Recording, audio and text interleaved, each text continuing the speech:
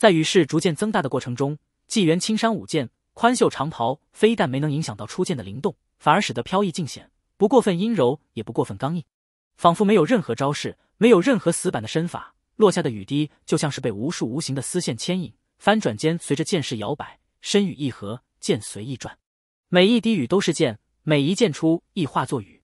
或许只是过去几个呼吸，或许足有一盏茶的功夫，纪元舞剑结束，甩袖转身负手而立。这一刻，身旁身下的雨水随着纪元转身之势而化圆，在其脚下形成一个一丈宽的环形水波，随后缓缓消融在地面雨水中。而剑虽然停了，可落下的雨水却会主动避开纪元，顺着身侧落在脚边。纪元望向门厅内的左家众人，此为游龙神意，无招亦无式，可容天下武学于其中。能不能领悟，能领悟多少，就看你们自己了。言罢，纪元从雨中走来，重新跨入厅堂之时，脚下却无丝毫水印。身上同样片衣不湿。既然这次要当这个仙道高人，那自然得把姿态做足了。左家人和严老爷子像是还未能从刚刚的奥妙非常的仙人舞剑中回神，依然愣愣望着厅外，好似虚幻的身影依然在雨中剑舞。良久，左伯然第一个回神，随后左右天、左右星等人也依次回神。两个孩子则一直有些呆呆的望着雨，而左家人一个都没说话，直到两孩子也回神依偎在娘亲身边，左家人和严老爷子才敢喘大气。纪元则只是坐在桌前喝茶，还提起茶壶给自己续杯。等到左家人终于全都回神，他才朝他们笑笑。见严老爷子面露尴尬，则连忙招呼他一下。严老爷子无需介怀，你又不曾偷抢左家什么东西，我都不介意你旁观，谁能有意见？坐下喝茶吧。谢先生容我观您舞剑了。严老爷子舔着脸拱了拱手，才在自己的椅子上坐下，赶忙拿起茶盏喝了一口压压惊。其实他比左家人更清楚仙人舞剑的分量。虽然严家铺子早已封了那口特殊的铸剑炉，可严老爷子这一生依然算得上半辈子都在铸剑，对于剑法自然也有自己的见解，只能在心里叹一句：仙妙剑意，凡尘难寻。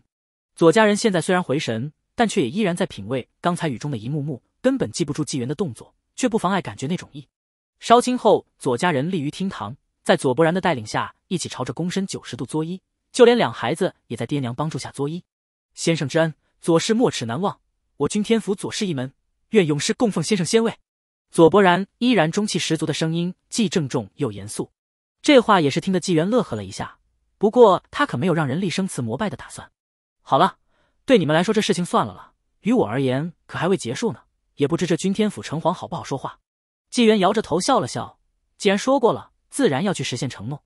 其实应该也不是什么大事，毕竟左家有他的赤阴法令留存。九之魂清灵明，更难出什么奸恶之徒。在广济德多行善，本身就有不小概率在死后成为城隍阴司的差役候选。纪元去礼貌的拜访一下，甚至不需要见到城隍，只需见到判官之一，提一提同左氏的情分。君天府城隍阴司还是有很大概率会卖一个人情给纪元的。又不是犯原则性问题，让他们选奸恶之徒，同样是好鬼。有纪元这个修仙之辈做背书，干嘛不卖个顺水人情呢？在不触犯原则问题时候，阴司也是可以讲讲关系的。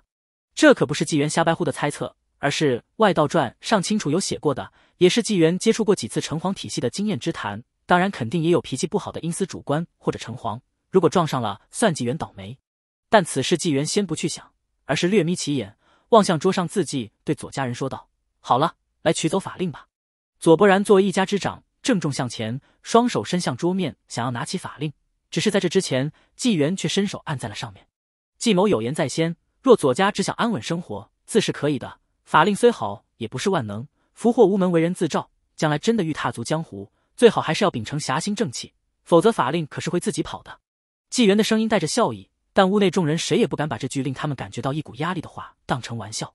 左氏自当遵从，不敢忘先生教诲，绝不忘先生教诲。后面的左家人在左伯然说话后，也赶忙作揖，表露决心。纪某人才将手移开。让额头微微见汗的左伯然双手取了法令，右臂垂下的袖中闪过一枚棋子虚影，让纪元不由心中暗道一句：果然。看着左伯然拿着字帖，小心的退回堂中，由一众左家人欣赏，纪元也突然还想到一件事，看向一边抚须的严老爷子：“严公，我的剑鞘呢？”啊！严老爷子莫名其妙的望向纪元，然后看了看立在桌边的青藤剑，脑门立刻见汗。做剑鞘的事不是开玩笑的。哈哈哈！严公莫急。过几天季某再来买吧，一个朴素剑鞘，花不去严家铺子多少时间吧？花不去多少，花不去多少，定会备好。叫先生满意的。严老爷子赶忙保证，然后低头思量准备哪些款式、何种木材。反正他决定发动严家人做他个十几二十种款式的剑鞘，让仙人自己挑。等严老爷子抬头想向纪元说明这一点时，却发现坐在另一边的纪先生已经消失了，只余下一只喝干了茶水的茶盏。而左家人依然在好奇的欣赏字帖，此刻依然毫无所觉。纪元在雨中迈步离开，这还是第一次以避水之术在雨中前行。不过也还是顺手在严家铺子外面那间屋子里借了把伞。急着离开，倒并非纪元真的这么着急去见君天府城隍司的神道帝欧，而是不想错过君天府城的美景。待到进城之处，纪元就把伞撑开了，以一个寻常百姓的姿态入了城中，四处走，四处逛，听遍着君天府的心中画卷。游逛半天，纪元最后来到了君天府的庙司坊。多数城会将城隍庙所在的坊命名为庙司坊，是举办庙会和祭祀活动重要的城房。君天府也不例外。之前答应左家的时候，底气挺足。自己想的时候也觉得没问题，但真到了任城隍眼皮子底下，纪元还是稍显忐忑的。一府城隍通常可比县城隍厉害多了，就是下属城隍司也会多不少。如君天府这等规模的府城，估计得有二十四司。纪元也不是空手而来，专门在庙司方挑了几间铺子，买了一十盒的糕点蜜饯，又打了两壶还算过得去的酒，才往城隍庙赶。由于是雨天，城隍庙人并不是很多，几个贩卖香烛的摊贩将摊位车推到了庙廊内。看到纪元跨过庙台门进来，立刻有人热情兜售。哎，这位大先生来拜城隍爷，总得上几炷香吧？我这有上好的檀香，两文钱三炷。香，不敢买，不敢买。纪元摇着碗具，就顺着一侧庙廊往前方几个庙殿走。先是到了主殿，也不像其他零星的香客一样上香祈福，而是将食盒上层的几碟点心贡品拿出来，和庙祝略一说明后，在供桌上摆正，并放上那壶酒。随后，纪元只是朝城隍像拱了拱手。就退出主殿，前往城隍庙其中一间偏殿。这偏殿中坐着一尊尊泥塑神像，在神像前方也有标明是哪一司主官。不过纪元不用看字，只凭感觉一尊尊找过去，最后停在了文判官的泥塑神像前。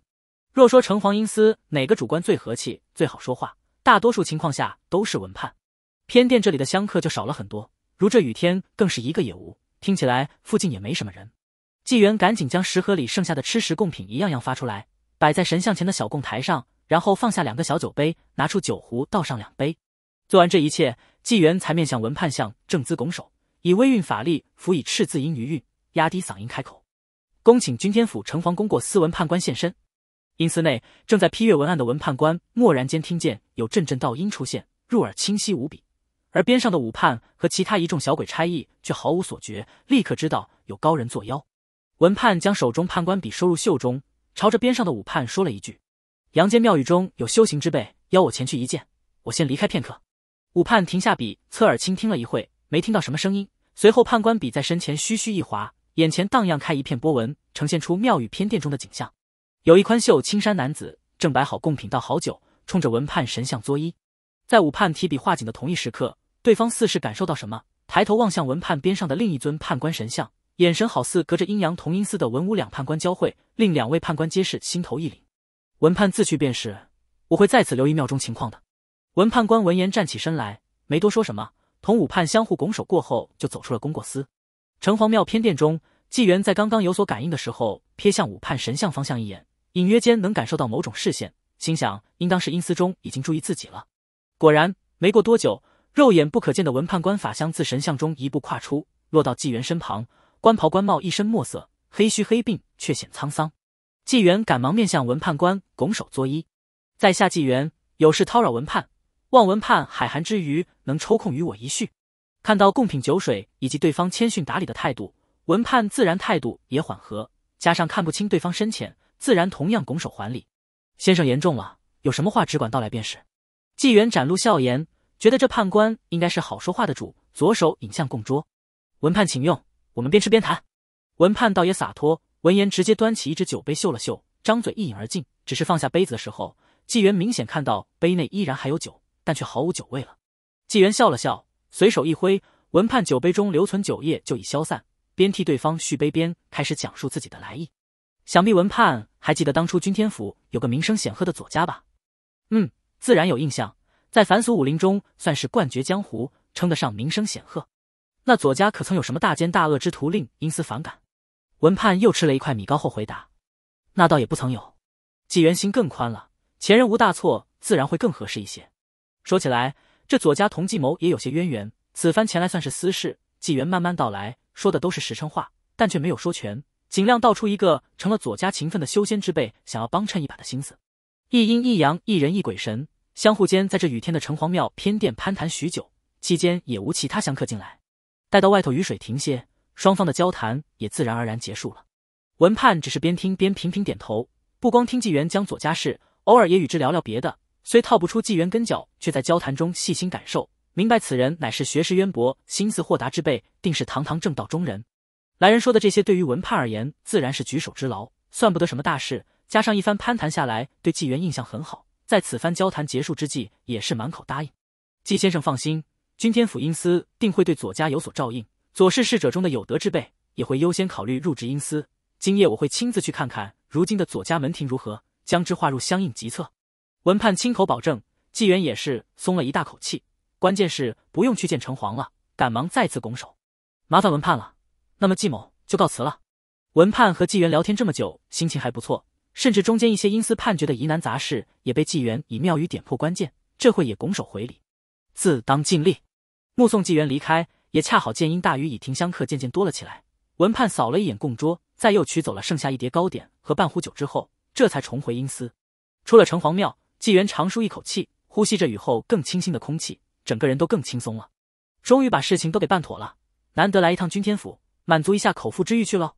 当夜子时，君天府城外原子河畔，严家一众聚居的宅区早已家家熄灯，人人入眠。君天府城隍宫过司文武双判官齐至此处，在还没有接近这一片的时候，文武判官就觉察觉出一些奇异之处了。他们这种地欧鬼神在所属地界是能看出一些特殊东西的，比如此刻望向严家那一片，整体呈现一种黑夜里的清晰感。并非有什么事物在放光明，却带给两位判官一种堂正透亮的感觉。原本两判官同来看左家门庭，只是好奇左家人同纪元的关系，现在则更好奇里头有什么。走过去一探究竟。两位判官一起再度前行，片刻已经接近严家铺子外。只是到了这里，一道连判官也看不清的无形波纹弥漫而过，只是令两者稍显法体有所感应。一路行至左氏主宅院内，穿过门墙进入大堂。一张还未来得及入城装裱的字帖放在八仙桌上，于判官眼中呈现一种运气厚重之感。望之则黑夜通透，无光而正亮。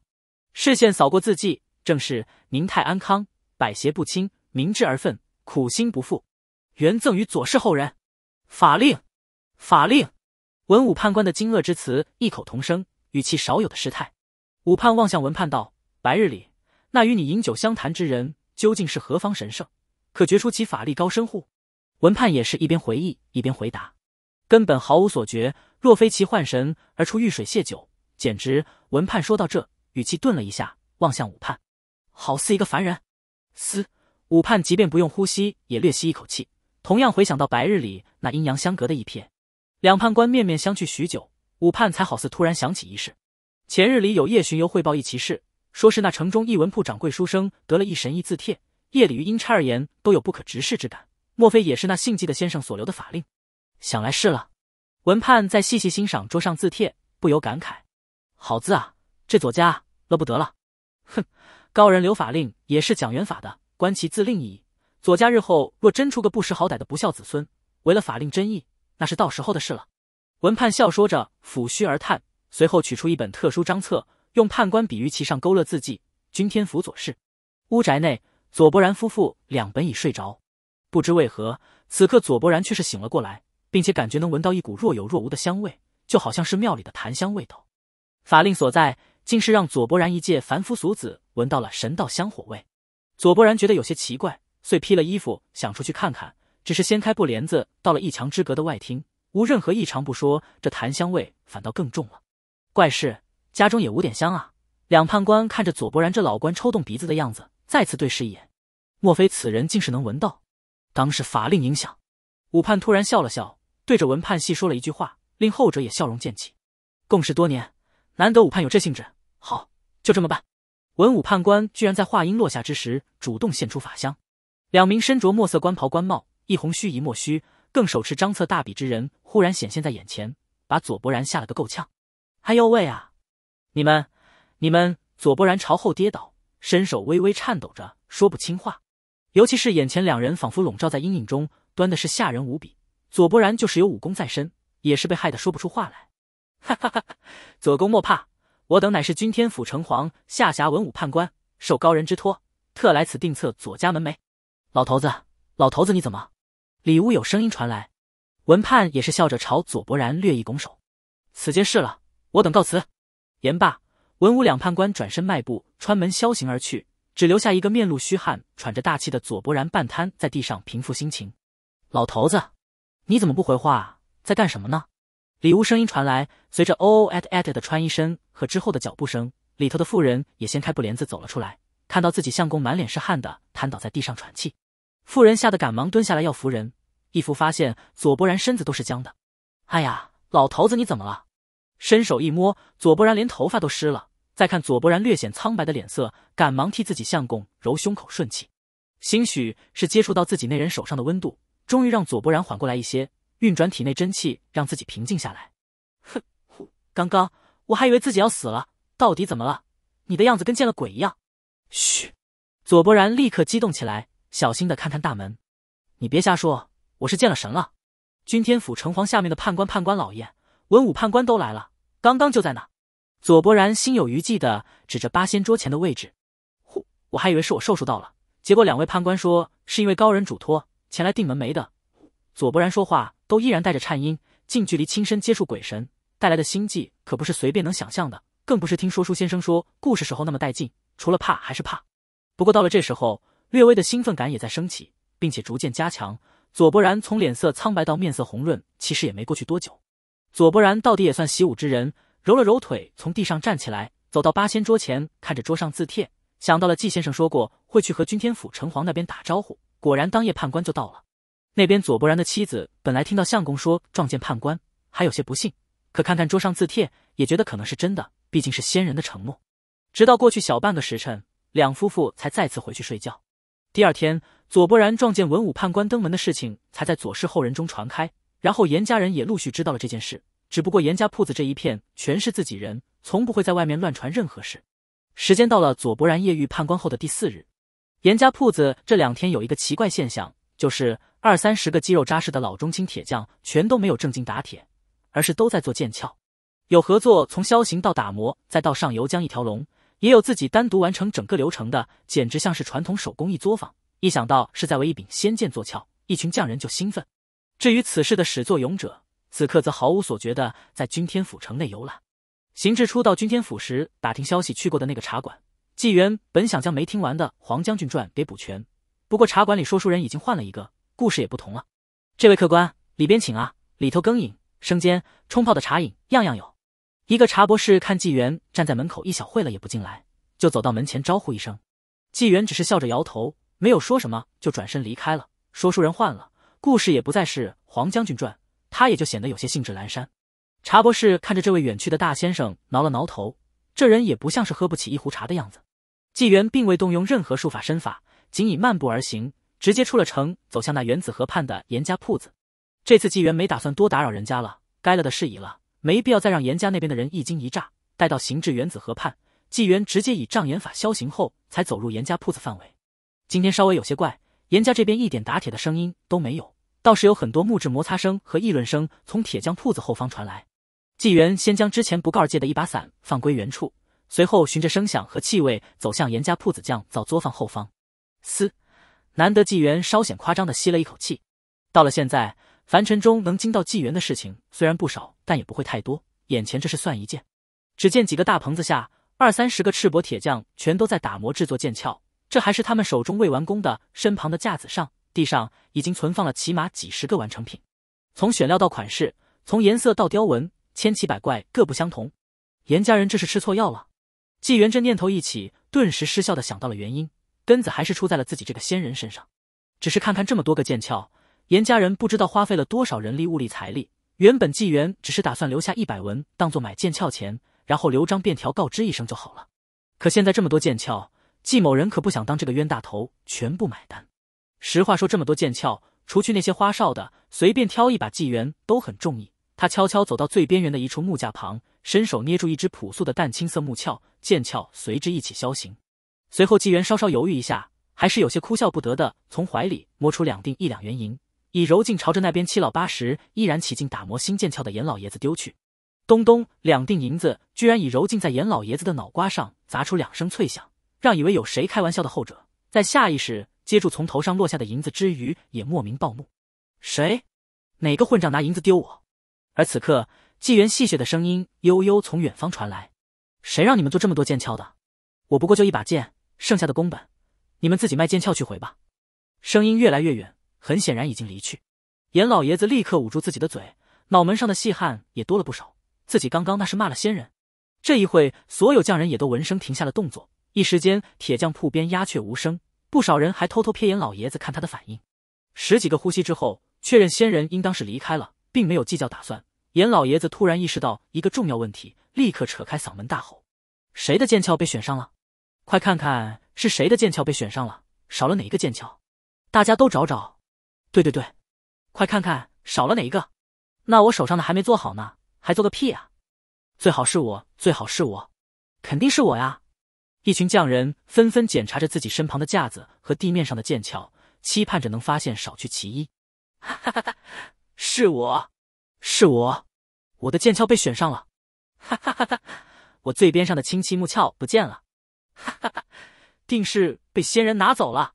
一名三十余岁的铁匠高兴的就差跳起来手舞足蹈了，在那指着木架狂笑不止。边上的很多铁匠仍不死心，依然翻动自己的作品，最终却只能得出一个没少的残酷事实。到最后，众人纷纷看着那个兴高采烈的铁匠，撇撇嘴，叹叹气，极其敷衍的恭喜一两句。那汉子正得意呢，却瞧见太爷朝祠堂方向离开了，立马拍脑袋想到银子还没给自己呢，赶忙追过去。太爷，太爷。那银子，银子该给我吧，至少给一锭吧。仙人给的呢，太爷。哼，你也知道仙人给的，你懂个屁作用。给你也是暴殄天物，我拿去祠堂供起来，和祖宗牌位放一块，上香的时候大家都看得到。严老爷子头也不回，脚步加快，留下这句话，将汉子打击的呆立当场。纪元没急着回城内，而是在城郊外找了一处无人的林野，上了一棵枝繁叶茂的大树，在其上盘腿而坐，细看这个剑鞘。这个剑鞘浑身呈现淡淡的青绿色，应该是用了什么漆料，而非木质本来颜色。但渗透性很好，也清新自然，没有什么异味。配色很搭青藤剑的剑柄，木鞘没有任何雕纹和多余配饰，乍一看简直就像是一根青绿色扁木棍。但越倒角圆润，触感极佳。只是听青藤剑在背后微微的风鸣声，就知道他也挺喜欢这个剑鞘。稍安勿躁，剑鞘还差点火候，否则可经不起你折腾。纪元将背后青藤剑抽出，灵气输入，伸手一引。有一节细细的青藤新枝自剑柄上抽芽而出，并自行脱落，将细枝安到剑鞘上，立刻嵌入其中，沿着剑鞘缓缓生长，婉转盘旋，大概一指长一个旋。这速度并不快，却也不慢。两刻钟过后，淡青色的剑鞘上多了一道盘旋的翠绿藤纹，少数地方还留有嫩芽痕迹。翁青藤剑再一次风鸣，还差点，还差点，不急。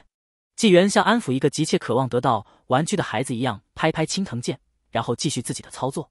右手运起剑指，法力犹如细细剑芒，轻刺剑鞘之上。随着手腕和指尖滑动，两句刻文显现：“灵韵青藤，藏锋万丈。”字迹光晕一闪而逝，整个剑鞘也微微震动了一下，又回归自然。呼，好歹也是自己的东西嘛！看看青藤剑在那风鸣不止，纪元也是笑了。去吧。翁青藤剑带着风鸣，蹭的一声滑剑入鞘，然后就没任何响动了，好似睡着一般。纪元再次一笑。将青藤剑重新用青布缠好，背在背上，标志着短期内一切心结已了。开始细思自己的修行问题。不同于其他那些道行不深的修仙之辈，纪元甚至不需闭眼便可观现意境。山河之中，天地苍茫；高峰之上，丹炉鼎立。一亩丹田烟波浩渺，翻腾充盈着法力。如今随着纪元自己那套衡量仙道的准则在得法心方面齐头并进，道恒也是日渐增长迅速。丹氏法力边界已经不再是一亩丹田之地。或许用一亩三分形容更合适。田虽然还是小，可架不住纪。某人丹炉大，炉中内藏乾坤，三昧真火升腾不息，其中蕴藏着腾腾丹气，随时都能转化补充为法力。尤其奇特的是，这介于虚实之间的丹室，通明册上形容是幽暗中一亮室，意境丹炉架金桥。而到了纪元这丹室的一亩三分地周围并不暗，是若隐若现的意境山河。丹田之地的升腾法力，则好似烟霞一般，将丹田蕴藏。也不知是山河隐于丹田外，还是丹田隐于山河中。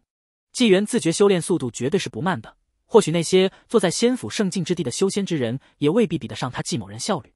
而棋子对丹气的需求似乎也有自身限制，偶尔量大，偶尔几无，凝实的大，虚无的少。总之，正常情况下不影响纪元修行。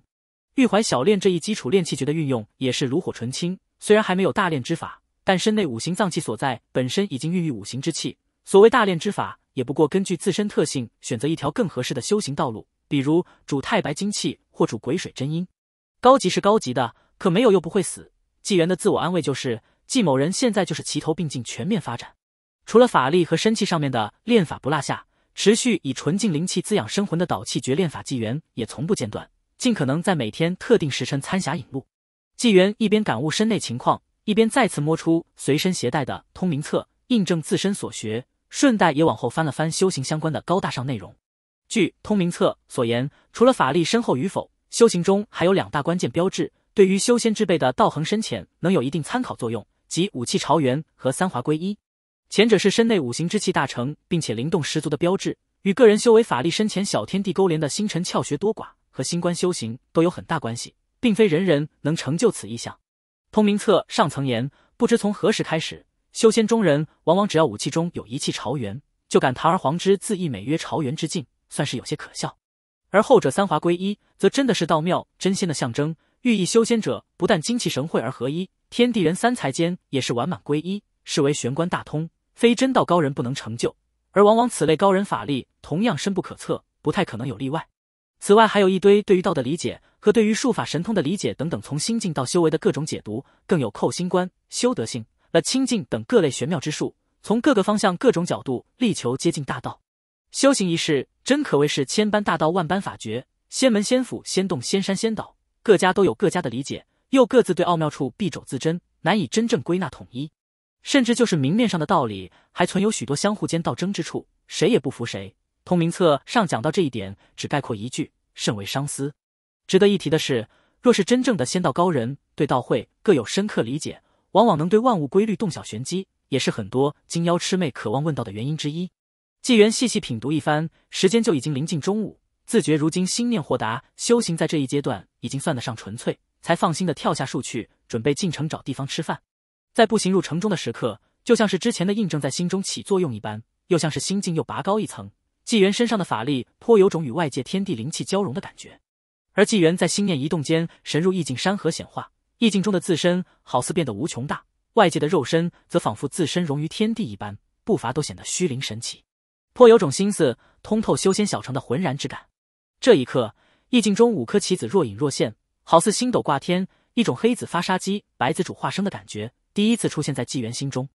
嗯，让前行中的纪元又有疑惑渐起，而走着走着，身子居然好似踢在水中，感到阻力越来越大，到最后纪元居然发现自己走不动路了。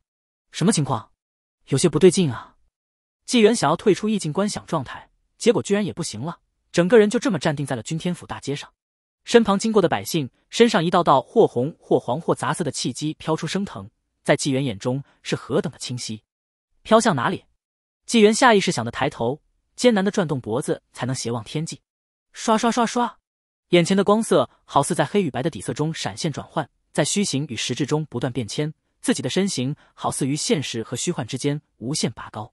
山河何其远，天地何其广，视线则好似没有尽头，其中千道万道无穷道气机弥漫无穷，白、黑、青、赤。黄等各色紧随显现，心中明悟顿生，仙灵之气、磅礴妖气、腾腾魔气、阴气、香火神气、人道之气、五行之气。纪元在自觉身体在不断变大、不断升腾过程中，眼前世界已经大不相同。惊愕、震撼、恐惧、不知所措，各种情绪交织中，纪元看到天与地的磅礴浩渺之气，正受到世间一切生灵的无穷气机牵引。仙道、鬼道、神道、魔道、妖道、人道、灵道。这无穷气机各自混合，形成无数道或粗或细的气机绳索，牢牢扎在天地浩渺之气上。随着一道道气机绳索的欲念与纷争的沉浮，随着向道之心与邪魔之舵交锋，随着每一次王朝更替、大事变迁，每一次的仙魔之争、妖邪祸乱，每一次的山河天灾、气数变动，全都化为一股股源头劲，撕扯着天地浩渺之气。纪元仿佛能看到一道道内藏幽红与紫气交融的裂纹浮现天地。一种模模糊糊感应中的明悟在纪元心中升起，天发杀机，移星易秀；地发杀机，龙蛇起路，人发杀机，天地反复，天人合发，万化定机。或许万年，或许几千年，或许更短。天地间大变在即，这种变化就将最终受到天地间充盈无穷的万物契机而显现。届时是山河破碎，天倾地陷，还是否极泰来，运化大千，都是一个未知数。可以肯定的是，天地大变之际，山河万里也好，无穷生灵也罢，消行陨灭者必然不可计数。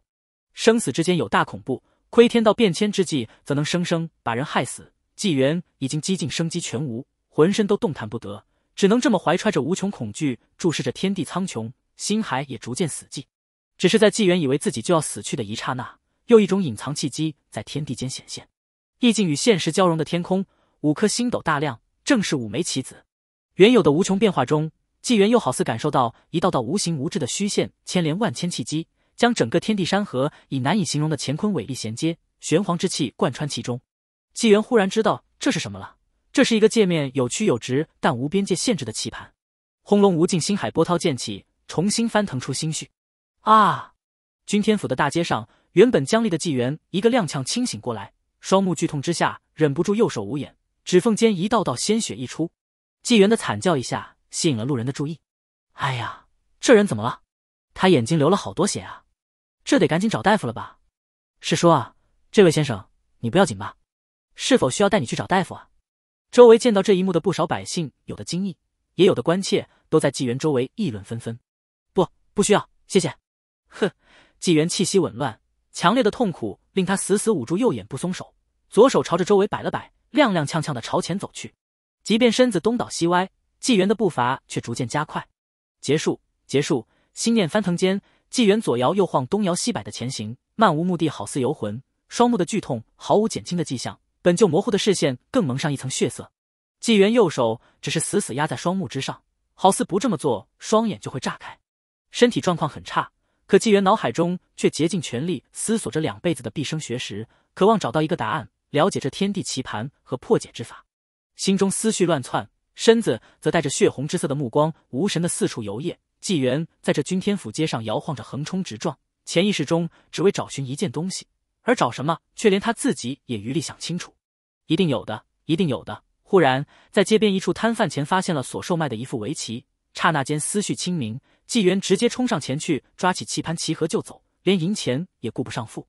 哎哎，你抢我的棋！本来没什么精神的小贩见有人抢东西，立刻要发作，却被纪元仓木淌血的狰狞模样给吓住了。话音从强到弱，居然都不敢追出去抢回棋盘棋盒。呼吸发颤，有些神志不清的在心中不断念叨着一句话：“我是下棋人，我是下棋人。”状若疯魔的纪元一路踉跄着跑出了城，明明重心摇摆不稳。脚步却不断加快，最后更是几乎化为残影，直奔荒野山林。一连狂奔一昼夜，直接从君天府城直线奔出去三百余里，冲上了荒无人烟的君元山。一路不顾荆棘藤蔓、野草丛生，就是乃荒往哪赶？纪元在大山中冲窜了许久，一见到前方有一处不过两丈深的山壁石洞，立刻好似找到救星一般，抱着棋盘向其冲去。踉跄着脚步进入洞壁内，青藤剑随手解下，置于洞边，将棋盘棋盒放下。纪元痴魔般盘坐其内。满脑子子之前的画面和恐惧感挥之不去。打开棋盒，取出黑子白子，眼前的已经不再是凡尘棋盘，而是随心意带入的天地大势。随着啪嗒一声棋子落下，意境再次纵横天野。纪元开始落子眼棋，亏得天地大变之气，纪元绝对不能，或者也更不敢同任何人说。他有种近乎能肯定的直觉，自己这个义棋人亏的是世界之变，行的是偷天换日、定鼎乾坤之事。一旦对人说出真意，下场会远惨于当初的轻松道人无数倍，怕是他季某人乃至听到此事之人都会顷刻间一起化为飞灰。沉重的压力犹如山岳，压得纪元喘不过气来。他必须要自己找到一个答案，无人可求。曾经在宁安县的居安小阁院中，纪元同尹兆先下棋，半天能下好多局。可是此刻，每一颗棋子落下，都在意境山河的虚化契机中经过无数变迁，将已经隐没的天地棋盘投射到眼前围棋盘上。落一颗子，就好似托举一座山。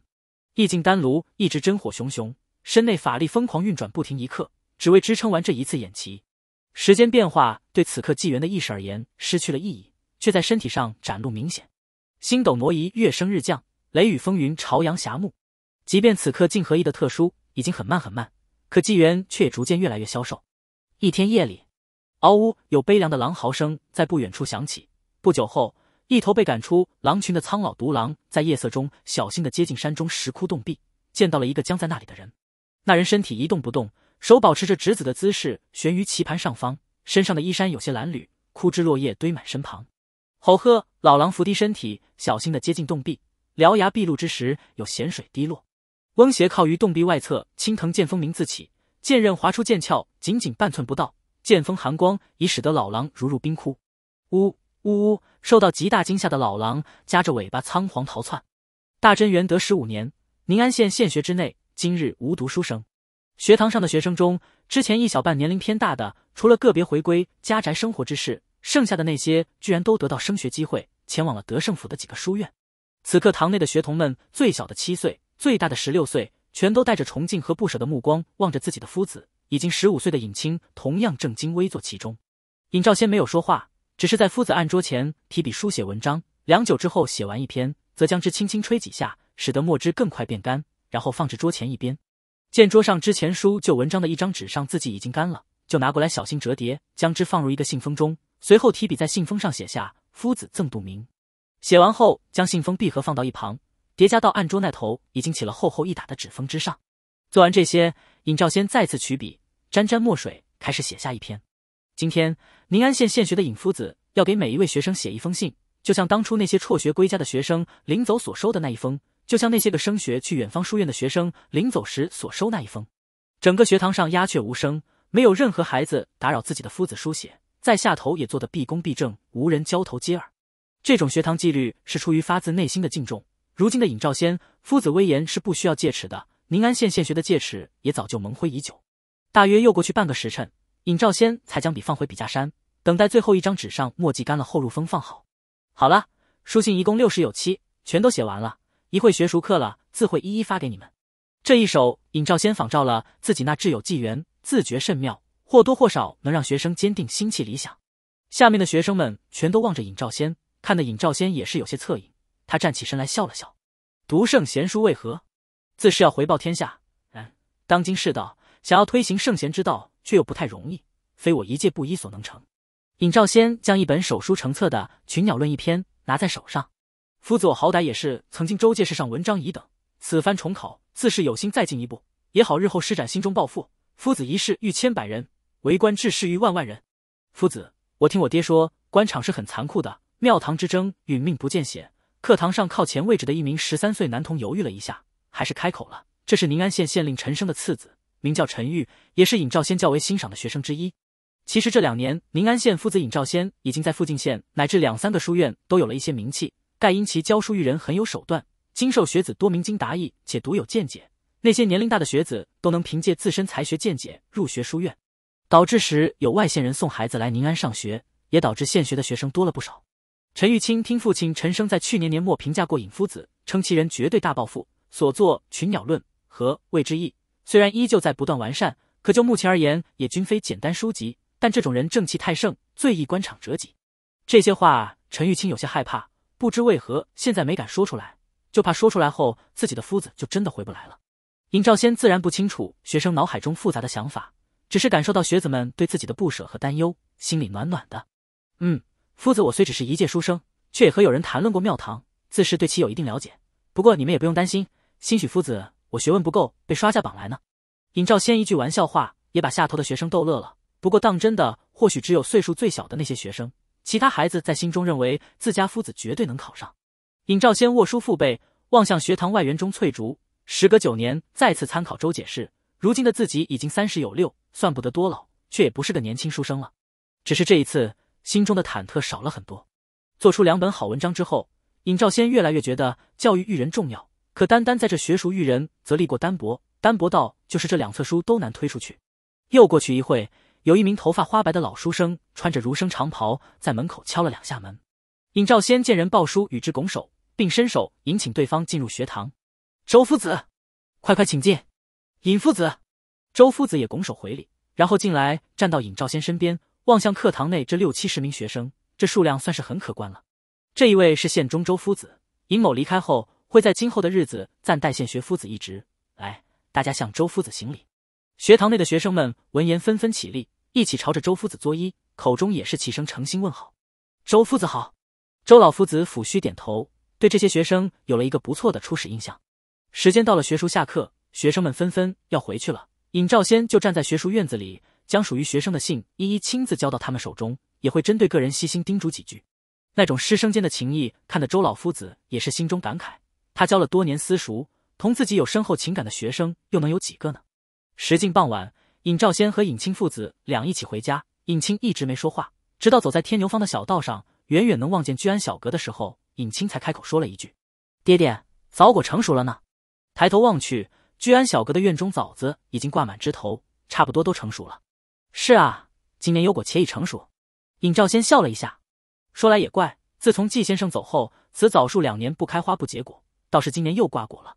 尹清嘿嘿一笑，兴许是知道爹爹准备赶考，特意今年结果呢。反正我们又有口福了。你这孩子，父子俩有说有笑的朝前走去，经过居安小阁，望望那枝头诱人的枣子。隐约间有果香流出，或许是因为尹清的话提醒了尹兆先，也或许是父子俩起了兴致。回家后，匆匆吃完尹母早已准备好的晚餐，父子俩就取了居安小阁的钥匙，准备去摘枣子吃了。晚间红霞挂在天边，小阁门前，尹兆先用钥匙顶开铜锁，慢慢推开院门。吱呀，门书转动的声音响起，两父子还没进门就愣住了，因为院中居然有人。这人自然不是纪元，而是一位内着圆领长衫、外套对襟直罩衫的年长者。正抬头望着枣树，见院门打开，则转头望向尹家夫子。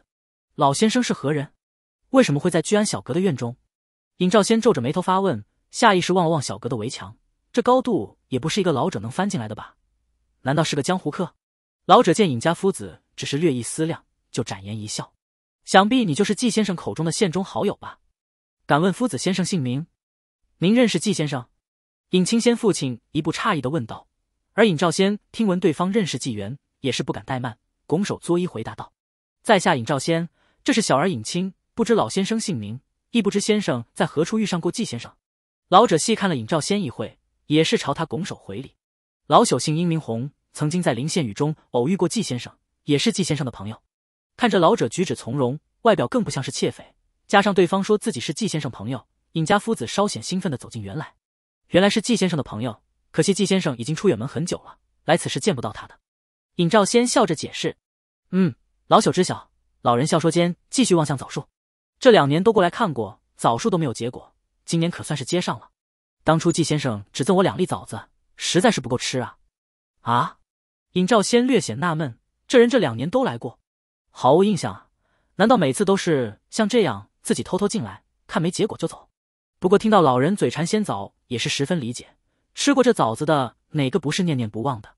于是尹兆先便笑道：“想必是季先生出门所带枣子不多的缘故。老先生今次来可是赶上好时候了。这院中枣子您尽可吃到饱。这枣子纪元本来就嘱托尹兆先分果的，有朋自远方来，想多吃些更无妨了。”对面正望向枣树的老先生闻言，眼睛一亮，院中枣枝居然在这一刻有种悉索发颤感，好似正巧刮过一阵细风一样。呵呵，尹夫子说笑了，吃不饱的。也不方便敞开了吃，这样吧，我只吃一口好了，不知尹夫子是否同意啊？一口，尹兆先诧异了，同时心中也有些嘀咕着怀疑起来，这位季先生的朋友，难不成也非凡俗之辈？不错，就一口。尹夫子同意否？老者抚须点头，一副我只会浅尝辄止的样子。哼，有什么不同意的？尹某不过替季先生代管枣果，既是季先生有人，老先生想吃多少吃多少。青儿，我们替老先生摘果。好嘞。摘果了，尹清早就耐不住了，这回终于听到可以摘枣子了。只是还没等他动，那老先生又说话了：“不必不必，无需麻烦。”说到这，老者再次抬头，嘴角咧开一个弧度，也学着尹清的口气：“哈哈哈哈哈！吃枣子喽！”昂吼滑呼呼细不可闻的龙吟声中，院内狂风骤起，整棵枣树摇摇晃晃，无数枣子被狂风扫落枝头，随着狂风一起被卷入老者张开的乾坤之口中。尹兆先和尹清两人站立不稳。举手挡在前面，又惊又怕。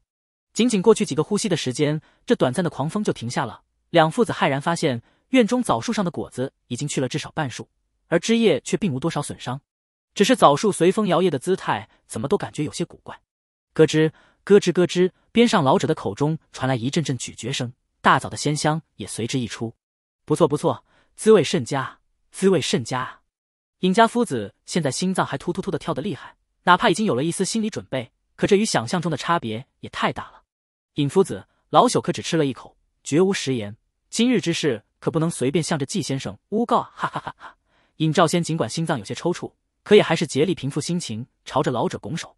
尹某有眼不识真人了。老先生言必诺行必果，确实只吃了一口，倒是把尹某父子俩吓了个够呛。要是还有下回，可希望老先生先提醒一句话。殷红从刚刚相遇到吞噬枣子，都在细心观察尹兆先，观其气也是唐正不凡。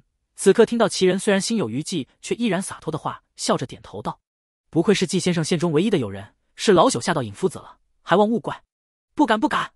一来一回，虽然心有余悸，但气氛却融洽起来。摘下一盘枣子。相互在石桌前坐下聊天，说的主要是如何结识纪元，如何成为朋友。在尹家父子相互补充着说到纪元救下赤狐，又和尹清一起将之放归的故事，老者也是喜笑颜开。虽然老者言语间有些事情明显有所隐瞒，但尹兆先也不问破，更不随便问这明显不是凡人的老者跟脚，只是听和说。两人相谈甚欢，名为殷红的老者好似突然想到一事，一拍脑袋叫了起来：“差点忘了！”说话间变戏法一般，从背后取出一个细脖子瓷制酒壶和两个瓷杯，放到了石桌上。老朽欠季先生一顿酒，可惜季先生神意，找不着也算不到。来此既是看枣子成熟与否，也是看他回来没有。既然与尹夫子一见如故，就请夫子先替季先生品鉴品鉴这酒的滋味，如何？有何不可？尹兆先也是洒脱，虽然很少饮酒，可心想不能给季先生丢人啊，不就喝个酒吗？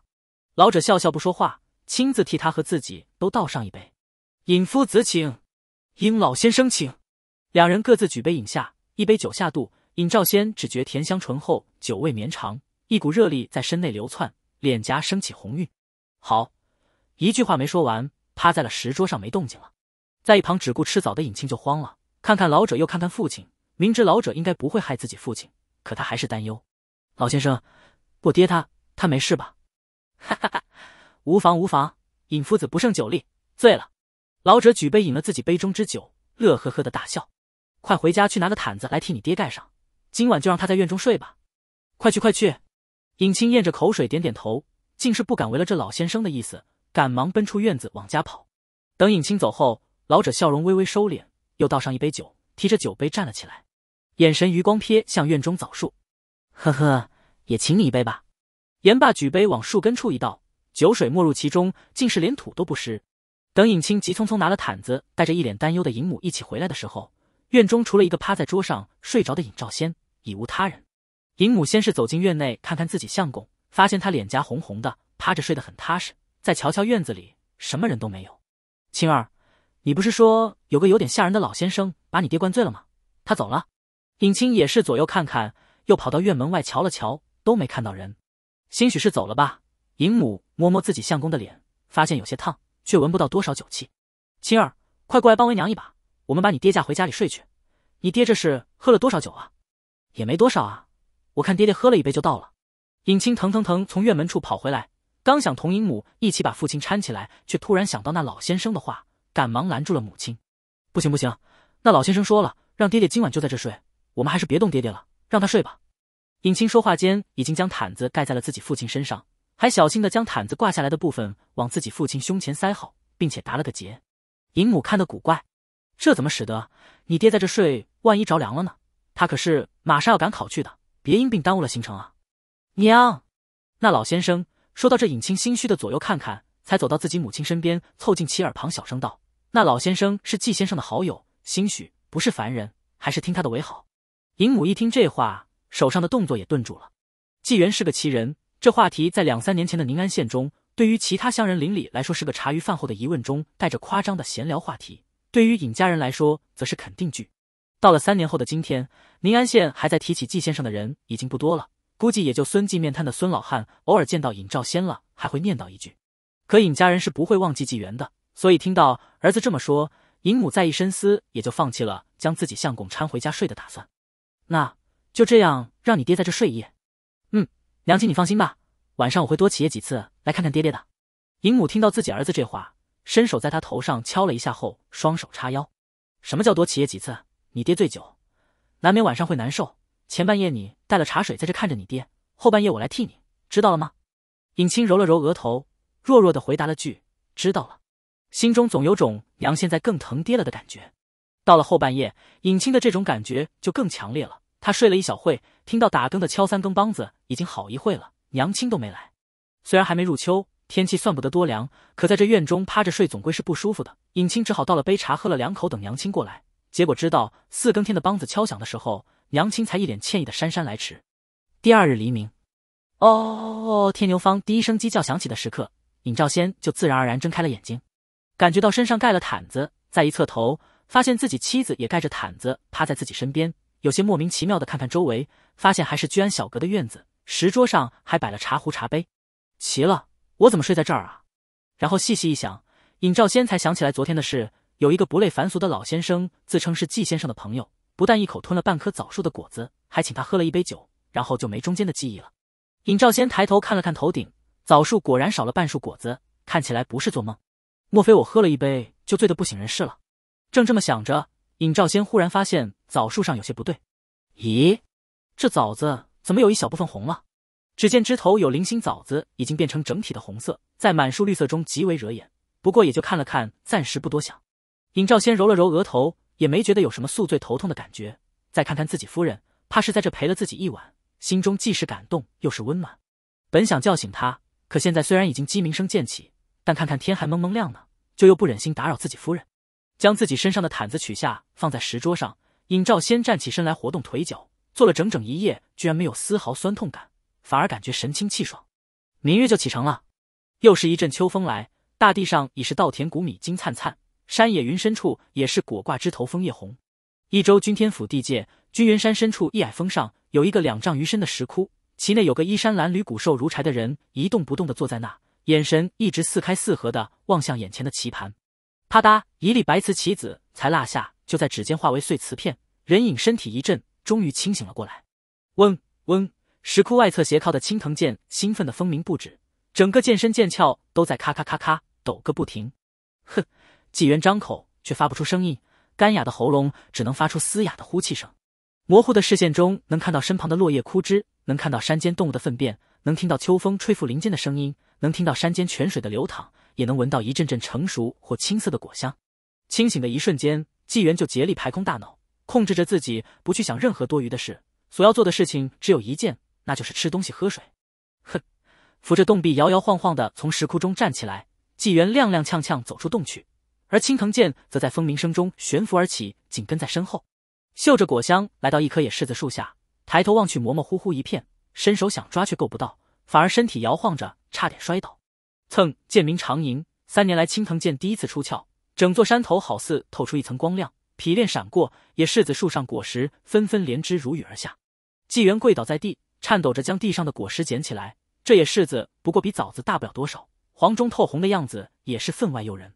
不过纪元根本顾不上什么，一颗颗摘下来就往嘴里送，不洗也不擦，更不涂籽，粗一咀嚼就往肚里咽，吃的速度越来越快，满手满嘴都是汁液。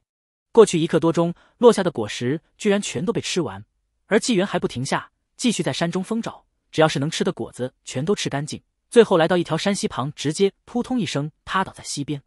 纪元将头埋入溪流中，咕噜咕噜咕噜咕噜，喝水喝到肚子鼓起又收拢，再鼓起再收拢。一口气下来，也不知道喝了多少山泉水。溪中有小鱼、小虾、山蟹、泥鳅什么的，也不放过，一一生吞入肚。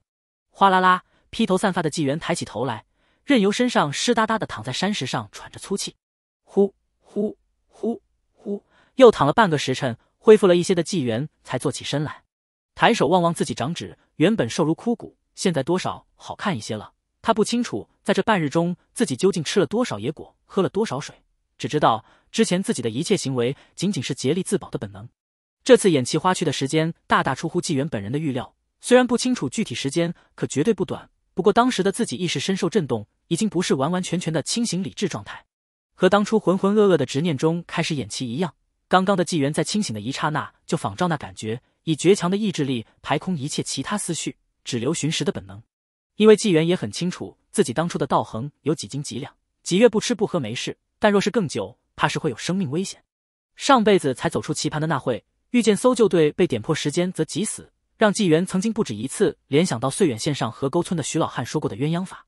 刚醒的自己可能类似于比干挖心状态，纪元不敢冒这个险，不敢让自己猜测分析出过去了多长时间，更不敢撞上别人被说破什么。至少在身体得到补充之前不敢，否则很可能鸳鸯法破，一棒打醒该死之人，导致自己生机全无。不过到了现在，已经没事了。纪元缓和了一下呼吸，自嘲的笑笑，起初只是微吃，后面笑容渐大，最后则笑若疯狂。吃，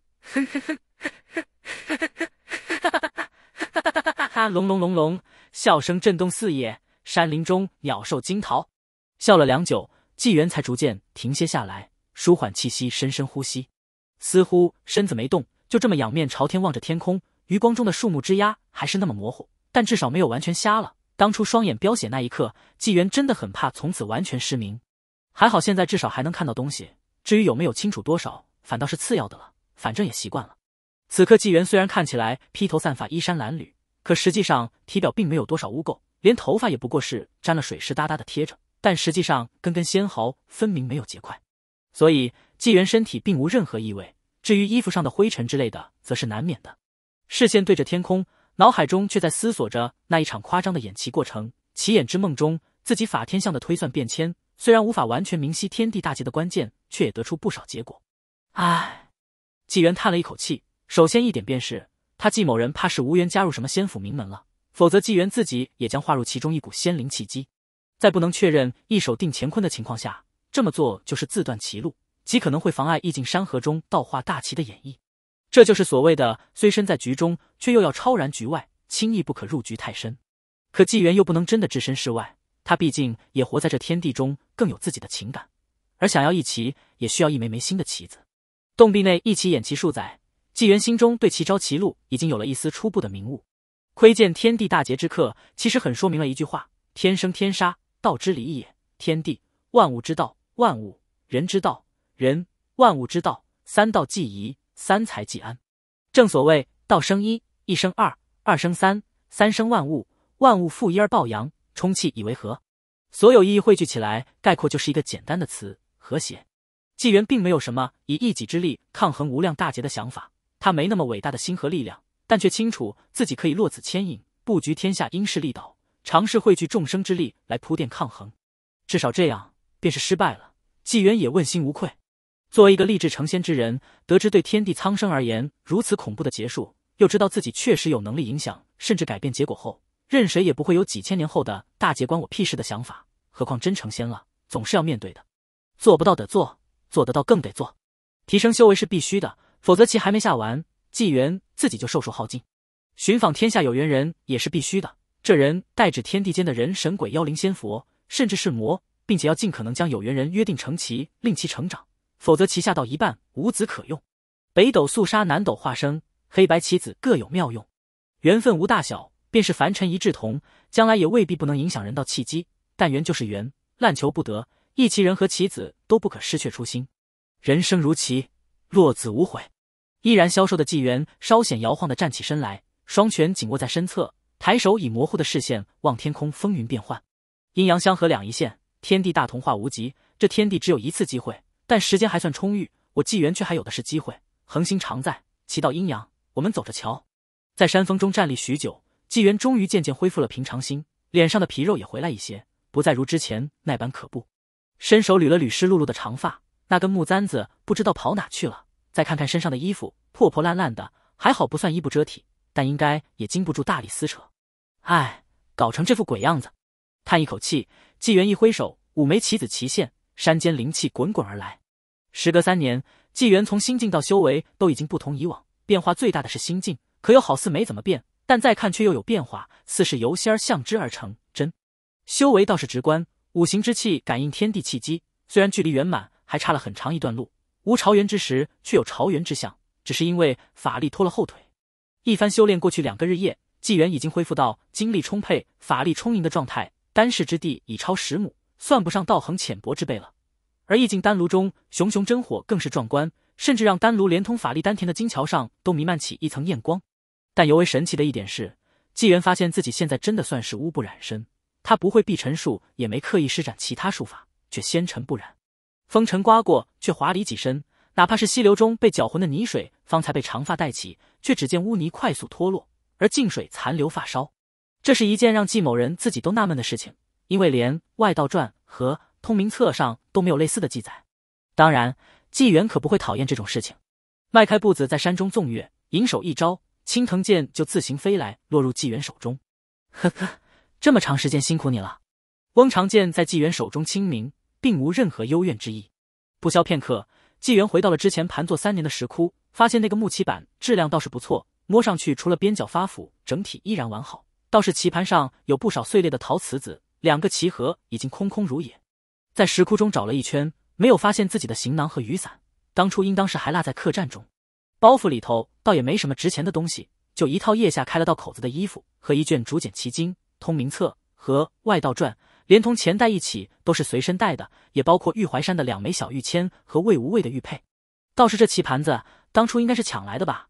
纪元摸了摸脑袋，这应当是除了上辈子小时候抢糖果之外，两辈子以来头一次不给钱抢了东西就跑的。随手一招。地上一根枯枝就飞起，落到纪元手上，剥去树皮，折断多余枝丫，一根六寸长短、稍显弯曲的光洁枝丫就出现在纪元手中。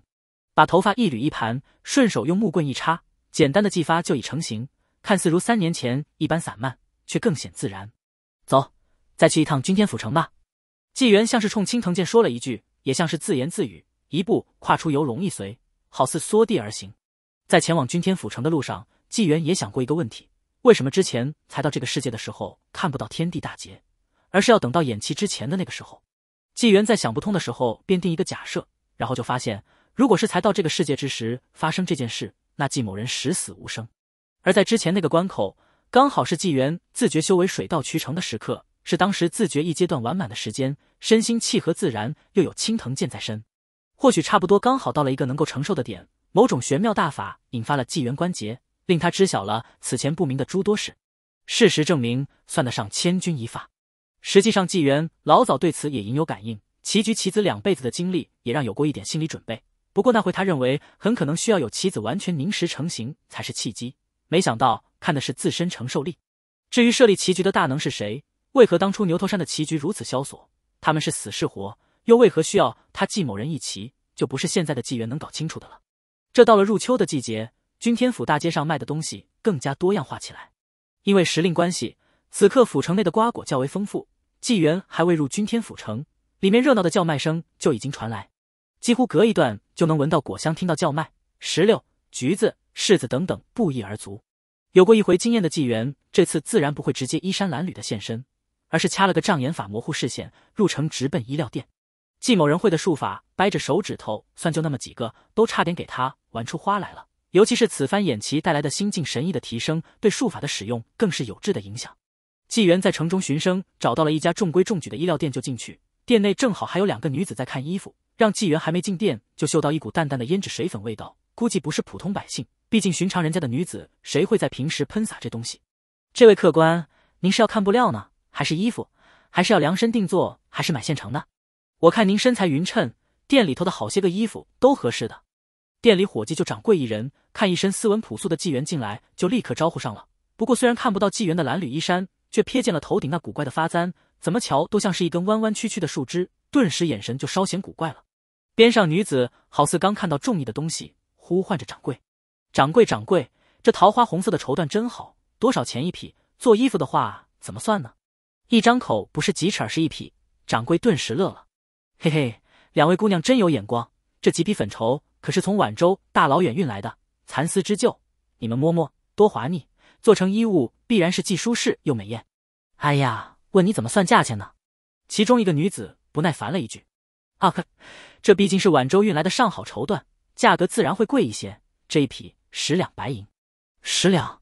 两女子还没说话，纪元就稍有些惊愕了。这丝绸果真是价比黄金，一匹布也就做几身衣服而已，却抵得上百姓家一两年消费。难怪寻常人家根本消费不起。好，就要这一匹了，给我包起来。衣服我们自己会找人做的。哎哎，好好，这就包起来。掌柜的喜笑颜开，这两姑娘居然连价都不还，今天真是赚到了。还在取绸呢，就见到纪元也学着两姑娘刚才的样子，伸手在挂起来的各种丝缎上细摸。这位客官，哎，客官，啊哈，这个本铺小本经营，这边都是绢、绸、绫。那个掌柜的尽量委婉的表达自己的担忧。纪元把手缩回，朝他笑了笑。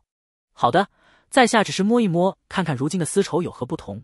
掌柜的，帮在下挑两身，不，挑三身衣物如何？为了避免麻烦，纪元说话的时候已经从怀里摸出一锭银子，立刻让掌柜的喜色更盛。好好，客官稍等，我先替这两位姑娘将绸缎包好。两位女子这会也在悄悄观察纪元，毕竟殿内就四人，来人眼神就没落到过他们身上过，或者看到也只是一眼扫过。他们倒没有什么美貌被无视的气氛，而是奇怪来人的视线好似根本看不清似的。方才摸布也是只凭手感，眼睛根本没看布，而且衣着倒罢了。那技法好生散漫，却又起不了厌恶之心。一根树枝当发簪，照理来说应该是十分滑稽的，可看着却笑不出来。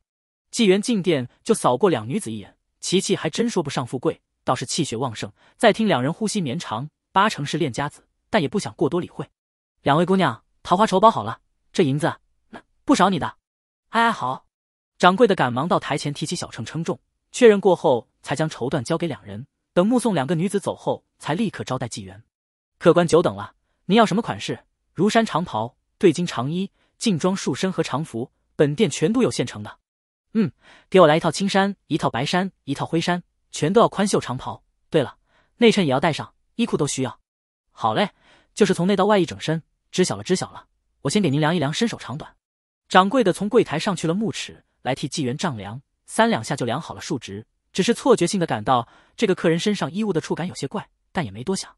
像是为了缓和自己之前言语的冒失，在给纪元挑衣服的时候，还和他攀谈闲聊。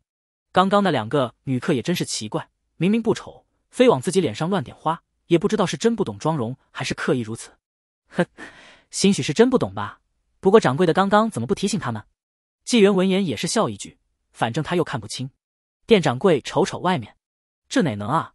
富贵女客最是不可招惹，尤其是样貌。我那一说，他们能识得好言还是恶语？哈哈，有道理，有道理。掌柜的是个明白人。纪元也是乐了，将之前的压抑都扫去少许，难得有种听到上辈子段子的感觉。嘿嘿，是吧？客官您试试这几身，绝对合身。谈话间，掌柜已经替纪元挑好了外衣。等大约一刻多钟后，纪元从衣料店铺出来，已经换了一身崭新的白衫，还提着一个购自店内的布包，里头装着另外两身行头，总共也就花去六百文钱，和那匹桃花绸一个天一个地。至于手中还拖着的一团破烂衣物，纪元双手合掌一搓，这些破旧衣物在两手之心化为碎末，飘入街道沟渠板下。纪元此刻所行进的方向，正是前往当初抢棋盘那条街的位置所在。商贩如非必要一般，也不太喜欢换地方卖东西，很可能那小贩还在原处。刚刚在衣料店和掌柜闲聊，已经旁敲侧击的了解到，已经是元德十五年，和纪元原本隐约的估测相差并不算大。中途还买换了鞋履，再走了大约不到两刻。纪元就凭着感觉寻到了之前那条街，果然又听到了那小贩的声音。玉饰，新到的玉饰，玉镯、玉佩、玉戒指都是好玉呀！小贩吆喝的起劲，但停下来在摊位上看的人并不多。正口渴，拿起竹筒罐子喝口水的功夫，发现摊位前已经站了个白山先生。小贩精神一振，赶忙招呼：“这位客官，看您一定是个学问人，买块玉吧。读书人不是都说君子好玉，君子如玉？您瞧瞧，我这边的这几款玉是，多绿啊！”纪元虽然看不清这些玉器的具体样式，但玉这种东西很特殊，好玉自有气息。如魏无畏送的那块玉，摊位上的这些，别说气息，他伸手一摸，灵气一探，就知道不但做工差，玉质也是劣等。纪元掠过那些绿色的，挑了一根颜色偏灰墨的簪子，询问小贩：“这簪子多少钱？”小贩看了看这粗料玉簪，在他这摊位中都算是最差的那类的。看看纪元的样子，犹豫了一下，报了一个价：“三十文。”哼，一根玉簪才三十文啊！我看不够，不够的。我觉得它值一两。纪元自说自话，拔掉头顶的树枝，直接将玉簪插到发髻上，随后从怀中掏出一小把碎银，只会比一两多，不会比一两少。给，这玉簪值这个价，不用找了。呵呵，不错不错，这玉簪真不错。小贩呆呆的用手捧住纪元递过来的碎银，有些发懵的望着这宽袖白衫先生，自说自话，头也不回的离开。这人就这么走了。等纪元快要走出二十步的时候，小贩像是才回过神来，望着手中的银子，这得有两三个月的赚头了吧？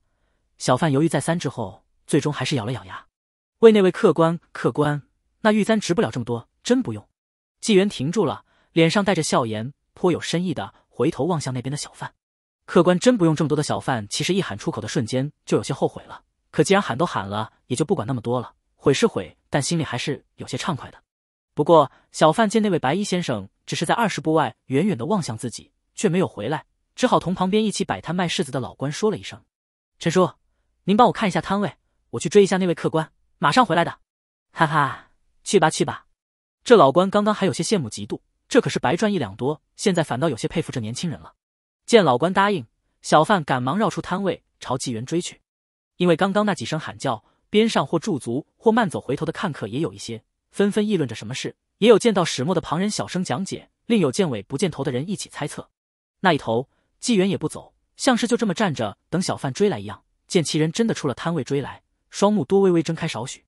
小贩三步并作两步走，很快到了纪元跟前，将手中的银子递过去。客官，实话跟你说吧，这墨玉簪子就是粗料雕的，顶多就值个二三十文，一两多，我收着有些烫手。您要是给个五十文，我也就收了。您要真喜欢，还是给我铜钱吧，大钱银两我也找不开。一口气把这句话说完，小贩气都通顺很多。只是发现自己匆匆说完了，对面的白衣先生却什么话都没说，就盯着自己上下看看。难不成我说话太快，他没听清？正这么想着呢，纪元终于开口了，但话题却和簪子银子无关。敢问小哥姓甚名谁啊？啊？小贩有些愣，对方也不接银子，而是问自己名字。我叫林天。一直在这块摆摊的客官，您倒是把银子拿着呀？要不这玉簪我不卖了还不成吗？不急不急，这玉簪我喜欢的紧，今天是买定了。不过我就是还有一个小小的疑惑，想问一问林小哥：若我这次给的是一两金子，你还会追出来还我吗？这问题问的着实莫名其妙，但也引人遐想。林田稍一纠结，还是老实回答：客官您说笑了，我这辈子还没见过一两金子呢，也回答不上来啊。不过这么多钱，说不准我就拿钱跑了，哈哈。纪元眉头一展。这才伸手接过小贩手中的碎银子，不错，是我问的不好，再去看看你的摊位。对了，据说军监府醉香楼菜肴不错，林小哥有没有去过啊？啊！小贩闻言则越来越发懵了。正午时分，小贩林田自己也不知道怎么了，就这么莫名其妙的随着那位姓纪的白山先生一起到了醉香楼。现在的林田和纪元面对面坐在醉香楼三楼，看看左右和楼窗外的风光，稍显拘谨。纪先生，您这也太破费了。我就是送您一根粗料玉簪，听说这地儿死贵。看着林天说话都不敢大声的样子，纪元也乐了。再贵还能顶得上三年饭钱？纪元这又是一句让小贩听起来莫名其妙的话。这种时候他就不知道该怎么回答。鱼头汤、白斩鸡来喽，烩白菜蒸肉糕来喽。客栈小二拖着长长的菜名尾音，居然一手一个托盘，拖着两个盘子，一路小碎步到了纪元他们的靠窗桌前。这平衡性也算是熟能生巧练出来的了。林田和纪元不等小二说话，就赶忙主动搭把手，帮他把盘子放下，将里头一共六个菜端出来。这是包头鱼汤，这是白切鸡，这是酱醋碟，这是烩白菜蒸肉糕和炒三鲜，这是芙蓉羹，得趁热喝。这是自制菊糖水。对了，这盘柿子是附送的餐后果品。客官，你们的菜上齐了，有事招呼一声便是。店小二手脚麻利，语速也不慢，快速将菜都介绍了一遍。好多谢小二哥。纪元朝着店小二拱手致谢，一旁林田有样学样的尴尬拱手。哎，您慢用，您慢用。见小二点着头离开，纪元则招呼早已经垂涎欲滴的林田动筷，并且率先夹着白斩鸡沾着料吃了起来。林田一见纪先生开吃，哪还抑制得住，也吃了起来。这种大酒楼的菜肴可是一年到头吃不到一次。酒过三巡，菜过五味，林田已经吃得打饱嗝，而纪元在又喝了一点鱼头汤之后停下，看着在那顺肚子的林田问道。林小哥，这玉簪我是真喜欢，一顿饭怕是还不够。别别别，大先生，我怕了您了。您到底是不是咱林家哪个发达的亲戚啊？要不您先吃个柿子吧，这柿子甜。听到纪元又开始了，林田这是真发怵。哈哈，柿子我暂时可不想再吃了。林小哥，容纪某再多同你空谈几句。嗯，这柿子真甜。先生您说。纪元一只手在桌上以两指打着拍子，一边望向窗外，耳中倾听市井中的嘈杂。若是给林小哥一个选择，你是选激流勇进、大富大贵，还是小富即安、平和度日啊？纪元说完，睁大双眼，转头望向林田，眼睛虽然施了障眼法，却让林田顿下了手和嘴。周围的嘈杂声都好似弱了不少。林田没注意到这一点，却让他不由放下了半个柿子，用手抹了抹嘴，隐隐有种仿佛面临人生中重要关口的错觉。季先生，我没啥学问，也没啥志向，想的就是娶个老婆，生两个娃，能安稳过这辈子。能给父母养老送终，也有人给我养老送终，就很知足了。闻言，纪元叹了口气，双眼又微微闭上一些。只是人是会变的，得到越多，渴望就越多。当然，若能知足常乐，自然是好的。好了，林小哥，你嗓门大，劳烦喊一声小二，就说这边结账。好嘞。林田又拿起那半个柿子，腾腾腾跑到三楼楼梯口往下喊：“小二至三楼靠东窗结账来喽！”楼下的小二就像是同林田飙嗓门，个子吆喝，带着婉转感。见林田跑开，纪元右手沾了一点杯中糖水，在桌上谁写一个碎字，然后中指一敲桌面，这个糖水痕迹组成的字就随着指尖一起引到空中。中母两指相扣，屈指一弹，嗖，这个水字遂迅速飞往楼梯口。林田恰巧此时转身，啪一下，碎字正中眉心。林田只感觉额头一凉，伸手摸了摸，没感觉到什么东西。下意识抬头看了看天花板之后，也就回桌边来了。那柿子比陈老官卖的还好吃，得多吃几个。纪元笑笑，望向窗外天空，耳中偶然听到楼下有几个读书人正带着些许兴奋感在议论着州府科举之事。已经是贵榜将小之际了啊！挥手间，袖内白子已现。比起三年前，其凝实程度居然仅差近两百年道行的虎妖陆山君一筹。冀州春会府科举州届试的贡院所在，一群或胸有成竹或焦虑漫漫的考生等候在外。贡院是科举考试各级层都会有的一种考试专用场所，只是根据级别不同，规模也会有所不同。在县市府试中取得资格的考生，就会到益州州府所在参加州解试。冀州这边则是春会府。春会府贡院檐高屋深，是一间占地面积相当大的闭合大屋。内里有木门、屏风等物，隔成一个个简易小单间。所有考生都要在此单独完成文章。不过，此时正是临考前的一段时间，也是所有人最紧张的一段时间。包括尹兆先在内，一群大大小小的书生共事，已经在贡院外排成长长的两列，前后不时交头接耳或翻阅书籍。与纪元上辈子不同，在这里候考的考生以成年人居多。尹兆先虽自嘲不再是年轻书生，可实际上他的年龄在这里真算不上大。队列中甚至不乏头发花白的考生。尹兆先倒没有临时抱佛脚，只是颇有些感慨的望着这间贡院，想当年的尹书生意气风发，县试轻松夺魁，府试位列甲等，州界试却最终以三位之差无缘甲等，失了前往直隶京畿府的资格。科举失利让尹兆先颇有些一蹶不振，加上家中有长辈病逝，妻儿需要生活上的依靠和照料，在宁安县就这么安顿下来。有些书生可以靠着自己妻子供养，一直坚持苦读，不断参考，而尹兆先却不是这样的人，也不希望让妻子受太多苦。以他的学识，县中富户多的是人请去当夫子，安逸的生活虽好，有时候却也会消磨锐气。哪怕家里生活好了，也有积蓄了，尹兆先却没动再次参加科举的念头。直到三年前纪元离开时，留书一封，让他得以明志。这会有州府官员从贡院检查完考场出来，朝着一旁维持秩序的差役点头。官差在胸肺鼓荡真气，出口高喊：“本次州界是现在开始，各位贡士可携带笔墨砚台石盒等物，纸张清水由贡院提供。”入贡院前，请自备报考信件、官文等物，并接受差役搜身。现在开始入场，此次参考者足有数百人，绝大部分都是从冀州各府各县凭借才学披荆斩棘考上来的。位置排在前头的一些各贡士考生，耳朵都被差役吼得嗡嗡直响。由多名会武功的差役逐个搜身，并检查随身物品，甚至会用筷子翻翻贡士们食盒内的食物，看有没有藏什么。而边上坐着的四位官员，则逐一查看每个贡士的官文，确认来人的身份。整个过程除了没有摄像头和偶尔存在关系户，实际上比现代学生参考更为严格。尹兆先提着自己的备考盒，里头除了文房用具，就是购买自贡院附近酒楼的贡士餐。他还在被搜身的时候，边上的一个查看公文的州府官员突然朝他问道：“你就是尹兆先？”尹兆先愣了一下，朝他拱手：“正是。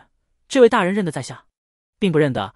不过我去华丰书院的时候，有看过学生所带《群鸟论》的童声篇和巡回夜游篇，算是有些意思。”尹兆先赶忙再次作揖，小声拙作，不敢当大人夸赞之言。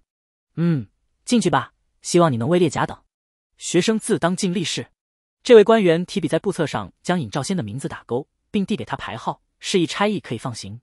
目送尹兆先进入贡院，这位官员抚须过后，才继续审查下一个贡士。贡院内部隔间同当初已经有了一些细微差别。尹兆先看了看牌号，找到属于自己的丁二十七号。大约等了两刻钟。所有学生都已经入内并找好位置后，还有考官逐一检查官文和牌号，确保无人做错。考场前端也有考官站定高喊：“今日考试时间为两个时辰，时辰一到即刻点收卷箱，燃尽之前交卷，否则作废。”现在亮考题。随着话音落下，考场四面位置均有差役挂起白布为底的大字牌，其上书写了本次的考试内容。考题有两个，分别是论策、治汉和玉秋诗词一篇。同县市府试不同，州界试已经不再过于侧重默写文章等基本功，而是开始注重能力。今年居然尤为罕见的在州界试上出了论策题目，引得不少考生在下面议论。肃静差役运气大吼：“考试开始，镂刻开！”敲响锣，一旁官差握紧木布锤，重重打向铜锣。当声音落下，就像是在所有共事心头敲了一下，人人赶忙凝神坐好。有的苦苦思索，有的则已经开始动笔。诗词相信难不倒大多数有才学的人，难的是论策。尹兆先倒是思路鲜明，治汉这种事，或许百人所写都千篇一律，而真正能写出点有用东西的书生不多，尹兆先是例外之一。天旱非一灾之祸也，所谓民以食为天，旱起则人祸至，人祸引疫并降，治理不善则怨愤起，以利生障则殆也。落笔如有神，挥毫莫不停。尹兆先一开篇书写连贯而就，不但思路清晰，并且因为时时临摹纪元字帖，书法也大为长进。考后交卷，自然到了紧张的批阅时间。州府不少官员参与其中。尹兆先一篇《治汉论》，最后甚至连知府兼知州都看过了。虽然冀州几乎年年风调雨顺，但官员不是定死一地的，很多也曾经历过外州旱灾，知道尹兆先这一篇全方位考虑文章的分量。知州李后甚至有言：其文虽亦有少许空洞遐想之处，却胜在全面细致，才浅力薄之官员，已可据此测之汉也，算是极高评价了。因大真的州界试往往在秋季举行。发榜之时，多为桂花盛开时节，虽又称桂榜。半月之后，春惠府贡院外桂榜揭晓。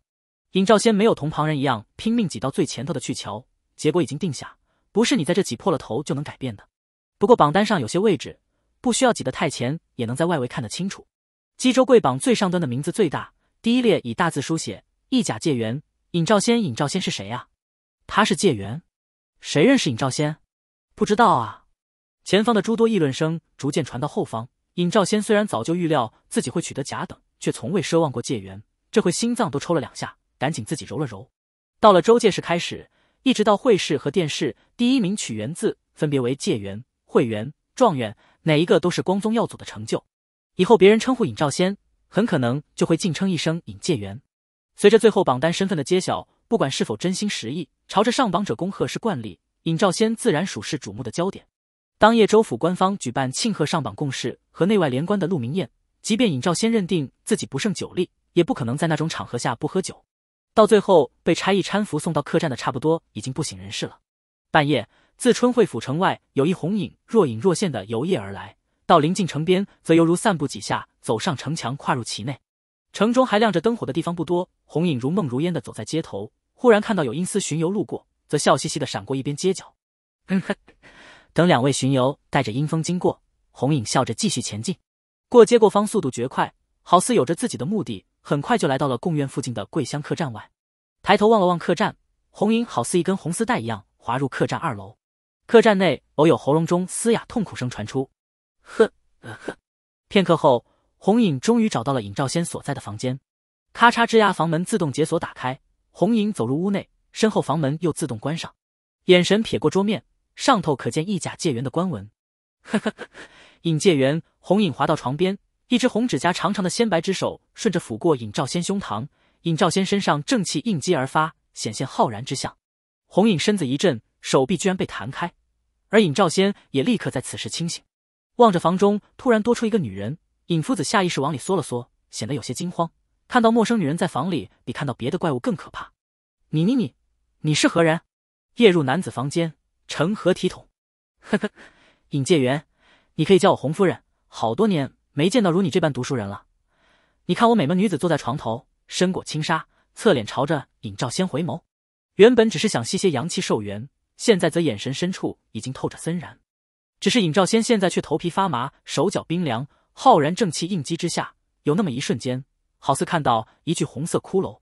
这是妖怪啊！尹兆先现在脑海中正急速思索着该怎么办。第一个否决的就是大喊救命。虽然只有一瞬间，但他确信刚刚不是错觉，眼前的这个女子根本不是常人。不同于曾经的好友纪元和当初夜遇的老者那种仙道奇人之流，眼前的这个明显是鬼妖一类。他这一喊，怕是会当场断送性命。强迫自己装作没看出什么的样子，尹兆先拿出那股夫子气势：“这位姑娘，男女授受不亲，尹某已经有家有室，更无窃取之意。”你还是出去吧，不要坏了我们双方的清白。尽管心中惧怕，但尹兆先还是稳住心神，流利的说出这番话。他不点破，期望眼前女子能自己退去。这里毕竟是冀州州府所在，说不定对方有所忌惮。洪夫人在那搔首弄姿一番，却发现这个书生居然没中魅惑，倒是略显惊异。传闻身具浩然正气者不惧邪魅之祸，难道是真的？先破了他浩然气。念头一转间，洪夫人娇滴滴、酥麻麻的开口：“尹介元，你家中妻子可有我这番曼妙身姿？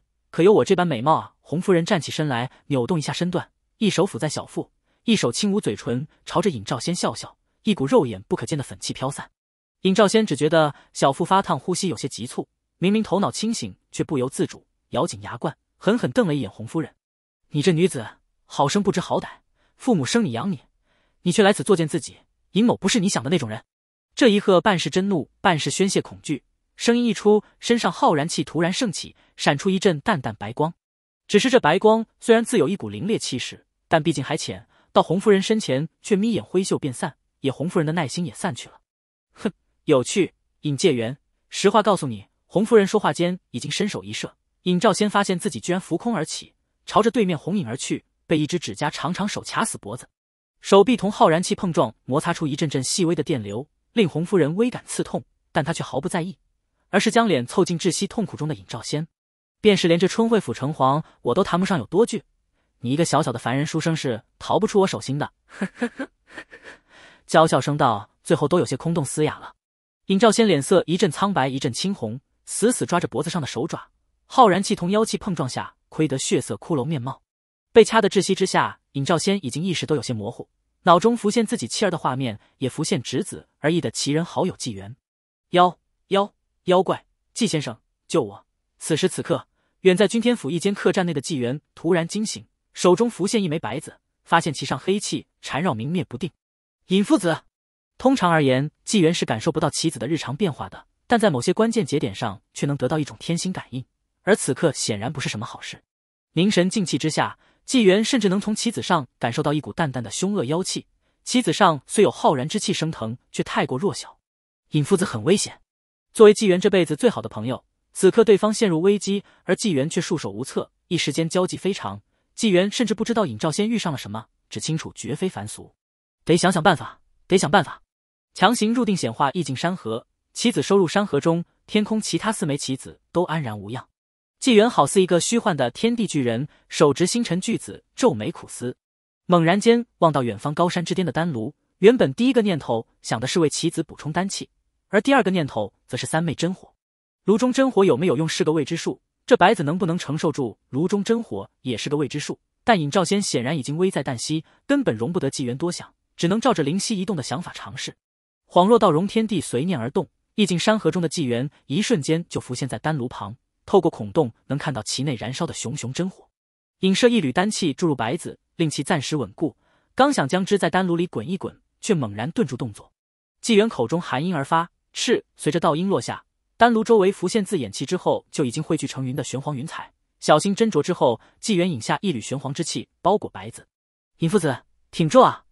不再犹豫，毅然将白子投入丹炉。轰！白子窜过炉中三昧真火，几乎才一接触就被引燃。同时，焰光与玄黄之气摩擦出一道流光，玄黄之气和其上冒出的浩然正气共同抵御亿万真火，妻子发出咯吱咯吱不堪重负的危险声响。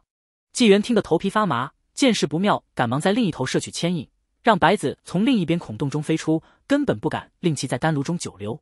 仅这么一瞬，妻子已然变得在意境中的显得滚烫无比，表面更是出现细裂之纹，只是还有一股淡淡酒香飘出，使得棋子逐渐回归圆润。将纪元提起的心又放下少许，纪元这边在意境中电光火石间的一顿小操作，投射到遥远冀州春惠府所在的，就不是一点小动静了。尹兆先原本的感受是窒息的痛苦以及对妖物的恐惧，可是骤然间，这一切都是毛毛雨了。有那么一瞬间，他觉得好似深入油锅，又好似万箭穿心，又如雷电劈凿，又如烈火焚身。那痛苦让他意识混沌，在身体表现上，则是尹兆先整个人一刹那变得滚烫无比。体表更是红如熟虾，滋滋！洪夫人刚要凑近脸，强行摄取尹兆先阳气和文气，却在此时被烫得松手，还没来得及诧异，紧接着眼前黑夜景物已经化为恢宏之光，轰！一团充满虚无感的烈焰自尹兆先身上窜天而起，穿透衣物、房饰等实体，同时也扫中一旁来不及惊愕的洪夫人。一道红灰焰光闪过，啊！女子凄厉的惨叫声响彻一隅，砰砰砰，撞碎客栈房门。撞穿对面客室，撞碎客栈墙壁，洪夫人在被击飞途中已然半身焦黑，直接一路砸出客栈外。哼！洪夫人嘶哑的声音带着颤抖，怒气和惧意皆是难以掩饰。一时不察没反应过来，居然让一个小书生算计了，怒意中滔天妖气升腾。二尹赵仙，我要你死！妖孽放肆！隆隆隆！妙思方方向，春惠府城隍的怒吼声仿若洪钟，常人耳不能闻的声浪滚滚而来。洪夫人恨恨地望向客栈那边，依然有虚幻热力和烟雾升腾的方向，加上摸不清到底何方高人在助尹兆仙，咬牙恨然之下，最终一挥袖飞向城池外。大胆妖孽，留下来！两名夜巡游在路中间拔刀而起，鬼气森森的刀光直照红夫人，后者避也不避，直接徒手抓住阴刀，提起两个阴差就一起飞走。在中途松手后，指甲瞬间划拉数十下，便将两名阴差肢解。随后红夫人口中一吸，阴气全都汇入口中。混账！怒吼声中，一道混合着香火之力的金光打来，同红夫人猛烈的妖气碰撞，爆发出一阵雷鸣。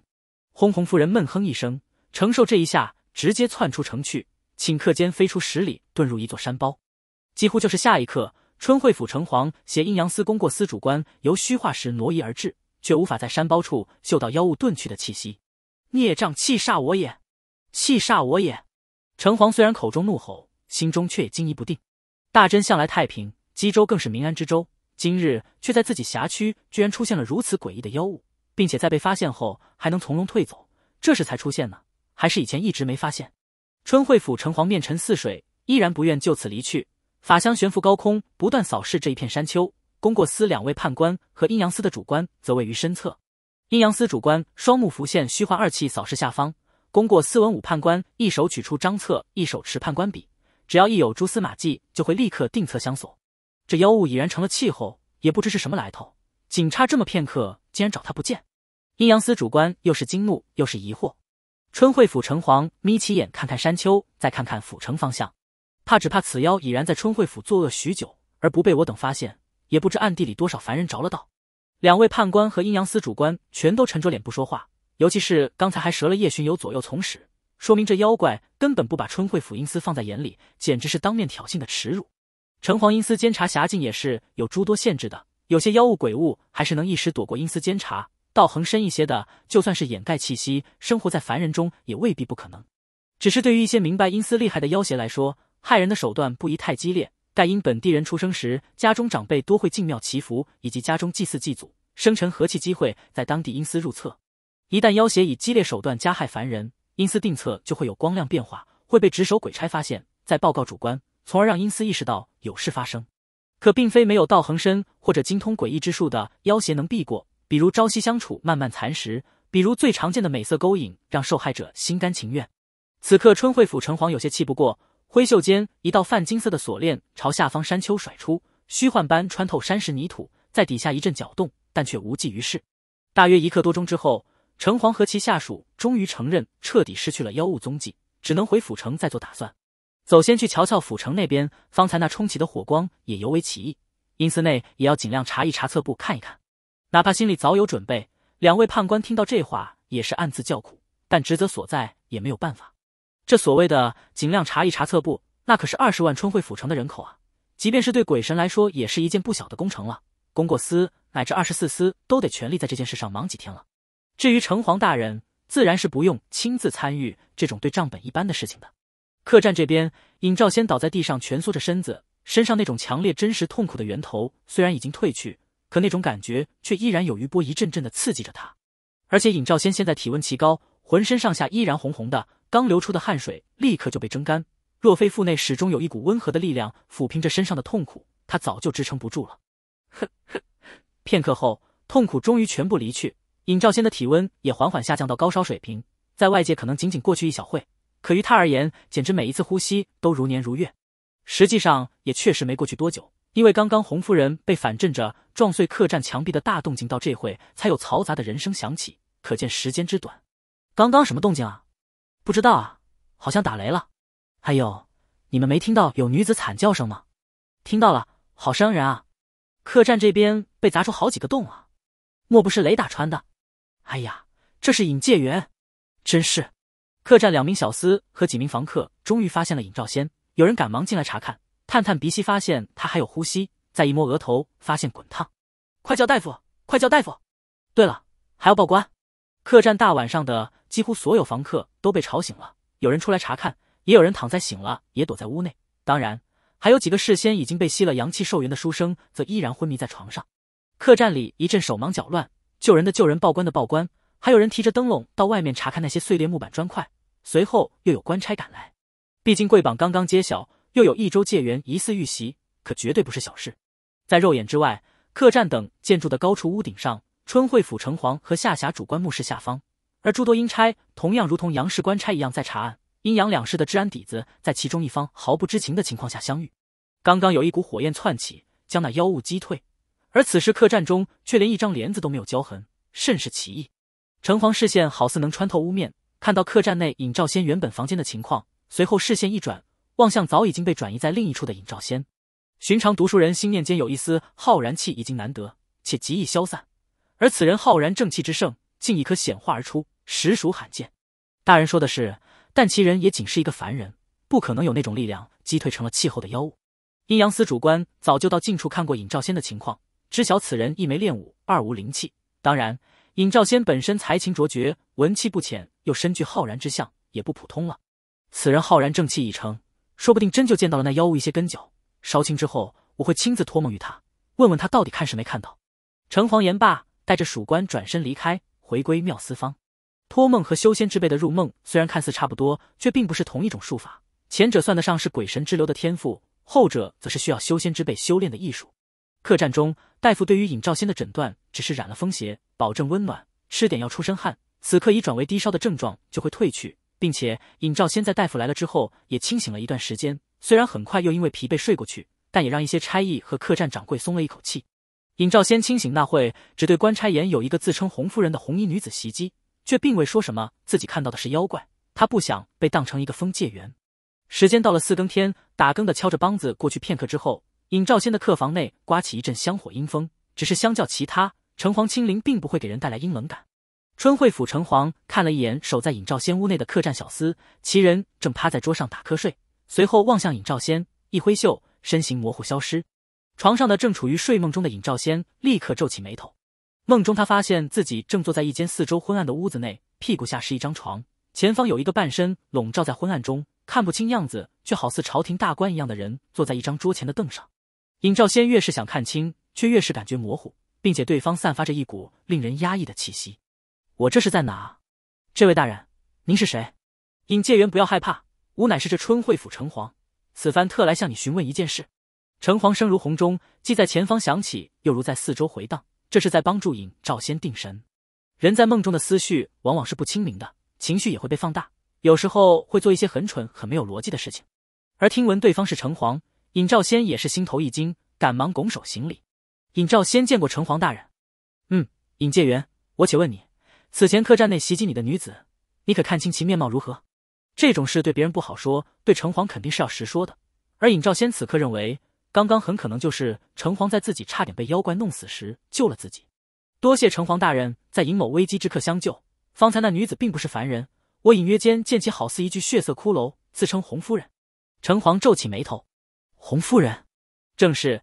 其他的尹某也不知情了，当时实在是头脑昏沉，痛苦不已。城隍一笑，也能想象一个或许这辈子连鬼都没见过的凡夫俗子遇上妖怪的场景，也幸亏是身具浩然正气。不过，城隍忽然想到之前的验光，这尹兆仙可能也另有奇遇。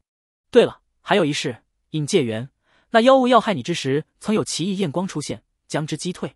然客栈内并无一物焦黑，是否有高人赠送过你什么护身之物？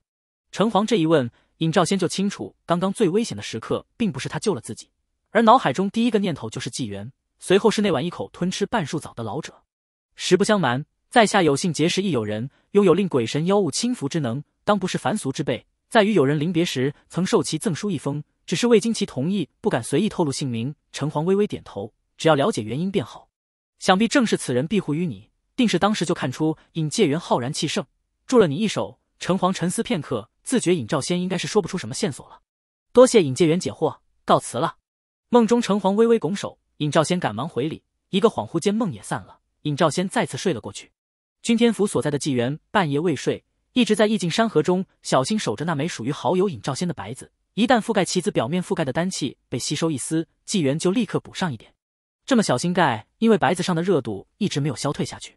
其实纪元知道自己就这么守着，用处并不是很大，而且只要自己不阻止，棋子也会自行到丹炉旁吸纳溢出的一丝丝丹气。可毕竟是此时最好的朋友出事，反正也是睡不着的，索性就守候着。自己也一直水磨功夫，炼化五行之气和法力丹田。虽然当年遇上的老龙名义上也算纪元的朋友，可实际上交情还没那么深，不过就是聊过一次而已。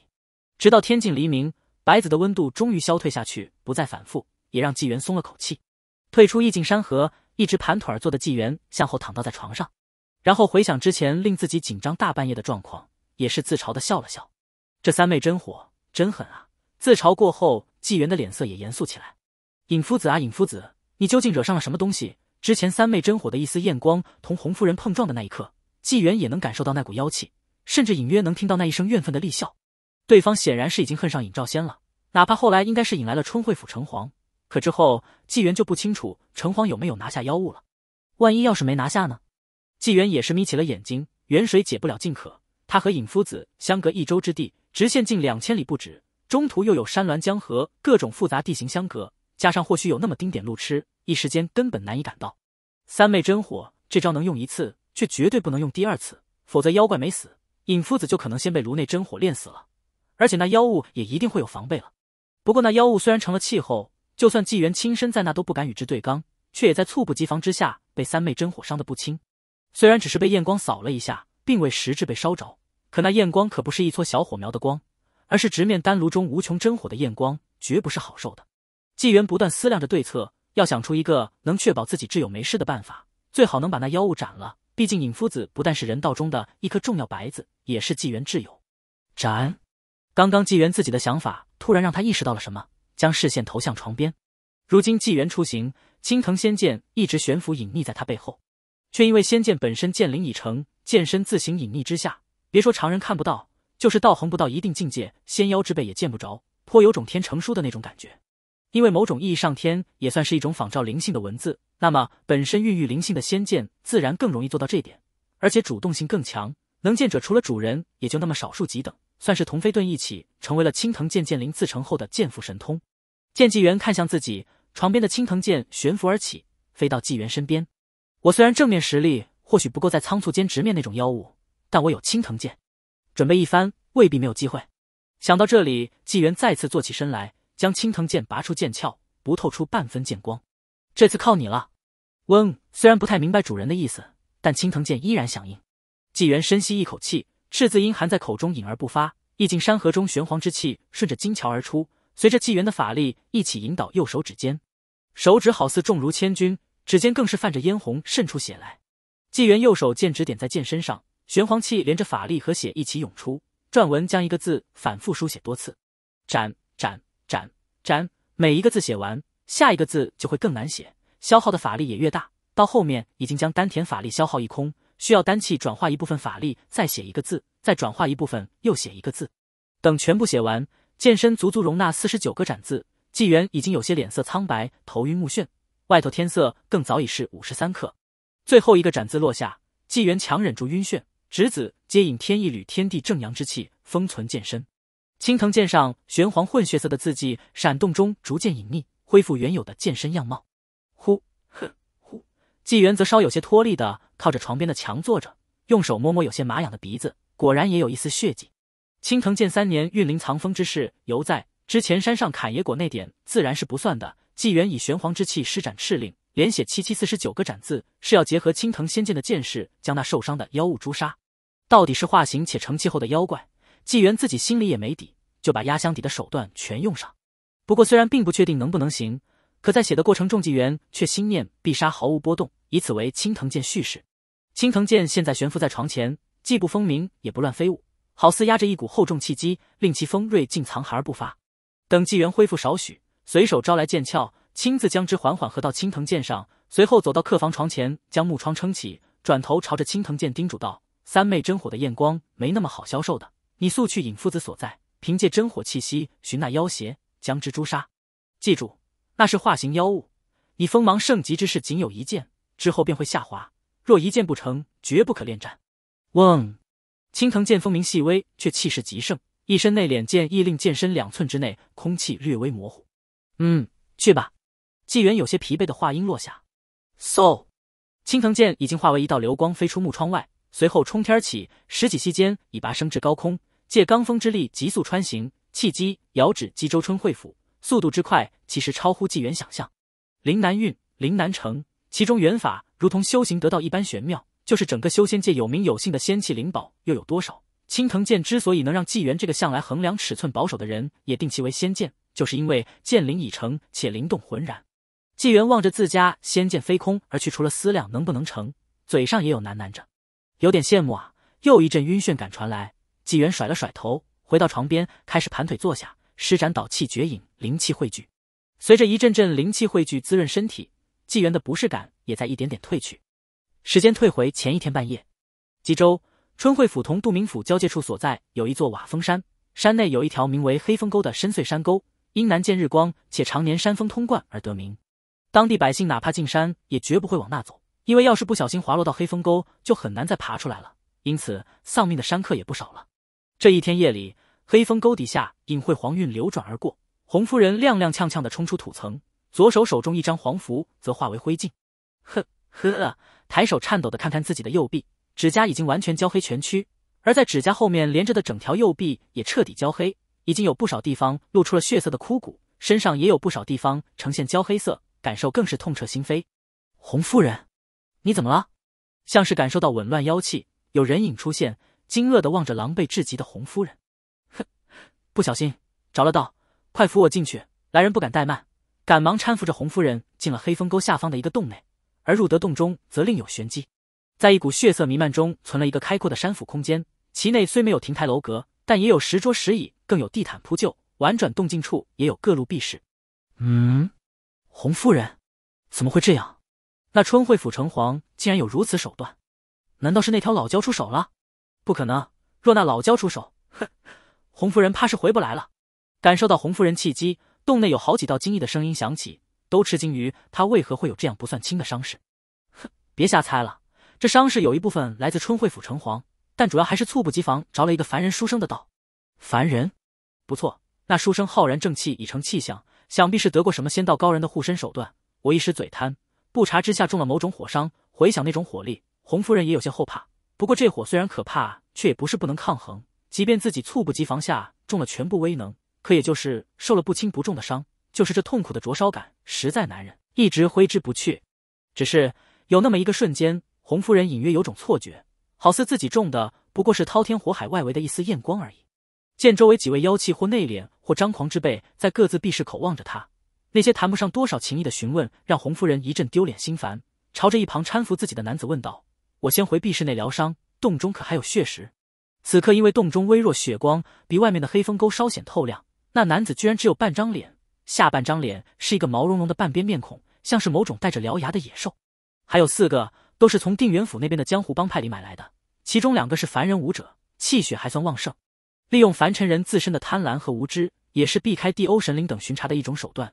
显然，这些妖物早已不是山野苦修求道那种没见识的精怪，干这种事也已经不是第一次了。嗯，全都送到我避室中来，等我养一养伤，会亲自去找寻新的谢石。洪夫人听到还有四个，也是心下稍安。嘿嘿，洪夫人要自然是可以的。男子搀扶着往日里婀娜多姿，现在却狼狈不堪的洪夫人走到洞府深处，目送她进入一间透着粉质气的洞室，随后才离开。妖洞的另一个岔道深处有一间石室，隔着厚重石门的内部有几个满脸绝望的年轻男女，正颓然的蜷缩在角落。原本有二十人被一起关在这里，短短半月过去，就只剩下他们几个了。没有食物，每天只有两桶清水，但饥饿已经是次要的了，恐惧才是每天折磨他们的根源。因为他们早已经知道自己是被妖怪抓来了，那种原以为只存在于老一辈人口口相传中的吃人不眨眼的妖魔，之前被带走的人再也没回来过，同样也没任何声响传来。可下场如何，已经不用多想了。不过也不是所有人都死于妖怪，还有三人是受不了恐惧感自杀的。滴答滴答滴答，石室上的钟乳渗出水一滴滴落下的声音，反而让这昏暗的石室更显死寂。远处有一阵脚步声逐渐接近。石室内四人一下子都紧张起来，呼吸都略微发颤。妖妖怪来了！妖怪来了！呜呜呜！我不想死！那个半张人脸的妖怪走到石室外，朝内望了望，能嗅到一股尿骚味。不过石室封闭，日常排泄本就无去处，也未必是有人失禁。呵，妖怪笑了一声，伸手一推，石门缓缓被推开，与地面石块伴随着一阵火星，发出“补”的摩擦声。不用再害怕了，今天你们就解脱了。眼神一扫，两个武者男子，半脸妖怪又是咧开笑颜。你们两个说不准死前还能享受一番艳福。呃，今天看来不太可能了。半脸妖怪想到红夫人那个状态，今天怕是没有雅兴了。没过多久。四个已经昏迷的青壮男女就到了洪夫人的壁室内，望着这四张年轻的脸，洪夫人只是等那半脸男子离开，就迫不及待的凑上前去。嘶！洪夫人张嘴一吸，且吸气声由小及大，一阵血色雾气自男女四人七窍中飘出。昏迷中的四人在地上手脚抽搐，皮表逐渐干瘪下来，挣扎的动作也越来越弱。大约一盏茶的功夫之后，已经完全成为四具干尸，而洪夫人的壁室内则弥漫起一股浓郁的血色雾气。躺到一张覆盖了兽皮的石床上，红夫人开始缓缓吐纳。黑风沟有一缕缕灵气缓缓汇聚洞府，又飘至红夫人闭室之中。灵气和血色雾气混合，顺着红夫人再次吸气的嫣红小口汇入其身体内。焦黑的半侧身体上也开始弥漫肉眼可见的血光。瓦峰山上到了天明时刻，太阳的角度随着时辰的过去越升越高，而在山沟深处却有妖邪之恶。直到时间到了午后未时，红夫人才终于停止疗伤修炼。洞中血色雾气已经消耗一空，而他也勉强压下那股灼烧伤痛感，或者说勉强到了能忍受住那股痛感的程度。只是不知为何，心中却隐约间却升起一股极大的不安，仿佛大难临头。难道和这火焰之伤有关？到底也是修行年久的骷髅血妖？虽然厉恶蒙蔽天心之灵，但模糊的感觉还是有一点的。那春惠府城隍看不破眼稀土遁符，当不会带来这种感觉。而那条江中老蛟素来不管江河之外的事。且虽有神位，好歹也是妖族。再说了，那老蛟现在都未必知情呢。高空罡风中飞跃近一周之地的青藤仙剑，其剑鞘上灵韵青藤藏锋万丈八字，其中一个藏字已然在流光中隐匿下去。一股汹涌剑意实质般弥漫整个剑身，将周围十丈范围的罡风撕裂。妖洞中心中升起的这种感觉前所未有，已经到了让洪夫人坐立不安的程度。想了下，也顾不上脸面了，离开避室，就来到了听洞处的石桌前坐下。都出来。我有事问你们，洪夫人喝了一声。一会之后，从洞府各个方向才有声音传来。哼，洪夫人这是恢复了呀？我看也未必呢。到底什么事？三股妖气弥漫而来，有三道人影也来到了洞厅，眼神扫视，看似已经恢复如初的洪夫人。哼，下一季的谢石我会负责弄来。现在是想询问你们一件事。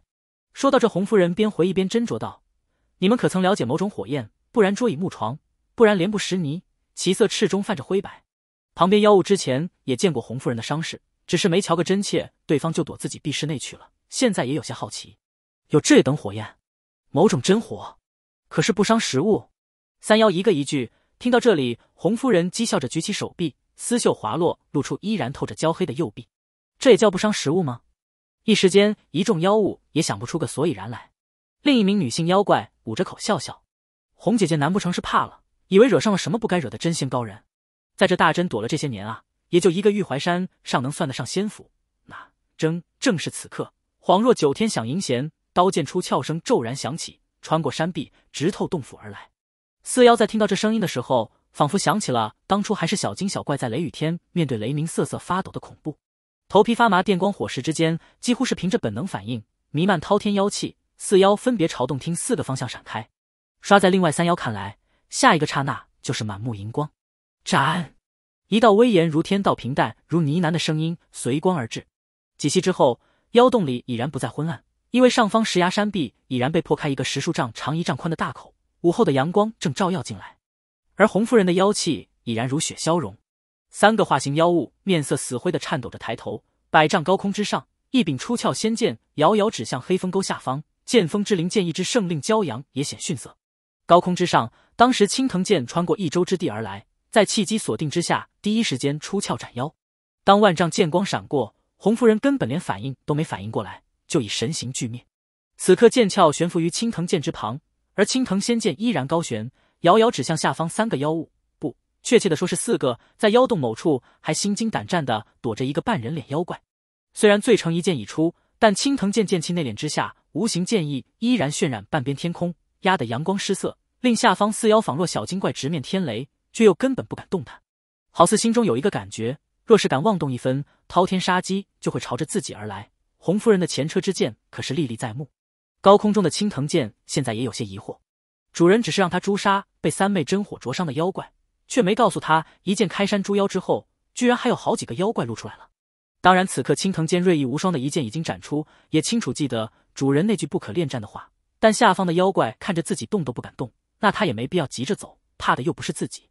不过下方妖物尽管惧怕，这会也从下破胆状态稍稍定了定神了。至少仙剑好似暂时并没有连他们一起斩了的打算，也没有看到其主人在旁。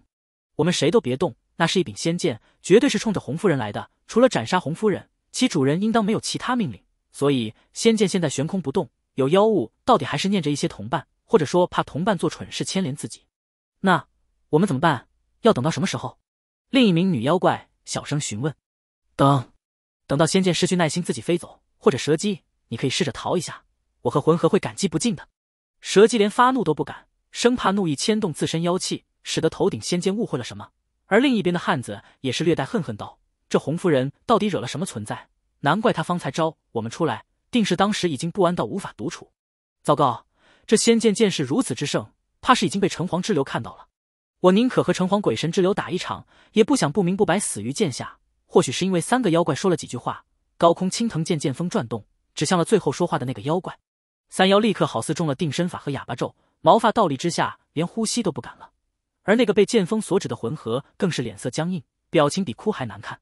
春惠府府城内，城隍金身依然悬于城隍庙高空，望向杜明府方向的远方，在那里刚有一股凌冽剑光闪耀，更有不可忽视的妖气弥漫。远方虽然是在春惠府边缘，但身为府城隍。即便那里是某个县城隍的辖境，也不是不能进入。虽然双方不算从属关系，可一府城隍这点威严情面还是有的。城隍庙内招魂铃已经响了有一会了，二十四司中已有十六司主官已然汇聚，更有日巡游和撑开阴蔽伞的勾魂使汇集。走！春惠府城隍大袖一挥，香火之力和地欧神通施展，领下属一同挪移而去。而杜明府城隍也不约而同的与春惠府城隍做了同样的选择。更有两府交界处几个大县城隍一同显出法相，已然令各司下属现身于辖境边缘。如若必要，定会拼力冒险出现，共同一搏。本身瓦峰山属于两府边界，相交多县，两府各自一边有神光闪过。杜明府城隍和春惠府城隍显出法相，遥遥相望之后，看向天空，一柄剑意无双的仙剑悬于高空，视线转向瓦峰山中的黑风沟处，剑锋遥指下方四个不敢动弹分毫的化形妖物。刷刷，又有三股神光闪过，梁府此地三个大县的城隍也率各司下属挪移而至，甚至附近还有三个县的城隍，居然真的离开辖境，撇下下属，直接只身以法相飞来。现在这情况突然就微妙起来了。瓦峰山上鬼神汇聚，黑风沟里四妖僵硬，这几个妖怪此生想过无数种糟糕情况，可眼下这种诡异情况显然不包含在内。而青藤剑也不走，更没有收剑入鞘，同剑鞘一起悬于高空，大有寒风待发的势头。似乎鬼神和妖物都在等着青藤剑的动作，一方盼起飞走，一方望其斩落。春惠府城隍看着黑风沟连同上方山体处那一道可怕裂口，心想必是在此之前所感受到的仙剑威势。难道仙剑奉主之命而来，已然斩去目标？此刻只是见还有妖物，却无有令在身，故此特意镇妖于此。春惠府城隍心中如此思量着，不论如何，这几个妖怪都不能让他们逃了去。身为城隍。一眼就能看出黑风沟下的怨念戾气，那是绝对是真正的凶邪之妖。身为州府城隍，春惠府城隍明面上还是威势最盛的。此刻先朝空中仙剑拱手，后当机立断开口：“谢仙剑有临阵要挟于此，助我等今日将其降服。各位，我等身为县府城隍，自当缉拿恶徒，诛灭妖邪。”说话间，金身神光闪耀，香火之力混合法力升腾，下属阴司主官更是早已将妖物描绘定策完成，使之在辖境内无所遁形。理当如此。今日我等共同除妖。两府各县勾魂使助阵锁魂，一把把阴蔽伞升起遮挡日光，判官笔打魂鞭定邪策，如意关阴司法器纷纷应法而动，诸多鬼神威势攀升，纷纷运起法力和香火，神光闪耀间呈现一种联合之势。瓦峰山上黑风沟下山石树木摇摇晃晃，下方的四妖再也忍耐不住，浑身妖气升腾，有妖怪的怒吼声响起，各自奔逃。言罢，便冲起妖光，抵抗诸多阴司鬼神的法光。更有妖怪架起妖风，拼着承受好几下法光响，飞出瓦峰山。只是在刚刚离开山头的刹那，头顶仙剑就绽放剑光，一副将要斩落的样子，吓得妖风刹车般顿住。哈哈哈哈！留下来吧。春惠府城隍袖中飞出一根淡金色锁链，如灵蛇般射向妖风，顷刻间缠住对方，随后狠狠外山上一灌，轰！山上有山石炸裂，树木倾倒，四方锁魂震起。瓦峰山四面一道道勾魂锁射向天空，连成一片。梁府境内诸多城隍协下属勾魂使者通力合作，一时间瓦峰山内肃杀阴风阵阵而起。许久不见化形恶妖，没想到一见就是三个半。今日定要将之炼魂化魄。春惠府城隍像是要把昨天受的恶气一起发泄出来，运转法力和香火神光，简直好似不要本钱，每一次打出神光都威势无两。大量勾魂锁在山中穿梭。往往妖怪一个不留神，就会遭到至少十几条锁链抽中，使得神魂动荡，然后吃中其他鬼神的神光。但最最致命的还不是鬼神攻击，而是在这种妖与神的较量中，高空始终有一柄仙剑含而不发，并且谁都清楚，没人能承受住其一剑之威。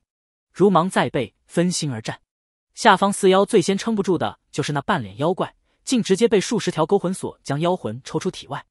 蛇姬已经化为原形，朝着妖洞深处钻山而去。想要借助地下水脉逃脱，哪里走？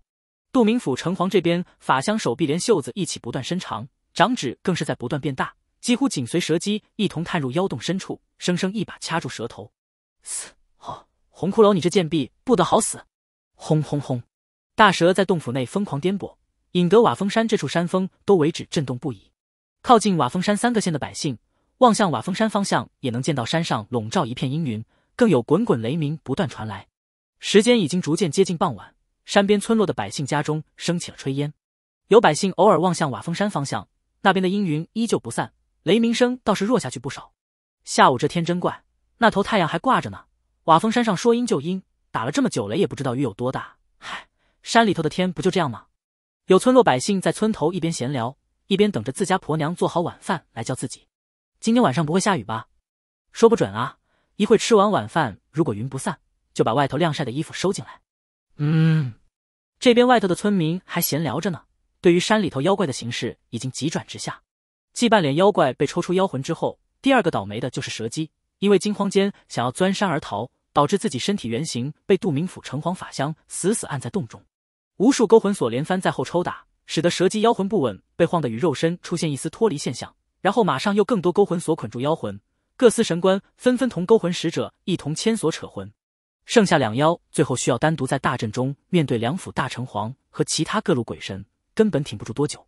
日落前夕，眺望地平线，天边是一片红彤彤的晚霞。瓦峰山深处，近黑风沟一片的山体，到处都是倾倒的树木和滚落的山石，山中灰尘还扬在空中，并未彻底散去。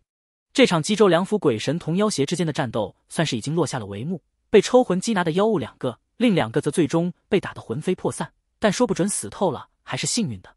瓦峰山上空，青藤剑此时于空中横剑入鞘，漫天剑意顿时收于鞘中，天空隐约可见的星空都更清晰了一点。各路鬼神似是感受到剑意消失，抬头望向天空，仙剑。不等鬼神有什么反应，在轻微的风鸣声中，仙剑直接化为一道流光，冲向高空，逐渐在鬼神视线中淡去消失，入了天际罡风之中。不知此仙剑是何方高人所有，多亏此剑相助，今日才能如此顺利降服妖孽。嗯，剑光也不知遁去了何方。想必定是遥远之处，诸多城隍相聚的场景是极为难得的。这会也就隔着山两边闲聊几句，而下方有两府鬼差和阴阳司主官探入妖洞中查看，随后找到一处怨气源头，发现了黑暗中的累累白骨，足有数百之多，将两府各个城隍和属官都气得不轻。只是这些死者很可能是从别府他州掳来的百姓，否则这么多数量的凡人死于妖邪之口，梁府阴司再怎么也不至于毫无所觉。也侧面说明这伙妖怪很懂得钻阴司的空子。等一切事了，天色已经化为夜幕。梁府各县城隍以瓦峰山中县为轴，各站两边，相互拱手。各位，此间事了，我等也该散去了。这一伙妖孽同本府城内一起案件有关，那蛇妖口中怒骂的红骷髅就是案犯，不如就由我春惠府阴司带回去审讯，然后告知诸位结果如何？春惠府城隍朝着前方和左右城隍拱手。赵城隍不必多礼。春惠府本就是冀州州府，由你带去审讯最合适不过。杜明府城隍也开口表态，其他各县城隍自无不可。多谢李城隍，多谢诸位城隍，我们后会有期了。诸位城隍后会有期，后会有期。这场面确实难得，几方城隍相互告别之后，各各自或飞遁或挪移而去，只余下瓦峰山深处的一片狼藉。所幸靠近黑风沟的位置，也极少有山民会靠近，更不用说探入黑风沟底。否则看到那深处累累白骨，怕是会被吓死。在进山乡民看来，瓦峰山方向的阴云在天黑后不久终于散去，雷声也彻底消停了，能看到山那边的星空了，也就放心的继续将衣服在院中晾晒。春惠府府城贡院旁的桂香客栈内，尹兆先已经稍退清醒了过来。尽管现在是晚上，他却还在房内有些心绪难安的以灯火照明看着书。哎，惹到了妖怪，可怎么办呀？不能一直待在春惠府吧？家里怎么办？公明怎么办？昨夜城隍托梦的事情，换做常人，应该天明日光一照就会记忆模糊不清，可尹兆先却记得清清楚楚。梦中春惠府城隍似乎也不太了解妖怪来路，好不容易有了施展抱负的可能。要是不明不白的被妖怪吃了，就太不甘了。不知道去庙里求个护身符行不行？下午的时候，春惠府知州大人还派人来看过他，询问病情。当时尹兆先也是一副神衰的样子，旁人以为是因为生病，其实都是愁的。要是季先生在这就好了。望着眼前书籍上的文字，尹兆先依然集中不了精神，似乎逐渐视线都恍惚起来，打起了瞌睡。不一会就靠在桌上睡着了。尹介元，尹介元，听到有人在叫自己。尹兆先一下抬起了头，发现屋内不知何时站了两个身穿黑色官袍的差役，样式略显古怪。高耸的差役帽上居然还有字，一人帽上书写“夜巡日不巡”，另一人帽上写的是“管阴不管阳”。虽然感觉有些异常，尹兆先还是站起来拱手询问：“两位差爷是？”见尹兆先询问，两位差役模样的人朝他拱了拱手：“尹介元，春惠府城隍大人有请，望介元行个方便，随我们去一趟。”真是阴差。尹兆先心中一惊，两位差爷，难道我尹兆先阳寿已尽？哼，尹介元莫怕，并非你阳寿耗尽，而是城隍大人有事相邀。不错，事后我等会送你回来，无需担心。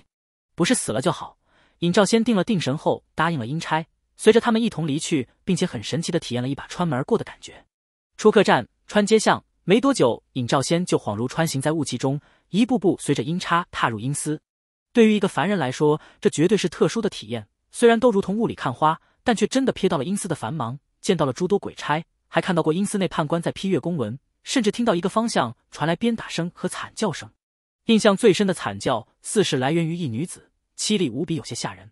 尹介元那边惨叫的是一凶恶妖物，此前残害之人甚多，刑罚还远远未够。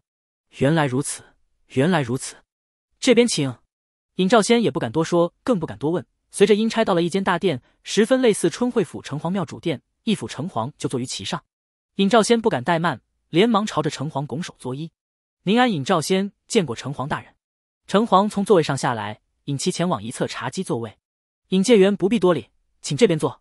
看着一脸紧张的尹兆先，城隍也就开门见山的说了：“尹介元，此前袭击你的妖孽已然神形俱灭，其他妖孽也尽数缉拿诛灭，无法再害人了。”尹兆先一听。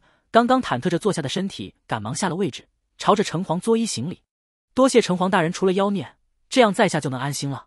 尹介元不必多礼，此番说不准我等还需要谢谢你呢。城隍这么说了一句，没等尹兆先疑惑太久，就自行说了下去。尹介元，你曾言结识一名奇异友人，昨夜妖物想害你的时候，被他留下的手段击伤。你那友人是否随身带剑？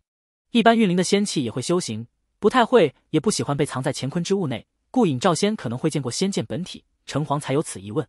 剑，尹兆先想了想纪元的日常生活，摇了摇头，不曾见过。不过小儿曾说见过先生舞剑，落叶风花都随剑而走，剑之如剑明霞看朝阳，又有花开花落流水婉转的感觉。尹清天生灵明，加上年少心纯，见纪元舞剑更能感受清楚那股劲道气息，感受到的也不仅仅是纪元舞剑的样子。尹兆先没见过，也很难说清楚，只能形容个大概。不过城隍听闻，却面色肃然不少，心中原本六成的猜测，差不多到了九成了。尹介元，虽然你那友人或许已经知道了一些事，也或许在此等高人心中未必关心此事，但若他日你再次遇上他，请代为转交此物。尹兆先见城隍递过来一片小拇指大小的乌木牌，上头还有一缕黑色绳穗，两面都没图文，不知道是什么东西。但既然是城隍所给他，自然也不敢怠慢，双手接过小木牌，恭敬回答：“若见到先生，在下一定交给他。”好多谢尹介元了，耽误你这么久，也该送你回去了。城隍送客，尹兆先也不敢在阴司多待，连连作揖告辞。城隍也微微拱手回礼。而带尹兆先回去的，还是那两个阴差。路过某处，遥望伐俄斯方向的一片幽红，不时就有嘈杂的诸多喊冤和惨叫声传来。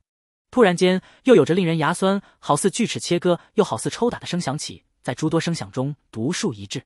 啊！我都说了，我已经全说了，杀了我吧！啊！女子清晰尖锐而凄厉的惨叫，又冷不丁把尹兆先吓得抖了一下。尹介元，请勿停下，随我等来。阴差提醒之下，尹兆先赶忙随行。好，好，好，有劳了。客栈房间内，尹兆先瞌睡的摇摇欲坠的头一点，咚的一下砸到了桌面，随后清醒过来，左右看看，还是客栈房间，一只手中还拿着书。我这是做了个梦。尹兆先这么疑惑着，却是还未察觉右手上攥着一块清凉的乌木牌。另一边的君天府的一处客栈里，正在床上修行的纪元心头一动，睁开眼来望向窗户的方向。大约两个呼吸之后，随着一道流光闪过。青藤剑飞入室内，悬浮在纪元身前，兴奋的风鸣。嗡！看着青藤剑这个兴奋的状态，纪元也是如释重负的笑了。看样子是捉妖成功了。嗯，有什么节外生枝的事情？青藤剑同纪元心意相通，但纪元毕竟也只是能感受到他的情绪，能了解一个大概，却不清楚其确切意思。哦，都解决了。嗡！青藤剑邀功似的旋转了一下剑身。行行行，你最厉害。纪元也是笑了。具体发生什么事不知道，但仙剑有灵，事情有没有解决，比常人感受的更清楚，应当是没事了。说到这，纪元伸手握住青藤剑，轻轻抽出剑刃，定睛看去，发现所留的无形斩字只是暗淡了一些，却依然有玄黄气隐隐缠绕剑中。一剑没斩全，纪元问了一句，然后感受到青藤剑上又是一阵骄傲的震动，看来是真的没有将全部威势都斩出去。纪元想想也是的，之前自己可能有点堆砌的太狠了。搞得自己意境山河中的玄黄之气都消耗不少，不过这对于青藤剑也是大有好处的。归根到底，纪元也不亏。到底上辈子熏陶了不少网络文化，不论是所见还是猜测，这疑似功德的玄黄气汇于仙剑，除了淬炼弥补了青藤剑原身材质的不足，也更有一种玄妙变化蕴含其中。纪元环剑入鞘，将青藤剑斜置于床头。纪元活动了一下筋骨，看看窗外星斗挂天，该睡觉了。侧躺床前，以手枕头。呼吸间自有灵运之气吐纳，身中五行气随气息流转。常人呼吸到胸，五人呼吸到腹，而纪元每一次吐纳，则灵运气息直达指尖而流转全身。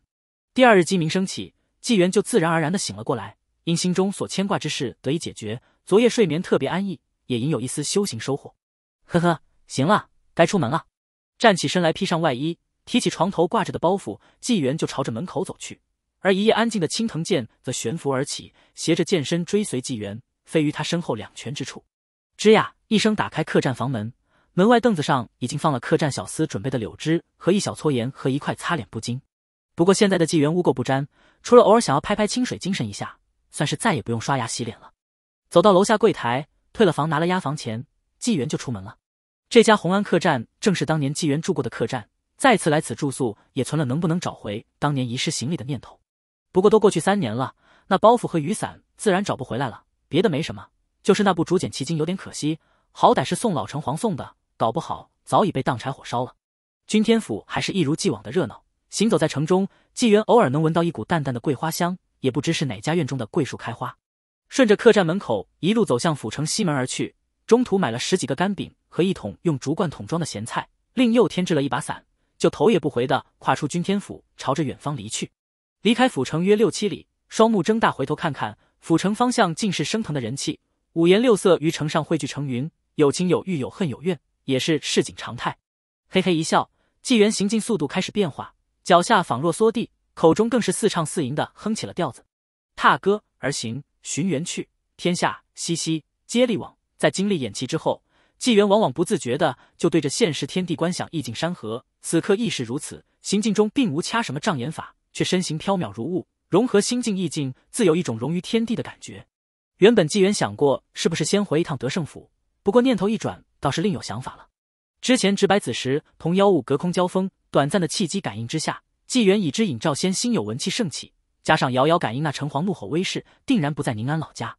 时间段如此之巧，又有星运文气，纪元用脚趾头都能推测出尹夫子定是贵榜高中，那么来年春肯定会去京畿参加会试乃至殿试。尹兆先科举上榜，首先肯定得先回一趟宁安县，然后以一个常人的速度，即便中途可能会有船行车马代步的一大段路，想要从宁安去遥远的直隶京畿府，说不得就得马上动身。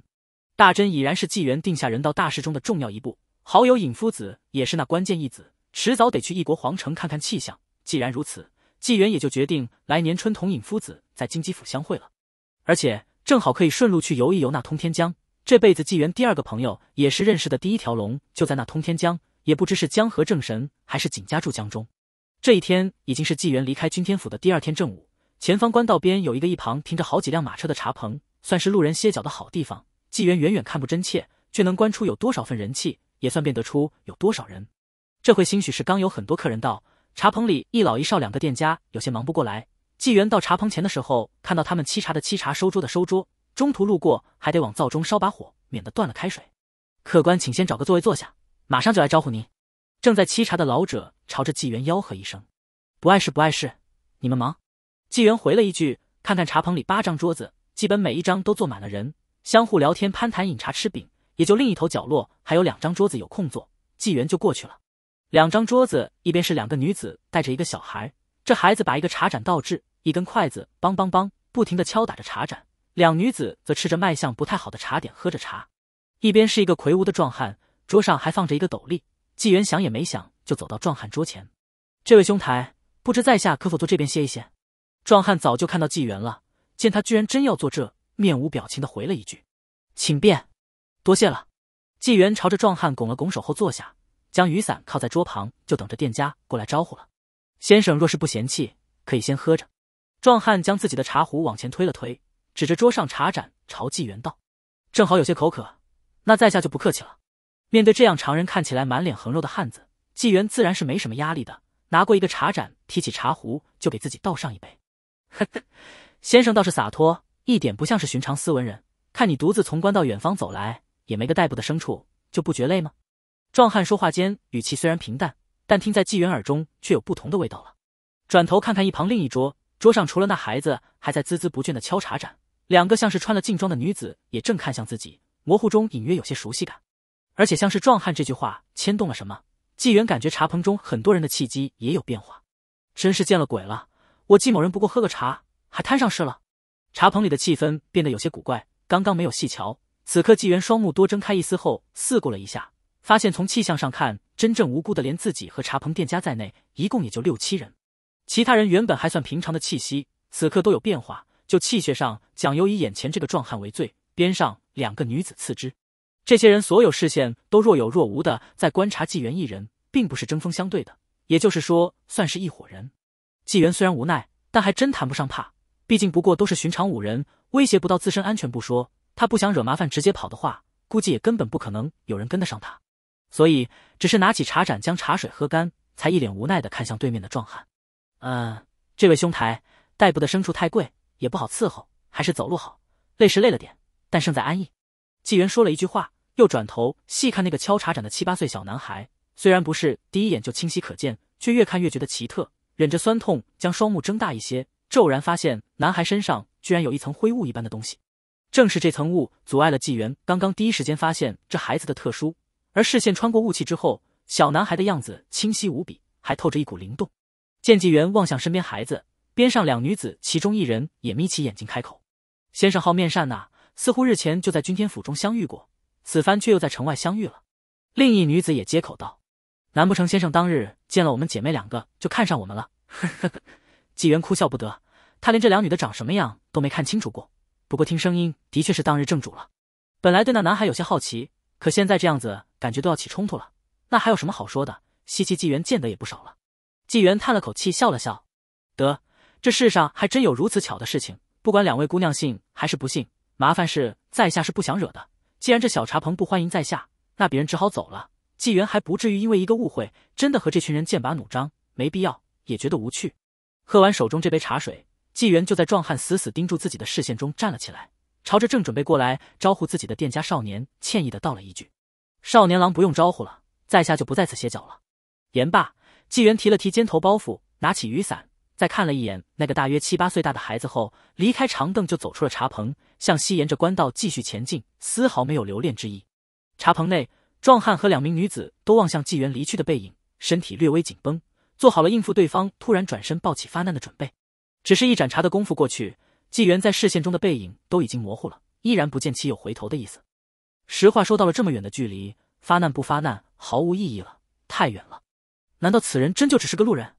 壮汉疑惑了一句，看向身旁两女子，而其中一个女子则皱着眉头回答：“可我们的确见过他，不会认错的。当日在君天府的衣料店中，也是这般洒脱随性的感觉。”另一个女子也道：“此人显然也不是常人。正如莫童所说，君天府距此路程不短。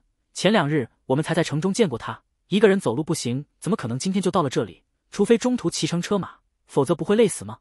嗯，方才我试探一句。其人似乎也察觉到了什么，但语气倒是颇为无奈。壮汉莫童说话间一直盯着道路远方，纪元的身形已经越来越淡。那个一直敲着茶盏底部的孩子，这会终于停下了那梆梆梆的吵闹声响，也看看纪元离去的方向，小声朝着边上女子道：“我要吃煎酥肉，只有饼子肉干，要吃吗？不吃，饿死也不吃。”孩子犟了一句，又开始梆梆梆敲起来，看得边上的女子也是白了白眼。反正真饿了。自然就吃了。三天后的雨夜，君天府同西宁府交界位置的蕉叶山上，纪元正撑着伞走在山道上。蕉叶山因在最高峰眺望整体山势仿若蕉叶而得名，其山峦规模并不算太大，还不如当初玉上玉怀两童子的老华山，在两府之间延绵三十多里，所占方圆十几里而已。纪大先生有个习惯，一旦天下雨了，走路总是喜欢慢下来，因为雨天他能清晰的看见山水美景，随雨声一起触摸大地上的万物。此刻也是如此。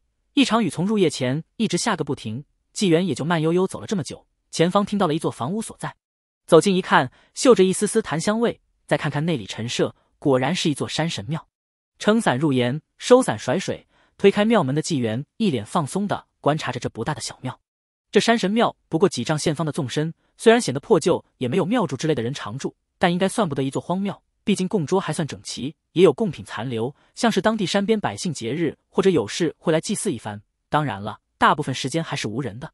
再细看过山神像，刻画的样子有别于常人，虽然穿着衣袍，但面部骨骼都较为突出，额头上面更是有两个鼓鼓的包。雕刻匠人在那两个包上画了几个回旋云纹，让纪元吃不准这两代表的是犄角还是肿块。山神像上并无金身法相的神光痕迹，但确实有香火之力留存缠绕，只是异常微弱。一看便知并非正神，结合那不似常人的模样，应当是有天生地养的精怪，想要借香火愿力辅助加速勾连地脉山脉，成就山神之位。依照天性，此类精怪身的小神在庙中是待不住的，只有感知到乡人祭祀的时候，才会回来取香火尝贡品。纪元双目法眼张开，只不过几眼之间就透过神像看出这所谓山神道行还差得远呢。而且蕉叶山虽小，但毕竟是一座山，也有方圆十几里，可不是小小庄园村落当土地那么简单。以这小庙的薄弱香火，经年累月之下收集并维持，还要加上自身修炼不懈怠，加上是精怪身，百载以后历劫才能有一定成果，但也只是一定成果。嗯，不小心中途夭折的话，则万事皆休。修行难啊！纪元感叹一句，关上庙门后，冲着神像告了一声罪，拖过一块蒲团到角落就坐下来休息了。从怀里摸出《外道传》，在这雨夜看写实小说，也是别有一番风味。山神庙内是有一个铁火盆的，应当是烧纸之类所用，边上还有柴枝炭火，似乎是能为临时歇脚的乡人香客行个方便。但纪元根本不需要火光，也不觉冷，自然不需要生火。看了小半个时辰的书，又换成《通明册》，正巧翻到书上对于居神术的猜测和理解，讲到了可能真正的居神也同高人法令有着共通之处。显然，成书作者并不了解居神术。纪元下意识的就望了一眼庙中山神像。此前玉怀山求风送过一篇居神残篇，他也早就研究透了。残篇经过求风十数年参悟，有诸多心得技术，完成度其实已经挺高，但偏偏少了关键的神髓，所以除了作用自身帮助收神修行外，其他没有太大意义。可是实际上，自从季某人缘法不浅的得到了赤令这个万金油的奇异神通，某种程度上已经具备了还原居神术的能力。毕竟真正的赤令可比高人法令还高上一档，但理论归理论。可行性再高，终究是没经过事实证明的。当然，纪元看归看，可没有真的是一试的打算。他又没什么事，因此小神也是神，不能随便仗着道行欺负神啊。正想着事情呢，纪元突然心中一动，听到了一些特殊的响动。没过多久，庙门从外面被砰的一声推开了，七个湿漉漉的身影冲入庙内，匆忙间扫视了一圈庙内，居然没能看到在墙角夜色阴影下融于自然的纪元。哼，应该没追上来吧？应该没有。少主怎么样了？还昏迷着呢。莫童，你的伤怎么样？不碍事。纪元看看那边湿漉漉一群狼狈男女，还有一股血腥味飘来，不论人数还是状态都差了不少，正是之前在茶棚内遇上过的那群人。纪元看着这群人喘着粗气、手忙脚乱的样子，再一瞧那个七八岁大的孩子，脸色苍白的昏迷在其中一女子怀中，在纪元眼中看起来可不像是简单昏了过去，竟是失了魂。但从肉身上时不时会抖动眼皮、皱起眉头来看，所失之魂应当并未受到损伤，且同肉体联系未断。虽然纪元唯一见过的一次失魂，正是在当初岁远线上河沟村对付完美女蛇的时候，那会一个伤客惊吓过度，短时间被吓得魂魄离体。但也认为现在这孩子的失魂状态似乎有些特殊，有点意思，好像是自己跑出去的。纪元法眼张开之下，没有在这孩子身上看见惊厥痕迹，更没有中什么邪法的气息残留。细想之下，也就有了奇魂自己跑出体外的推测。毕竟这孩子之前看确实也有些特殊，人数少了一多半，又是这种状态，不知是遇到什么袭击了。若是遭遇强人、匪徒、凶厉恶人追杀，纪元觉得可以管一管。可若是江湖世俗的恩怨情仇之类的，说不准当个看客更合适。不过比起好奇他们的遭遇，纪元更好奇这孩子到底有什么特殊的。然后想到一会他们突然发现自己在这又要起什么幺蛾子，索性还是自己跳出来吧。咳，轻轻咳嗽，两人立刻让本就神经紧绷的几人条件反射般做出自卫反应。蹭蹭蹭，当即有三人抽刀。谁？谁在那？纪元动了动，摆摆手，好让他们看到自己，却也没有站起来。省得刺激到这群惊弓之鸟，季某真是躲哪都不得清静。这次可是你们打扰的我，刀剑无眼，可不要伤了好人啊！是你，你专门在这里等着我们？那位名叫莫童的汉子，又是惊异又是戒备的喝问道。纪元的声音正中有力，也是有很高辨识度的，所以一下被人认了出来。被这样问，纪元也早有预料，摇摇头笑道：“哼，我不过是一个路人罢了，不想引起误会，方才出声提醒。若真心怀歹念。”偷偷动手岂不更好？说罢，纪元指了指边上的火盆和角落的柴炭。几位要不生火烤烤？一场秋雨一场凉啊，当心染了风寒。纪元几句话中正平缓温和有理，且也有理有据，算是让几人的戒备放下了一些。那壮汉莫童犹豫片刻，才歉意的朝着纪元拱拱手：“是我等误会先生了，还望海涵。不过此刻我等可是不方便生火的，说不得一会还得离开。”几人收起兵刃，离门边稍远一点。走到山神像后纪元对角的位置，也把剩下的两个蒲团拖过去，让那男孩躺在上面。两名劲装女子照顾男孩，其他人则各自处理伤口。少主没有伤到，更没有磕到碰到，怎么会昏过去呢？难道是被吓到了？姐姐，别多想了，少主没受伤，总会醒过来的。能不急吗？怎么叫都叫不醒，掐人中枢真气都没用，你叫我怎么能不急嘛？哎，稍安勿躁，如今只能事后找大夫了。莫童也只能这么说了一句。一旁一个武人用身上撕下的布条帮莫童将胸口的刀伤扎好，后者看看纪元的方向，又看看山神庙庙门处。今夜这场雨帮了我们大忙，若非如此，还不能轻易摆脱纠缠。只可惜折了十几名弟兄。莫童说这话的时候，刻意望向纪元，想看看他有什么反应。不过似乎是因为所处阴影较为昏暗，没能看出纪元对死人是否惊慌。纪元注意力基本都在那男孩身上，看着他眼皮细微跳动的特征，此刻魂魄似乎是在到处跑。并且距离肉身应当也不会太远。奇了，既然魂魄能动，又距离肉身不远，为何不回来？纪元也有些纳闷。魂魄在外面瞎逛可不是好玩的，而是一种很危险的状态。一旦回不来，时间久了同肉身断了联系，那肉身不是真死了，就是痴呆了。难道另有原因？想到这，纪元觉得还是先搭个话，找机会开口问一问好了。诸位应当是江湖客吧？我们两次碰面也算是缘分一场。可否告知季某是遇上了什么贼人匪寇？方才季某听你们所言，觉得这孩子怕是得了家乡老人口传的失魂症了。失魂症？女子中年龄大一点的人疑惑升起，望向纪元。从字面意思上不难理解这病症是什么原因导致，但多少有些难以置信。不错，得了失魂症的人也是这样，怎么都叫不醒，或者整天魂恶疯癫，药石无救。那该怎么办？关心则乱之下，莫童也下意识问了一句：“在我家乡。”得了失魂症的人，要么是家人去病患常去的地方喊魂归来，要么就是去拜土地公，没有土地庙就去拜城隍，恳请神灵帮助寻回病患魂魄。纪元这说的可都是寻常百姓真的在用的土法，且也算得上行之有效。前提是那失魂症没有特殊因素。那边几人听闻之后面面相觑，一时间都没有说话。当然，求山神也是有用的，土地山神等山水神灵之流在自身管辖范围最善此道。纪元这话说的。就已经不像一个斯文先生和乡人老者能口传出来的语气了，只是这些武人也分辨不出来罢了。几人听闻此言，下意识的望向庙中神像，在夜间，这神像看起来反而显得有些阴森恐怖。外头的大雨一直哗啦啦的下着，山神庙内一时间陷入安静。莫童刚想说什么，却看到那边角落的先生突然站了起来，并且伸出手势制止了自己，仿佛知道自己马上要开口似的。纪元吸气嗅了嗅，眉头也在此刻皱起，然后转头望向那边昏迷的男孩，看起来倒确实非寻常江湖事，那就得管一管了。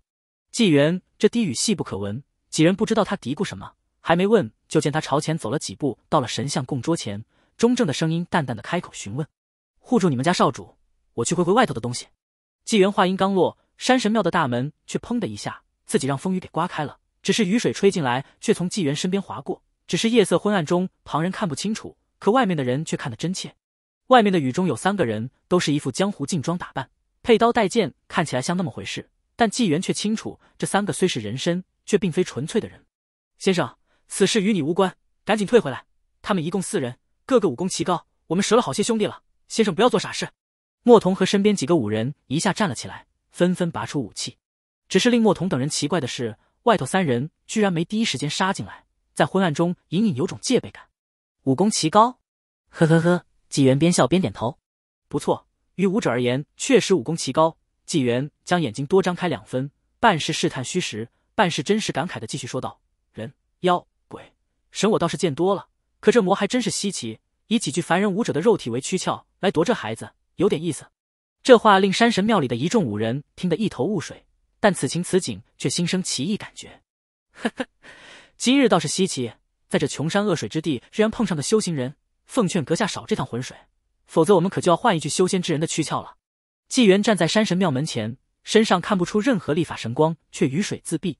外头的三人也有些摸不清根脚。魔分多种，有滋生心魔。有无形外魔，有蕴结阴魔，更有那偏离修行根本之人堕入邪魔。入魔一词被常人形容为疯狂的执念，但其实真魔中大部分往往阴邪无比，少有疯狂。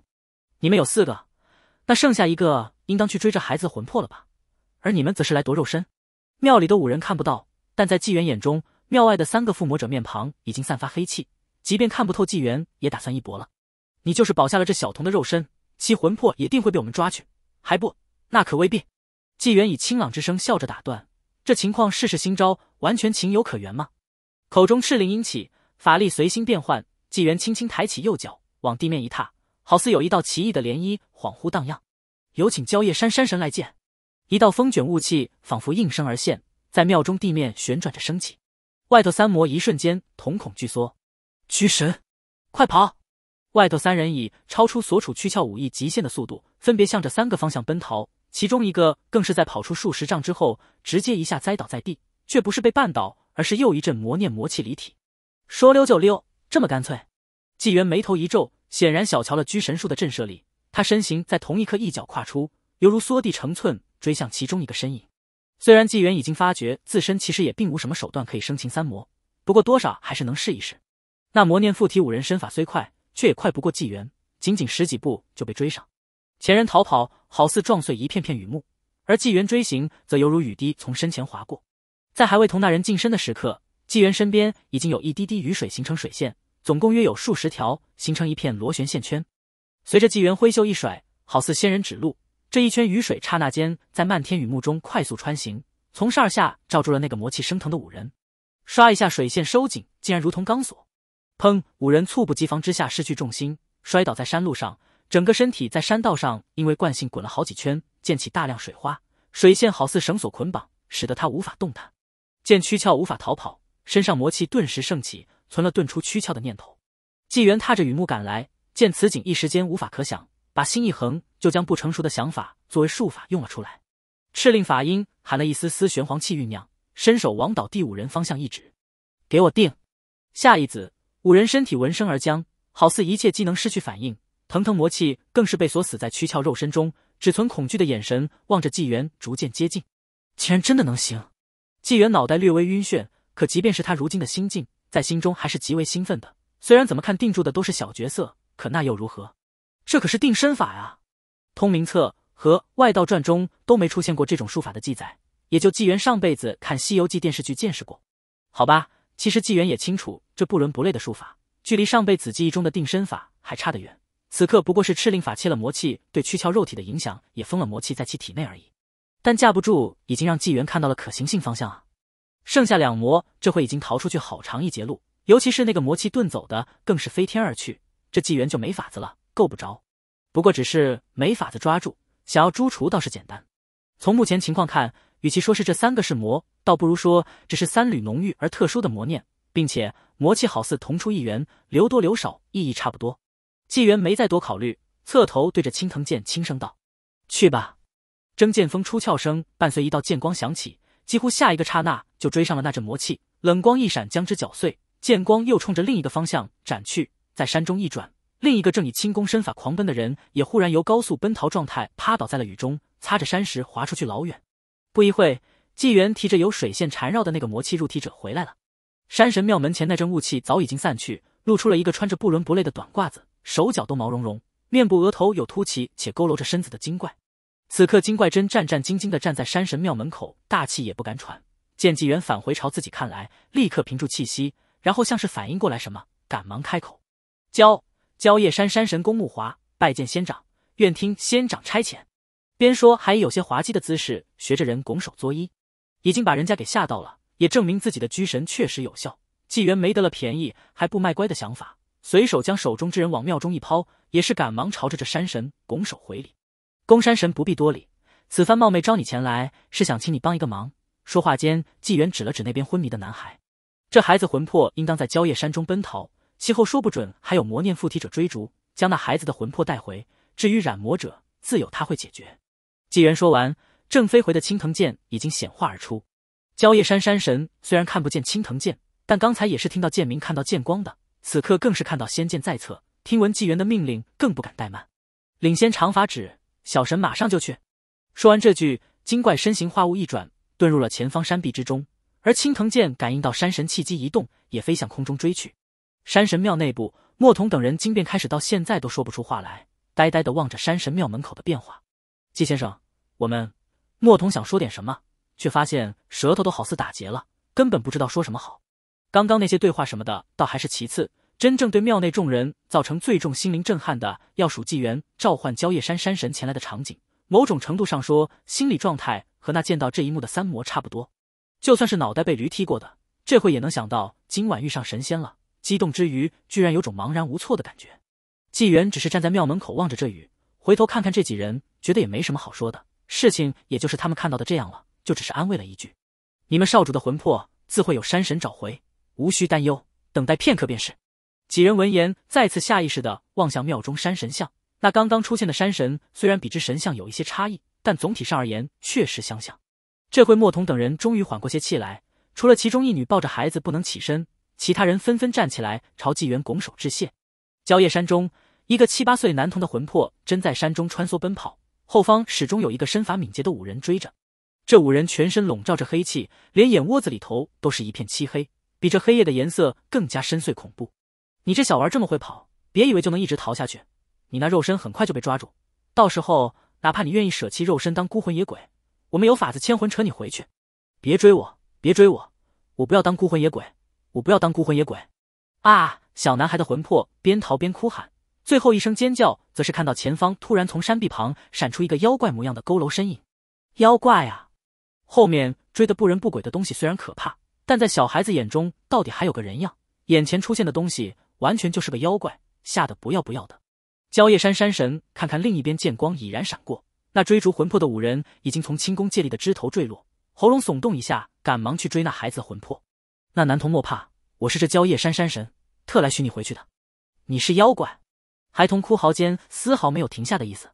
这男童的魂魄虽然十分特殊，跑的也是飞快，但公木华到底是一定程度上勾连了这一方山势地脉的山神。在自己的地头上要抓住一个小孩子的魂魄，还是没太大难度的。这叫术业有专攻。山神庙中，纪元和几个武人大约等待一盏茶的功夫，就见有一团雾气旋转着从山神庙内的地板上升起，正是之前的蕉叶山山神。另外几名武人虽然受限，肉眼看不见其他，可纪元却能看到这蕉叶山山神手中真抓着一个一脸惊恐、犹自挣扎的小孩。这山神的脸色在刚出现的时候明显不是很好，只是面对纪元，则立刻换了张脸。啊！回禀仙长，小神幸不辱命，已经将这孩子的魂魄带回。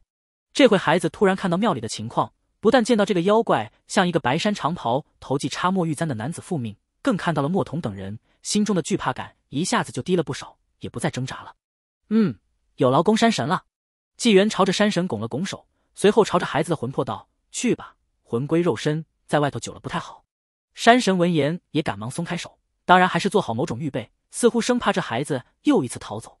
这孩子看看纪元，在往肉身走的时候，突然想起来纪元是谁了，小声问了句：“您是那个茶棚里被墨童赶走的大先生吧？”纪元笑了笑：“他可没赶我，是我自己走的。去吧。”纪元言罢，挥了挥袖，孩子的魂魄就像是借风送力，一下子就朝着那边蒲团上的肉身飞去，随后扑入其中。原本昏迷中不断抖动着眼皮，时不时皱起眉头的孩子，这会神色安详下来，好似正在熟睡。墨童和两个女子以及其他几人，就算看不见自家少主的魂魄，但听到山神和纪元的话，再结合自家少主的反应，自然明白发生了什么，纷纷兴奋不已的朝着纪元和山神公木华不断致谢。多谢仙长元首，多谢山神大人搭救我墨家少主，多谢仙长和山神大人。这边千恩万谢，纪元却只是点头过后，朝着山神招招手，一起出了庙外，留庙里几人查看自家少主。山神亦步亦趋在一旁，不敢轻易离去。到了外头庙檐处，看着他这样子，纪元语气略带歉意的说道：“今次多亏公山神相助了，这山中寻魂还是山水神灵更擅长。如今日一般多多积德行善，想必会有越来越多的乡人信奉公山神，也能助你早日等成正位。仙长教诲，自当铭记，自当铭记。”向精怪多过向山神的公木华只是连连点头称是，不过没有纪元同意，也不敢贸然离开。他极少能见到修仙之人，没想到这次真就中大奖了。公木华见识少。不识的所谓居神是什么，但不代表感受不出这种艺术的神奇和强大。他此前窝在地底修行，骤然间感觉到身体好似不受控制，勾连山脉地脉的神通自己就发动了起来，被强行牵往山神庙。同时，心中有清晰的令念显现，告诉他是有人召山神而去。这是什么法力？这是什么神通？完全超出了公木华理解能力之外。当时心中除了怕还是怕，生怕因自己的淫词淫迹行为，有哪个仙家高人看不惯。把自己小命给一剑斩了去。后来到了山神庙，这仙家高人果然带了剑，而且是真正的仙剑。所幸最后到现在，终于证明是虚惊一场。纪元看着山神，明显是被自己给吓到了，也是更觉过意不去。不过到了公木华这个阶段，送他寻常法令已经作用不大，而且这山神的道行着实浅薄了一些。若真以完整敕令下去，玄黄气消耗的多不说，对其修行也未必是好事。毕竟这精怪属于正统山水神灵之流，还是以自身修行为根基的。但上炷香拜一拜吧，似乎更不合适。公山神这次成情也没什么好回报，不如这样吧，只要你不懈怠自身修行，又能秉承山神之责义，并多多行善积德，他日季某送你一场造化。这种大神通仙长真要处置自己，根本不用废话。而且正道真修向来重诺，所以公木华明白这应当是真话，连连作揖道谢。小神定不忘教诲，小神定会尽力去做。但造化不造化的是其次，现在公木华如芒在背，怎么都不自在，就想快点离去。纪元期待中的棋子并未出现，看着精怪山神，虽然应得热烈，想必心中真正想的只是快点送走自己这瘟神，也是让他心头一叹。说到底，这山神还是道行太浅太懵懂，更没遇上瓶颈之苦，不懂得珍惜缘法。换成当初春木江那老龟，这会的反应绝对不同。纪元有些失去了兴致，语气也变得平淡了。嗯，若没什么事的话。公山神可以回去修行了，季某这边已经无事了。是是，小神告退。说完这句，山神化为轻雾飘往雨中，在山壁上闪就消失不见。纪元转头望望庙内，送走了山神，庙里头还有一个抓住的俘虏呢。他转身走回庙内，那边那个孩子居然已经醒了过来，真叽叽喳喳的和边上的人讲自己怎么在山中逃跑的事情。见纪元进来，庙内一下子就安静了下来。纪元看到墨童和一个另一个男性武人正举着刀，始终朝着那个邪魔的方向戒备，当然视线也十分好奇的落在了那一根根缠绕的水线上。一刻钟后，一群人全都围坐在了点燃的铁盆边，火自然是纪元生的。自从丹炉内换成三昧真火，纪元虽然只会小控火术，但却能虚空引明火了。这当然不可能是三昧真火，充其量只能算是野火，但用来点点柴火、引圣火是什么的，是足够了。而既然今晚都出这么多事了。纪元索性一挥手，将一众男女衣衫上的水汽也一起带走，使得众人恢复干燥。现在纪元已经坐在火盆旁，听了一众人叙述了好一会。如此说来，你等在君天府城实施保护莫小公子已有不短的时日，是因为察觉到有人在宅邸外鬼鬼祟祟，又来去无踪，报官又查不出什么，甚至莫小公子开始频频做噩梦，情况紧急之下，所以选择离开君天府往家中跑。正是。莫童赶忙回答。纪元略一思量，才继续问道：“既然曾经有修仙之辈欲收莫小公子为徒，也施法帮莫小公子隐匿灵运气息，更让莫小公子留于君天府等待他回来，那么定是对莫小公子有过一些预估。”纪元说话间，看着孩子盯着自己听得认真，遂朝向他笑笑：“也保不准你那便宜师傅早先已经看出你的问题，让你藏于君天府，以一成人气掩盖自己有事需要暂时离开，却没想到你差点着了邪魔的道。”名为墨雨的小男孩好奇道：“季先生，那他们为什么要抓我啊？是我那师傅惹了他们吗？”听到墨雨的问题，纪元看了看另一边的尸体，刚刚死活问不出什么之后，执子剑指尝试了一下，果然让左家那枚虚子吸走那片魔气，化为虚黑之子。由于这四个被附身的五人心性毅力太差，灵魂染魔时间也已久，早就同化为魔，魔气散则魂消，肉身也立刻失去生机了。确切的说，是他，而不是他们。虽然四魔人各自行动，各自思考。但本质上不过是被一缕蕴含魔念的魔气侵蚀，起到思考作用的依然是那个武者灵魂，可勉强算是一魔之分身。如莫小公子这般灵运特殊的人，计谋也是头一次见到，甚至不经修炼自行脱魂而逃，比这动物开智还要少见。邪魔外道窥伺你的身魂并不奇怪，或者吸魂，或者雀巢鸠占，还有什么目的吗？旁人就不知晓了。这种事情纪元都不清楚，其他人就更不知道了。于是火盆边陷入短暂安静。纪先生。您的本事大，还是我未来师傅本事大啊？纪元看着孩子一脸期待的样子，毫无心理负担的笑道：“想必还是你师傅本事大一些的。”一夜过去，庙中众人也不知道昨晚什么时候睡着的。山中日头高照的时候，方才有人醒来，然后推醒其他人。山神庙的门还闭着，外头的雨则早已经停下。莫童起身四处望了望，没有发现纪元的身影。纪先生呢？纪先生走了。有人打开庙门，四处找了找，也没有发现纪元的踪影。明白，那神仙人物应当是已经离开。莫童，季先生昨晚留的仙法会有用吗？万一要是再遇上邪魔妖怪什么的，有女子担忧的询问。头一次见到妖邪，三观上的影响还是其次，关键是自身升起的无力感。但莫童还没说话，小童莫雨先嚷嚷起来：“肯定有用的！昨天季先生用水给我写了两个字之后，我现在不心慌了，肯定有用的。”莫童也是安慰的说道：“仙人行事，哪是我等凡人可以揣测的？”实在不行，就按季先生的建议，一旦少主察觉不对，我们就赶紧往城隍庙躲。只能如此了。一行人收拾收拾，离开前将三个蒲团归位，然后十分郑重的朝着山神像叩首。若非庙内无檀香，肯定也得上一炷香。做完这一切，才离开山神庙，并合上庙门离去。其实纪元直接走了，既是因为留下法令逆去墨雨灵韵，甚至改变其气息，也是因为在昨夜纪元就已经观气看出墨雨此劫已过，而昨天魂魄离体的惊心之事。对方那便宜师傅定然也感知契机变动，怎么也会迅速赶来的。此番世界正统仙道之流，或清心寡欲，或修行积善，或日月山中，或苦修悟道。虽然性格各不相同，但还是少有阴险之辈会算计一个普通孩子。越是境界高越如此，可以不借助扣心观悟道，却不能反其道而行之。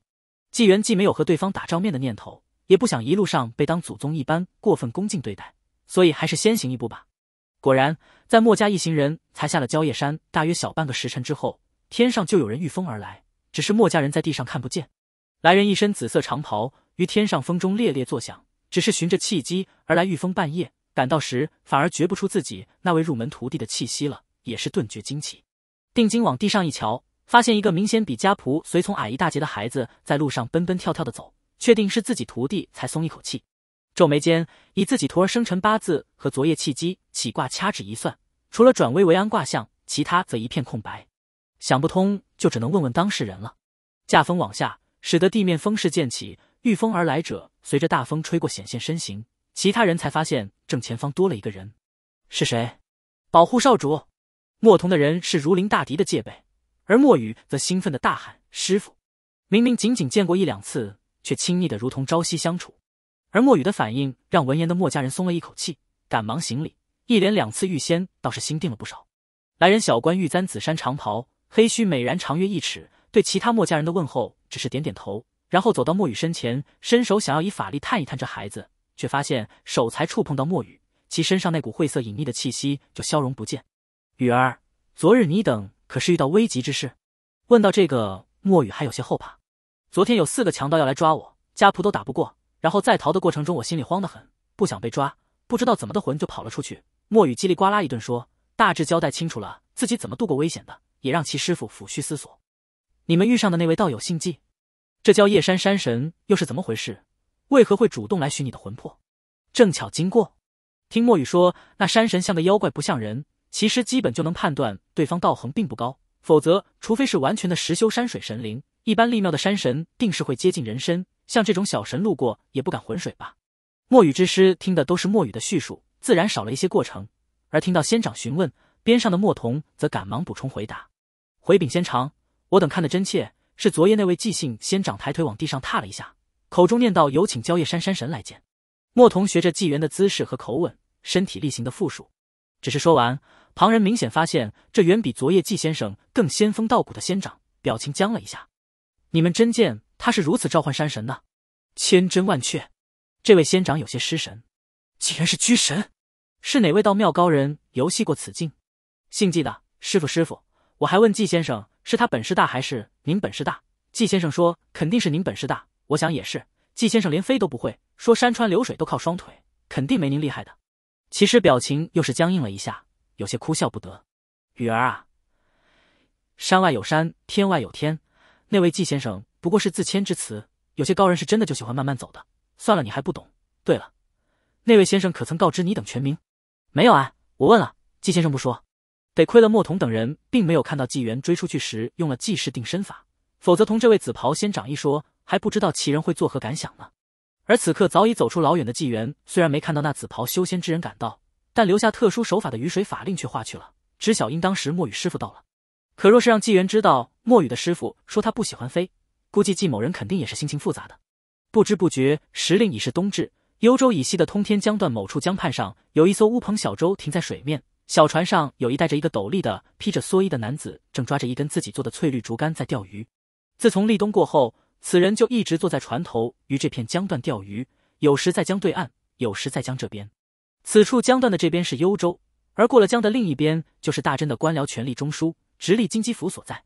这钓鱼人正是纪元，乌篷小船则是同一位老翁租借的，租期为半年，包括斗笠、蓑衣、船桨之类都算是随船一起租借。距离纪元的小舟往南约十几里，就是通天江上诸多百渡口中大名鼎鼎的状元渡。相传从前那只是个小渡口，但是在大真建国历史中，曾经有六名国境以东的参考贡士在那个渡口摆渡去金鸡府。随后高中状元，对于这种传说到底是真的还是当地乡人自己想出来的致富点子，纪元是不想深究。但不可否认，很多从东边赶考的贡士，大部分都会顺路来状元渡讨个彩头，顺便拜一拜江神娘娘。想必尹兆仙也会从这走，倒是有纪元打算亲自替友人摆渡一番。外道传不可能面面俱到，一般只记述有故事性、趣味性的内容，比如春木江老蛟化龙不成之类的就被写上去了。而通天江虽然是大江。但可能是因为一直平稳无事，外道传连提都没提。纪元也是到了才知道，这通天江江神是一名女性。纪元早就去过江神庙，也询问过香客和当地乡人，得知江神娘娘名叫本名殷若里，想必和老龙殷红是有亲戚关系的。纪元也不急着找老龙喝酒，他都在江畔晃悠这么久了，这老龙肯定没在家，否则早就该发现自己了。而直接拜庙传音江神，则更不可能。万一老龙没和家人提过他纪某人呢？多尴尬！索性就这么边享受渔翁之乐，一边静候一凡一龙两位好友，看先遇上谁。想想也是挺有趣的。通天江是大真境内数得上的大江，延绵穿越半个国境，往南拐过大真南部边境后，折通大真东海。除了少数地方江段略窄，大部分江段都十分宽广。纪元所处之地也算得上两岁居轮间不变牛马。不过江水之势倒是平缓，不见多大的波浪。鱼漂随江水上下浮动，似乎根本没有鱼儿上钩的迹象。纪先生，纪先生，岸上有人在呼唤纪元，正是将乌篷船租给他的那个老翁。此时，老翁正提着一个小陶壶和包好的干荷叶团子站在岸边，还朝着纪元招手。纪元收起鱼竿，拿起船桨，慢慢朝岸边划近一些。哈哈，纪先生，这是两斤自酿土酒，老汉我特地给您送来的。这天寒了，要不您晚上还是去我们村中留宿吧。船靠近岸边，纪元站起来接过老汉的酒和吃食，多谢陈老伯了。不过我这人天生抗冻，再说这乌篷船上可挡雨，前后也可封闭，里头又有被褥，其实冻不着的。陈老汉摇了摇头，乌篷船冻不冻人，他还能不清楚？这季大先生温和有礼，也有学问，但就是喜欢自个儿找罪受。大冷天的，在这乌篷船上住了这么久，先生今天没钓到鱼啊？老汉瞅了一眼船头鱼篓，是空的。是啊，今天江底下有两条蛟龙经过，把鱼都给吓跑了，各处躲着呢，哪敢来咬钩啊？纪元笑着回答一句：“哈哈，纪先生您又说笑了，那您慢用，老汉我就先走了。要是晚上扛不住，就请到下沙头村来，老汉家里还是有客舍的，随时候着。”纪元将酒食放下，朝着老汉拱了拱手：“好，若有必要，一定会前往。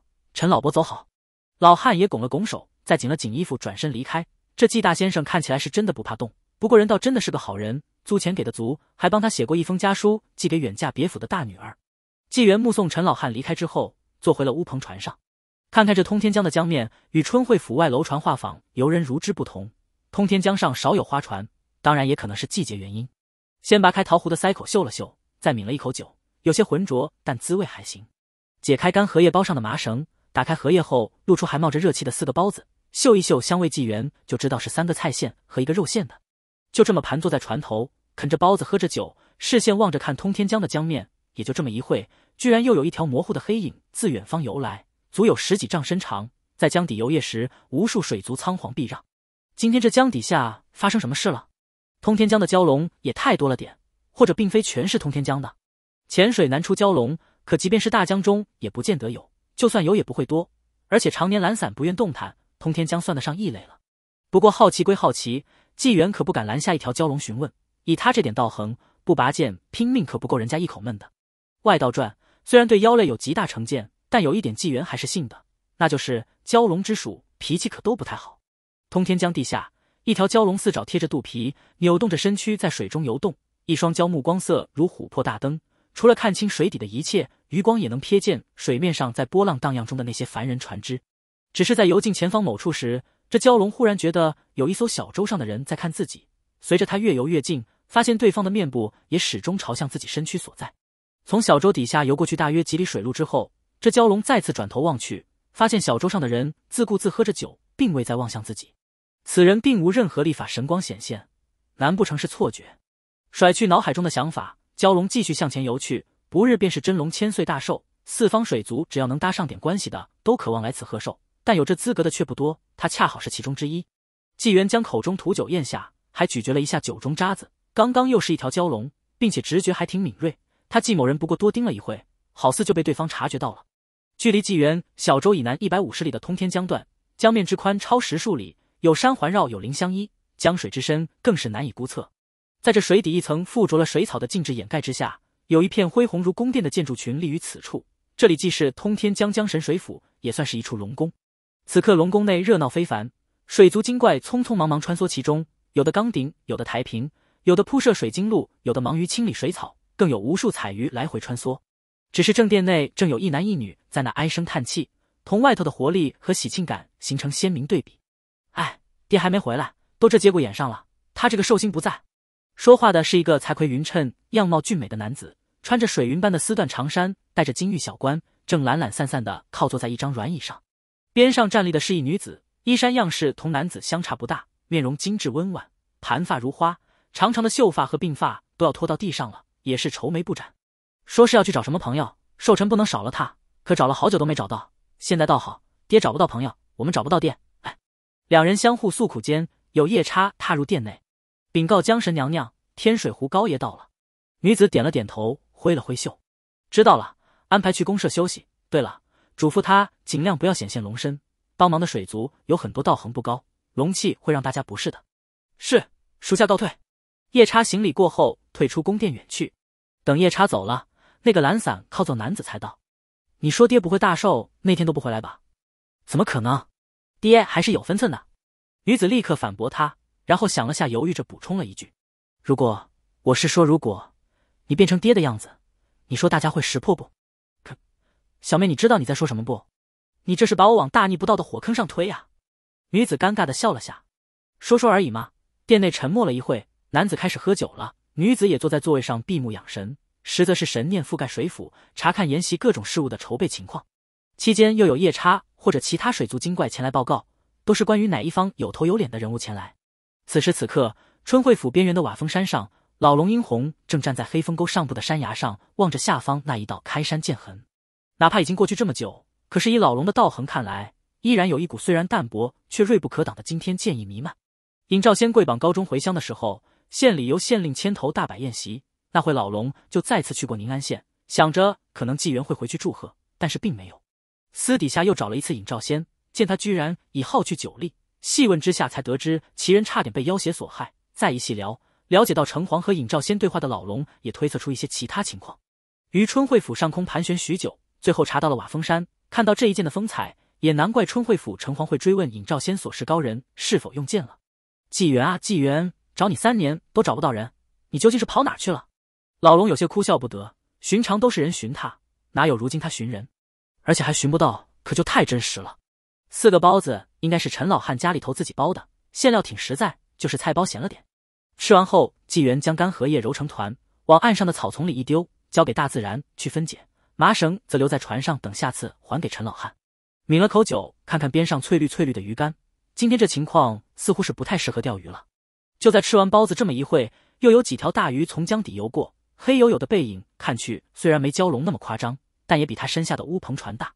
纪元视线望向南方，这么多水族精妖都往那边赶，肯定是通天江某处出大事了。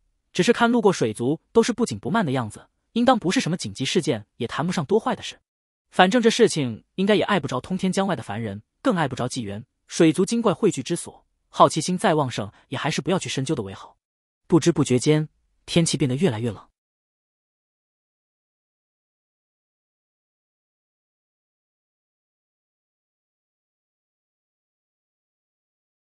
这一天，纪元有些无奈的将鱼竿提起来。看看完好无损的鱼饵，一旁鱼篓依然空空如也。唉，这鱼没法钓了，连着过去多少天了，一直都钓不上来鱼。想必这些天通天江畔的渔民日子也不好过。但说到底，现在不是捕鱼时节，估计也没多少渔民出船。只是季某人挺想喝鱼汤的，最近托陈老汉买鲜鱼也是买不着。隔段时间就有水族精妖游过，纪元随便算了算，光他留意到的已经过去数十波了。整个大真都没多少妖怪，更不用说道行不低的了。所以纪元十分怀疑，是不是连国境外的水族妖类都过来了不少？这还没过年呢，水族不兴这一套吧？正这么想着，岸边有马蹄声和车轮声从远方传来。纪元顺着声音望向岸上，发现那头路远处有车马队朝这边行来。随着车马接近，纪元观望一阵，几辆马车中都有文气流转，应该也是入京赶考的贡士，水平也不会太低。看着阵仗家里的钱财更不会少。这时候，天空开始飘下雪花。把纪元的注意力也引向这自天而降的美景。算起来，这是今年的第一场雪，也是纪元这辈子看到的第一场雪。伸手接住一朵雪花，立刻被手掌的温度所融化。提起边上的酒壶，拔开木塞，纪元童心大起之下，犹如一个孩子一般，用瓶口接着身边的雪花。路边车马行来，有书生掀开马车，连步望向江边，看到天空落雪，江面苍茫，也见到孤舟之上蓑笠渔翁。到底是天子脚下，景好意更深啊！呵。师兄兴致倒是好，我都快被冻死了。边上的另一个书生紧了紧裹着的毛毯，手中开提着一个炭火暖炉。车马队中有披着毛绒大氅大汉子纵马走出队列，靠近岸边，冲着纪元大喊：“船家可知状元渡还有多少路程啊？”听到对方喊自己，纪元也就放下酒壶，面向他们，也是吆喝着回答：“沿江边往南，再有十几里路就到了。”坐在马上的汉子朝着乌篷船方向拱了拱手，然后引马归队。看着这些对人安逸的样子。纪元不禁想着自己的好友尹夫子会怎么来。尹家不是富户，但也不算多穷，天寒地冻的包个马车的钱还是有的吧。而且宁安县难得文曲星高照，县里肯定也是会大力相助的。纪元目送车队离开，喝了一口既是泡雪酒，心理作用之下觉得酒更好喝了一点。同时在意境山河中，纪元也照常以念从丹炉引出一缕缕丹气，点向棋子。每隔三天他就会这么做一次。如今棋子中凝实程度最高的依然是陆山君的那颗黑子。但纪元估计得陆山君真正修行大境，成功化形，才能彻底凝成黑子。可是妖物修行化形为人，乃是最大的考验之一，不是一朝一夕能成的。便是有纪元在时不时的喂丹，也尚不清楚需要多久。对比纪元这边的不骄不躁，通天江水府中目前的两个掌事者心态就不太好了。将神鹰若里在殿中坐镇，看着水族们开始布置主殿，还有水族从海中取来珊瑚布置装点，看似一脸淡然的江神，心里急得不行。又过一会。有龙影流光入了江神府，在殿前化为一名锦衣男子，正是其兄殷风。见殷风走进来，殷若离赶忙站起来：“怎么样？”殷风摇了摇头，还是没找着。说完这句，殷风走近一些，看看左右，有些鬼祟的小声说道：“你上回那个建议，可能真的需要考虑一下了。”说完，兄妹两对视一眼，均是一脸无奈。堂堂通天江一将正神和堂堂龙子被逼成这样，也是少见。只是前一刻还愁眉不展的兄妹俩，突然间表情一愣，随后望向北方，脸上喜色顿生。通天江畔，刚刚路过纪元身旁没多久的车马队上，披着大氅的壮汉替车上公子的暖炉加了炭火，才赶紧又骑上马随行。只是无意间转头望了望身后，却发现数十丈开外的江岸边小舟旁，居然站了一个衣着华丽的人。奇怪，刚刚那边有这个人吗？同伴听到他的疑惑，也转头望去。我们才过去的，刚刚好像没看到吧？不过两人也没想那么多，兴许自己没注意，从别处有人走来呢。另一边，纪元原本还在喝酒，冷不丁的心头一凛，放下酒壶的时候，才发现江边已经站了一个人，还是那套对襟直罩衫，还是那副模样，正是老龙殷红。纪先生的雅兴还是这般好，蓑衣斗笠乌篷小舟，江面看雪而独饮。纪元赶忙站起身来，朝着老者拱手作揖。原来是应老先生，莫怪纪元在老先生家门口而不去拜访啊。老龙也向纪元回礼，口中爽朗大笑：“哈哈哈哈！先生早知我并不在家，自然就不会去拜访了。原以为此番纪先生要缺席了，不成想你倒是早在这里等着我了。先生可有备什么贺礼啊？贺礼？什么贺礼？”纪元有些发懵，不过不等他尴尬的问出来，老龙自己就笑嘻嘻的说了：“玩笑话，玩笑话。纪先生能专程来为我这水族妖物贺寿，已是给了天大的面子。随老夫前往通天江水府吧。”寿辰。纪元第一反应是，难怪这么多水族精妖过境，原来是真龙寿宴。这么看来，过境水妖都算少的了。而且参加真龙寿宴，哪怕路经一些神灵管辖之地，八成也都会行个方便，不会多加阻拦。不过，殷老先生请自己去参加寿宴，乖乖，这不是把我季某人往妖窝里引啊？想象一下那场景，画面有些太美了。嗯，殷老先生，不如咱们就在这小桌上对饮一番，季某提前恭贺您大寿之喜。水下嘛。我一修行之人去，是不是不太方便？再说这乌篷小舟也是纪元借的，留着也不好。殷红找了纪元三年多，到底也是有些郁闷的。这会哪会给纪元任何找借口的机会？哈哈，先生多虑了，都是好酒之人，先生可定要去尝尝四方水族搜罗的美酒。至于这小舟，先生就更不用担心了。言罢，老龙跃入小舟之上，手一挥，小船一震，就直接往水面下沉去。哗啦啦，水涛升起，纪元差点没坐稳。反应过来的时候，乌篷船已经没入水下，于江底朝着南方行驶而去。前方车马队上那名汉子还是觉得有些怪，所以走出一大段路时再次回头，只是这一回头就愣住了，赶忙揉了揉眼睛，再看时，原本问路的江畔水面还是空无一物，扫视江面其他方向也见不到什么。船呢？整条乌篷船沉入了水底，周围有无穷流水划过，甚至有水流水花在船边飞溅，船上却没有进水。纪元那双眼睛永远是没有变化的，但实际上现在这一幕对他而言是十分震撼的。某种程度上说，不比一条小舟在天上飞的感官刺激差了。看着小舟在水底穿梭，见到水中诸多水族从旁边游过，抬头能在昏暗中看到上方泛白的水面光色，所带给纪元的新奇感是前所未有的。不过这念头也就是脑海中一转，随后纪元就有些无奈的看看身旁站在船头的老者，殷老先生，您这是请人啊，还是硬把我绑了去啊？殷红嘿嘿一笑，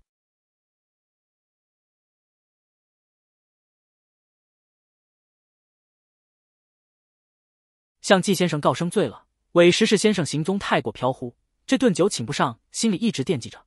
到了这会，老龙殷红心里已经舒坦不少，能戏弄一把纪元，也算是出了一口三年寻人的恶气。季先生，请放心吧，老朽寿宴所能附会者，多少还都算得上安生修行之辈，不会令先生觉得太碍眼的。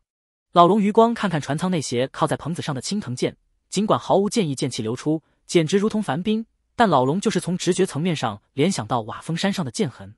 一艘乌篷船在通天江底快速航行，在水底自然是十分引人注目的，尤其是越接近通天江水府，更是引来了巡江夜叉。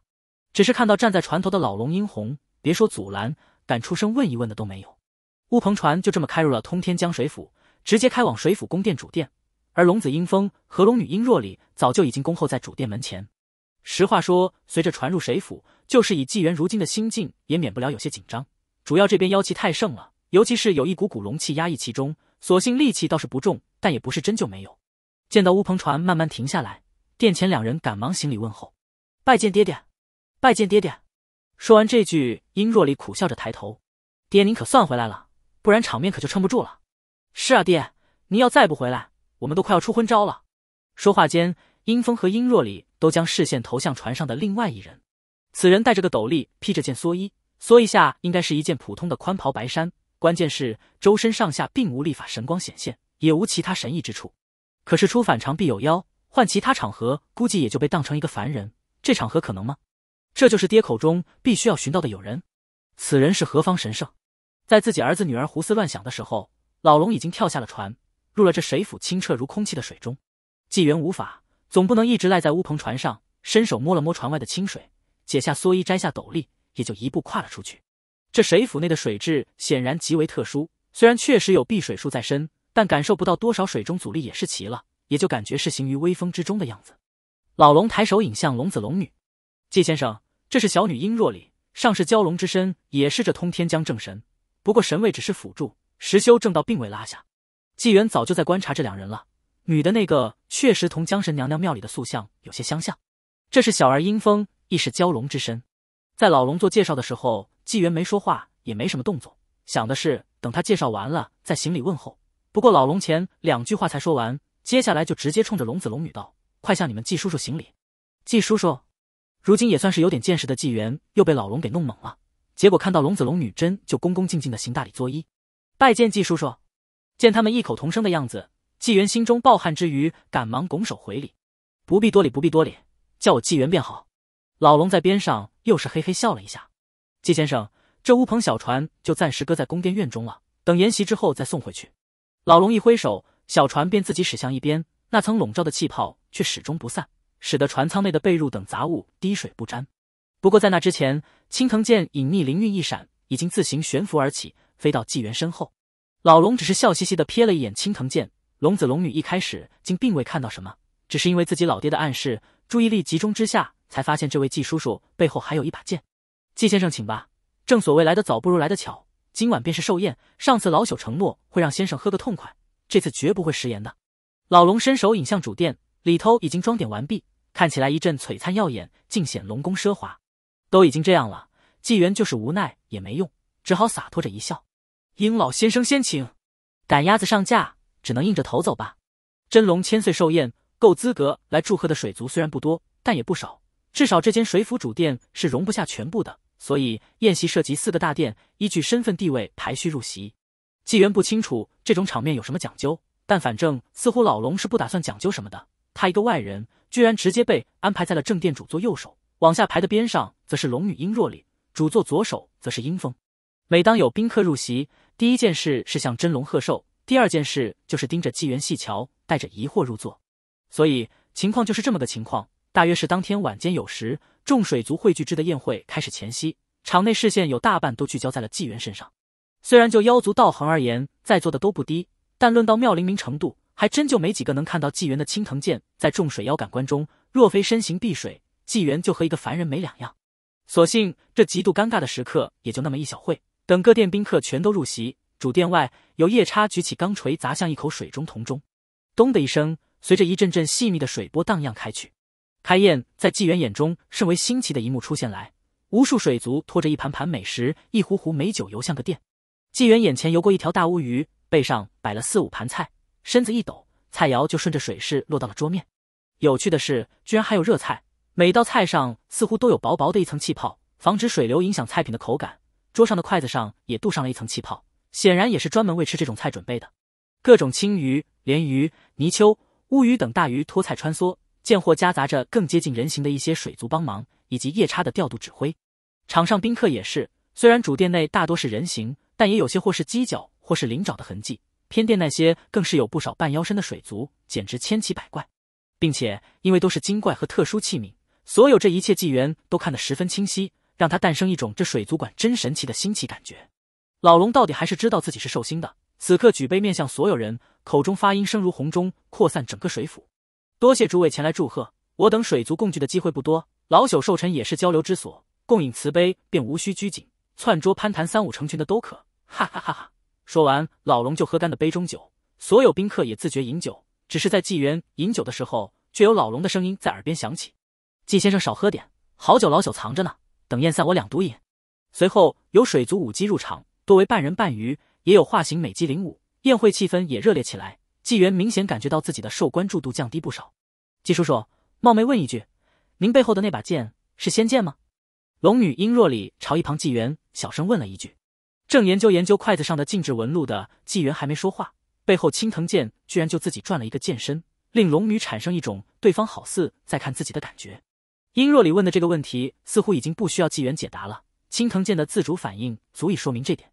纪元看看这位江神娘娘，还是礼貌性回了一句：“确实算是仙剑。”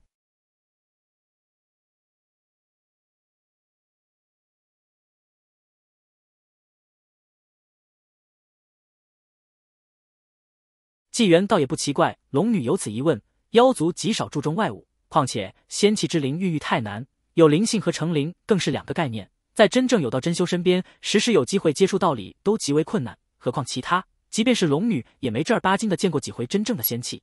季叔叔和我爹是怎么认识的？难得他毫不避讳的硬要请你来这，这么多水族精妖，以叔叔修仙之人的身份，怕是有些不是吧？龙女不比一般妖族。作为通天江正神，到底是有香火神位在的，可能也是这个原因，才安排他坐于纪元旁桌。纪元听龙女这话，也看看厅内若有若无留意自己的视线，深以为然的点头道：“确实有些不适，但并非厌恶，而是压力啊！我这一来，自觉就分去了你爹这寿星宫近半的注目礼，吃饭一堆人盯着你，能不别扭吗？”注目礼这词蛮新颖的，但不难理解。季叔叔这大实话说的风趣，龙女一想，确实是这情况，也是觉得有些好笑。至于认识，也就雨中巧遇闲聊了几句，分食了几粒枣子而已，就这么简单。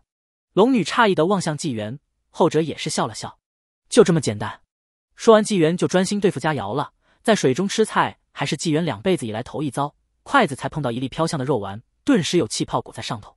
夹起来送到口中时，气泡则脱离，顺着水流升起，看起来好似纪元在水中吐泡。肉丸本身咀嚼起来，只觉热力腾腾，绵软入味，加上场景加分。算是又好吃又好玩，再倒一杯壶中酒，则差不多也是如此。细品之下，虽有一丝丝灵气蕴含其内，但纪元还是觉得纯以酒的本质味道上来论，不如千日春好喝。当然，肯定比寻常酒要强。宫殿内奏乐则都是水中奏鸣，叮咚叮咚的悠扬乐曲，配合场中间歌舞翩翩，妖姬的舞蹈极具艺术观赏性，那种舞动的美感极富韵律。其中几段舞曲带给纪元相当程度的震撼。犹如上辈子原本对古典舞不感兴趣的自己，首次在网上看到玉人舞之时，那会计员第一次认识到古典舞能惊艳到这种程度。也正是这种力、柔、美等因素结合，舞姿每一下都踩在点上的舞曲，让宴会不至于无聊。在欣赏之余，前后左右也是各有水族交杯换盏，相互攀谈。也有人壮着胆子举杯前来主座，单独向老龙敬酒祝贺。老龙来者不拒，谁敬酒都喝，谁拍龙屁都笑。而龙女则在一旁小声向纪元介绍每一位前去敬酒之人，有大真境内各水泽湖神河伯，也有他国境内水泽金妖。期间还有各种大鱼游动着，穿梭在舞姬周围，运送一道道新菜或者空盘。龙子英风则代替自己父亲下场去向各路水族敬酒，调节气氛。走到天水湖蛟龙那桌边上时，已经有四五个水族化形精妖聚集在那边喝边聊。见到英风，则赶紧招呼其过来。应风殿下来的正好，来来来，快快过来。化为一个中年美髯男子的天水湖蛟龙拉着阴风坐下，几名妖族就着两张拼起来的桌子围成半圈。殿下，龙君那里我们不敢问，您赶紧和我们说说，那位坐在江神娘娘身边的人是谁？阴风下意识的回头看了一眼远处自古喝酒夹菜的纪元，仿佛同殿内莺歌燕舞格格不入，也就偶尔自家妹妹同他说话才回一句。阴风再看看自己父亲，正盯着中央舞姬曼舞点头欣赏，然后才回头和这几位关系相熟一些的友人说道：“此人名叫纪元。”不清楚是在何方修行，算是我父亲近年来新结识的至交，只是行踪极其飘忽。家父为了寻他赴宴，整整找了三年。一种金妖面面相觑，有些不可置信。龙君亲自找他三年才找到的。天水湖蛟龙名为高觉，看看纪元那边又问了一句：“殿下可知此人修为如何？道行深浅？”阴风看了看身边这六七张脸，将杯中酒一饮而尽。我爹让我和小妹叫他纪叔叔，你们说呢？这下在座几个真说不出话来了。在一桥那边的纪元，虽然依然感觉完全像个凡俗先生，可越看越觉得深不可测。阴风估计今天喝的也有些多，有朝着几人悄悄招手示意附耳过来：“你们啊，集中注意力，保持灵台清明，然后仔细瞧那人的背后。”听到龙子如此提醒，几位水族精妖也就沉下心来，再次细心注视纪元身后方向。细瞧之下，有一个若隐若现的轮廓悬浮；多看几息，则显现出一把青色连翘长剑。尤为奇特的是，长剑剑柄如同青藤缠绕，苍翠欲滴。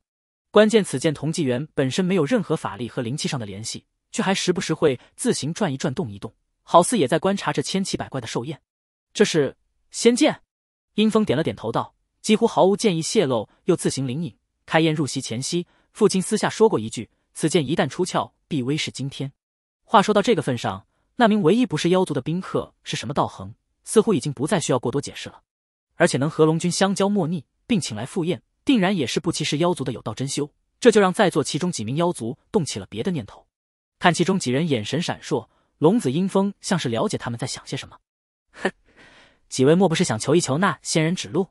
所谓仙人指路，乃是指妖鬼、人神等修行之类，遇上真正意义上的道庙真仙之时，能问道一番，并得到指点的代称。若能成，则对今后修行大多会受益匪浅。实际上，越是此类高人，就往往越属于好说话的范畴。心情好的话，指点一句也不是不可能。最大问题是遇不上。化形不是妖物终点，确切的说，只是一个开端，算是有了一个更好的修行基础，却不代表之后是坦途。所以。哪怕道行高的妖类有机会且若没冲突的情况下，也是希望问一问到的。只不过妖类道行深浅不同，眼中的仙人自然也有三六九等之分。为化形精怪眼中的仙人，对于一些大妖则可能屁都不是。阴风见几位都不说话，也是略带严肃之意的说道：“劝诸位先消了这个念头，以后你们有缘法遇上，那是你们的事。现在毕竟是我爹寿宴，却并不合适呢。”殿下说的是，对对，阴风殿下说的是。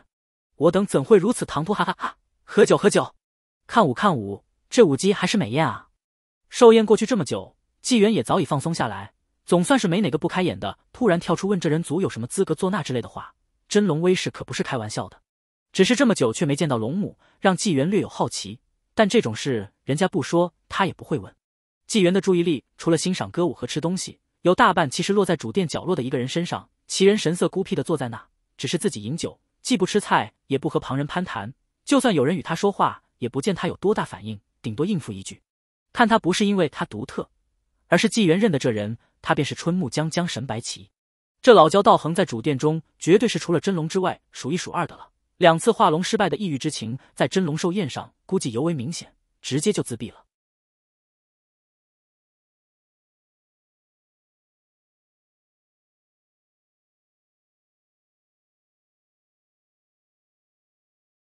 结合外道传的内容和之前春晖府中遇上的那一幕，纪元对着老焦也是有自己的评价的。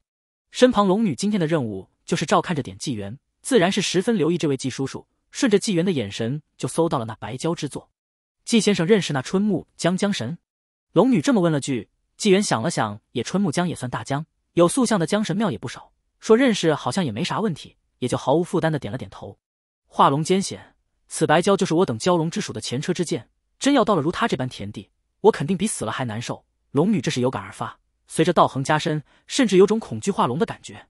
纪元法眼睁大，能看到龙女气机的变化，这心境可不太对。到底是有人之女，鼓励一句还是要的。哼，皆知化龙艰险，皆贪真龙自在，世间事两难全。凡尘如此修仙亦如是，若无激流勇进破釜沉舟之心，谈什么贪恋真龙之躯？纪元说话间看向白蛟，这白蛟心气是盛的。只是用错了方法，在季某看来，便是现在也并非无药可治。江神娘娘若是连挑战之心也无，又怎配做真龙之女？龙女英若里略带诧异的望向纪元，不是因为他这番话的大道理多震撼，而是因为这季叔叔似乎认为那老白蛟还有机会。季叔叔，您是说那春木江的白旗还有化龙的机会？龙女对此事极其关心，不但声音大了些，连语气都急促了不少，并非是白旗多重要，而是关乎自身。纪元看了看他，大致能明白这龙女的内心想法，说出了一句这方世界修行生灵从未接触过的一句话：“大道五十，天眼四九，人遁其一。”这句话哪怕纪元的口吻再平淡，但仅仅是字面意思上都尽显高深，甚至龙女都自觉有些听不懂，却明白绝对不会是纪叔叔胡诌的。龙女苦思冥想了一会，隐约有所感触，抬头一双明眸再次对上纪元那双始终半开仓目：“纪叔叔，您说。”我以后能不能成功化龙？纪元心中叹了一句：“你要自己都没信心，还化什么龙？”刚刚好好说话，这龙女似乎并不是很感冒，看来还是得拿出点叔叔的威严。面向龙女，将眼睛睁开大半，纪元恍若无神的苍目，令龙女感觉那好似根本不是在看自己此刻的身躯，而是在看自己化龙之道。那老白蛟道行虽深，可两次化龙不成，鳞甲尽落。可若再给他一次机会，你猜他敢不敢化第三次？纪元这一问，将龙女殷若丽给问住了。他下意识望望坐在殿堂角落独饮的白棋，虽然孤僻，却难掩那股不甘和无奈。他是绝对会去试的吧？不光心中有这个答案，龙女还知道，若真有再一次机会，并且还是不成，这老白蛟下场就肯定是一个死了。哼，想必江神娘娘心中已经有了答案。那么季某就这么说吧，你距离化龙所差的，除了道行之外，唯独差着心气，两样齐全，化龙之事也就成了大半。龙女心跳砰砰加快。那还有小半呢？这问题问的纪元都有些哭笑不得了。你还有个真龙老爹呢，这种优势是别的蛟龙之属能比的。但到了这份上，纪元也品出未来了。这龙女未必真的是怕死怕削了道行才有些畏惧化龙，很可能是父辈威势太盛，又是诸多资源堆砌，压力太大太久了。很像上辈子的某些有钱有势家庭的孩子，明明自己其实很优秀，再怎么拼，却始终活在父辈阴影之下。纪元脸上的表情淡了一些，却更显自然，嘴角似乎若有若无带着笑意，语气比刚刚轻缓很多。殷若里，真龙之女不好当吧？长久以来。有可能连龙女自己都没意识到这点，此刻被纪元点破，有种直击心灵的共鸣感，使得龙女一时间不知该怎么回答，下意识的望向自己父亲，却发现老龙似乎也在留意这边。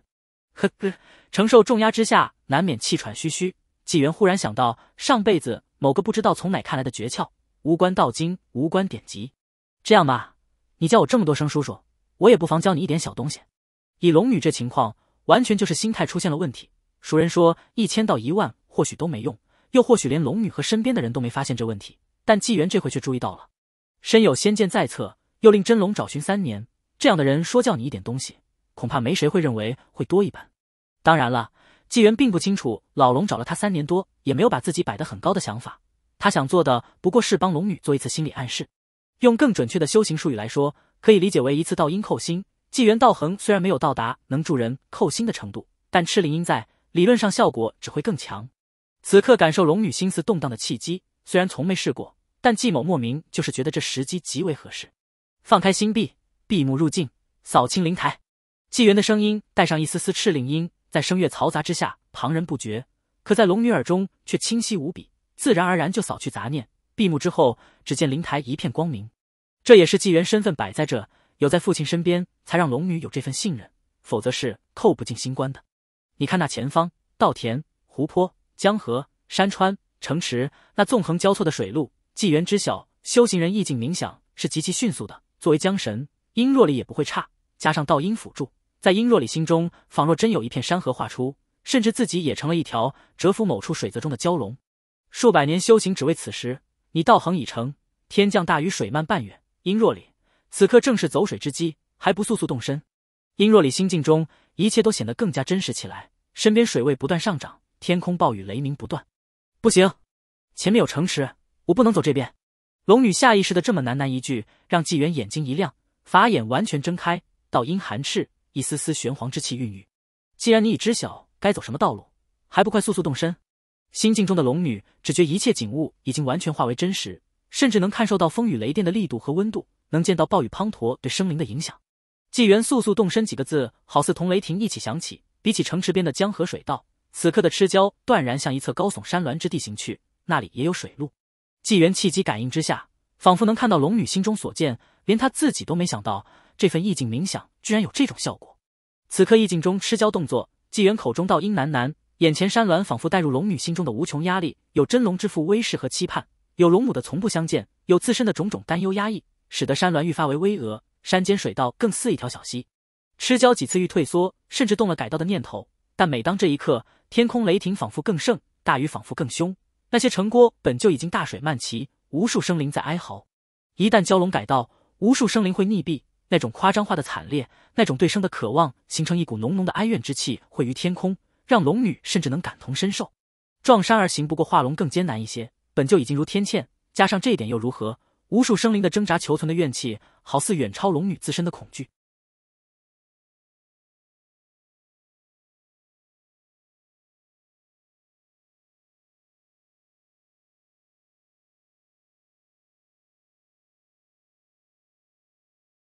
事情有些朝着纪元失控的方向走了，或许是今天聊了白蛟的惨状，龙女自身居然开始带入白旗的状况，赤蛟还在走水蓄势。身上却已无鳞甲。不知道是不是赤灵音结合玄黄气的效果太强，龙女突然因为自身深重的执念，这么拐了拐意境的程度，让纪元隐隐有种感觉。若是龙女在心境之关中失利，怕是会锐意重挫。若非身体控制力已然极强，纪元都快要流冷汗了。不光是责任心，还有的就是来参加朋友寿宴，把人家女儿心境搞崩，便是好朋友肯定也轻饶自己不得。玄黄之气调度更多，纪元也是下了死力气。既然你带入白棋，那就置之死地而后生。意境中，吴灵吃蛟越是接近山峦，心中恐惧就越盛。你敢三次化龙，就已抱了绝死之心。临阵退缩，如何对得起你数百年修行？如何对得起落灵之苦？抉择时的死关都已过去，心气信念如化龙，只能进不能退。心气若退，则龙身不进；阴若里，你既不贪生，也不怕死，就给我破山！意境中，吃蛟双目明眸泛起白芒，鼻尖赤气弥漫，龙气更是节节攀升，洪水更是不断上涨，朝山涌去。比起三次化龙不成的羞辱，死又何惧？天际道音好似钟鸣隆隆作响，不断在耳边回荡。死又何惧？洪风暴涨，雷霆缠身，赤蛟卷起洪水，轰击而去。轰隆意境中，坚不可摧的黑山为洪风所炸，开出一道贯穿山脉的大江。一条赤蛟遇江而行，直通大海。虽然化龙不只是蛟龙入海那么简单，可在这意境星关中，龙女却仿佛已经成功了。昂，轻微龙吟声自纪元身旁响起，即便声音低不可闻，但那龙族威势却弥漫开来，吓得正在起舞的妖姬和精怪纷纷身体僵硬发颤。殷若离已经清醒过来，看似没任何变化，但他却有了化龙必成的信心。纪叔叔，纪元一只手撑着桌子，表面上看起来还好，其实连说话的力气都没了。龙女的动静已经让殿堂内都静了下来，显然她不可能是发神经了。宾客们都在猜测发生了什么，也有个别存在有种很奇特的感受，却说不上来。整个过程对于龙女来说十分漫长，但实则在外界不过是龙女闭了慧眼，纪元讲了几句话的功夫，甚至都没引起什么主意，直到龙威弥漫。老龙殷红面向纪元，郑重的拱手做了一揖。纪先生，这贺礼有些重了。殿堂角落的春木江江神原本注意力也在龙女身上，此刻听到老龙致谢的话，却猛然意识到什么，望向其旁那个修行人。老龙行礼，本来纪元是十分想要回礼的，但是实在有些晕乎，也提不起力气。若非卯足了劲意志强压，保不准七窍中某几窍还得冒点血出来，所以也根本没法还礼。在外人看来，就是这个上宾居然胆敢这么协作着，生生受了龙君一礼，仿佛这里在他看来理所应当。更奇特的是，龙君见此居然表情欣喜，毫无怒意。不过，对于场内绝大多数的水族精妖而言，根本连主座龙君为什么突然向右手宾客行礼致谢的原因都不清楚，只能在心中猜测。如春木江江神白旗之类，少数有所明悟的，则震惊之余各有心情。只是龙君在说话，谁也不敢问。见自己女儿有些压抑不住，老龙瞪了他一眼，道。若里，收住龙气，莫要惊了我的寿宴。女儿知道了。其实现在殷若里很想化为蛟龙之身，在通天江上游一圈，但场合不合适，只能努力收束自己的气势。几个呼吸之后，那股令武姬和宋菜精怪们颤肃的气息终于消失。老龙笑容满面的朝向众多宾客：“呵呵呵，都怪小女无礼，惊扰了各位的雅兴。五月起，宴会继续。”随着老龙下令，重新收拾心情的精怪们又恢复工作。宴会几个大殿内也再次歌舞升平，交杯换盏。只是不少水族妖物的心思其实已经不在宴会上了。阴风刚刚看自己妹妹的表现，看得瞠目结舌，这会歌舞再起，觉得做不下去，朝着边上这些关系好的水族告罪一声：“各位见谅，我突然想起来，我还没有去竞技叔叔喝酒，我得赶紧去一趟。”说着，阴风拿起自己的酒壶酒杯就想站起来，天水湖蛟龙高觉一把抓住阴风的手，死活不让他走。殿下，您一定得告诉我们刚刚发生了什么。是不是江神娘娘的龙身得了什么好处？哎呀，高觉，你就放开我吧，我这会也不知道呢，心里比你还痒痒。你让我先去弄清楚啊！好好好，殿下弄清楚了，可别忘了告诉我们啊！是啊，殿下。阴风含糊着应付了一句，赶忙提着酒壶酒杯站了起来，绕过舞池一侧，朝纪元方向走去。这会龙女正在凝神平复气息，见自己哥哥从远处走了来，下意识瞥了一眼纪元，发现这位纪叔叔大概是暂时对宴会失去了兴趣。又开始研究水府的餐具了。阴风提着酒壶酒杯进了纪元桌前，就放慢脚步，望了望高台主座。自己父亲在晌午之余，似乎错觉般瞥了自己一眼，看到纪元似乎对宴会没什么兴致的样子，阴风迈着小碎步靠近，脸上尽量露出亲切一点的笑容。纪叔叔，我这忙得满堂宾客进来进去，终于差不多都应付完了，这回可以来陪陪更亲近一些的自家人了。自家人，纪元就是浑身酸痛，也抬起头看了看这位龙子。刚刚在那不是纪元前、纪元后叫的满欢实的吗？这回就是自家纪叔叔了。来来来，纪叔叔，我给您满上。阴风很是自来熟的给纪元倒上一杯酒。纪元这回和阴风说实话了：“殿下，殷老先生刚刚已经嘱咐我少喝点了，所以喝了这杯我就不喝了。至于方才的事情，你去问江神娘娘会更合适些。”是是是，纪叔叔说的是。阴风给纪元倒了酒，自己也饮了一杯。这回根本不敢在纪元面前托大，点头称是之后，悄悄溜到了龙女边上，同桌坐下。小妹，刚刚发生了什么？阴风说话很小声，龙女则自顾调整，并没有理会他。小妹，你这是要急死我呀？你肯定得了季叔叔什么好处吧？到底是什么，让爹都顾不上场合行礼致谢？其实阴风还想补上一句：为什么我没有？龙女没好气的看看他，小声冲他嘀咕一句：“你该一开始就先来这边敬酒的，别想那好处了。爹都说这里太重了，我得一次已经是天大的缘法，你还想要就过了？”这话说的阴风简直要抓狂。也就是说，小妹真的得了了不得的好处，而他没份。纪元自然知道这龙子殿下想的什么。不过，龙女能成功扣心，并达到目前这般匪夷所思的效果，完全就是因为她自身心境的契合。所谓缘法正应了此处。同样境遇新官给龙子演化一次，结果可能就是成了败了都不痛不痒。大殿角落里，春木将江神白旗已经没有之前的那份孤僻，在座位上已经坐不住了。这会正提着酒，以不太习惯的方式找着有点身份的水族到处问。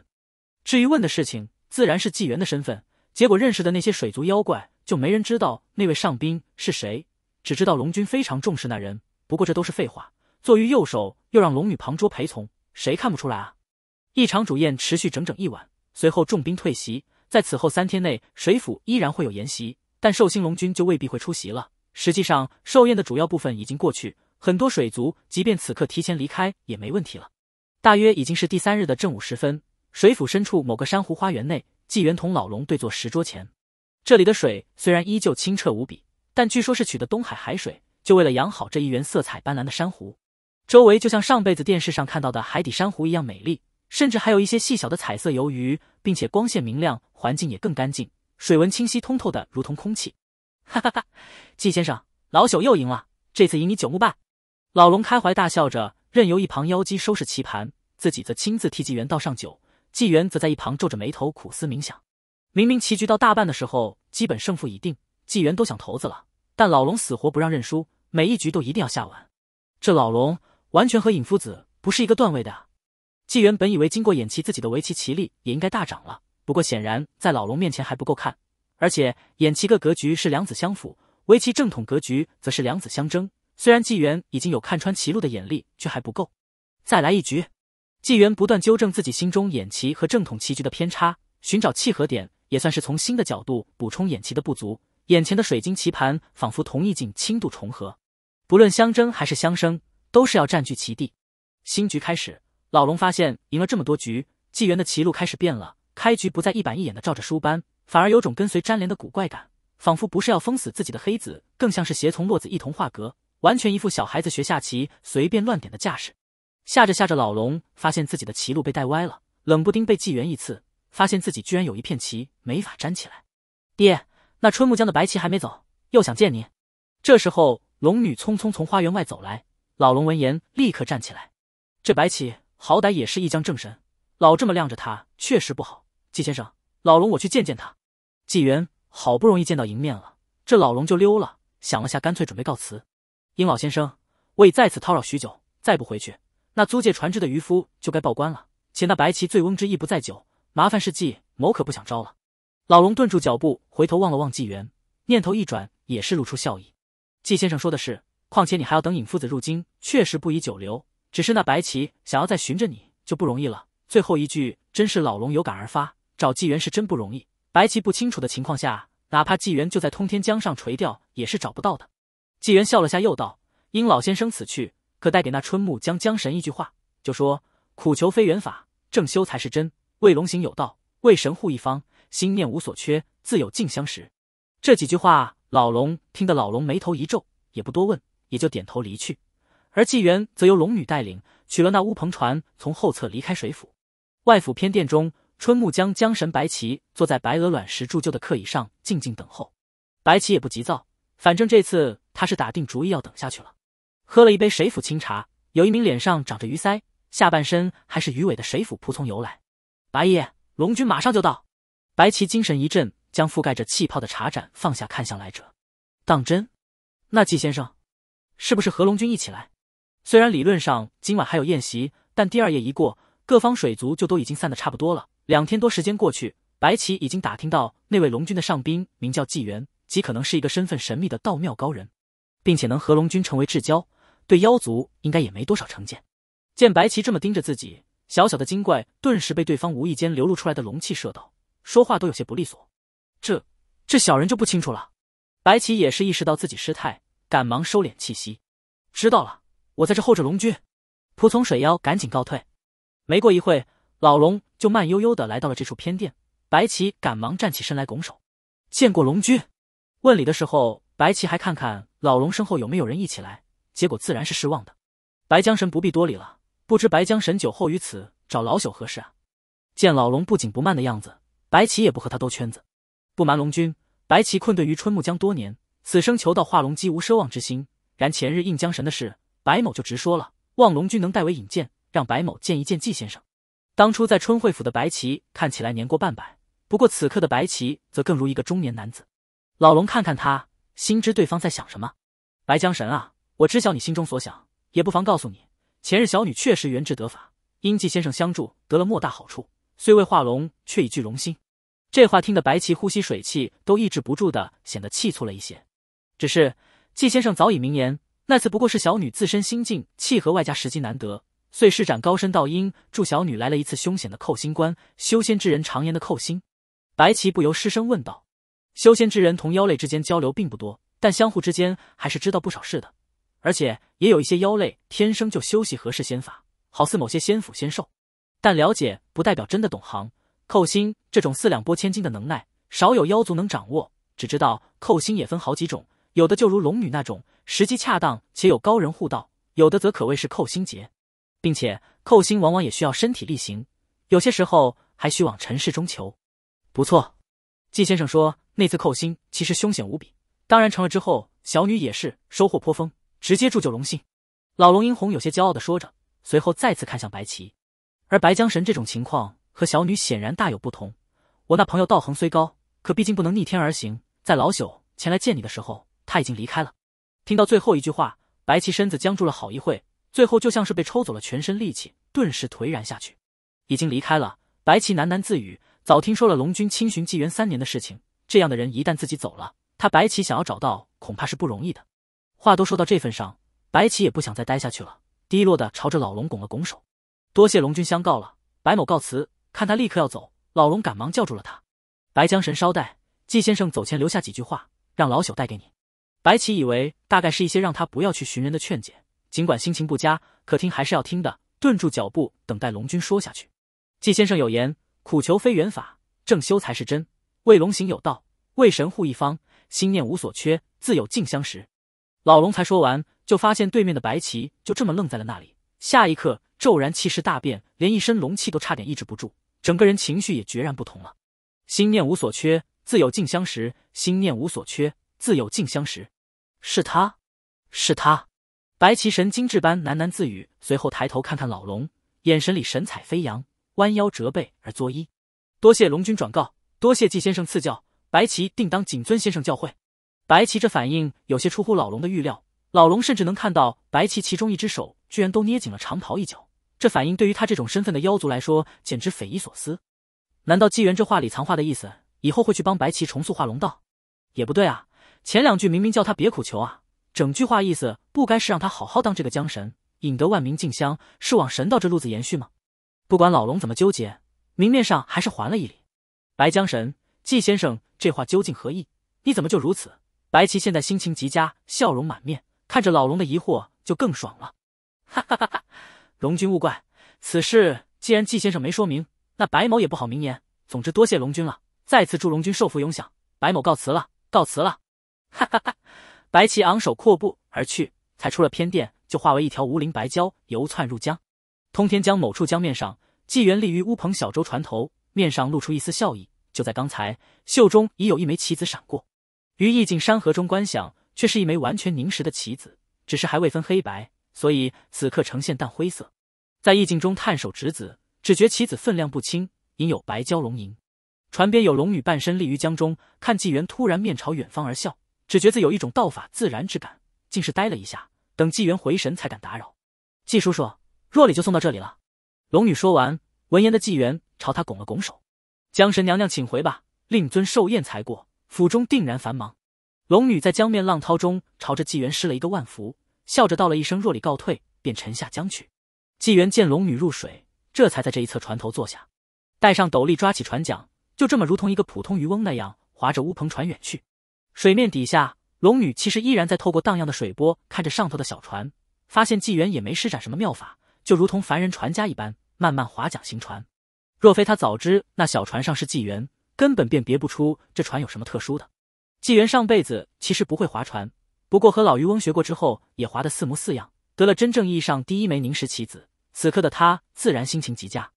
除此之外，还有两件令纪元高兴的事情：一是向老龙讨了几杯特殊的龙涎香，当然了，这就不是龙的口水酿造的，但却有些关系。乃是老龙以真身打瞌睡时所流龙涎催生出的水藻为主材所酿，并加入了多种珍品和吸附灵气的仙草，成酒极为不易，数量也不多。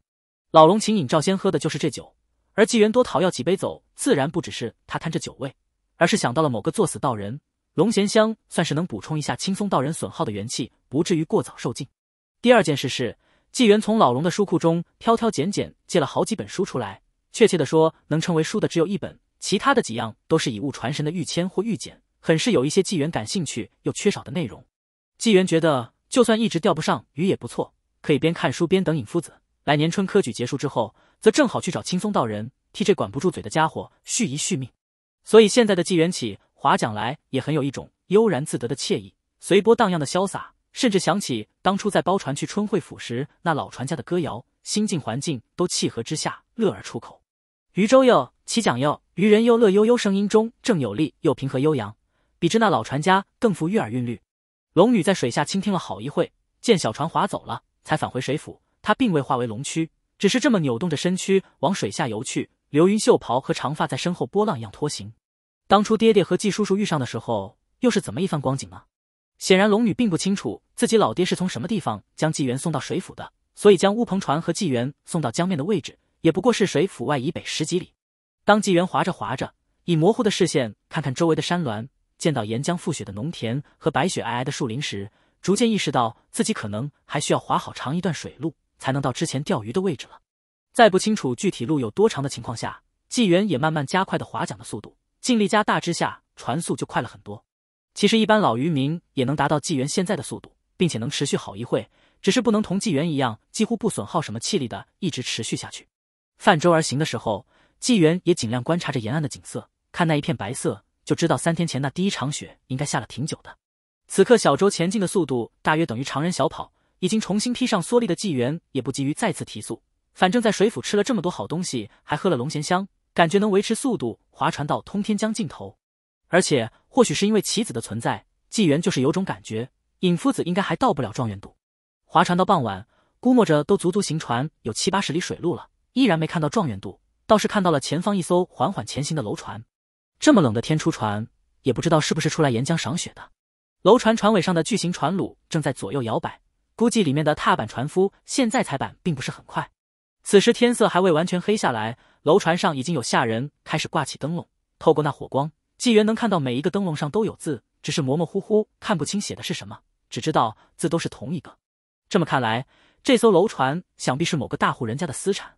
那灯笼上的字就是姓氏，纪元反正也无聊，也就一边划船追赶，一边猜测那个姓氏是什么字，并且以距离衡量难度等级。划桨两百下，接近不少，字体至少在视线中不是模糊成一团了，但还是看不清。又划两百下，开始有点轮廓了，方方正正，看来笔画不少。又划将三百下，纪元终于有了猜测，姓氏大致就那么些，从头顶的偏旁和下中方的规格来看，可能是一个萧字。这会乌篷船已经距离楼船不远，哪怕随着天色渐晚有寒风呼啸，也可以清晰听到船上有悠扬的奏乐和一些交谈声。楼船顶层甲板后方有几人或站或趴在船栏边，一位披着厚实大敞头戴方冠的男子一个年轻一些、裹着披风、戴着裘皮帽的公子，还有两个穿的也挺厚实的仆人。年长的男子手上还端着一杯酒，此刻望着远处划桨而来的乌篷小船，将酒水引进，立刻有仆人替其斟酒。仲楼，有些事情并不是你想要如何就能如何的。你从小锦衣玉食，在为父和你娘的呵护下长大，虽然学文习武，可真正的苦头终究没吃过几次。一边公子听了有些不乐意，爹，习武的时候可是要吃不少苦头的。您没练过，就这么说合适吗？这老爷笑了笑，伸出手指向船后方江面的乌篷船。冰冻时节，寒江之上，渔翁为生计而赶，或数日无所得，腹中饥苦，遍体生凉，饥寒交迫之下，却不敢休息。这种苦你受过吗？这公子顺着父亲的手望向江面小舟，那船家一直奋力划着江，好似在逐渐暗下来的江中无力的追逐这艘楼船的灯火。不知为何，那句反驳的话就没能说出口。这位公子此前就听自家下人说过，集市上已经有多日没有鲜鱼，即便有鱼，也是从其他地方运来的。传闻通天江上好些日子都捕不到，也钓不到鱼了。这固然很邪乎，可还影响不到他们这些达官贵人。但对于江面讨生活的人呢？想必这渔家定是赶了很远的江段，想要有所渔获吧。仲楼，你我裹着皮草上觉寒冷，你看那渔夫蓑笠之下衣物单薄，他现在只能不断划桨，停下来，或许身上的汗水都能要了他的命。嗯，他划船倒是挺快的。这老爷正在说教呢，忽然发现这乌篷小舟居然已经离大楼船很近了，并且就速度上看，大有要划着小江赶超楼船的意思。纪元在江面的乌篷小船上看看上头的几人，头顶有官气升腾，应该是个在京畿府有权柄的人家。耳中听的则是这种达官贵人才有的烦恼八卦。那公子也是看了一块纪元的乌篷船，终于还是转头反驳自己父亲：“可是我也没有想要让红袖当正妻，只是娶妾也不成吗？”那父亲再次喝下一杯酒暖身，才冷笑着说道：“你是什么身份？他又是什么人？一娼妓女子进了我萧家门，你让你娘怎么给你安排婚事？你让朝中如何看待我萧家？你以后的仕途也难免受到影响。爹，我大真律法哪条规定了官宦之家不能娶青楼女子？而且红袖是卖艺不卖身的。”这公子显然有些生气了，连语气的高了几分：“哼，亦不过区区贱籍，况且……”卖艺不卖身也只是传言，对你他不就敞开罗裙了吗？你爹，你简直强词夺理！这老爷也只是冷笑几声，顿了一下才说话：“让你出来这寒江上吹吹冷风，清醒一下头脑。若你选择了这一步，将来你受的苦未必比这乌篷小船上的渔人更少，或者说会更苦闷。爹可从不骗你。”纪元的乌篷船在划过的时候，甚至能听到那公子捏紧拳头的咯吱声，可见心里是多气愤多不甘。哼，有权有钱人家的烦恼。摇了摇头，纪元再次微微加力，乌篷小船更快了几分，已经赶过楼船半个船身。楼船上的公子哥双掌手指在木栏杆上扣出浅浅的指痕，视线则随着乌篷船移动，看着这小船好似挣扎般就是要超过大船，心中仿佛有突所悟，指尖的力气也顿时减弱。这一刻，纪元心有所感，斜向上方转头而望，看向那名公子，后者视线本就盯着小船，突然见到一直埋头划船的渔人转头往来，好似就是在看自己。也是微微愣了一下，纪元朝他微微点了点头，笑了笑，回头继续划桨，口中喃喃自语着：“有点意思，有点意思，但也就是有点意思而已。”这萧公子一时的气象变化，并不能代表一世。或许以后他纪某人会有兴趣知道一个结果。乌篷船好似再次提速，虽看着不明显，却很快超过楼船，将之甩在身后。萧家的大楼船上，那公子皱着眉头看了那乌篷船很久。众楼有何想说的？爹，我说不过你。就先将状元之位拿到手吧。那老爷终于露出笑容，左手抚须，右手拍拍儿子的肩膀。回京之后，我会去找你刘伯伯喝喝茶的。其实以萧家的权势，那公子想要出仕，即便不参加科举，也是能当官的。不过科举不但是读书人和普通的高升之路，也是官宦子弟证明自己好方式。只要不是真的纨绔，杰出的家学资源加上一些关系，往往能在科举上取得不错的成绩。纪元划船离去时，自然也听到了背后那句“找谁谁谁喝茶”。这种明显是拉科举考试关系的言辞，那公子也未反对，只能说算是封建王朝高层某种约定成俗的东西了。当然了，这些人其实也不敢太过分，顶多得到某个指点方向去下苦功。太过的话，皇帝威严也不是开玩笑的。大真历史上因为泄露考题被处以极刑的官员也是有的。只能说尹夫子啊，你科举的对手可强者如云呢。乌篷船越划越远，彻底脱离了大船的视线范围，天色已经彻底黑了。纪元干脆再一次提劲。往往船桨在水中重重一划，就能让小船窜出老远；而木桨在微弱法力附着保护下，也显得坚韧无比。不会因为这种明显超出负荷的距离而折断。还没到半夜，乌篷小船已经路过了状元渡，那边码头有灯有火，有酒家也有客栈。不远处的通天江江神庙也是灯笼高挂，且还有香火缭绕。不过这会寒冬之夜，倒是没有渡船行走江面。没过一会，纪元就将小舟划到了原先那些日子常常停泊之处，也算是微微松了口气。不知道那陈老汉这几天寻不着自己，会不会着急的报官？纪元也不管这么多了，在岸边拴好船绳，走到乌篷下降两侧竹编门封上，就在里头盖上被子睡去。第二日清晨，有熟悉的呼喊声从岸上传来：“季先生。”季先生是你吗？季先生，纪元其实，在听到脚步声由远及近，就睁开了眼，这回自然就钻出了乌篷舱。看到纪元出来，岸上的老头也松了一口。哎呦喂，季先生，您这几天划船去了哪啊？这大冷天的，您也不打声招呼，就这么消失了这么多天，我都怕您。陈老汉话到这边就止住了。不过纪元也知道什么意思，十分歉意的朝着陈老汉拱手：“是季某的不是，确实没考虑周全，望陈老伯见谅。”前几日一直钓不到鱼，又遇上一好友说划船远些可以钓到，也想泛舟赏雪，所以就一同去了，忘了给陈老伯留话了。陈老汉摇着头，伸手点摆着纪元：“您这么一走多日，可把老汉我给吓到了。不过回来了就好，回来了就好。”埋怨了好一阵子，陈老汉才算调整了心态，也是纪元好说话，也相熟了，他才敢这般喋喋不休。这会陈老汉也是习惯性望了望靠船头方的鱼篓，果然里面还是空的。纪先生。您和您那朋友又没逮着鱼吧？是啊，没钓着，人家都扫兴走了。也是，最近可真邪乎，村子里的人也逮不到什么鱼，鱼群都不冒头，顶多不过找些小鱼小虾，钓鱼更是从不上钩。季先生，您说不会到了开春后还这样吧？老汉一边说，一边靠近岸边，将手里的一团荷叶包向纪元递过去，上头还冒着丝丝热气。纪元鼻子动了动，高兴的接过荷叶包，也随口说道：“去求过江神娘娘没？求了。”怎么可能没球？那没事，我估摸着马上就会好了。哎，但愿如此吧。哦，对了，季先生可想饮酒？若是想的话，我午后给您打点土酒过来。纪元想了下，好像上次的还没喝完就被老龙连人带船一起卷走了。不用不用，我这还有些酒，等需要了自会向老汉提的。好好，季先生您慢用，老汉我就先走了。好，陈老伯慢走。陈老汉放宽了心，走起路来也轻快很多。关心纪元自然是有一些的。但更多的还是怕真出了什么命案。等陈老汉走远，纪元也解开岸上拴装的船绳，拿起船桨在岸边一撑，将小舟荡开去。这外来水族精妖，尤其是过于扎堆的蛟龙之属，逐渐离开，被惊扰的江中水生物应该会很快恢复正常。和往常一样，到了合适的位置，坐在船头小凳上，一边以重竿荡饵抛竿钓鱼，一边解开荷叶吃包子。膝盖上则放了一本从老龙那边借来的新书，此书名为《玉论》。并非天书，但的确不是凡书，所以纪元看得清清楚楚，并且这书字里行间似乎也另有玄机。定力不足者，若是盯着书上的文字久了，会头晕目眩，甚至产生幻觉。这书和之前纪元得到的几本一样，都没有成书作者署名。纪元曾经有些恶趣味的想过，是不是因为终究是处于妖魔仙道的世界，那些作者其实也有些怕写的东西，让某个高人凶妖看不过眼，直接找来论道，或者干脆打一顿，所以才一个个都不署名。《玉论》并非一本法诀书，准确的说是一本帮助你理解法诀中御法类的书。一般这种厚不头的书，大多都是这种杂书，如《外道传》和《通明册》。关键是这种杂书好看，趣味性足。所谓法不轻传，真正法诀往往内容都不会这么杂这么多，也大多用类似以物传神的物件保存。纪元手头另外几个借来的玉签玉简就是了。不过纪元认为，这些杂书中都是有大学问的，一些天马行空的设想都值得推敲。这玉论从基础到高深，讲了成书者对于遇水、遇火、遇风、遇雷等遇法的研究，不谈正法，只讲心得和猜测。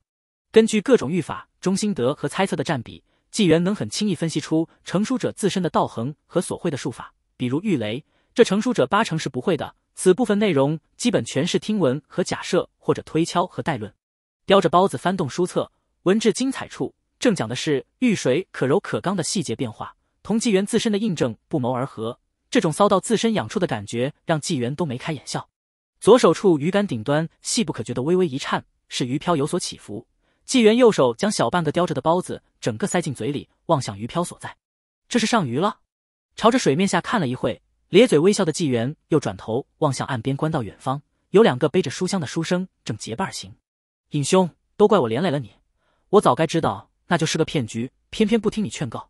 这下好了，我们俩的盘缠都赔进去了。其中一书生一直唉声叹气。尹兆先固然也是有点郁气的，但比同伴洒脱多了。好了，师兄，别再自责了，此事就当吃一堑长一智吧。话是这么说，可这等苟且之人，居然还敢恶人先告状。若非尹兄冀州借员身份，差点就让我们下了大狱，真是想想都咽不下这口气。尹兆先紧了紧书香的背带，搓着冻僵的手，哈着热气，看看身旁之人。既如此，我等更要考取功名，将来为官断清此类案件。今日之祸，未必不是他日之福。有理有理，尹兄说的是。两人边说边走，好一会才终于接近了，接近了通天江江边。期间也谈到了剩余一点钱财是否够乘坐渡船，也谈到了还有几月才会是开口，中间这段日子该如何度过等种种担忧。即便是尹兆先也是有些愁眉不展，只能走一步看一步了。那边有个船家，我们去问问状元渡还有多远吧。也好，走过去问问。两个书生虽然疲惫，但还是加快了脚步。江面底下有夜叉满心疑惑：为何这渔人还不提竿？难道是瞎子不成？不知道自己上鱼了吗？或者再换条更大的？龙子殿下突然令他在此处找到一钓鱼翁，时不时弄条大鱼给他挂钩。夜叉虽然不解，但也不会多问，只是按命令行事而已。正打算再换条鱼的时候，水面小舟上的渔夫猛然提竿而起。尹兆先和史姓书生刚刚到岸边，还没来得及冲乌篷船吆喝，就见到船上渔人提竿引起。一条看起来足足有二三十斤的白花花大鳙鱼拍打的江面，水花四溅。这么大一条鱼，尹兆先和史姓书生一时间也被惊到了，愣愣的看着那渔人提竿。一条二十多斤的大鳙鱼，足有常人大半条腿长，那个视觉冲击力还是有的。哗啦哗啦哗啦，纪元根本没遛鱼，乌篷船边水花荡漾的厉害，一根翠绿竹竿更是弯的如同半月。呵呵，正值大鱼上钩，又有朋自远方来，甚乐甚乐。大鱼虽然拍水拍得厉害，可那弯弯的鱼竿在纪元手中极其平稳，左手一抖就将鱼整条提出水面，送入了船头鱼篓中。开口小身子粗的鱼篓好悬，才装进这条鱼。那鳙鱼的胖头差点卡住鱼篓口子，就是现在装进去了，也有一半身子在外晃动。于岸上的尹兆先和史姓书生而言，听到那渔人中正清朗的嗓音，后者还没什么，前者则喜窜眉梢。是季先生，季先生，尹兆先在此啊！尹兆先激动地朝着江岸边数丈外的乌篷船方向挥手呼喊，看得旁边的史姓书生有些惊愕。他和尹兆先一路走来，从没见过这人这么激动过。纪元此刻手腕一抖，已经使得鱼钩从鱼嘴拖出，将鱼竿放下，又在下斗笠，转身冲着岸上的尹兆先拱手问礼：“尹夫子，一别经年，夫子一切可好啊？”真的看到纪元那张毫无变化的脸，尹兆先激动之情更盛，赶忙向着纪元回礼。旁边的史姓书生也下意识跟着一起拱手。尹某家中一切都好，一切都好。先生小院我们也是有打扫。纪先生，快靠岸过来吧。纪元也朝着史姓书生略一拱手，笑着吆喝道：“来了。”鱼篓中大鱼还在扑腾。纪元坐于船头，拿起船桨荡了个弯，划船靠近岸边。看着尹兆先激动的样子，边上史姓书生不由好奇的问：“尹兄，你认识这渔人？”“何止认识，季先生既是尹某家乡邻里，也是我的至交好友。一别多年，没想到在这碰上了。”小船没几下就靠岸，纪元也一步从船上跨了下来。要是换成纪元上辈子遇上多年未见的真正至交好友，铁定是相互间一个熊抱。不过这一世的人，友人之间大多比较含蓄。尹兆先只是激动的同纪元相互搀手，不过手劲用的不小。几息之后，双方才松开手，尹兆先才为纪元介绍旁人，伸手一引，对纪元道：“纪先生，这是尹某在进京路上结伴行的冀州同乡。”史姓书生再次朝着纪元拱手后自报大名。在下史玉生，乃是春会府人。纪元也再次礼貌性拱手回敬。鄙人纪元和尹夫子是算同乡旧识。介绍过后，这也算认识了。纪元笑着指向乌篷船头的鱼篓，来得早不如来得巧，正好有大鱼上钩。今天中午就以此鱼招待尹夫子和史公子吧。上船，上船，我们一起去陈家村。纪元盛情邀请之下，尹兆先和史玉生都上了乌篷船，随后他也重新跨了上去。提起船桨后，纪元冲着才在船上坐下的两人笑着提醒一句：“坐稳喽。”随后，船桨在岸边猛力一撑，小舟划开岸边的时候，在波涛上一阵荡漾，晃得两个新上船的书生左摇右摆的，赶紧抓紧扶住船舷，更不敢随便站起来。这乌篷船既然是从陈老汉那租借的，陈家村自然也是临水的，只要往北划船两里路，拐进一条小河道，再划个半里，就能到陈家村。路不远，便是站在岸上眺望，也能看到村子轮廓的。小船在江上行驶，尹兆先和史玉生适应了一会，也就不再因为小船的颠簸而惊慌。季先生这些年都去哪里游览了？青儿可是一直惦记着您呢，说以后见着了一定要你讲讲外头的见闻。还有那院中枣树，三年才又结了一次果，还来了个厉害的老先生，吃起枣子来可生猛的很。纪元一边划船，一边听尹兆先或清楚或含糊的讲着，等他讲差不多了，才笑着开口：“小尹清怕是更惦记那小红湖吧？”哈哈哈！史玉生在一旁也是笑着倾听，他从没见过话这么多的尹兆先，喋喋不休的说个不停。两人都是步行走了很长时间，早已疲惫，此刻坐在乌篷小舟上，欣赏着沿江美景，既是解乏，又是惬意。对了，季先生。你还没说说这些年你都去了哪些地方？可有什么奇异美景和有趣经历同尹某分享分享啊？不知不觉已经到了一个河道入江口，纪元拐动船桨，使小船转弯，又换边划船，同时嘴上也笑着同尹赵先以玩笑的口吻说道：“这些年纪某斩过妖，除过魔，见过阴司判官和地方土地，会过仙府高门，也参过龙君寿宴，精彩纷呈，精彩纷呈啊！”呵呵呵呵，纪元心情开阔，说这些话也是颇有豪情。这些话听得隐隐觉得极可能是真事的尹兆先心潮澎湃，也听得边上的史玉生乐乐呵呵，全当笑话。陈家村本就没多少路，很快小船就在村边靠了岸，拴好船绳。纪元同意两个认出他的村民打了招呼，就领了尹兆先和史玉生往陈老汉家走。见到纪元过来，陈老汉一家都极为热情，尤其是鱼篓里还有一条这么大的鳙鱼，看得陈老汉也是啧啧赞叹。时近正午，史玉生。尹兆先和纪元三人在一张四仙桌前坐着相谈，桌上已经摆好了碗碟，而厨房那边阵阵鱼肉鲜香已经飘来。两三天没吃顿好的了，尹兆先和史玉生纷纷被引得咽口水，纪元则在一旁看得好笑。这会尹兆先才突然后知后觉的注意到纪元的眼睛居然不是灰白，有些惊喜的问道：“纪先生，您的眼睛好了？”纪元一愣，才笑了一句：“障眼法，障眼法而已。”并抬手示意尹夫子不要大惊小怪。尹兆先虽然不懂什么是障眼法，但是字面意义理解一下还是没问题的。鱼头好喽！陈老汉是用抹布抬着一个冒着腾腾热气的脸盆上来了，纪元赶紧上前帮忙，一起将这一盆鱼头汤放到四仙桌上，一下占去不小的空间。嘿嘿，还是季先生会吃。咱们通天江大鳙鲜美非常，尤其是这鱼头更是精华中的精华。这么一条快三十斤的大鳙可是少见，这一个鱼头差点连盆子都装不下，就是去金鸡府的大酒楼都未必吃得到呢。陈老汉笑呵呵的说着，随后又回厨房端出来一点其他小菜，有咸菜，也有一些酱肉，更提出来一壶土酒。季先生还有两位书生，你们慢用。老汉一家就在厨房吃了。好，有劳陈老伯了，多谢陈老伯，多谢招待了。纪元等人一起道谢之后，才准备动筷子，而陈家人也乐呵呵的回厨房吃饭。这么一条大鳙，纪元只要鱼头，剩下的自然就送给陈家了。鱼香四溢之下，一顿饭吃的酣畅淋漓。这鱼头肉厚饱满，且没多少鱼骨，关键是汤汁醇厚鲜美非常。两个饭量不大的书生都吃个不停。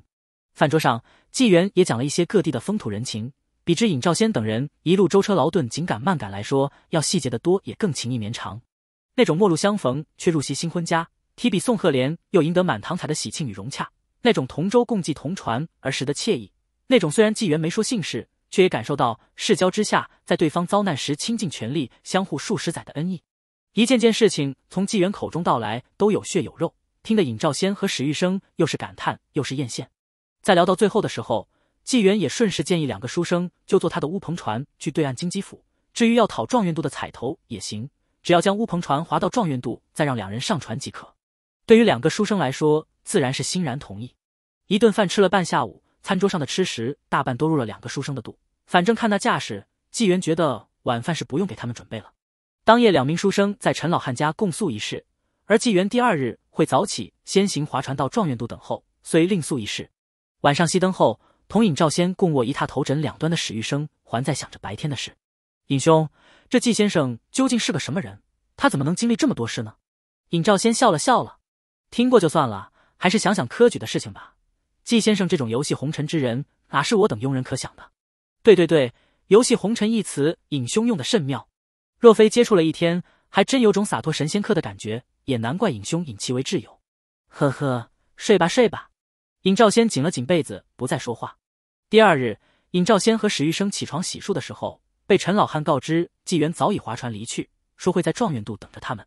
相比载着他们划船去状元渡，然后再去对岸。在状元渡相会，然后上船摆渡去对岸，肯定有意义多了。在陈家吃完早饭，由陈老汉的儿子陈景洪带着两名书生前往状元渡。本来想赶牛车，但那速度还不如走路快。陈景洪本就是村汉，两个书生则经过了赶考远途的锻炼，所以三人脚程都不慢，十几里地一个多时辰就走完了。越是接近状元渡，人流就越多，像是从四面八方的道路上都有人慢慢汇流到这里。倒不是说全是共事队伍，更多的则是来这里的江神庙拜江神娘娘。还没到状元渡，陈家汉子就停下了脚步，指着前方的两处，对两位书生道：“那边白墙黑瓦的建筑就是通天江江神庙。虽然不是整条江上最大的那个庙，但香火却是数一数二的。尤其是不少读书人都在那留词留诗。而这边就是状元渡，季先生肯定在靠北小码头，你们找找就好了。”陈景洪说完这些，就准备离开了。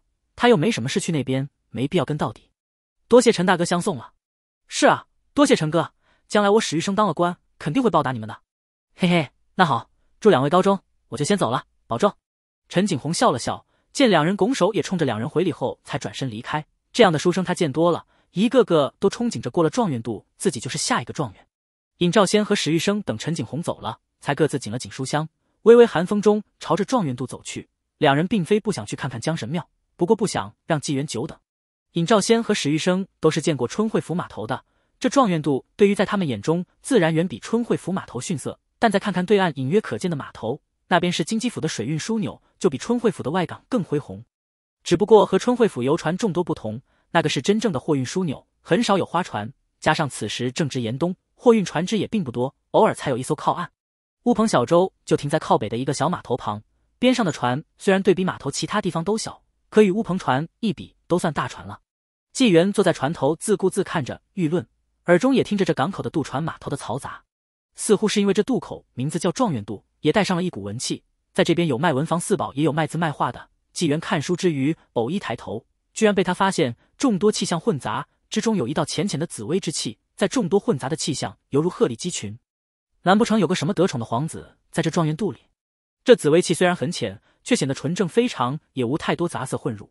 说明其人心性至少还没怎么被朝堂臣府和奢靡之气侵染。此时紫薇气生者算得上一个名字。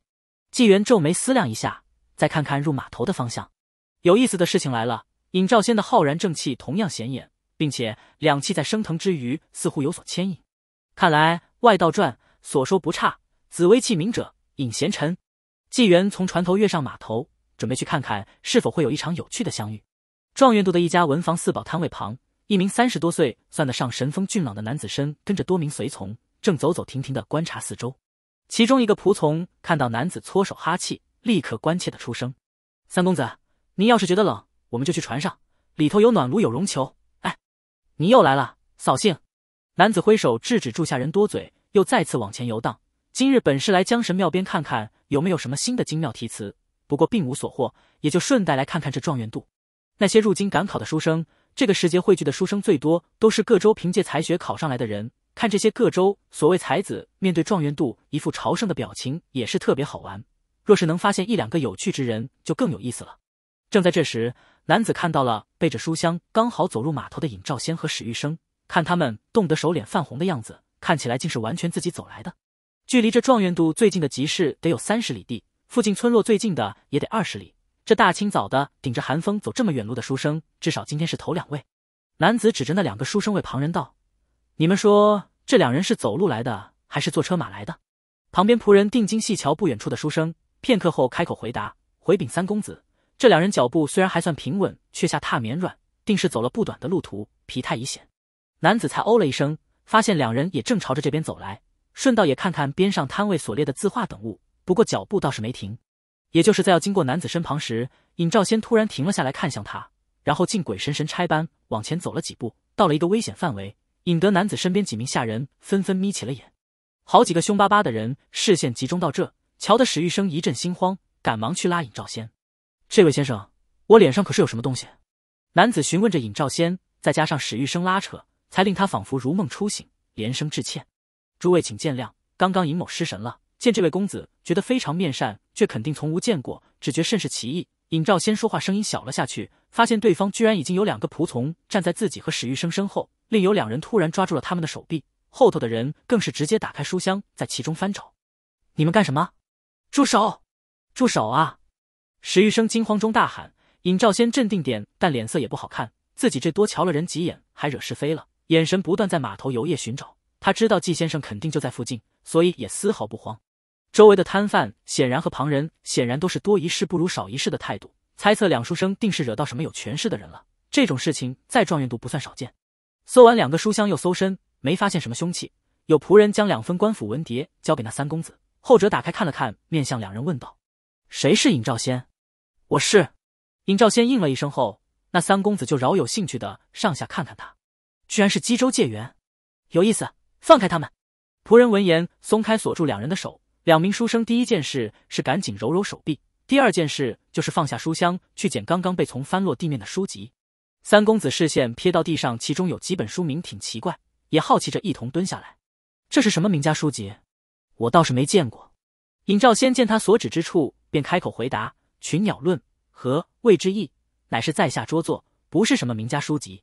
那三公子直接从地上捡了一本，封面用漂亮的书法写着《群鸟论》，同声答曰。再看看其他，还有三本是则《群鸟论》《巡回夜游》《群鸟论》《弱冠书队》和《群鸟论》凤鸣梧桐，看起来还是一个系列。随便翻动几页手上的书，第一感觉是字迹清晰，书法精美，然后再看内容，则很是新奇有趣。冀州的尹介元，这几册书不如就卖与我如何？三公子很是认真的对尹兆先道，也听得后者和史玉生愣了一下。呃，您打算出多少铜钱？这书尹兆先随时可以自己再写几本出来。现在两人正好拆盘缠，若是能卖出去，自然是好的。三公子冲着仆人勾了勾手，后者立刻从怀中钱袋里取出两锭银两，看那大小，应该是每一锭最少能有四五两。这些够不够？这些有些太多。够了，够了，够了的。尹兆先还没说完，就被史玉生抢着回答。那男子一笑，从仆人手中取过银子，放到尹兆先的书箱上，随后向其伸手。后者反应过来，连忙将另外三册《群鸟论》和一册《未之意》。交给对方。等那些人错边离开的时候，尹兆先和史玉生依然有种不真实感。这几本书居然卖了，可能有十两银子。京城的冬天就很好过了。纪元就好似其他远远看热闹的人一般，站在远处人流中，只是别人见冲突没起来就散去了，而他却一直看着那个皇子离去的方向。在那三公子接过尹夫子手书书册的时刻，头顶紫微气微微翻腾，虽变化并不明显，却犹有后劲。尹兆先和史玉生缓和了好一会，才缓过来。边上的文房四宝摊主呵呵笑着对他们说道：“两位算是运气好，在这状元度还敢摆刚刚那种架势的，绝对是常人惹不起的。我连出声提醒都不敢，赶紧走吧。或者要不要看看文房四宝？”心有余悸的尹兆先和史玉生都连声对摊主说多谢不用，然后整理好书箱往北侧走。到了最边上的小码头，果然很快就找到了乌篷船。纪元没穿蓑衣，没戴斗笠，安坐于船头看书的样子，简直比来往的书生还文雅。见到纪元尹赵先，这才安心，带着史玉生背着书箱挤过人流，匆匆走到码头。纪元也适时放下了书册。纪先生，刚刚我们纪元伸手制止了尹兆先。好了，此事你二人勿要多议论，先上船吧，我们渡江。听到这话，尹兆先反应过来，纪先生肯定是知道前后事的，也就不再多言，和史玉生先后上船。有了昨天的经验，今天两人再坐乌篷就适应了很多。小船离港。回看状元渡上那一艘艘大渡船还在等客，估计最快的一艘也得在一个时辰才能到开船的时候。随着小船的前进，视线也越来越远，两人总觉得这状元渡模糊的有些快。纪元在船头划桨，看着两人频频回头望那状元渡，笑着说道：“尹夫子，史公子，我们船小，但是先渡，已经占了先机了，别往回看了，瞧前头，前头就是金鸡府了。”两人闻言转头，顿时惊愕的发现，居然已经快到对岸了。乌篷船没在大码头登岸，而是在侧边一个较小的台阶口停下。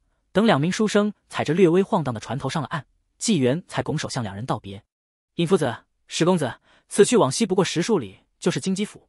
祝两位会试殿试都榜上有名了。”尹兆先和史玉生回礼告别的时候，前者突然想起一事，从怀中摸索出一块黑色小木牌。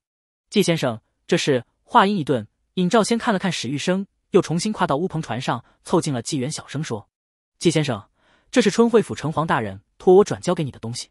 纪元皱起眉头，郑重接过。或许是浩然正气的原因，这一点点小小的阴气木牌在尹兆先怀里，居然让他都没能察觉。等纪元拿过木牌后，尹兆先才重新上岸。三人再次告别之后，两名书生朝着那边码头方向走去，那里可以包马车前往金鸡府城。而纪元则站在乌篷船上细瞧着小木牌，这是以物传神之法记事的樱木，从老龙那借来的几个玉签中就有此法。这春惠府城隍找我有什么事？纪元思量着坐下，凝神引动木牌信息，一片片地府的画面，其中有个一条蛇魂被死死绑缚在一间暗红色的处刑室内，一种泛着红黑色的刑鞭由法厄斯主官亲自一下下甩到蛇魂上，每一下都让蛇魂发出痛苦至极的惨叫。期间更有鬼差以刀剐鳞片，也有释放一种能让密集恐惧症崩溃的虫子是咬失去魂灵的蛇魂。就是纪元此刻看了，也不免有些头皮发紧。那蛇魂的惨叫就没停下过，偏偏却无法结束痛苦。法厄斯主官冷笑着告诉蛇妖：“尚需刑罚百二十道，只有招供才可减刑给个痛快。”最惨的是，那蛇妖已经把能说的全都说了，最后只减刑二十道，剩下的刑法足足要持续半年，直到最后一刑完成，其妖魂才会只撑不住而消散，全部化为阴灵气补充阴司。但妖魂受刑还是次要的，主要还是这妖物在受刑中招供的事。以物传神奇特处之一是能将挺长时间的事情令观看者在短时间阅完。纪元看完樱幕上的内容。外界也不过就是去了十几个呼吸的时间，唉，大真之外的事情，我现在也是有心无力。赵成皇，你可真高看我了。喃喃一句，纪元将木牌塞入怀中，然后取将撑岸而走，划着船回陈家村去了。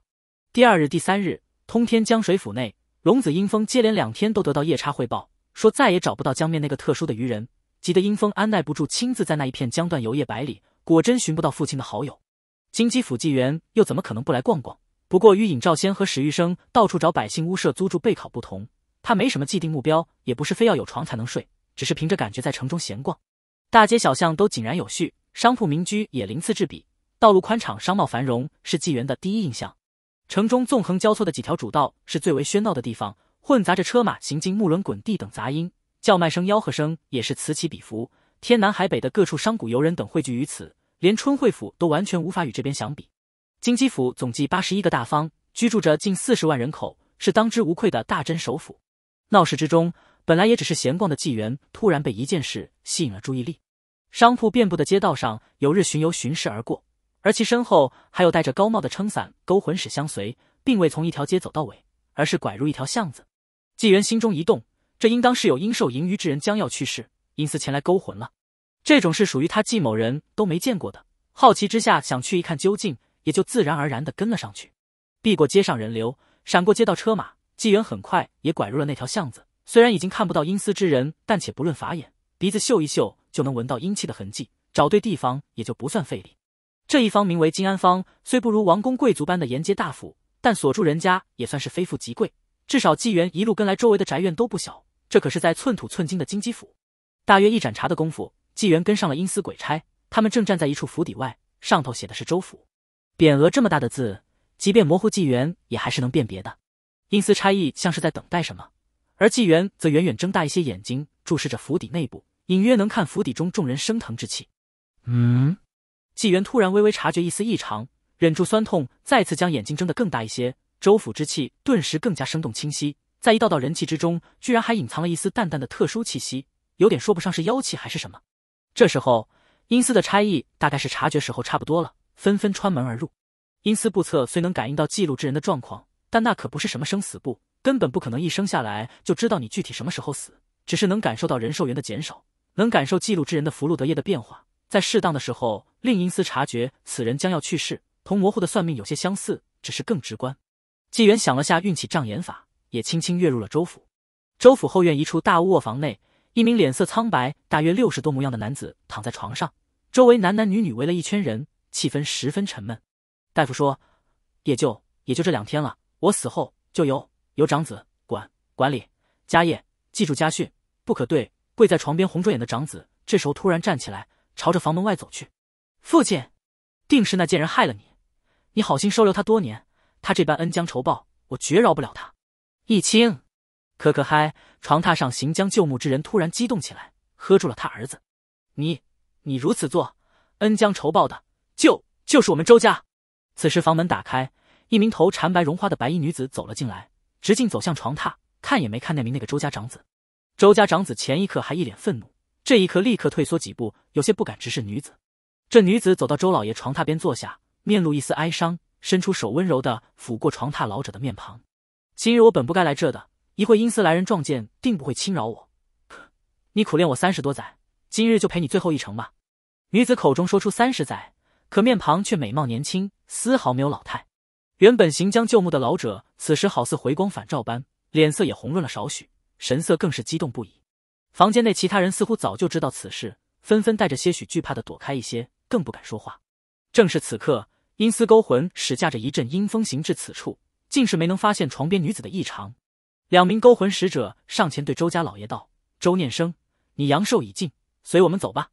若真的这样勾魂而走，倒也无事了。可惜此时房门外还有两个日游神在勾魂使者履行职责之时。”日巡游在惯例巡视一次周府后，也进入房间，随后心头一惊，第一时间就将视线集中到了床边女子身上。后者也坦然的看向两名日游神，两位日游神是金鸡府阴司的日巡游左右副使，在阴司当差的百年里，还是头一次碰到今日这般诡异的情况。这妖物面对他们，居然不闪不躲。愣神片刻之后，右副使朝着女子喝问：“妖孽竟敢藏于金鸡府百姓家中？”眼前这女子妖气很淡。在日巡游看来，更像是被某种擅长变化的精魅，而非化了形的妖怪。这两者之间的实力有本质区别。两名日巡游当即手握刀柄，两个勾魂使也抓住腰间勾魂锁，面向女子。周念生之魂先不急，第一要务是拿下这孽障。日巡游下令，并且拔刀出鞘。勾魂使已经牵出腰间勾魂锁，四名阴差阴气大盛。那女子神色有些凄婉，本来坐在床边没什么动作，这会轻缓的站起来，冲着几个阴差施了一个万福礼。几位阴差大人，我知晓你们容不下我。今日周郎阳寿已尽，我与周郎情恋多年，只求你们能容我送他一起前往阴司。此后我自当领罚，不敢抵抗。房间内的其他周家亲属不清楚发生了什么，只是看到老爷气喘的厉害，而房间内阴气盛起，也让一众活人感到有些阴冷。可这会听到女子的话，纷纷脸色苍白，左右看看，吓得缩成一堆。阴差，阴差来了，是来带走老爷的。哎呦喂，怪不得这么阴冷。嘘。别说话！日巡游听闻女子之言后，相互看了一眼，又眯起眼睛上下扫视她。你一个小小精妹，也敢同阴司官差讨价还价？别以为你身上并无戾气，我等就会相信你。要挟害人，有的是办法掩耳目。另一名日巡游也冷笑道：“你若不抵抗，让我等附了你魂魄，别说让你送他一程，就是共入阴府又何妨？”女子有些决然的抬头望向两名日游神，再看看勾魂使，那就请勾魂使动手吧。这番发言令两名日巡游。和两名勾魂使皆是一愣，从没见过有妖物真的束手就擒的。这入了阴司的妖物还能奢望再出来吗？难道其中有诈？动手！日巡游一声暴喝，身上阴气一震，化为两道虚幻白影，出现在女子一左一右，电光火石一般，各自挥刀斩下。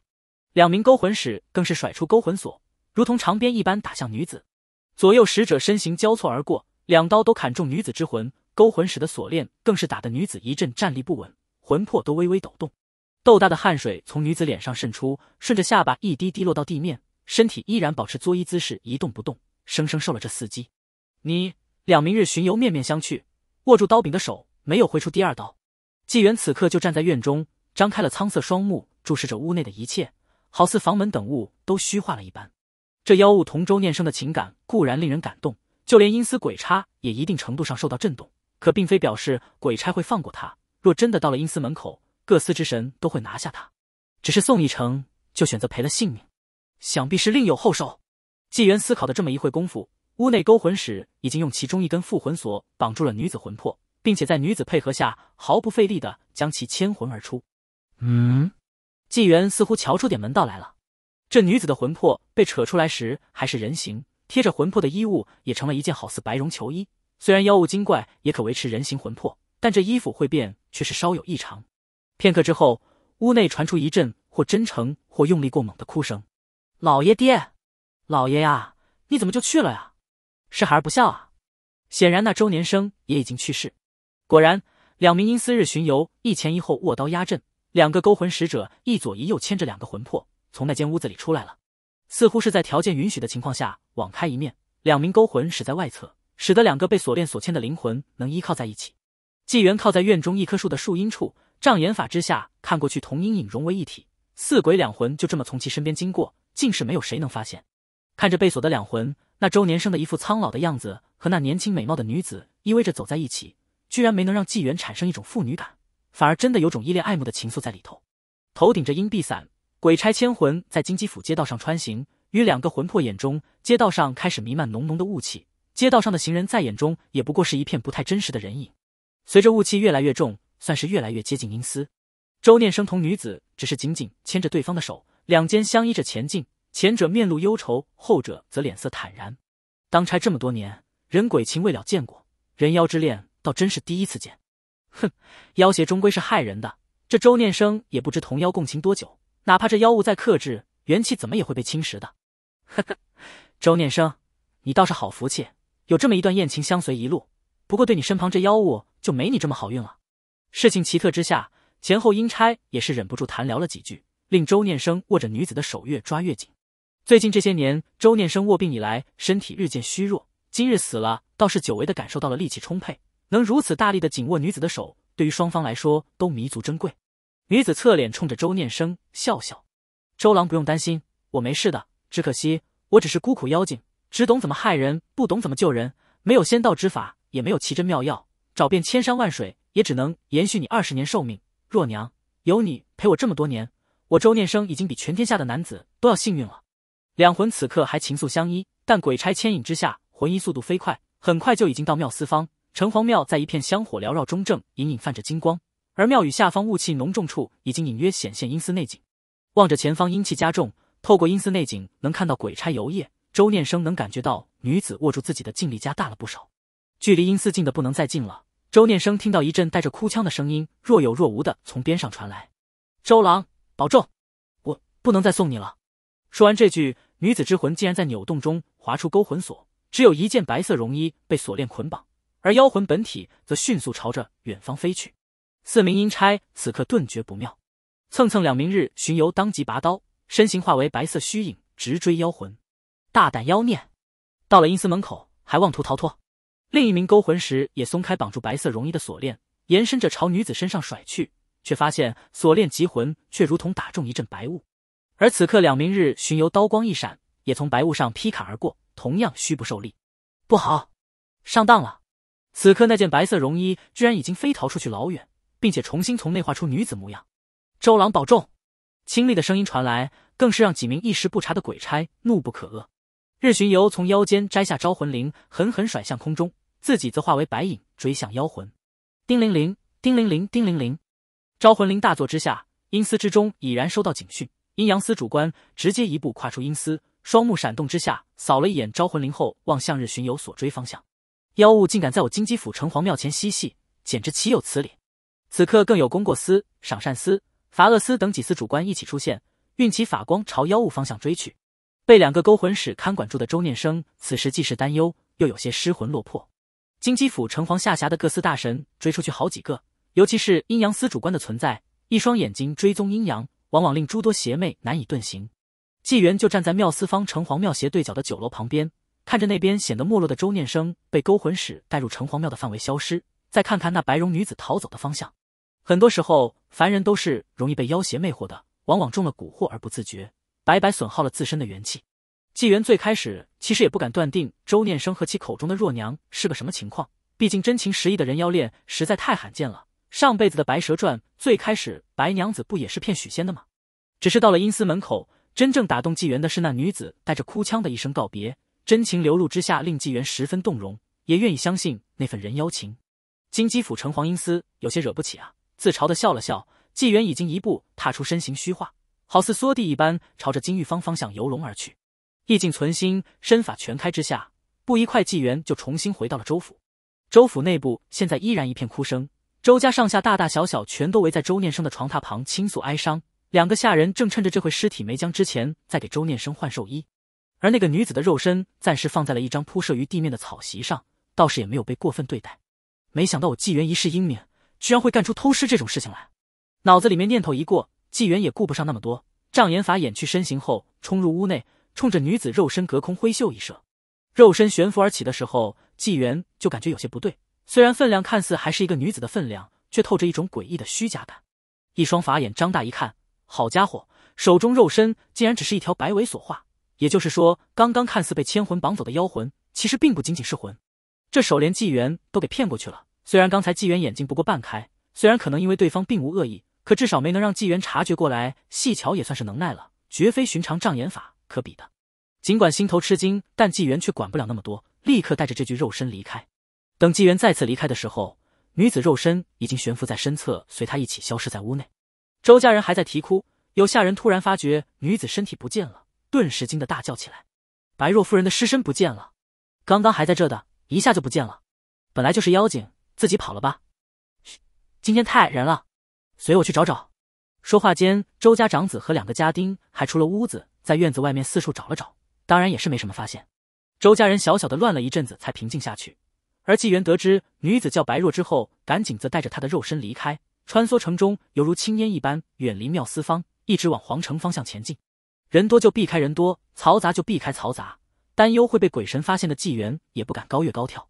也就是纪元带着女子肉身离开之后，一盏查不到的功夫，就有阴司游神和一位主官赶到周家。毕竟妖物逃脱，虽然很大程度不敢往回走，可也要提防其回来取肉身。只是到了周家，才发现妖物肉身居然也不见了。纪元心中此刻的念头很是有些复杂，带着人家相好的肉身逃跑，这叫什么事儿啊？但没办法，虽然严格意义上说有仙剑在侧，拼手段，纪元还真就未必怕了这金鸡府城隍。而且通天江可是不远的，可自己不占理啊，也实在是不想和阴司起冲突。不过仔细一想，真要让阴司卖自己一个面子，似乎也行，但那样就太麻烦了。能简单解决就简单解决的好。只能用这种方法了。大约一刻钟之后，纪元才入了一座城中某个高门大府后院的一座阁楼中，直接上第三层，才挥袖将这女子的肉身放下。这座阁楼是个书阁，但应该少有人质，并无多少人气残留。第三层卷帘外的走廊上也已经有了一层灰，看清这府邸下人也是偶尔才清扫。才过去这么一会，既然你敢送你那情郎到城隍庙门口，应该还没有被抓住吧？喃喃了一句，纪元也不再想那么多，屈膝半蹲于女子身旁，左手点住其额头。右手成剑指，虚空画圈，喉咙深处赤令音起，令白若速速前来，令白若速速前来。右手剑指一收，轻轻往方才所画的虚圈中一拍，一阵晦涩光晕，好似波浪一般，在空气中荡漾开去。居神也可以这么用。府城中女子之魂，居然令阴司几位主官都追不上，不但速度奇怪，并且气息诡异，时不时就能出现一次类似金蝉脱壳的把戏。若非阴阳司主官始终追击不放，还真的早就让他跑了。现在情况也很危急，后方判官的判官笔一直就没停下过，不断在描绘女子外形。一旦被判官定策，只要没能逃出城隍庙管辖范围，就根本无所遁形。可只要金鸡府城隍没有亲自来抓他，白若就有把握逃掉，代价当然也不小。除了魂体会伤到元气，那条尾巴恐怕也要不回来了。不过那条尾巴所化的肉身能同周念生葬在一处，也是值得的。周家长子脾气虽然差，但至少是真的孝顺。肯定会让自己和周念生死后同学的。金鸡府待不下去了，逃了这么久，京城的城墙就在眼前。白若妖气腾起，运转法力，冲着前方城墙撞去，唰的一下，直接穿墙而过，心下顿时一松。出了府城城池范围，就不用不用顾忌金鸡府城隍的力量，可以用敛息遁符了。只是这放松的似乎太早了，才穿出城墙，眼前居然就是一片浓郁金光，是一张藤蔓织成的金色大网。金鸡府土地，金鸡府不但有城隍。而且有真正的一方土地神，掌管金鸡府一府之地的真正土地正神，妖孽找死！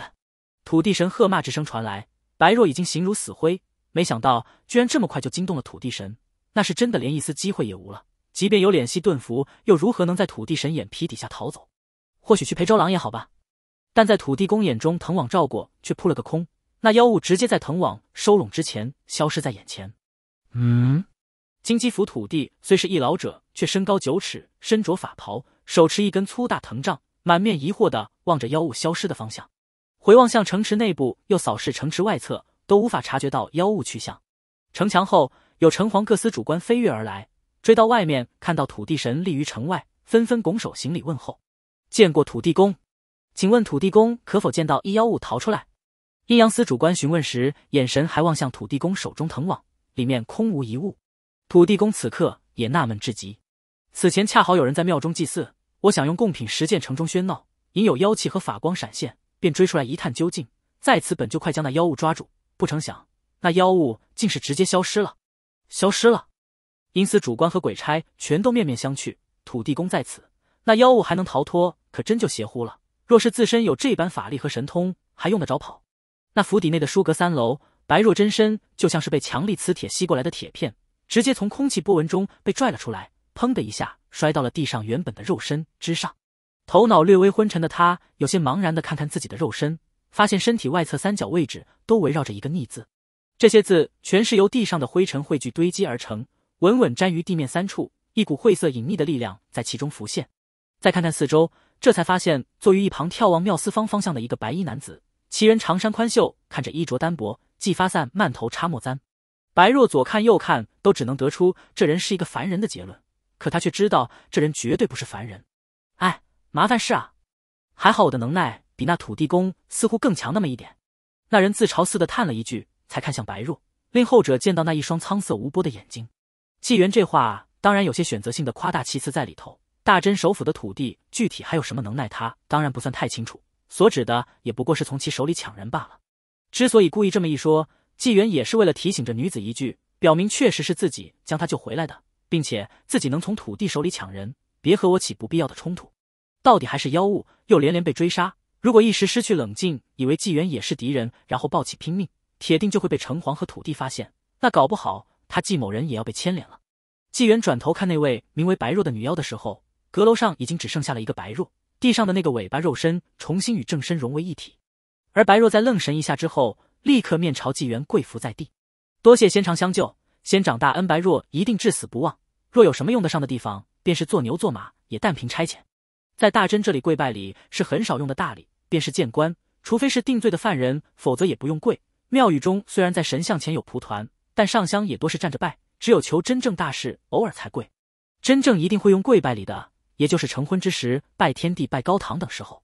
此刻纪元救了白若的命。这等大恩，后者直接跪拜叩谢，倒也打理，说出来的话也语气诚恳。纪元在他叩拜谢恩之时，短暂的将双目全部睁开了一瞬间，看穿其朦胧身形下隐约呈现一头白鹿。哼，怪不得这尾巴这么短，我还在想到底是什么妖类，原来是一位白鹿姑娘。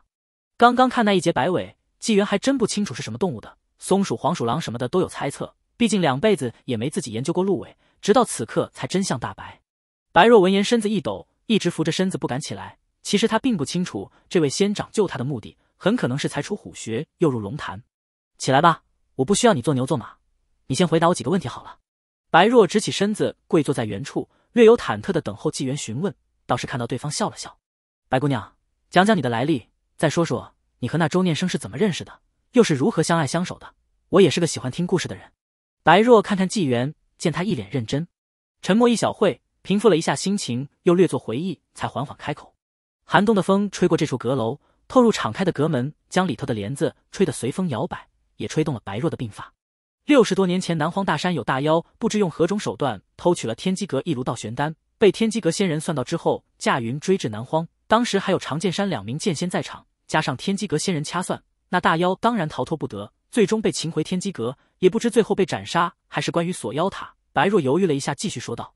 只是数年后，依然会有天机阁仙人来南荒找寻。随后那道玄丹并未被找到的传言不胫而走，便是南荒妖乱的起因。真有少数妖类吃了那丹药，道恒大进，自封妖王。随后二十多年愈演愈烈，妖气魔焰猖獗之下，甚至有群妖作乱南荒小国，发生诸多惨事的情况，最终引来苦果。衡山山神震怒，几处仙府出手，佛门冥王也显化，群妖颤粟，出逃者不知凡几。随着白若的徐徐到来，纪元眉头紧皱。白若的描述很全面。法眼和意境山河之景重叠之下，仿佛在眼前还原出南荒十数万里大山妖魔气焰翻卷的景象。那从前各自修炼的妖魔，因为一炉道玄丹而沸腾，腾腾妖气魔焰遮天蔽日；而随后的四散逃逸，就像是腾腾凶气散一个处，也不知究竟是好是坏。纪元想到了自己的那片小木牌，其中内容显然就是一个不好的信号。我因十分惧怕被牵连太深，穿越千山万水逃到大真。当时我已经受伤不轻，元气大损。可经过那次之后，也不敢随意走动，更不敢害人。然后我遇上了当时进京赶考的周郎，略施美人计，就混入了他的车马队中。既是为避过大真各地神灵，也存了一丝邪念。前面都是白若将讲自身的来历，这边才到了与周念生的恋情阶段。当时那周书生甚是有趣，明明对我垂涎三尺，却总不碰我，说是一定要将我明媒正娶。白若脸上也露出温情，他对我真的极好。作为妖，我从来没感受过那种关怀和那种真挚的爱，也轻财为我寻购各种奇珍药草。我有些迷离，在一天不小心露出马脚。说到这，白若脸上表情又是好气又是好笑。纪元则好奇心大起，本以为肯定吓到周郎了，但那时我已经对他下不了杀手，想着就离开吧。不成想那呆子只是惊了一下，居然连喊都没喊，就问了我妖精的话，能不能为他生孩子？噗嗤，白若忍不住笑了，一张脸竟是有些红红的。纪元则是感觉匪夷所思，看不出那老态龙钟的周念生当年居然有这份胆量，这是胆大还是呆傻呀？那怕是比许仙大哥还猛上一个级别了吧？当时那个问题让我傻愣了好半天，当夜我才知晓，我们朝夕相处了大半年，周郎早就察觉我有些异常，起初也曾怕过，但发觉我不会害他，反而待他温柔，便渐渐不怕了。到了那晚，其实也就惊了一下而已。在得知我原是一头白鹿后，周郎更是意外的有些欣喜，说在他家乡，白鹿是祥瑞动物，还有山中迷途者见到白鹿走出困境的故事，就这么彻底不怕我了。白若脸上好像依然带着一丝当年的疑惑。搞不清为什么仅仅自己是白鹿周郎就不怕了，倒是纪元却想到了一些，那周念生或许只是给自己找个心安的借口吧。此后周郎并未科举高中，我们倒是在成婚并定居京城。这回白若脸上既有幸福的神色，又有些哀伤。他不知我也不懂，新婚后我们不知节制，其实已经伤了周郎元气。纪元适时问了一句，是后来察觉到了，他才娶了其他妻妾。白若一愣，摇了摇头，那倒不是，因为我是妖身，无法为周郎诞下一子。所以他才娶了其他凡尘女子。常言道，不孝有三，无后为大。我不希望周家香火断绝，便也同意了，好吗？原来是这个原因，果然是封建社会。纪元想吐槽，却也知晓这就是社会现实。大约是七八年后，我终于察觉到不对了。哪怕我此前从未做任何对周郎不利的事情，交欢之时也尽量保护他，更掩饰妖气，从不让他染上一丝。可他还是元气大泄，寿元不稳。那会我比身处南荒大山还要心慌，开始到处寻找能救治他的方法。故事算不得太长，整个故事可以说很平淡，也就结尾送魂入阴司那段算是最大的起伏。但纪元却听得很舒服。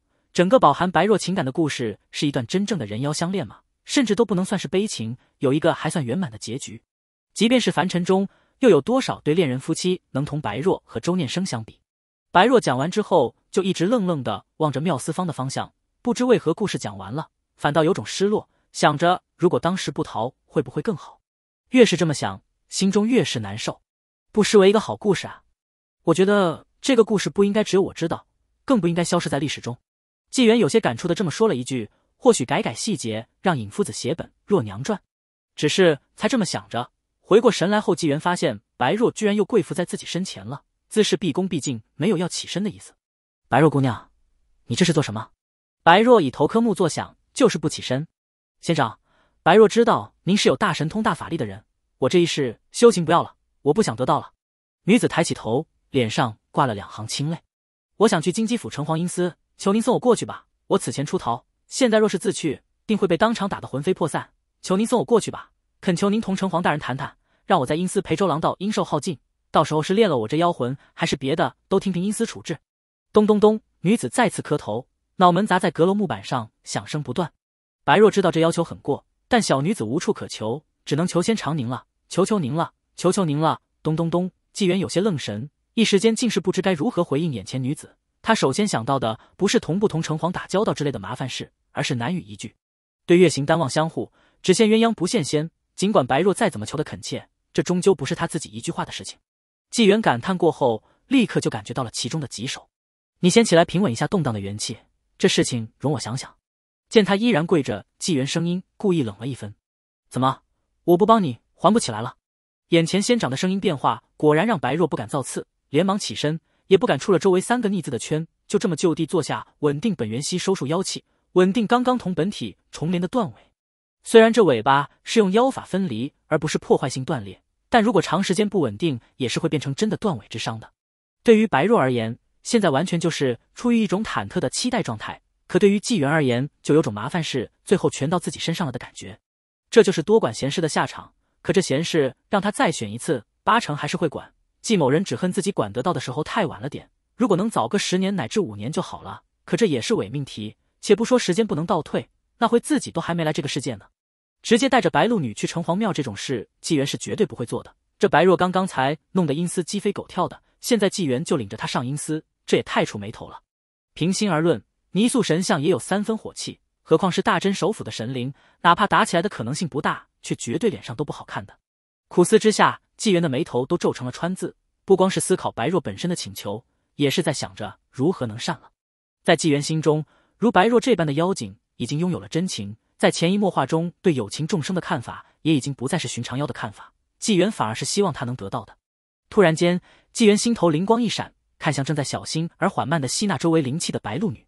你便是去了阴司，金鸡府城隍也未必就真能遂了你的愿。我的面子也并不值钱，为此葬送修行太过冒险，也太过不值。白若听着纪元的话，满面忧愁，说不出话来。但纪元的话还有转机。照你的想法肯定不妥，我倒是另有妙招，或许让你能进阴司见一见周念生，兴许还能一起待上一段时间之后再从阴司出来。有这种办法？白若听得愣神，有些不敢相信。仙长，还能有这样的办法吗？当然有，不过就真要委屈白若姑娘做一回牛马了。嗯，我们也得圆个谎，把你这妖的身份给抹去喽。说到这，纪元冲他笑了下。也亏了你从头到尾沉得住气，没在神灵面前现过原形。我那是怕被判官定策。白若犹豫着回答一句，虽然一头雾水，可看着纪元认真的样子，心中也隐隐有了期待。两天后的夜晚，大约是三更才过四更刚至，城西土地庙附近有更夫敲着梆子经过，梆子声一慢三快，在更夫的击打节奏下发出声响，咚咚咚咚。更夫口中喊着“天寒地冻楼”，咚。天寒地冻楼喊完几轮，更夫搓着手臂，赶紧快步前进，提着的灯笼因为手臂的搓动而微微晃荡。嘶这天真冷啊！赶紧打完，更回去睡觉。等更夫路过之后，大约没有一盏茶的功夫，幽静的土地庙外传来一整清脆的踏地声响。这声音类似马蹄触地，却又有所不同，显得更加清幽空明。一头状如剑马的巨鹿在城中道路上踏蹄而行，此鹿无角，且通体雪白，绒毛在寒风中微微扬动，身上更泛着微弱的银白之光。一条鹿尾时不时随着步伐的节奏摆动一下。纪元手持玉论，背悬仙剑。坐在鹿侧身，坐在鹿背上，细细品读手中书册。随着白鹿前行，纪元身子也偶有摇晃，也不知是因书的内容而起伏，还是因为白鹿踏蹄的颠簸。片刻后，白鹿一步步走到了土地庙外园门前。这个时间段，香客肯定是没有的，庙祝和庙公也早已经睡下，庙门自然也是紧闭的。在白鹿停在庙门前的那一刻，纪元才放下书册，从鹿背上下来，握书，拱手朝着土地庙行礼。游方修士纪元。前来拜会金鸡府土地公，望土地公现身一见。道音徐徐传递入地，大约四五个呼吸之后，地面有青灰起卷微风。一名身高体魄都极为魁伟的锦衣男子出现在纪元眼前。来人手持一根巨大藤杖，胡须青墨泛卷，身高估计就算没戴官帽，都比纪元要高一个头。从其双目青墨之色看，绝对不是寻常鬼神，而是正统实修的山水神灵，兼顾了香火。乖乖，这外形和土地公的形象可相去甚远啊！纪元第一次亲眼见到金鸡府土地公，感官上的冲击巨大。土地公也在观察纪元。来人衣着朴素，头插墨簪，看不出什么历法神光，但绝对道行不浅。一双苍目古井无波，好似能看穿春秋。便是坐骑白鹿也显不凡，有仙灵之韵滋生。见纪元依然维持行礼，土地公便也向纪元还礼。不知这位修仙道友找我何事？纪元面带歉意，看了看身后白鹿，才向土地回答道：“纪某也是来向土地公告罪的。”此事说来话长，可否在庙中寻个僻静之所容，在下徐徐道来。土地公再次细细打量他们一番，随后微微点头，伸手引向庙墙一侧，自有法光弥漫地面，请去我府上一叙。跟随土地公一起前行，穿过地面法光，来到土层深处的土地府。短暂的兴起与土遁之后，纪元在土地公面前展开了自己的嘴遁，一个自己坐骑时常听自己读《外道传》上的一些凄美情爱故事而心生悸动。趁自己不注意，悄悄离开，在凡尘寻找真情的故事，从纪元口中声情并茂的演绎出来。故事不过是改了其中一些细节，但大体上的情节却是不变的。人妖恋转换成人与仙路之恋，真情动人丝毫不减，一些艳技之处却是大减。更关键的是，这是仙路，且上面有人。语句或快或慢，纪元讲了足足一个时辰，才将这个改编过的故事讲完。期间，白鹿几次有感落泪，土地公也是看在眼里。实不相瞒。我也是才寻到白鹿踪迹，数十年来他也算是修行荒废，乃至滋生浅薄妖气，但本心在此却是没有祸害过凡人。季某不忍白鹿就此断绝求道之路，虽在土地公阻拦之刻施法将之救回，只是如今他却思夫心重。纪元叹息着，将白鹿此后所求也一一道来。土地公听完久久不语，望向白鹿，见其泪痕犹在。哎，也就是说，这白若姑娘甘愿被当作妖邪，也想要入阴司陪那周念生到阴寿耗尽。随后被炼魂也在所不惜。正是，纪元苦笑着摇头，口中却称是。随后诗句顺口而出，对月行单望相护，只羡鸳鸯不羡仙。哎，坐在府邸树根大椅上的土地公喝了一口桌上清茶。凡人间的情爱我见得多了，可这么多年来，能比得上仙露白若的却没多少。纪先生也是不想白露就此道陨吧？纪元苦笑，若非如此，季某又是何苦来此厚颜相求呢？道缘难得，真情亦难得。还望土地公能陪季某一起走一遭城隍庙，同是京城神欧，那边应该会卖土地公一个面子。土地公此类神灵勾连山水，也心系山水，对山水生灵都更为包容，即便对于妖类也少些偏见。更何况此时是仙路。从土地公几次叹息着望向白鹿的脸色上，纪元就看得出这次成了。纪元的两句诗也是让土地公心生类似感慨，还在看着白鹿呢，却见白鹿居然屈起两只前腿，跪倒在土地公面前。哎，使不得，使不得！白若姑娘，快快请起，我答应你便是。可老夫也有言在先，便是你主人和老夫一同前往，那荆棘城隍也未必卖账的。土地公抓起藤杖往白鹿身前一拖，就将其拖起，不让其再下跪。到底是仙鹿，主人还在边上呢，这可太不妥了。白若虽然跪不下去了，但听闻土地公的话，更是喜不自胜。多谢土地公愿意帮我，罪妾如今只希望能再见周郎一面。若城隍大人真的不愿法外开恩，便是将罪妾当场炼魂，也是罪妾也是心甘情愿，不会埋怨土地公分毫。白若死死记住之前纪元的话，小小的跪一下可以，但一定不能对土地公有任何逼迫，就是要一种你愿意帮我就是天大的恩，只存感激不会埋怨的诚心。白露说的恳切，土地公闻言也是点头。再看看一旁纪元和其背后悬浮的仙剑后，又对白露宽慰道：“小白露也且安心，便是那城隍真的铁石心肠，有我和你主人在此，要保你出来，问题还是不大的。动物成道不易，有机缘追随有道真修一师一主般修行的动物，则更是少之又少。白鹿这般心境，虽少了一份道运，却多了百分真情，是真正有情众生中的真挚者。土地公对此感应尤深，可谓比纪元更甚。”某种程度上说，也是最不愿意见到白鹿断绝道基的天地神灵。土地公再看看一旁的纪元，相信作为其主的纪元，肯不会对白鹿置之不理。此人道行莫测，却如此打理，性情洒脱之下，也难怪能教出这样位奇异鹿女。见到土地公表态，白鹿惊喜谢过之后，纪元这个主人自然也不能醒，也从座位上站起来，朝着土地公拱手致谢。多谢土地公大义，纪元此番前来多少也算是用了点苦肉计，也望土地公海涵了。纪先生不必多礼，我也算是听了个真情实意的好故事，算不得亏，不就是一点脸面吗？我又不稀罕那东西。走，我们现在就去阴司，如此最好。我们此刻便动身。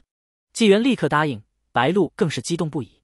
土地公所说的动身，当然不是从这个到处是黄土树根的府邸走出去前往城隍庙，而是随着他藤杖杵的轻轻一点，于纪元和白鹿而言，就是轻微晕眩一下，好似失重了片刻之后，就已经黄光一闪，出现在了庙四方城隍庙外。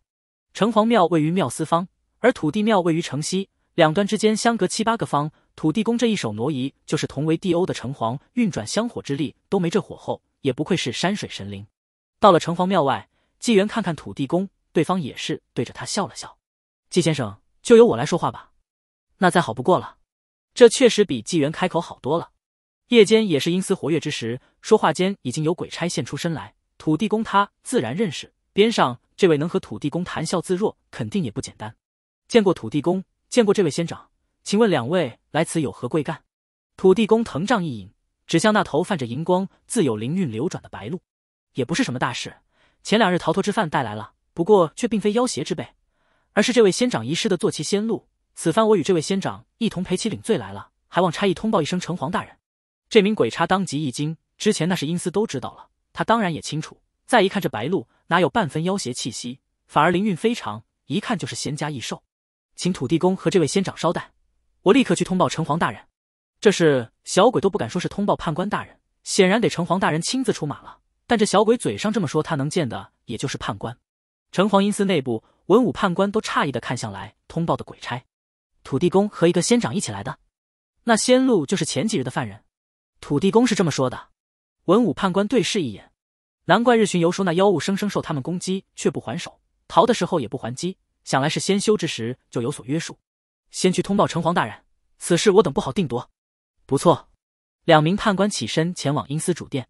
片刻之后，土地公和纪元以及白鹿一起都被迎进了阴司内部。金鸡府城隍携文武判官和此前的两个日游神一起在阴司入口处等候他们，随后又一同去了阴司中的城隍主殿，并无对待犯人的那种架势。主殿建筑和之前尹兆先形容的差不多，金鸡府这里也和外头庙中差别不大，就是摆设不同。这是纪元第一次进入传说中的阴司，阴气森森之余，也能感觉到各种怨气戾气在某些地方盘旋，而白鹿也明显紧张起来。没过一会，二十四司大神来了，骑马进二十司，城隍落座主位，土地公和纪元坐于一旁，其他的则全部站立。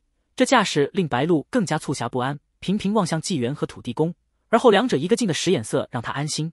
纪元和土地公早就交换眼神多次，两人都明白，怕就怕被一口回绝。越是现在这样，机会越大。金鸡府城隍看起来是一个玉面高官、儒雅非凡的中年人，先后和土地公与纪元客气问礼之后，才郑重询问案件。土地公和纪元再次对视一眼后，由他先行开口。事情还得从之前我让妖物逃脱开始说起。当时锁灵网罩下妖物消失，我就知道定有高人在助他。直到遇上纪先生，土地公叙述的时候，纪元也不时从旁补充，两人一唱一和，将前因后果徐徐道来。城隍各司主官时不时也细声讨论，交换眼神。而城隍则一直时而皱眉，时而沉思。等纪元和土地说完了，大殿内一下子安静下来，交头接耳的声音也没了。你们以为呢？沉默良久之后，城隍开口询问各司主官：“法不能越，该成还是得成？然我阴司也非绝情之所，情有可原之处，也当考虑。不错，罚恶须尽，赏善勿缓。是吉是吉。那周念生此生向善，定也与仙路结缘有不可分割的关系。正是，此路那日如此情急关头。”尚且不伤我阴司差一分毫，也足见心性。嗯，心向夫君宁受炼魂之苦，也是可贵。阴司从赏善司、罚恶司到阴阳司、功过司，各司主官发现一口一个法度森严，但却一直流露出法外容情的态度。白鹿又不傻，每每有个司主官开口隐晦的替他求情，就会露手冲对方低头行礼。城隍看看各司下属都几乎一边倒的同情着白鹿，嘴角也是浮现笑容，看来是他平常威严太盛。让这些下属以为他城隍的心真是石头做的不成？好了，我又断绝。城隍一说话，所有议论声全都消失。纪元和土地公也略显紧张的坐正了身子，白鹿更是低着不敢看向城隍。淬魂鞭二百六十计，当作责罚；撑住，则容你去周念生阴宅陪他。城隍话音一落，周围一片惊愕骇然。二百六十下，城隍大人，这太重了吧？是啊，城隍大人会打得这白鹿魂飞魄散的。因司各个主管纷纷求情，纪元和土地公虽然不懂，却也知道这刑法绝对很重。不过城隍笑着抬手制止了喧闹，看向前方白鹿：“关你道行也算不错，妖魂想必也凝实。但我可以明言，你的妖魂最多能撑住淬魂鞭两百下，此后每多一鞭都是九死一生。还要不要见那周念生？”城隍站起身来，走进这白鹿：“若你现在反悔，看在土地公和纪先生的面子上，我可既往不咎，容你离开。白若，告诉我，还要不要见周念生？”土地公看看那白鹿的眼神，心道不妙，想要起身说话，却把纪元按住了手臂，朝他摇摇头。果然，白鹿眼中泛泪，开口却决然：“要！哈哈哈哈哈哈！那周念生阴寿二十六载，你每年寿十鞭，撑不过去的话就离开如何？”城隍大笑之后如此说道。场中所有鬼神一时间都呆了一下，还是纪元和土地公最先露出笑意。见白鹿还在愣神，纪元赶忙冲白鹿道。还不叩谢城隍大人法外开恩！闻言反应过来的白鹿直接屈膝叩首，更是化成白衣女子的人形，不断冲着城隍叩拜。随后又先后向纪元和土地公以及各司主官诚心谢礼，喜悦感激之下，灵台清澈，更显一股灵韵。城隍庙虽然宏伟，但毕竟也就是在庙司方里面的一座庙，占地有限，可阴司的面积却着实不小。实际上，阴司内部除了二十四司各有的管辖行政之所外，还存在了各种牢狱分区和死者阴宅之所。这件姻缘奇案在阴司里都算是极为罕见的。城隍做出判决之后，土地公和纪元在阴司两位判官的陪同下，送白鹿女前往周念生暂居之所。阴宅并非是在阴司给你安排住所，而是根据死者阳间坟墓和家人所烧物件而定。纸人纸钱坟墓大小和完整度都会影响死者阴司之说，并且阴宅一定程度上贯通坟墓和家中牌位，能享受后人祭祀。这回周念生尸体都还没下葬，自然就没有阴宅，所以被置在阴司赏善司堂所。夫妻俩相见的时候，那个激动场面也引来不少鬼差鬼一等的围观。再由判官宣读城隍判决，敲定了此事的结局，不能说皆大欢喜，至少也算圆满。等纪元和土地公一起从阴司出来的时候，身边则悬浮了一头好似昏睡的大白鹿。这会遥望东方，天边已经翻起白肚皮。时近黎明，阴司里面度过的那段时间，好似做梦。能当上鬼神，到底还都是德行高尚的人。我与这金鸡府城隍共事近两百年，也是才见到其这一面。土地公和纪元一起走在这黎明前最嫌昏暗的金鸡府街道上，口中有感而发。纪元也是笑道：“不然为何会有德重则鬼神轻之言呢？不正是因鬼神重德亦有德吗？”呵呵呵，纪先生说的有理。经历了这件事，纪元同土地公的关系变得十分融洽，尤其是在阴司那段，两人默契非常，也是算是有了交情，聊起天来也再无生疏。一路走到土地面前，里头已经有轻微的声响传出。想必是住在庙里的庙祝、庙公等准备起床了。城中隐约能听到各处的公鸡打鸣声。纪元再次向土地公拱手致谢。今日多谢土地公相助，这白鹿肉身也劳烦土地公代为保管照料，让白若能定期归回肉身稳固，不至于令肉身坏死。土地公以藤杖往地面一点，白鹿肉身就自动陷入地面消失，随后才向纪元还礼。纪先生无需担忧，定不会断了你这弟子的道基。如白若这般女子，何该他得到？做一段时间的护道人，亦是去世。这是之前在阴司里就商量好的事情。纪元不能一直待在金鸡，且带着这么大一头白鹿肉身也不方便，放阴司更是不妥。最合适的也就是土地公的府邸，还能得到土地照看。在土地眼中，仙鹿虽然是纪元坐骑，但已算是半个徒弟。而纪元为白鹿做的事情，真算是尽到师傅之责了。所以对纪元时，以其弟子代称白鹿。既如此，纪元先行告辞了。纪先生走好，欢迎随时来找老夫续聊。两人相互告别，虽无称友之言，却已有成友之实，都算得上心情不错。目送玄剑的纪元洒脱的步行而走，那仙剑时不时还会自行转动，好似回望自己。土地公也是嘿嘿一笑。这纪先生找到了坐骑，却还是得自己双脚走路。师傅主人当到这份上，更像个爹，可真当有趣。也是你这小鹿运气好，缘法妙啊！最后一句对着刚刚白鹿陷落的地面嘀咕，随后土地公身形也消失在土地庙前。白鹿的事情能做到这个份上，又没有起什么冲突，纪元自觉也算是做到了极限了。和金鸡府土地公成了朋友，则是意外之喜。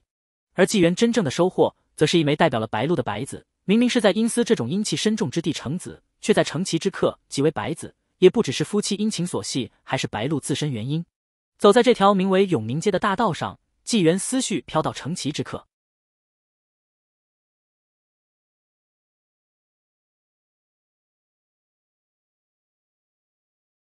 当时他并未对白鹿女有多少嘱托，见白鹿女和其夫相会而拥，便打算和土地公一起离开了。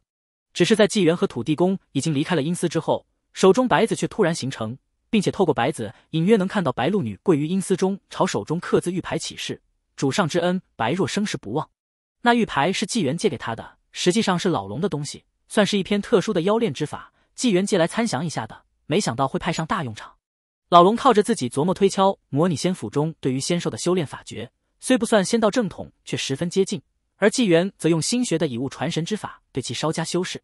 纪元双目全开之下，观气极准，又有三年演气经验，若直接让他从无到有，古道一个妖族练法出来，是千难万难。可在老龙较为丰富的基础上，修整细节，并且契合已经化形的鹿女之道，则并不是那么难。更是结合了之前为龙女扣心和正德宝宫路内的一丝内容。不说能比仙府正宗的仙兽练法更加仙气盎然，但至少感受到行精进也算稳健。做个顺水人情，借白鹿女修行，省得他自己那套妖法练起来，令仙鹿这身份给穿帮了，搞得事情大条。当然，狱中传神之处也有纪元期许，也是希望白鹿能得到的。而在阴司中，白鹿心中的理解则全然不同。纪先生借喻传法，既是他的机缘，也是一份考验。他希望自己能通过，不敢奢望成为先生真传弟子，却甘心奉其为主。大多妖族虽羡慕仙兽道缘，却也对此有极大抵触，认为仙兽算是失去自由，为奴为仆。虽然大部分有种吃不到葡萄说葡萄酸的心态，却也代表了妖物的一种主流观点。但白鹿此刻却不会有这种想法了。此时此刻的冀州德胜府府城，高门深宅的魏府却是人人一片焦急。天还没放亮，魏府后院的下人们全都行色匆匆。轰隆隆，阴沉的天空骤然响起雷声，几个拎着热水桶的下人被吓得差点摔倒。快点，快点！产房还等着用呢。有管事的催促，下人赶忙提着桶，小心翼翼的往前赶。穿过后院门廊，那边凄厉的痛呼声就传来了过来。啊，饿呀，用力啊，夫人，再使点劲。不行，我没力气了。啊，夫人，夫人，我求你了，再使点劲。产房内产婆的声音带着惊慌。魏家几个男人在室外一声不吭。魏无畏攥死了拳头，左右来回踱步，实在忍不住，就冲到院中，砰的一掌打在一棵树上，使得树身上留下深深的掌印。然后再次回到室外廊前焦急等候。产房门打开，一个女婢脸色苍白的端着一盆血水出来，倒到院中，又将新送到的热水桶提进屋内。看着这一盆血色之水倾倒，魏无畏更是脸色铁青。室内的已经好一会没传来女子的痛呼声了。这会产房门再次打开，一个大约五六十岁的产婆脸色发白的出来，迎上魏无畏焦急的眼神：“魏老爷，夫人晕过去了，您是要保大还是保小？”产婆问的战战兢兢。魏无畏则瞠目欲裂，你说什么？喂魏老爷，您别为难老奴，再不做决定就来不及了呀！魏无畏胖乎乎的手一把提起产婆，一张脸面形如恶鬼，吼声盖过了此时响起的雷声。两个都要保，谁出事了你就一起陪葬，听见没？两个都要保。产婆被吓得浑身僵硬，说不出话来。哎，没用的东西，和我进去！魏无畏顾不了那么多了，直接提着产婆就往产房里冲。家主，你不能进产房！家主，面对拦在前面的两个护卫，魏无畏不管不顾的往里冲。给我滚开！这种时候了，还管他娘什么阴房不阴房？我去给夫人度真气。边上魏无畏的两个长辈张了张口，也说不出劝阻的话，任由他进了产房。哗啦啦啦，一刻钟后，大雨在天明时分落下，产房内也传来哇哇哇的哭声。魏无畏靠在自己正妻身边，也是浑身湿透，如释重负。接生的产婆更是连连对着门外方向作拜，就连边上的婢女也是狠狠松了口气。恭喜魏老爷，贺喜魏老爷，夫人生了个男孩，人没事就好。魏无畏带着些许感叹。加上原本的和几名妻妾三年来所生，他一共有六个女儿。这次正妻终于生了个男孩，可看着妻子这次在鬼门关滚了一圈，却也觉得生男生女已经无所谓了。孩子一切事务暂且由乳娘代劳，魏无畏的正妻自然是立刻由大夫查看病情，并由下人细心照料。等到天色大亮，原本慌张忙乱的魏府现在已经笼罩了一片喜庆氛围，就连魏家祖宅那边也是放起了鞭炮。家主担子在重男轻女思想极重的这个时代，可是了不得的大事。尤其是家族中一些亲信高层，可是知道其中还有深意的。当天一早，魏无畏就跑去魏家祖宅见老太爷了。祖宅比起魏无畏现在的府邸，可就要小了许多。老太爷喜欢清静，在里头种了大量的花草树木，也有流水池鱼。老太爷的房间此刻门窗大开，他坐在一张躺椅上，脚下垫着暖炉，身上裹着虎皮，听着外头鞭炮声噼里啪啦的响。一旁下人帮他沏早茶，也准备了各色糕点吃食。不一会。外面就有脚步声匆匆而至，听那个分量就知道是魏无畏来了。太爷，太爷，无畏来了！魏无畏略带兴奋的声音传来，没多久就跨入了老太爷的房间。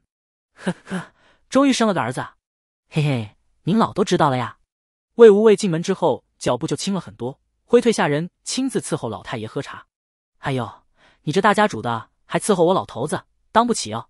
老太爷玩笑了一句，魏无畏脸皮厚，就当没听到。反正他确实是有事才来，这没事从不治。太爷，不是我说您，祖宅这边您搞得和野地林子里一样，蚊子太多了。你这小子，小时候你在这块玩的可是欢实，现在嫌弃蚊子多了。魏无畏傻笑几下，将茶盏小心的递给老太爷，后者单手接过茶盏，水面荡都不荡一下。老太爷无病无痛，又练了几十年武，哪怕此刻年事已高，身手还是矫健的。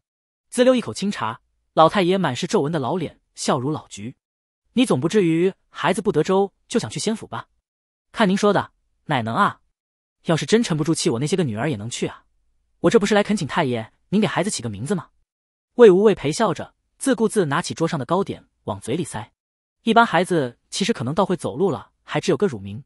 不过魏家向来是出生就定名，这算是正事。老太爷喝着茶，也在细细思索。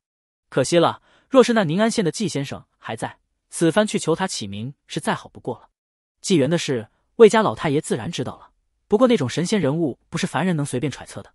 这样吧，此子应运而生，关系到我魏家未来，不如就叫做魏元生吧。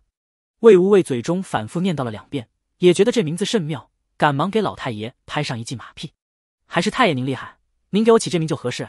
从小到大，我没怕过什么。我儿子这名更好，一定仙缘极佳。老太爷被魏无畏气笑了，就你最怂，还无畏呢。老头，我对你这名也是毁了不知多少次了。魏家财力雄厚，商贸遍布天南海北，在德胜府这一块，少有家族能在金钱上与之匹敌。加上刻意同一些江湖势力和朝廷官员交好，他们家孩子要办满月酒宴席准备阶段，那送请帖的仆人是一堆堆往外跑。自魏家小少爷诞生之日起，每天魏家所属的马场、马厩等处都有人牵马出行，然后在一段时间后风尘仆仆的归来。与魏家交好的权贵世家和武林势力纷纷受到了镶了金丝线的请帖。为了不撞上一年中最重要的春节，魏家刻意将小少爷的满月宴提前到腊月二十六。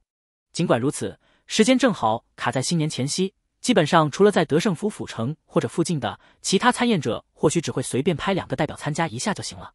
随着时间越来越近，新春之意也逐渐浓郁起来。德胜府接连两场大雪，给一切镀上一层银装的同时，也令张灯结彩的魏府内外更显色彩艳丽。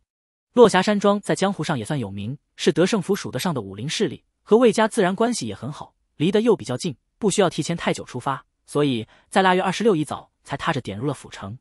来人分量不轻，是哪位江湖上人称俏面郎君的三庄主，并且带了两个后辈，分别是十九岁的洛天成和已经在去年同人定下婚约的洛凝霜。两辆马车行进入府城，三庄主独自在前车，而洛凝霜和洛天成坐在后车。掀开马车一侧的布帘。洛凝霜看看周围银装素裹的屋檐，露出笑容。二姐，当年和你一起去打虎的那些家伙，现在是不是有好几个在江湖上混出点名堂来了？那个剑客燕飞，据说挺厉害的，还有那个陆成风，都有个云阁小君子的称号了。他们俩都是德胜府人，这次会来吗？魏家也一定给他们家族送过请帖吧？而当初九人中有一些并非德胜府人，不太可能来，但只要是德胜府的，就没有魏家不交好的江湖势力，多多少少都有些情面来往。洛天成好奇的询问，到了洛凝霜这里，就只是摇头笑一下，那就不清楚了。但过两天就过年了，顶多派个无足轻重的子弟或者管事来祝贺一声。你想见的那几个，可能都不会到的。两人聊着天，马车也逐渐接近魏家府邸。此刻时间极早，魏家外车马还不多，外头三庄主和迎上来的魏家管事一阵寒暄，后面洛家姐弟则自己跳下马车，天乐府度假，前来恭贺魏家少爷满月之喜。一个令洛凝霜略微觉得熟悉的声音在另一边响起，有魏家管事也迎上去寒暄。洛凝霜走上前去看看，几乎认不出那人，但一条断臂空袖还是让他想起了那正向魏家管事递交请柬的人是谁。杜恒，你的手臂，当初杜恒右手虽然伤重，但手臂犹在，如今却袖内空空。刀客杜恒半脸的胡子，一把长刀斜背在后，穿着蓝色布衫。听到洛凝霜的声音，转过头来：“你是洛师妹。”杜恒脸上挤出一丝笑容，却并没有再多寒暄的打算，点了点头，就和同来的两人一起随着魏家家仆进了魏府。这杜家的小子倒是还没放弃武道啊！三庄主洛风不知何时站在洛凝霜身旁，瞧着杜恒走进魏府，边上魏府老管家也略感慨着回答：“这杜恒这辈子是废了，方才也并无什么峥嵘锐气。”洛风看看边上的洛凝霜，笑了笑道：“过去和他叙叙旧。”洛凝霜犹豫了一下，还是摇了摇头：“算了。”看他也不想和我说话。外头逐渐有更多车马汇聚，洛家人也就进了魏府内部。马车自有魏家下人会牵走。到了临近中午，魏府内院外院近百桌酒席，高朋满座，请了城中几处有名酒楼的厨子掌勺，菜香远远的就飘了过来。魏无畏八面玲珑，将每一波宾客都照顾到位，就连杜恒都曾亲自过去问候。期间有云阁小君子之称的陆乘风专程赶来祝贺，也令这位江湖新秀收获不少赞誉。酒宴未开前也是四处和人攀聊，更不忘向洛风敬酒，顺带和洛凝霜叙旧。在和洛家这边聊天过后，得知杜恒也在，陆乘风特意在人群中寻找了一番，然后在宴桌范围外的一处花园走廊中找到一人带酒独饮的杜恒。陆乘风还是那么自来熟，以一句“终于找到你了”为开局，热情无比的同有些尴尬的杜恒攀谈。在起初的生疏过去，两人也算找到了当初那种一拍即合的一丝感觉。就在这花园廊道中，一人用杯，一人用酒壶盖子，这么对饮。其实你也不用太灰心，当初季先生说过，你能扛过来的话，前途不可限量。即便武道一世真的无转机，另寻他途，也定能有一番成就。常言道，行行出状元嘛。杜恒刚想说自己如今不过三流，听到陆成风的后半句，就生生咬死牙关，把自己想说的咽到肚里。谢陆兄吉言了。杜恒左手用力掐着大腿，才不至于让自己失态。这几年他已尝遍冷暖。怎么就在曾经的伙伴面前沉不住气了呢？前面都是询问杜恒的境遇，后面的话题则是陆成风自己描述近况，也讲了怎么在江湖上混起了名号，如何在武学上逐渐登堂入室，硬撑着和陆成风叙完旧。等陆成风离开之后，杜恒的裤内的左腿皮肉已经被自己掐紫了。哼，行行出状元啊！杜恒有些悲苦的笑笑，闭起眼以后，脑触碰背后刀柄。杜少侠，你们认识季先生？一个声音突然在耳边响起，让杜恒微微一愣，转头看去，一张胖乎乎、笑嘻嘻的脸看着他，正是魏无畏。魏家主，您这……哈哈，刚刚路过，刚刚路过，听到一些有趣的就没舍得走。毕竟没想到当初从宁安县买的白虎皮，竟然是出自几位之手，着实惊异。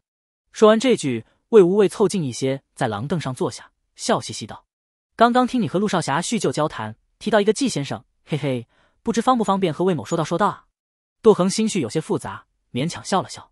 魏家主，这事确实不太方便。当初先生让我们尽量不要在外人面前提起他的。哎，杜少侠此言差矣。季先生说的是外人，我魏无畏又不是。我可是认识季先生的，还给他送过糕点，送过酒，吃过他院里的枣子，怎么能是外人呢？在听到这句话的时候，魏无畏几乎立刻断定那先生就是纪元。杜恒皱起眉头，左右看了看，这处廊道距离宴席位置还有一段距离，边上就是一个花园。陆成风能找来，是问了同来的两个杜家人的。这位家主今天一个大忙人，就是路过也不至于等这么久吧？杜恒可是记得陆成风提到季先生之后，还谈论了老长时间才走的。不过听到魏无畏说认识季先生，杜恒也是略微吃惊。实际上，在才离开宁安县的那会，他们九人的联系还算紧密，当然都知道纪元在宁安县住啊，以及院中的枣树。魏无畏的话应该是真的。魏家主，您是什么时候认识季先生的？当初离开后，到了年关，陆成风还回去找过先生，说是那会早就人去屋空了的。嘿嘿，这陆成风倒是会做人，自己去找了事后才告诉你们。魏无畏嘿嘿笑了笑，看看廊道那边方向。然后在杜恒身边坐下。我魏无畏自然是在宁安县中认识的先生，当初是去买虎皮的，后来抓住了一些匪类，就在县中耽搁了一段时间，也就结识了先生，很是受了他一番教诲。杜恒不是德胜府人，否则肯定会想到当初轰动一时的燕地十三道和幕后黑手伏诛事件，那次可是让魏无畏名声大噪，让人明白原来魏家新家主不会武功，一直都是装的，非但会武功，而且武艺高绝。那次之后。魏无畏笑面虎这个江湖称号就传了出去。魏无畏笑嘻嘻的在杜恒身边坐下，上下打量了一下他。当初季先生真的对你说过，撑过这一劫前途不可限量。嗯，当时我们下山中途休息的时候，先生是这么说过一句，但也不过是宽慰我的话而已。现在杜某也算是半个废人了，对其他人，季先生可曾这么说过？比如那风光无两的陆成风。魏无畏追问一句，杜恒想了下，犹豫道：“好像没有。”啧啧啧啧啧，魏无畏始终是笑嘻嘻的。哪怕他现在还不知道九少侠是如何同季先生认识的，是打完虎之后还是之前，又是如何送季先生到宁安县的，但三言两语间，魏无畏可以肯定，这当初的九少侠虽然认识季先生比较早，却根本不清楚季先生究竟是一个什么样的人物。春会府外春木江畔，那老龟悲叹的画面可是令魏无畏毕生难忘的。我也不觉得那陆乘风多了不得，反倒是杜少侠你，嘿嘿嘿，既然连先生都留了这么一句话给你，你可不要妄自菲薄啊。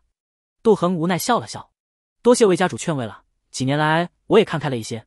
刚撑过断臂之痛的时候，也曾有过雄心壮志。可现在，就连本族中人都对我不再抱有希望了。看开了，嘿嘿，我看未必吧。魏无畏可是很清楚刚刚杜恒的不甘，他躲在一旁可是偷听偷窥了不短时间的。而且，季先生所谓的那一劫，你当你已经撑过去了？杜恒心中微震，望向魏无畏这张始终带着微笑的脸。下意识的伸手摸向右臂空荡荡的衣袖，魏无畏悄悄凑近杜恒耳边小声道：“我也算是研究过一些古籍神仙传，如季先生这般神人，所谓结束可不光是肉体痛苦。你真当断臂之伤好了，你就撑过去了？嘿，结束结束，现在岂不是更像？”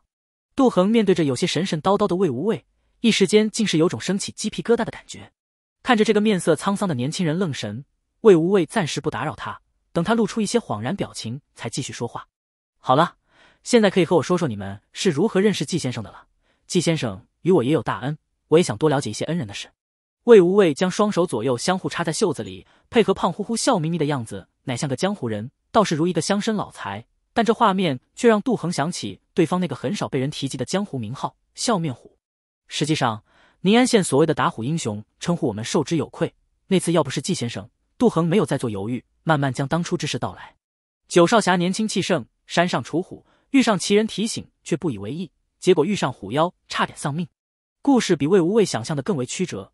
他没想到那张白虎皮居然仅仅是虎妖吐出来送给九少侠的，也没想到温文尔雅的季先生也会有邋遢的时候。不过转念想着，高人选择以什么方式露面都不奇怪。别说去除食人恶虎了，这九人能保住一条性命，都是天大的幸运了。听完整个故事，直到九少侠离开宁安县，魏无畏终于确定。这九人对纪元的了解也不多，或者说实在太少了，比他魏某人了解的还要少得多。甚至于那个同虎妖的约定，听杜恒提及的时候，情绪并未怎么波动，语气也是平缓。以魏无畏为人处事的经验看，这些人可能以为当初是季先生为了让他们保命，故意搪塞虎妖的一种说辞。那陆成风既然年关去过宁安县，有没有告诉你们枣树结果宋先生的典故？听魏无畏又这么问了句，杜恒皱起眉头：“什么典故？不曾听过。”哦哈，可能陆少侠他也没来得及听闻吧，所以才没有告诉你们。哈哈哈！魏无畏笑了笑，解释一句。外头的声音热闹起来，想必是已经要开宴了。走吧，杜少侠，我儿的满月宴要开始了，我这当爹的可不能缺席，你也一样缺不得，可别独自在此买醉啊！魏无畏拍拍屁股，站起来先行一步，大腹便便的身子走起路来好似在扭动。只是走了几步，突然转过头，再次望向也刚站起来的杜恒。杜少侠，有句话我得提醒你，那虎妖之约八成是真的会要命的。三年你们就淡忘了，三十年呢？我同你一见如故，方才多嘴一句，别不放在心上啊！嘿嘿嘿。说完这句，魏无畏才大步离开，出了花园，到了宴席园中，簇拥着一片恭喜之声。而他也礼数周全的同所有人回礼问候。杜恒回到同族两人身边的时候，宴席已经开始了。魏家的下人轮流上菜，甚至每一桌都准备了三个炭火加热的铜制火锅，给这顿宴席增添一些温度。对于冀州这个地方而言，这种吃法非常新鲜，满座宾客都对涮火锅赞不绝口。杜恒更是一改往日的颓废，酒也不怎么喝，就是一个劲的左手持筷，不停涮肉吃。恒哥今天怎么了？不知道啊，不过真好久没看到恒哥这么好胃口了。我们也吃，不然都给恒哥吃完了。对对对，回去路上还得耽搁那么久，都赶不上过年，可得在这吃回来。两人算是杜恒同族中关系较近的旁系族弟，交流几句也赶紧吃起来。杜恒到底也曾经是杜家寄予厚望的天才人物，哪怕如今折了翅膀，家中其实还是有一部分长辈在意他的，也想过让他器武掌管一些家族其他产业，只是他一直不甘，又有些颓废，才弄得今天这样里外不受待见。但今天魏无畏那番话，不能说振奋鼓舞了杜恒，却让他不想再颓废下去。既然再次来了德胜府，既然赶不上回家过年，那吃完这顿满月宴，不妨再去一次宁安县。魏家小少爷的满月酒又不是比武招亲什么的。除了送礼、恭贺、吃饭之外，自然就没有什么多余的节目。大冷天的，也不能让一个婴儿露面，所以大多数吃完午宴晚宴的人也都纷纷告辞。当然，若有人想在德胜府玩一玩，不管是酒楼茶馆还是青楼牌坊，一切开销都会由魏家负责。甚至于城中最好的那些商铺，除了不涉足赌坊青楼，其实相当一部分都是魏家产业。杜恒和两个族弟在第二日一早就从魏家安排的客栈出来，准备到马厩中去牵马，没想到还有一个马夫在等着他们。见到断臂的杜恒领着人从客栈后门出来，那个瘦瘦小小、裹着厚厚棉袄的马夫顿时眼睛一亮，从马厩里窜出来：“这位是杜大侠吧？”杜恒略微诧异，一般都是给客栈预存签号，让马夫牵三人来时的马匹，但对方应该不至于认识自己吧？马夫搓着手哈了口气，赶忙伸手引向右侧那片马厩：“准是您没错了，家主之前吩咐过，说您来时的那几匹马不小心被人牵错了，特意另赔了几匹马，那边还有马车。”若是要去德胜府内的一些个县镇之地，我也可以赶车送你们去。这大冷天的，还是马车舒服。右侧马厩里有三匹枣红剑马，从那毫无杂色的光亮毛发和灵动眼神、匀称肌肉肥膘以及高大的体魄上看，绝对是三匹好马，至少绝对比杜家人之前那三匹好很多。嘿嘿，杜少侠，这三匹胭脂马就是家主赔给你们的，耐力好，发力快，脾气是对主人温顺，对野兽那是一脚能踢死一头狼，就是吃的多。马夫搓着手，又指向边上马车。这马车内部铺了皮草，还有暖炉，坐起来又舒服又暖和。等闲两三百里地下来，一点都不累。嘿嘿，杜少侠，您看要不要我替你们赶车？杜恒眉头一皱，看向这个精明的马夫，忽然发觉他虽然矮矮小小，手指头也被冻得通红，却指节粗大，手勾如爪，显然是个武功不俗的好手。魏家主知道我要去哪？嘿嘿，看您说的，魏家主哪能知道这些啊？就是觉得您可能用得上。杜恒身后两个杜家子弟早就看着几匹胭脂马，双眼放光了，就和纪元上辈子男人爱车一样。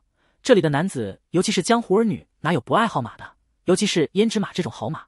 多谢魏家主美意了，我们骑马去，用不着坐马车。杜恒实在不习惯有这么一个外人为他们赶车，看看身后两个族弟的样子，估计也迫不及待想要骑马。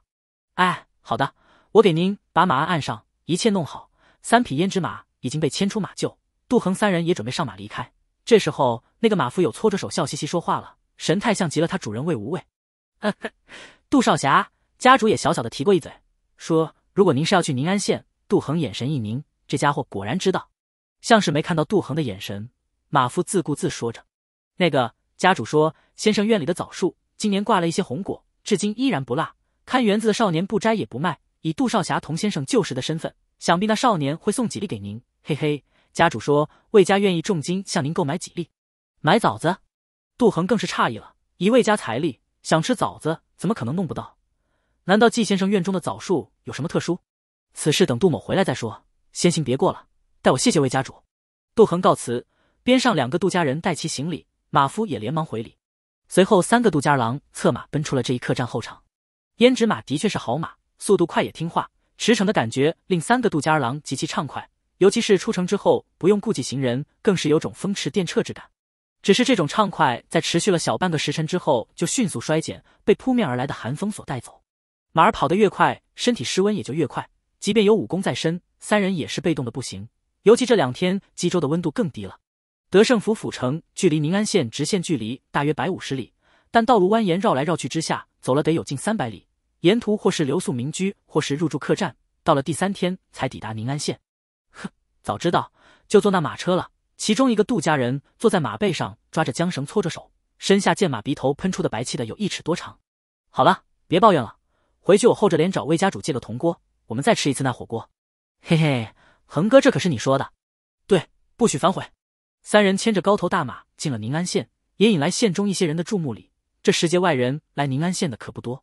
稍稍打听了一番，就了解到了季先生的居所。毕竟那小阁当初只有陆成风去过，其他人只知道名字和大概方位。乡人热心，只是戴格路并不收杜恒的钱。到了天牛坊深处小阁外百步，这位同是天牛坊人的棉袄汉子指着那边依然枝叶翠绿，并带着点点嫣红的位置道：“那便是居安小阁，以前季先生就住那边，你们自己过去吧。”杜恒等人谢过之后，就牵着马走向小院方向。之前来的时候，就听那汉子说，这棵枣树奇特，现在结冰的季节，满树翠绿，叶脉间零星红点，更是好似红花一般艳丽，很难想象这是严冬的景色。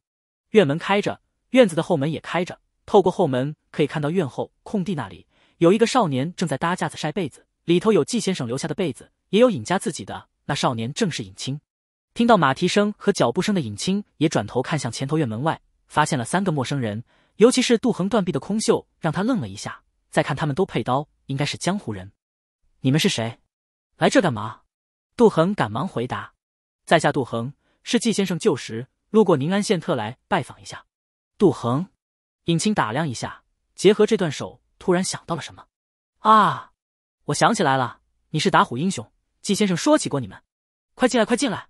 杜恒这断臂太有辨识度了。尹清放下手中的事，从后院荒地窜到前头小院，将三人迎进院子，也对那三匹胭脂马十分好奇。麻利的从小阁厨房多拿出几个杯子，然后用石桌上原本就有的水壶倒水，喝水。这水还热着呢。茶叶就没有了。你们来的不巧，先生出游后就一直没回来过呢。他不在的时候，我们家就帮他看院子。现在我爹也赶考去了，就我看着，早来几个月，院子里枣子也多呢。现在少了。尹清带着股兴奋劲，喋喋不休的同杜恒说着，然后又询问当初九人怎么打老虎。实际上，所谓打虎过程，完全是被虎妖一边倒的虐。杜恒根本讲不出什么，只能尽量说一说那些准备和简单的交手过程，然后用一通围攻搪塞过去。但尹清依然听得津津有味。等杜恒讲完，也就顺势向尹清询问一些纪元的情况。之前带路的乡人也说过纪先生是个奇人，但真正情况还是问尹家人更合适。除了鬼神之事以及魏无畏荀先生看玉那事被叮嘱不能说，其他的尹清讲起来也是带劲。从救胡放胡到剑先生舞剑花叶如龙，还讲到了魏宋先生远行枣树一夜间结果成熟的奇事，这些连杜恒都听得惊异不已。两个杜家族弟听到后来则有些不信了，感觉是小孩子在吹牛。不过尹清倒是没注意到两个杜家子弟的撇嘴，反而越讲越兴奋。对了，你等着，我回家一趟，我有东西给你看。尹清说话间就腾腾腾跑出了院子回家去了。刘三人在院中面面相觑，这枣子红的和火一样，不知道味道怎么样。恒哥，我们摘两个尝尝。别乱动。杜恒瞪了族弟一眼。不一会，尹清又兴冲冲的带着一本书跑了回来。我回来啦。尹清进了院子，略微气喘的将书放到了石桌上。因为手干不好翻，就舔了点口水翻页，翻到了中段部分。嘿嘿，这是我自己写的，季先生讲过的一些有趣的事，我有时候怕忘了就写下来。尹清翻到这一页，上头有杜恒的名字和简单介绍，也有一些不认识的人和事。小小年纪字迹却也工整。嘿嘿，你看，季先生只和我说过两个独臂大侠，一个是你，还有一个就是这个叫杨过的。杨过，这是何人？这你就不知道吧？嗯，不是我大真人。或者说不是这个时代的人，应该是个古人。你先别管他是谁，反正他很厉害，连季先生都说他厉害的那种。尹清翻着书，将自己记述的一些不完全的内容给杜恒看。从小寄人篱下，被欺负，被看不起，被伯父的孩子砍手，独自出逃，重骑独受凌辱。中间内容看得杜恒和两个族弟头皮发麻。这人这样还没死，还能生起抗争心？到后面以雕为友，苦练数十载，更难得的是始终心胸开阔，武功高绝，也不失侠义之心，人称神雕大侠杨过。因为考虑当当初尹清年纪小，纪元讲这故事的时候和谐了一部分成年人的情爱，所以更加突出了杨过武学心路历程和天下大义。真曾经有这样的人，不会是那个纪先生编的吧？尹清一听这杜家子弟的话，就很不乐意了。编？你当纪先生是说书的吗？纪先生的故事还用编？你要是知道他连城……说到这，尹清立刻捂住了嘴，差点说漏了。总之，这肯定是真的，你爱信不信。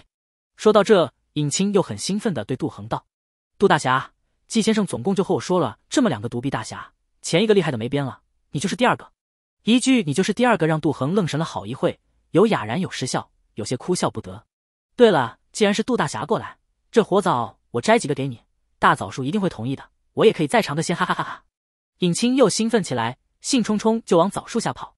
大枣树同意，这又是一句让杜恒等人纳闷的话。只是杜恒和两个杜家子弟都没有深思，只是看着尹清身手矫健的三两下爬上了树。尹清自然不管石桌前的三个杜家子弟现在想的是什么。反正这次摘火枣的机会绝佳，枣树枝叶茂盛，火红色的枣子隐藏在翠绿之中，多处于高处。这枣子块头比一般枣子更大，真比较起来，其实得有正常青枣三倍大小。只是现在没个对照。三两下攀登到较高处，尹清带着兴奋感将手伸向最近的一颗，一只手抱住枣子都显得充实。到了这会，杜家三人发现这少年动作突然轻柔了下来，随后听到这少年开始说话，也不知道是自言自语，还是更荒谬的对着枣树发言。大枣树下面那个杜大侠可是季先生旧识，和先生认识的可早了。他三年才来了这一回，吃个枣子不过分吧？尹清看看下面一脸好奇的杜家三人，说完这话，小心的一扯，啪的一声，大红枣就被扯了下来。哈哈哈！太好了，让摘的，真的让摘的。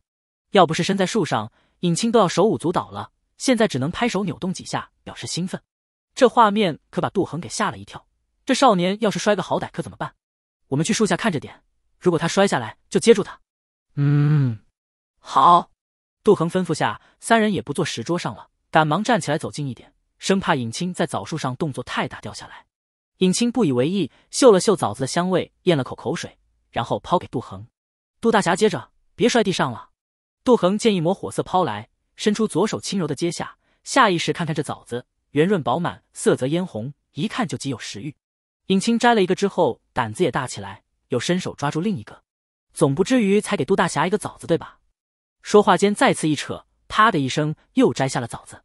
嘿嘿，一口吃一个，味道都尝不出来的。他们来了三个人呢，而且我摘枣子很辛苦的。尹清嘴巴叽里呱啦不停，连连伸手往红枣上抓，一个、两个、三个、四个，一共扯下来七个。当刚刚抓住第八个的时候，就感觉到树枝轻微扭动了一下。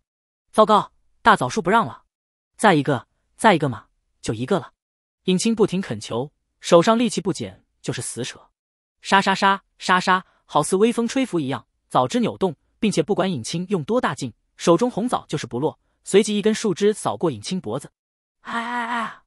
尹清脖子一仰，身子一下失去了重心，从树上掉了下来。下面其中一个杜家子弟赶忙伸手去接，将少年接入怀中。不过尹清摔下来的时候一点也不恼，只是看着树上那颗没能摘下来的枣子，唉声叹气。又嘀咕不停，哎，才给七个，真小气，小气！杜恒等人面面相觑，这少年爬树摘果也太冒失了点，自言自语的也不抓稳了。刚刚要不是他们在，指定就摔伤了。尹小哥，你这样爬树可太不稳当了。今日也就是我们在这，下次切勿如此冒失了。其中一个杜家子弟劝了一句，但尹清显然全然不在意。没事的，你们在我才会摔下来，不然肯定摔不了。这听着让杜家人感觉奇怪。难不成还是我们的不是了？好了好了，不说了，嘿嘿，看看这火枣，往日你们别说吃了，见都见不着的。尹清扯开自己衣兜，露出里面的六个大枣，连上杜恒手中的那个，就是七个火红的枣子，个个都有幼儿拳头那么大。几人重新坐回石桌上，七个枣子也被排成一列。尹清当即抓走一个，这个是我的报酬。解释一句后，看看另外两个杜家子弟，然后对着杜恒说：“剩下六个，你拿四个，他们俩运气好。”一人一个。说这话的时候，尹清俨然一副小大人口气。为什么我们只有一个？其中一个杜家子弟愣愣争辩了一句：“你有一个已经很走运了，没看我都只有一个吗？要不是因为你和杜大侠一起来的，一个也无。”尹清两句话顶了回去：“你都只有一个，你想吃还不是随便摘？”杜家子弟也不过比尹清大了三四岁，明知和少年争辩没意思，可还是多嘴一句。尹清气呼呼看看枣树：“你给我去随便摘个看看，你能摘下算你厉害，摘就摘。”两人还顶上了，杜恒则看不过去了：“可杜月，这是人家的地方，要你多嘴。”教训一句后，杜恒也向尹清致谢。这枣子一看就不普通，拿来招待他们，算是很客气了。嘿，还是杜大侠明理，别愣着了，快吃吧。这枣子皇上见了都馋的。尹清玩笑一句，就赶忙啃起自己那个，咯吱咯吱的脆响间，芳香四溢，让闻到的三个杜家人食指大动，也不再犹豫，纷纷拿起枣子吃了起来。咯吱一口咬到嘴里，三个杜家人就瞪大了眼。那股鲜香在舌尖炸裂，让人忍不住不停咀嚼、不停啃食。早知早肉咽下肚，居然如同喝了烈酒，肚里暖洋洋的，甚至有一股暖流在身上游走。这枣子难道是什么天才地宝？杜恒心中一惊，反应过来的时候，自己已经将手中的枣子啃了个干净。另外两个杜家人都咽着口水，看着桌上的剩下的三个枣子。杜恒哪怕极度不舍，也在推出两个分给族弟。还没说话能，尹清就伸手把那两个枣子拨回来了。不行。这枣子只能你吃，杨过大侠有奇异蛇胆，那杜大侠就有活枣，他们不能再动了。另一个杜家子弟还想说话，尹清就像是看穿了他，指着头顶枣树枝丫：“想吃，自己摘去，我同意你摘去吧，摘就摘。”吃过这枣子之后，哪里还安耐得住？这杜家子弟一个纵跃就跳上了枣树，伸手就抓住了最近的一颗大红枣，轻轻一拉，枣子居然好似粘在树枝上一样不下来，猛然用力。整条枣枝都弯了，果子还是纹丝不动。给我下来！呵，杜家子弟运尽行气，结果枣枝越来越弯，反弹的力道也越来越大。然后突然间，手上牵扯的力道猛增，整个人如同被弹弓弹出。啊！杜家子弟居然被一根枣枝弹飞到了空中，无处借力之下，在空中乱挥乱舞，然后再失重落下。也幸好是个舞者，掉下来的时候又抓住一根树枝借了力，结果那树枝居然比泥鳅还滑溜，直接带着他顿了一顿后滑出了手。然后砰的一声，杜家子的摔在了地上。哎呦，我明明已经缓和了落势，那树枝又把我重心带歪了。杜家子弟龇牙咧嘴的站起来，刚刚落下来抓树枝，本来应该能站直了落地的。沙沙沙沙沙沙沙，整个大枣树的树枝树叶无风自动，左右颤动间发出沙沙沙的声音，令三个杜家子弟下意识抬头看去。树枝的颤动却越来越剧烈，甚至有种阴影连成一片，将阳光都挡住的感觉，显得十分诡异，看得三人有些头皮发麻。好似枣树在嘲笑他们，这一幕持续了得有好几个呼吸，而周围明明就没有什么风。哼哼，怎么样，摘下来了吗？尹清哼唧一声，打破了三人心中的那份淡淡的恐惧感。再看那树，已经渐渐风平浪静，但没谁觉得刚刚的是幻觉。杜恒猛然间想起当初牛魁山上的猛虎精妖这个词出现在心头，但转念一想又觉不对。看着桌上的枣子，一种面对鲜果的心态就升了起来。马上就要过年。宁安县内的过年气氛已经起来，尹清不但要帮助家里赶陈，也得兼顾居安小阁。杜家三人帮助尹清一起对小阁稍稍打扫一番后，就告辞离去了。不想麻烦尹母做饭招待，他们也没有在宁安县多留的打算。尹清说到底还年纪不大，当初纪元的描述也不全，记下的神雕大侠的故事没多少字，顶多是一段概述，开局和中间都一笔带过，结果才是重彩浓墨。没有尹清自己那种脑补。杜家人也就是惊愕于此人如此多灾多难，又有如此成就，却无多少代入感。但在经历了枣树事件后，至少杜恒对神雕大侠本身的历史存在性已经少了许多怀疑。他比起两个族弟，到底还是多些代入感的。尤其是断臂之痛，当初回家后大半年，手臂最终坏死，不得不截肢时，那种绝望和悲哀，在多少次夜里将杜恒惊醒。但魏家满月宴同魏无畏的一番谈话，到居安小阁中的那件文，让杜恒哭泣的心隐隐燃起火焰。三人骑着马，披着大氅，同样的寒风中，却因为火枣的缘故，身上暖暖的。而直接吃了三粒的杜恒，更是觉得有热力浑身流窜，好似有使不完的力气。每一次呼吸吐纳，就随着真气运行到周身大穴。前一个厉害的没边了，你就是第二个。尹清的清脆的话音还在杜恒心中回荡，配合火枣的力量，让他心头火热。那简短补全的故事中，杨过当初连个帮他的都没，而他杜恒至少还有杜家，没有左手刀法又如何？我杜家狂刀的右手刀法也不是天上掉下来的。杜恒突然低声这么一句，一种不吐不快的心情在胸中酝酿。下一刻，他突然在马背上一拍，左手背后抽刀，身体纵跃而起，在空中旋转，然后狠狠朝着前方甩臂挥刀。刷刀锋割裂寒风，在杜恒周围撒出一个半月。随后，杜恒身体落下，再次与马背上一点，腾空而起，从另一个方向挥刀斩落，身子接连起伏，将练了无数遍的狂刀十二式以左手刀使出，力一次比一次大，势一次比一次猛，每一次运劲就有热流升腾，充盈经脉。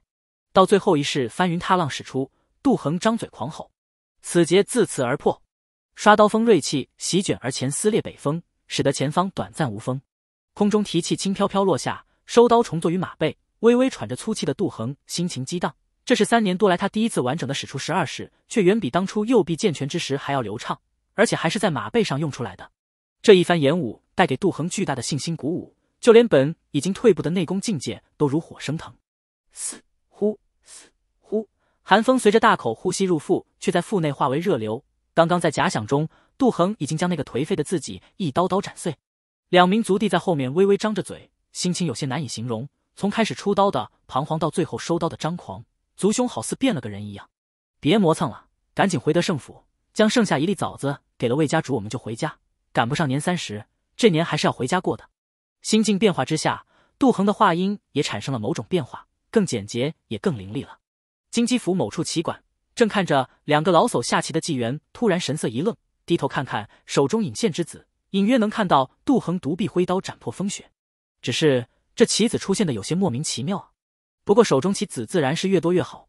杜恒能成子是再好不过了，但纪元也没有刻意去寻另外八人的打算。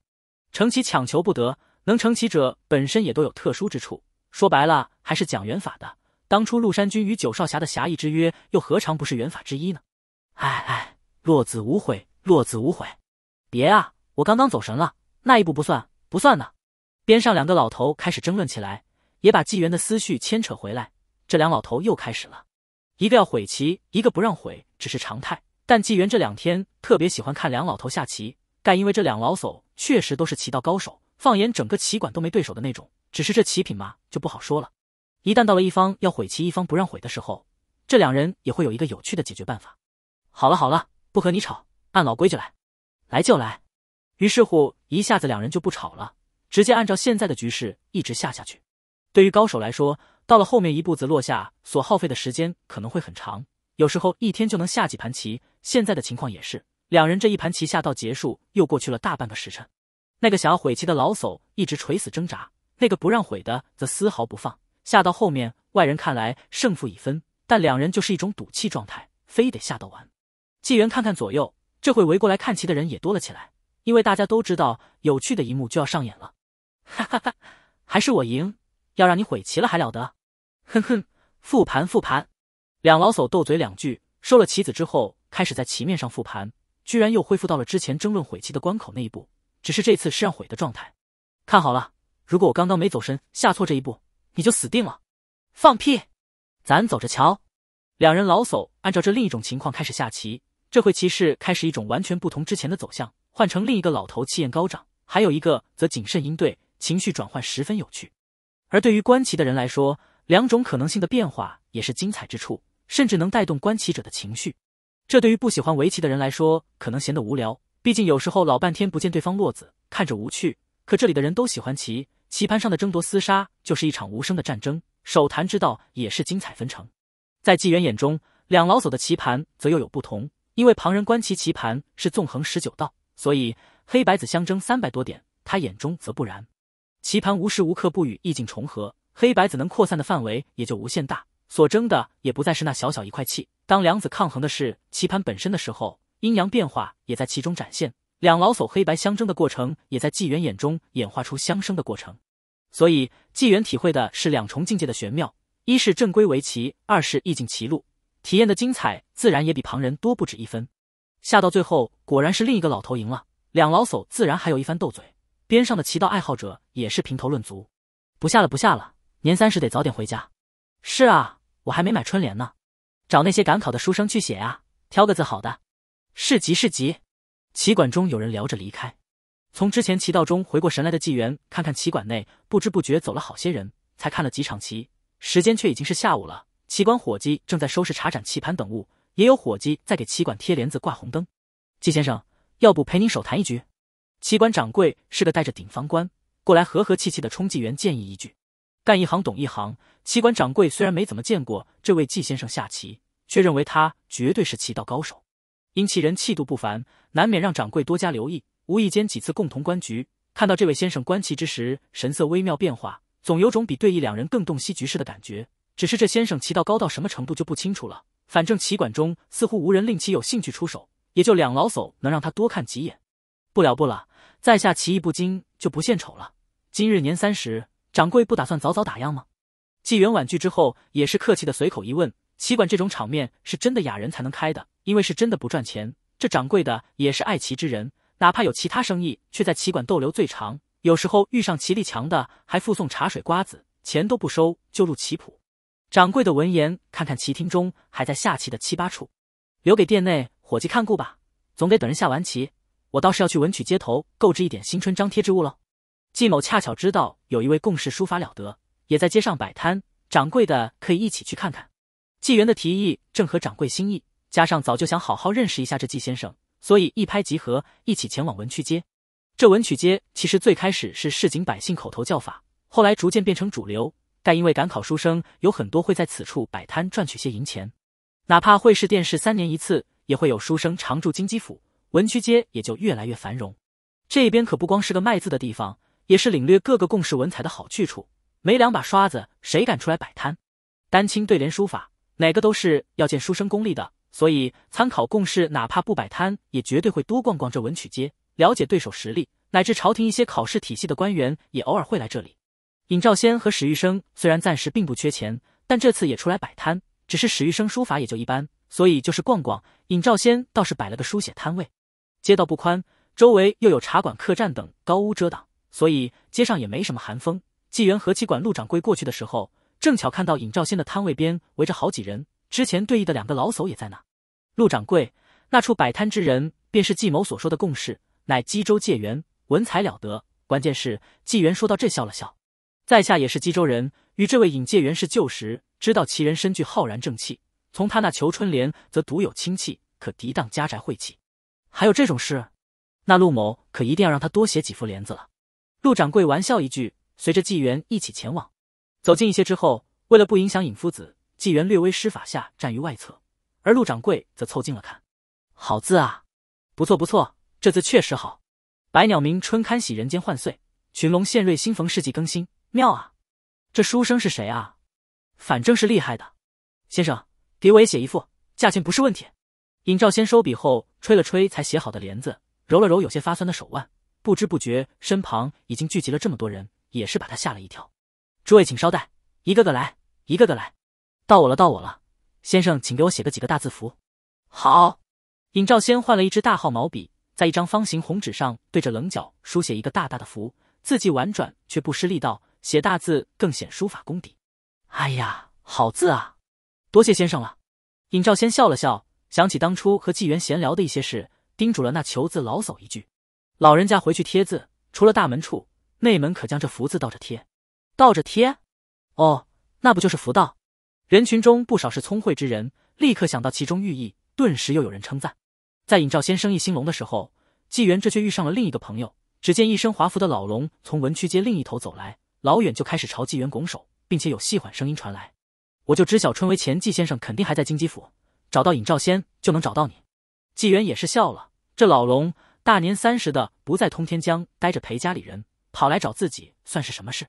随后纪元视线看看另一头，正巧那个三公子似乎也来找尹兆先，在一个仆人指点引路之下，直奔着尹夫子的摊位而来。虽然几方算不上相干，但纪元还是心里吐槽一句：凑成一桌麻将了。不过那三公子的事情，纪元可不用理会，交给尹夫子自己应对吧。纪元自顾走开几步，对着老龙前来的身影拱手相迎，却没有说话。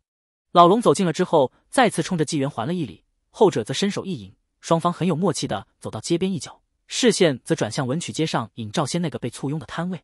纪先生可是要等到春闱之后才会离开金鸡府啊？和乡试贵榜一样，在大真春闱也代指京城科举，原本只对应会试，如今则只待殿试等最终结果。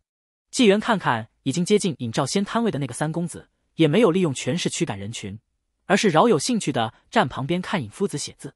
听到老龙的问题，纪元指着那三公子答非所问的反问一句：“尹老先生可知那位新到的男子是何人？”老龙顺着纪元的指向看看，见那人有些气派，边上更是在各个方位站着几名气血旺盛的凡人武者。再细一观气，能见到那人身上气色升腾，有一抹紫色隐藏其中，看起来似乎是某个皇亲国戚。不错，此人出游喜字号三公子，实则就是晋王，乃当今大真皇帝第三子。哦，大真皇帝的三儿子。老龙对此兴趣缺缺，哪怕通天将紧挨金鸡府，大真王朝的兴衰在他眼中也没什么意义。相比之下，反而是尹兆先更受老龙待见。纪元看看老龙道：“大真虽多立嫡长为太子，但当今皇帝还年富力强，且独有个性，迟迟不立太子。对于年龄较大的长子，更是觉得碍眼。”老龙稍微来了点兴趣。季先生认为，这个晋王可能会是将来的太子，甚至下一任大真皇帝。哼，只能说有这种可能，但其人锋芒太露。大争之中，危机四伏啊！老龙皱着眉头看看自己这好友，倒不是觉得这句话有什么问题，而是觉得有时候他还真有点看不透纪元，似乎对什么都感兴趣，又似乎对什么都不太感兴趣。季先生，今日是大年三十年关之尾，对凡人来说是个至关重要的日子，对我等而言也算有特殊意味。不如就随老朽回那水府一叙如何？当然，也可将尹兆先带上，这书生还是不错的。纪元看到老龙一脸认真的样子，赶忙摇摇头。儒生志在设计，还是不要让尹夫子过多接触凡尘之外的事物为好。况且纪某对此间事也有些兴趣。这晋王不准备参加皇宫团圆宴，来此找尹兆先为何？哦，是了，这皇帝不喜欢办宫廷晚宴。说到这，纪元也对老龙邀请一番，回水府吃吃喝喝，未免无趣。不如殷老先生今日就同季某一同观游一下人间节庆如何？尤其是这皇城气象，在新年交替之际，想必有些可看之处。老龙一听，也是露出笑容。做什么事得看和什么人一起。以往他对这些自然没感觉，但纪元既然有意，他就也起了点兴趣。既然纪先生有此雅兴，老朽陪同便是。既如此，纪元也不打算在尹兆先面前现身了，微笑着伸手一引，同老龙一起靠近尹兆先摊位。只是两人的身形却逐渐虚化，在常人眼中已然被忽略过去。这一会，就连文曲街上其他的书生也有不少围在尹兆先摊位上看的。尹兆先也确实才情卓绝，所写春联诗词不但书法出众。而且都对仗工整，寓意也好，和其他书生明显拉开了档次。一边的史玉生倒成了专门帮收铜钱的人了，只是写的多了，难免手酸了。这会尹兆先已经揉了好几次手腕了。所幸围观之人虽然还多，但真正买字的人已经不多了。冰消雪化江山，又成五光十色；冬去春来神州，再现百态千姿。写的真好啊！是啊，听说这人是冀州界员，叫尹兆先，是吗？怪不得，也不知是谁传出去的。尹兆先才在这边摆摊两天，就开始为人熟知了。尤其今天人气爆棚，等到写完这一副联子，暂时无人上前求字，那在边上看了好一会的三公子这才开口说话：“尹介元，可还记得我呀？”说话间，边上的仆人已经悄悄隔开人群，将围观的书生等人往外驱赶了。旁人一看这架势，也不敢多说什么。怎么赶人啊？就是我还想买字呢。嘘，别说了，走了走了，惹不起的。尹兆先转头望向靖王，愣了一下。他当然认识这人，但不知道名字，只能说一句：“记得。”哈哈，记得就好。你那《群鸟论》呵，《魏之意》我都看完了，写的很是精彩啊。此前家师来我府上时，也瞥见《群鸟论》，翻阅之下，亦觉得甚是有趣。今日家中举办宴席，想到尹介元离家数千里，定是寂寞的，希望尹介元赏脸，随我赴宴如何？尹某，尹兆先看看周围这架势，似乎也不敢说个不字。恭敬不如从命。说话的时候，尹兆先四处找寻史玉生，最后发现对方也被这三公子的仆人赶到了一边，并无通融的打算。那现在就走吧，你的摊位就让那个史姓书生帮你收拾好了。靖王直接替两人做了决定，然后转身离开。尹兆先无法，也只好放下笔，向史玉生告罪一声后，随着两个护卫一起离开。史玉生则越想越不对，这不是绑人吗？咬咬牙，拜托旁人看顾下摊位，随后快步跑开，准备去报官。尹兆先从没想过，所谓团圆宴居然在王府，更没想过这位三公子居然是晋王。如今的大真皇帝有个奇怪的习惯，喜欢中午在宫中办一场团圆宴，晚上则宫中无事，有时候会带着嫔妃四处往亲近的儿子家里头串门，认为宫中殿高园深少亲情，不如几个儿子的王府有意思。今年皇帝去了吴王府，晋王则自己在家中举办规模不大的宴席，与会者没什么王公大臣，全是亲信。王府的富丽堂皇，还是让尹兆先有些目不暇接的。他也想不通，自己不过一个小小的冀州界员，何德何能可以参加这种聚会？倒是和老龙一起跟来的纪元有过一丝想法。一路在下人们，王爷好，王爷好。得问候声中进来，尹兆先和刘姥姥入大观园一样，也不敢说话，就是跟着。这位想必就是尹介元吧？一声高呼从王府内传来，吓了尹兆先一跳。靖王则已经先行朝来人拱手：“老师，这就是尹兆先、尹介元，冀州这一带的文学魁首。”不敢当，不敢当。尹兆先听着夸奖，汗都来了。尹介元，这位是我的老师，乃皇子少师李木书。一名老者如山老者已经到了近处，靖王也向着尹兆先介绍，后者赶忙行礼：“见过李公。”哈哈，不必客套。李某已拜读《群鸟论》，和谓之义，尹介元之才令李某钦佩啊。当时我就对靖王说：“此等大才必须抓在手中，否则可被别人抢了先了。”这话听得尹兆先又是一阵背部发热。皇子派系可不是开玩笑的，可现在骑虎难下啊！李公过誉了，过誉了。靖王见自己老师和尹兆先聊上了，就又要离去。惯例要象征性的在傍晚前入宫，请一请自己父皇。老师和尹介元多聊聊，我先去一趟宫中。王爷自去便是。尹介元交由老夫代为招待，定跑不了的。哈哈哈！靖王也笑着离去，尹兆先则尴尬的陪笑。呵呵，尹介元不必紧张，今日乃是靖王家宴，并无什么朝廷大员。靖王也是欣赏介元之才，方请你前来一会，就坐李某身旁好了。多谢李公。实不相瞒，尹某可是背都湿汗了。尹兆先这诚恳又有趣的回答，也逗乐了李木书。哈哈，请吧，我们先去偏厅聊聊《群鸟论》。李公先请。事已至此，尹兆先也只好看开些了。纪元和老龙就站在靖王府，从头到尾看着尹兆先浑身不自在的样子，却并未现身解救。老龙也是笑道：“这尹夫子倒是颇受欢迎啊，浩然正气，在这种客套场合可不太管用喽。”李木书不以官场身份压人，平心静气的交流文学方面的内容，也上尹兆先的紧张感减去不少，多少也吐露出一些心中抱负理想。有的东西在李木书听来确实有些天真。但尹兆先却不是如同其他年轻人一样空想，而是有自己的一套理念、方针和准则。只是现在没什么交情，所以浅谈折纸，可还是能令李木书亏得一般。尹介元的心中抱负想要舒展，非繁荣盛世不可行啊！李木书感叹一声：“尹某觉得，当今大真虽未必及得上盛世二字，却也繁荣。民强则国富，国富惠民则民安，乃相辅相成之道。”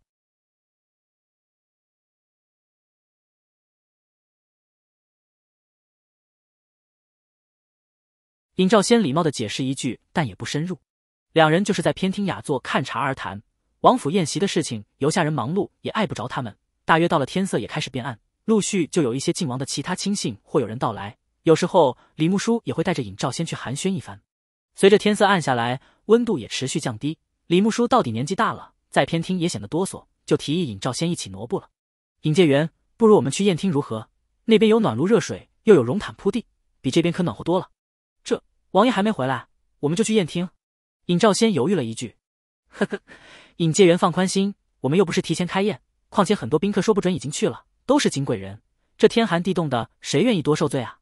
我可不是金贵人。”尹兆先腹诽一句，随着李木书前往宴厅。这也确实算是王府家宴，一些晋王友人来的时候还拖家带口，也没有多少严肃。宴席场所就在晋王府中庭后的一间大屋厅内，里头摆了四五张圆桌，而非个人桌案。更像是百姓家中的除夕宴。除了圆桌外，屋内还在四角备有专人看顾的暖炉，关上门只保持一点点通风口，使得屋内非常温暖。除此之外，留在宴席前方处的空间并不算多，至少是不够大型歌舞表演的，但也足够几名侍女琴瑟琵琶和弦而唱。李木书和尹兆先从带着厚棉帘子的侧门进入宴厅的时候，顿时感觉一阵热气涌来，浑身的寒意都被冲散了。哈哈，李少师，李公来了呀！我等早已在此享受了，方才还想着李公这么怕冷，为何还不治呢？呵呵，老了老了，受不得冻。要不是和尹介元找了个清静地方交流诗词文学的话，我早就来了。来来来，我向大家介绍一人，乃是冀州介元当世大才。见到李木书来了，厅内早已在此避寒的宾客纷纷问候。尹兆先本来只想做个隐形人，但李木书显然不放过他，一番介绍让他备受瞩目。纪元和老龙这会也已经跨入这片厅。就站在角落观察这里的布置。殷老先生，你那水府虽然华丽非凡、璀璨明亮，但到底是水底宫殿，大冷天的泡在水里，可不如这地方舒适啊。纪元嘿嘿嘿的开个玩笑，老龙撇撇嘴。水府之中四季恒温，珊瑚珍珠点缀如星，又有妖姬起舞仙乐和弦，这里哼哼差远了。温馨感，温馨感，你不懂啊，老哥。老龙说话间伸手一勾，就有一壶桌上酒，连同两个杯子一起飞向他和纪元所在角落，而其他人却毫无所觉。倒了两杯酒，酒液呈现明黄色，酒香也十分好闻。这便是金鸡府的金玉酒。纪元接过老龙递来的杯子，两人共饮一杯，品鉴了一下滋味，道：“还是不如千日春，更不用说龙涎香了。在凡酒中算是尚可了。”老龙尝着滋味，将酒壶放在一边，而那头终于有仆人发现酒桌少酒，哎呀，这里还少一壶，赶紧补上。那边尹兆先也没刚才那么拘谨了，毕竟谈论的都是各自见闻和一些诗词歌赋。圣上驾到外头，突然传来宫廷太监的高音嗓门，让原本热闹的宴厅骤然安静。尹兆先更是生理性的升起一阵鸡皮疙瘩。皇上，皇上来这晋王府了。圣上今晚不是在吴王那边吗？这。稍安勿躁，稍安勿躁。李木书这会更像个管事，让大家保持镇定。随后对着一旁尹兆先叮嘱道：“建军不比寻常，便是家宴场合也不可逾越礼数。一会除了行礼，尹介元尽量保持安静就好。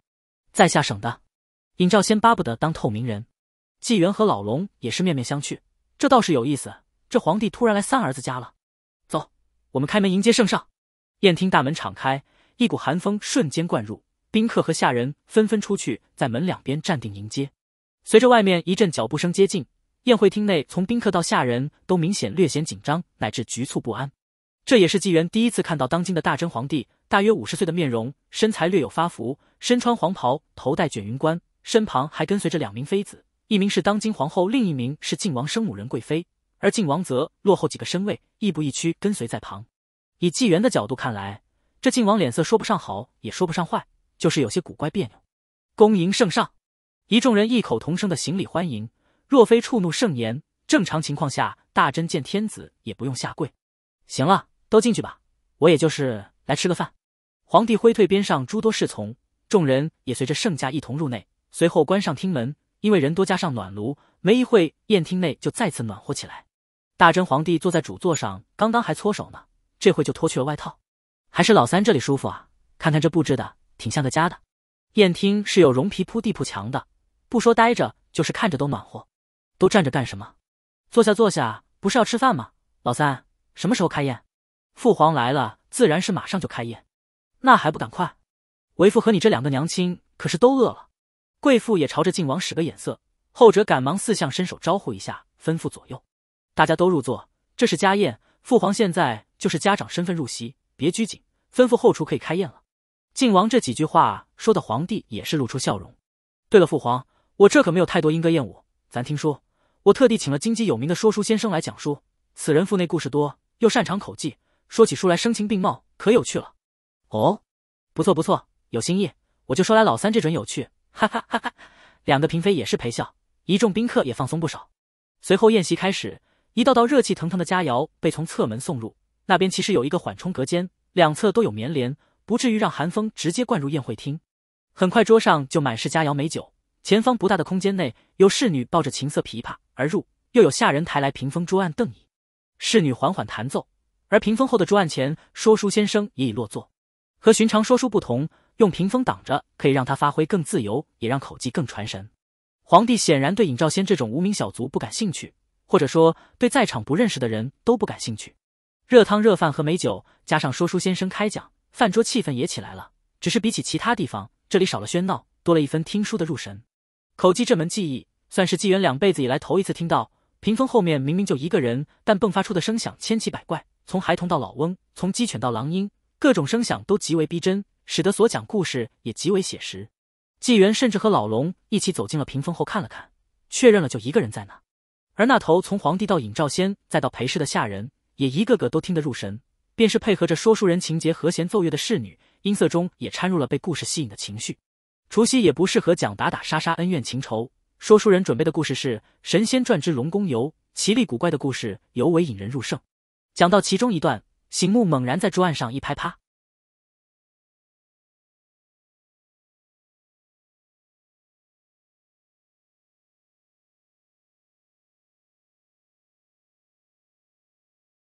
那才子终究是耐不住贪念，在起身如厕途中偷拿了龙宫一枚宝珠。龙王自然是知晓的，虽未说什么，却也看清了他，不再如之前那般热情。天明之后，就将其送回县中，此后再无邀请过这钱书生。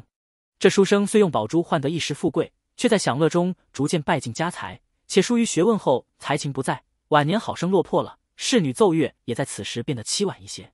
这故事讲完，或许是说书人技巧太高超，没想到皇帝听得有些痴迷了，提着酒壶就到了屏风前，命人撤去屏风，又摆了椅子在旁，连连追问神仙事。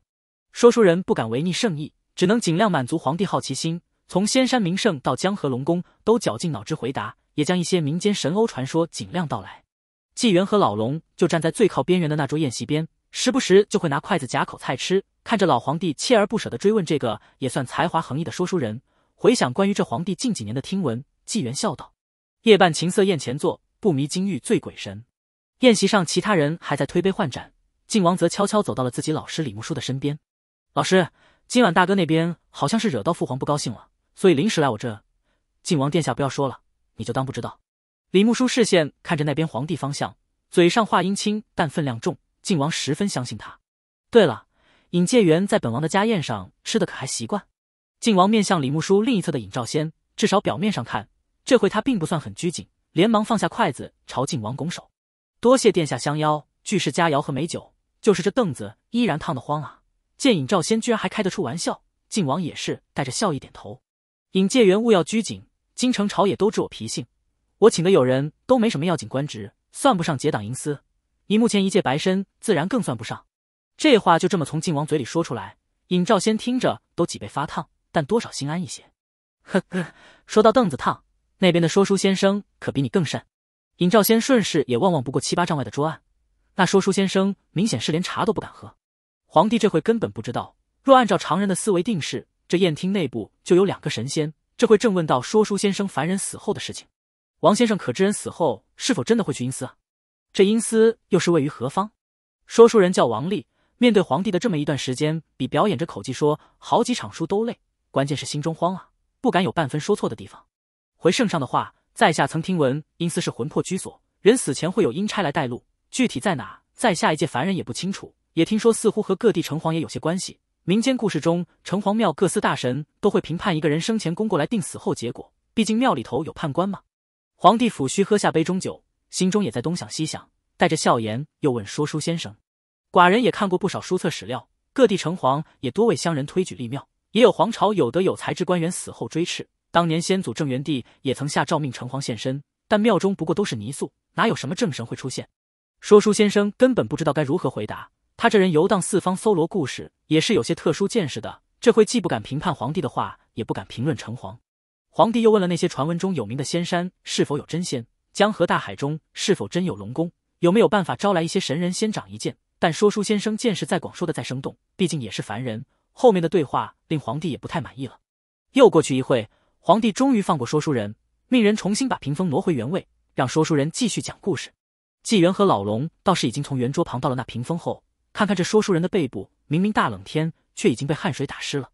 老龙笑道：“在凡人中，此人也算得上见多识广，某些鬼神精妖之事都达到了点上。”老皇帝对说书人的有些模棱两可的回答不满意。但纪元和老龙却对说书人另眼相看，比如有一处是野鬼缠人要水饭的，那稀饭立筷子背身往屋外泼出去的土法，这说书人讲的很有那么点意思。纪元也是一笑，可惜皇帝想知道的不是这种民间小道，想的是得道成仙，想的是长生不老。嘿嘿，人世间所有好处都让他得了去，却还不满足，这就是人间君王。老龙接口这么说了一句，倒也没有什么讽刺，不过是陈述事实。皇帝回席吃菜喝酒。后厨又有热腾的新菜不断送上，大珍历来有守岁的习惯，如这晋王府有酒有菜有节目，宴席需要持续到子时，后厨也会忙碌到子时之后。反正王爷和圣上下筷的时候必须是热菜。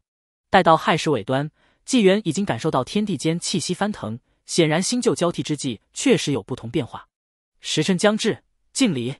有仆人在门口高声喊道。听到这声音，哪怕是皇帝也放下筷子，屋内的琴瑟琵琶也纷纷停止。等待新年到来，纪元和老龙更是已经出了屋外。前者睁大双目望向天地间，灰蒙之中有清气积蓄着上升，而浊气下降中则消散，好似在天地间撕开一片新空间，又好似清气挂云升天拉开帷幕。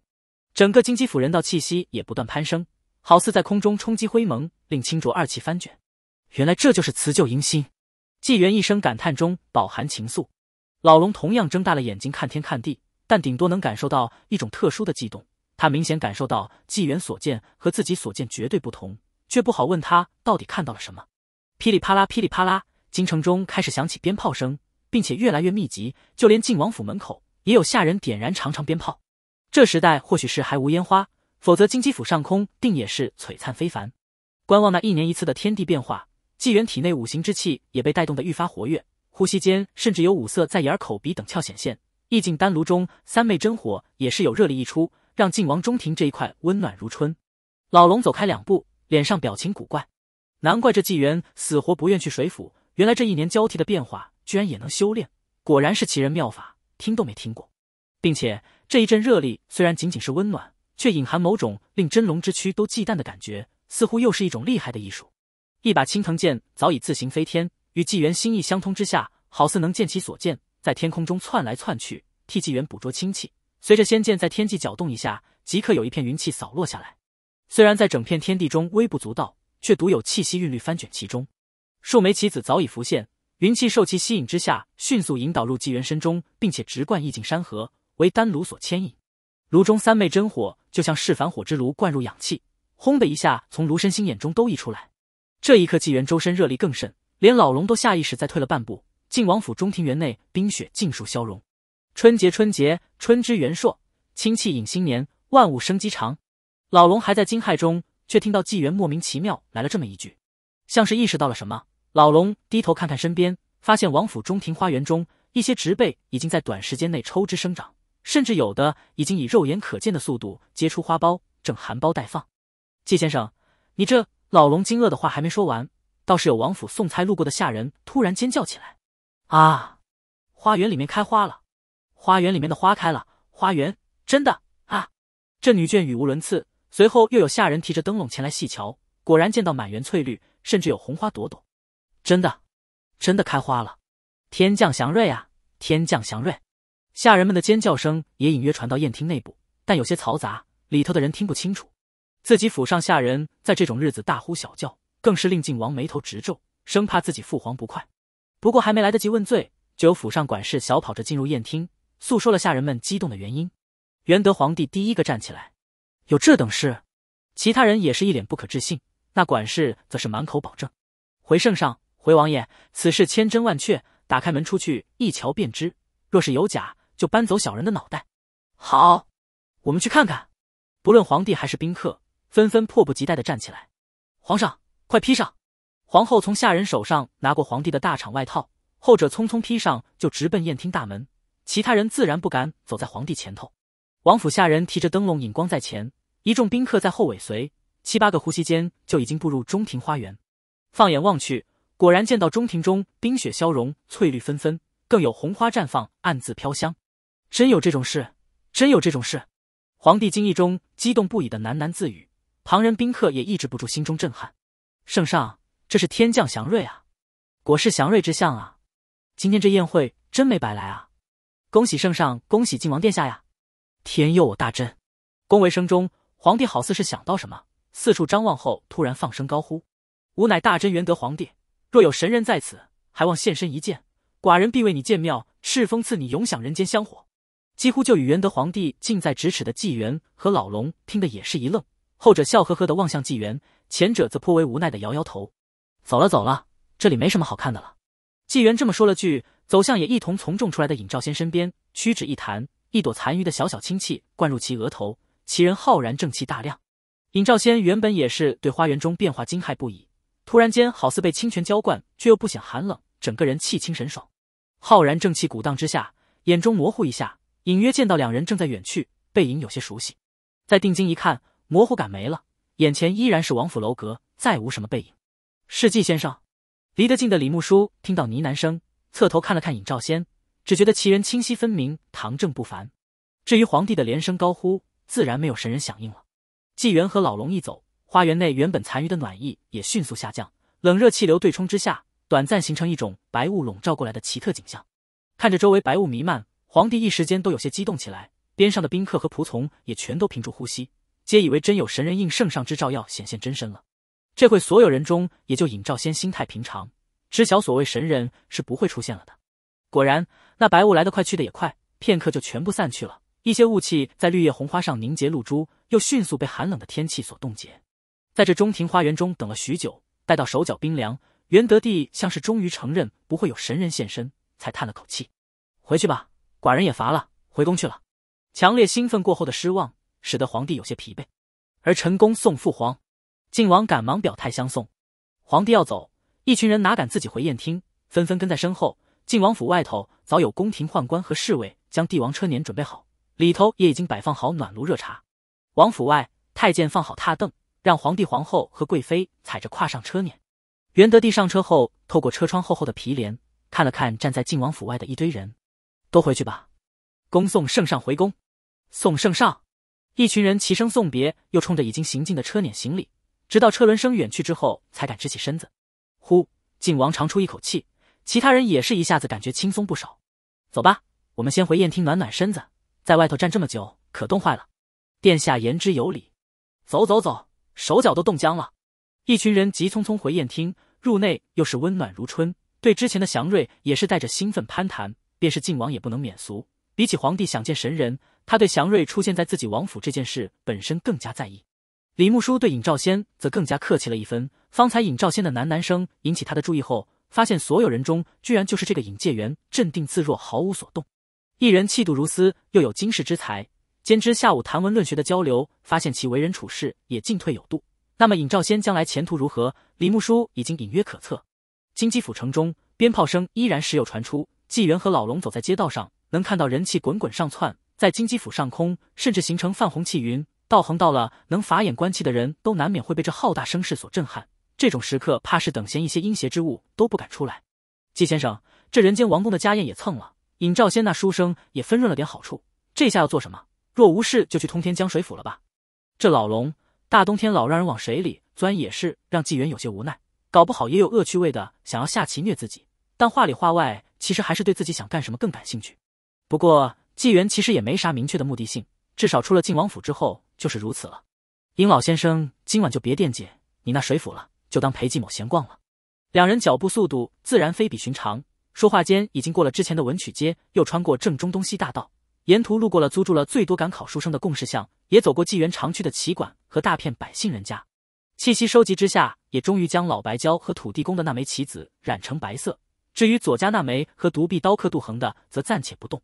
到了天明时刻，老龙自认算是看出纪元这一夜在干什么了，分明就是在一年一度的某个重要关口修行，修的哪门子妙法，他也是好奇的心痒，却又不方便问。就这么转了一圈，到了早上又转回贡士巷，正巧尹兆先被晋王府的马车送回来，报官无果的史玉生则大大松了口气。贡士巷口上看到这一幕，老龙若有所思的望向身旁纪元，纪先生对尹兆先这书生寄予的厚望有些不一般啊。纪元看看老龙，这不明摆着的吗？也随口答一句：“关心有人是其一，尹夫子将来所行之事，关系到大真人道大事，则是其二。”然后纪元心中还有一句：“甚至能影响到天地大事。”则是其三，浩然正气确实难得。尹兆先当有贤臣之资，其人本身才学出众，此番在京城又有了靠山，于情于理都不该落榜了。老龙扫了那边一眼，看的自然是有些困乏的尹兆先，史玉生则完全不入眼。然后突然转头问了句：“春闱之后，季先生不会又消失吧？尹老先生就放过我吧。江神娘娘那次也不过是侥幸，若季某一个控制不好，让其心念崩塌，当时就该被你追杀出水府了。龙子殿下，那我是真没辙的。”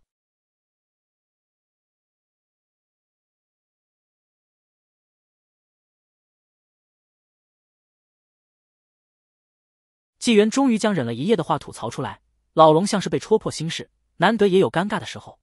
啊，纪先生说笑了。纪元到底是不敢让老龙太难看，连忙扯开话题。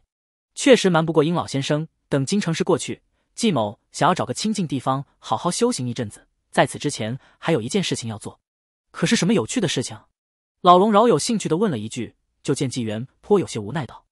也不是什么有趣的事情，是当初游历之时遇上一个凡尘道人，非要给我算命，结果一卦下去，把自己命折了半条。季某向来是个穷光蛋，除了勉强维系住他半条命，没什么拿得出手的灵丹妙药。这不有了龙涎香，可以帮他补足一下元气。老龙也是瞪大了眼睛，连纪元都只能勉强维系那道人的生命，那逆天反噬的严重成什么样子了？经历了最近一些事后，纪元的本事已经得到老龙的肯定，算得上一个能人了。不对啊。那道人怎么可能算得到你的事？老龙找纪元的时候，可是一点都算不到纪大先生在哪的。这道人为什么可以把自己算得差点丢命？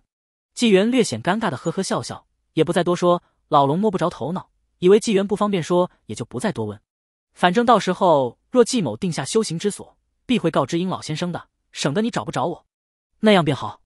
老龙笑了，对他来说，一个脾性对胃口本事也大的友人确实难得，主要是能看得上眼的太少了。此时此刻，五六千里外的滨州，某个在城隍庙外刚刚支起姻缘解签摊位的道人，突然鼻子发痒，使劲揉了几下都不管用。啊！九二九二，就一连打了三个喷嚏，冻红的鼻子都喷出了两条晶莹鼻涕。怪事，除了奇闻，还能有人想我？轻松道人一边擤着鼻涕甩着手，一边喃喃自语：“哎呀，真恶心，离他远点！哎呀，他甩这边来了。”边上赶着蒸出一头香或者上早香的香客都纷纷绕着摊位走，只有边上小道士急着找手帕。半日后，通天江水府有龙行前遁而来，在大殿外化为一名老者。正是真龙殷红，龙子殷风赶忙迎出来：“爹，就您一个人？季叔叔呢？”看着儿子东张西望的样子，老龙冷哼一声：“别看了，没来。”啊，您的面子季叔叔也不给？这老龙摇了摇头，直接往宫殿里走。自己这儿子原本了解到妹妹得了好处倒还好，可后来又听闻了自己的猜测，了解到那春木江白蛟似乎也有机遇，就有些耐不住了。哼，有事没事念叨你季叔叔。你那点心思，纪元会觉不出来，省省吧。没好气的留下这么一句话，老龙也不再理会自己儿子，回自己在后方水宫中的沙坛打盹去了。年初一的金鸡府也到处呈现着喜庆。大冷天的纪元当然不会穿单薄衣服，至少要把自己弄得看起来还算暖和才行。老龙回去之后，纪元也没有打搅尹兆先的打算，而是先习惯性的去看了看新浦棋馆。走到棋馆所处的一条窄街街头。发现这馆子居然真的年初一也开张，虽然为了御寒关着门，但外头挂着迎客牌。纪元进去转悠了一圈，也就几个伙计守在店里。棋馆内下棋的人一个也无，东家也不在，只有一个代理掌柜。和店内伙计相互问候了一声“新春好”，纪元就退了出来，打算回最近自己一直蹭住的那间阁楼补个觉去。那大户人家姓楚，府邸虽然靠近皇城，但似乎并非什么朝廷官员。那个书阁真的好似一个摆设。纪元蹭了这些日子。也就见到仆人来打扫过两次。那楚家人是没谁进来的，顶多也就是来取书。当然，也可能是书阁太大太凉，想要看书写字，还是在前头的屋宅里更舒服。这倒是便宜了纪元。那书阁三楼隔离了城中喧闹，环境清幽，且藏书众多。除了休息和修炼，闲暇之余也可以翻翻书册。书籍在这个时代虽然算不上太稀罕，可有价值的书还是比较珍贵的。普通百姓乃至寒门书生获取知识，相对较为困难。这也是那些书院这么吃香的原因之一。比起个人在家读书人，书院不但有老夫子教导，更关键的是书多。那些县市、府市乃至有时候的州解释考教基本功的时候，若让人默写什么典籍内容，有的书生连那本典籍都没看过，怎么写？走在永宁街上，纪元一边吐纳着丝丝灵气，一边看着沿街百姓相互拜年，正打算往楚府的方向拐的时候，远处的一个熟悉的声音吸引了他的注意力：“一碗粥，一份小菜，还有两个肉包，别忘了打一盆热水，谢谢了。”“好嘞。”王先生，您放心，一会就给您送来。正好清晨买了包子呢。说话的两人，一个是之前晋王府上的说书先生王立，这个纪元听过就不会认错；另一个嗓音清脆，应该是个孩子。想了下，纪元顺着声音记忆的位置，往左离开永宁街，进入一条老巷子内。巷子大约两辆马车的宽度，沿途左右都是带了围墙的民宅，但围墙都很矮，属于不过肩的那种。反倒是院门高一些，院里头的屋宅大多有两三间屋舍相连。家家户户都贴着类似春联、福字等事物，有个别人家还挂着红灯笼。不过此世间却无门神造君之说，自然也无此类神像张贴。纪元循声而至，在其中一户人家院外停下，能听到里头活动的大约有四人，其中三个在右侧两间屋子里有说有笑，还有热气香气传出，而另一个则在左侧的独间内，正是说书人王立。这说书人昨晚还是引起了纪元一些兴趣的，而且如今的纪某人很相信缘分这东西，既然碰上了。就打算去瞧瞧，掐起障眼法，轻轻一跃跳入院内。虽然房门紧闭，但听过里头嬷嬷声和略带激动的喃喃声，让纪元确信这人亢奋的很，一点都没睡意。这人昨晚连口技带说书讲了大半夜，照理是整个晋王府家宴中最累的人了，连尹夫子都困乏的回去就睡。这家伙为什么这么精神？王丽当然睡不着，一夜的疲惫算什么？和昨晚见闻带来的冲击一比，简直小巫见大巫。这间屋室并不大。里头有一张充当书桌的四仙桌，靠着床榻放着。王丽正坐在床边磨墨，砚台中墨汁磨好了，又饿又冷的王丽哆嗦一下，用镇纸压好桌上的纸张，提起毛笔沾沾墨水后，就开始在纸面上书写，边写嘴上还嘀咕个不停。晋王府除夕夜，王某受邀前往说书，讲的是神仙传，看的是帝王家。王立思路极为清晰，写得很快，字迹也比较潦草。帝王旁坐问一客，先生背后喊三声，鬼神之事无从说，绞尽思绪免作答。时辰已至，子时前，王府家拥轩敬礼。忽闻厅外惊呼起，喜声不绝盖春响，宾客纷纷随地去。中庭之内现祥瑞。写到这，王立也不知道是冷的还是兴奋的，手中之笔都略微颤抖，连连沾墨，再次书写。园中百木逢春绿，庭花会意放千红。帝王高呼请神人，白雾生化无人应。呵，说书先生写到这边暂且放下笔，搓着手哈着气，干脆将背后床榻上的被子也扯过来披在身上。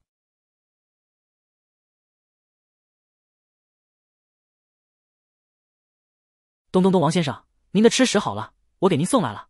哦，好，好，好，来了，来了。王丽赶忙从床上边站起来，到门口帮前来送吃食的孩子一起拿东西。打开门，一阵寒风扑面，让王丽更是缩了缩身子。一个大约十二三岁的男孩端着托盘站在外面，托盘上是热气腾腾的米粥、小菜和包子。男孩也不让王丽端托盘，看这先生一副缩着身子的样，还担心把盘子打了，主动端到屋内，将托盘上的东西一样样拿出来。纪元也随着男孩一起入了屋内，王丽则赶忙将门关上。虽然关门难免昏暗一些，但门窗油纸的透光也不算影响室内采光。王先生，您在写字啊？是写什么故事吗？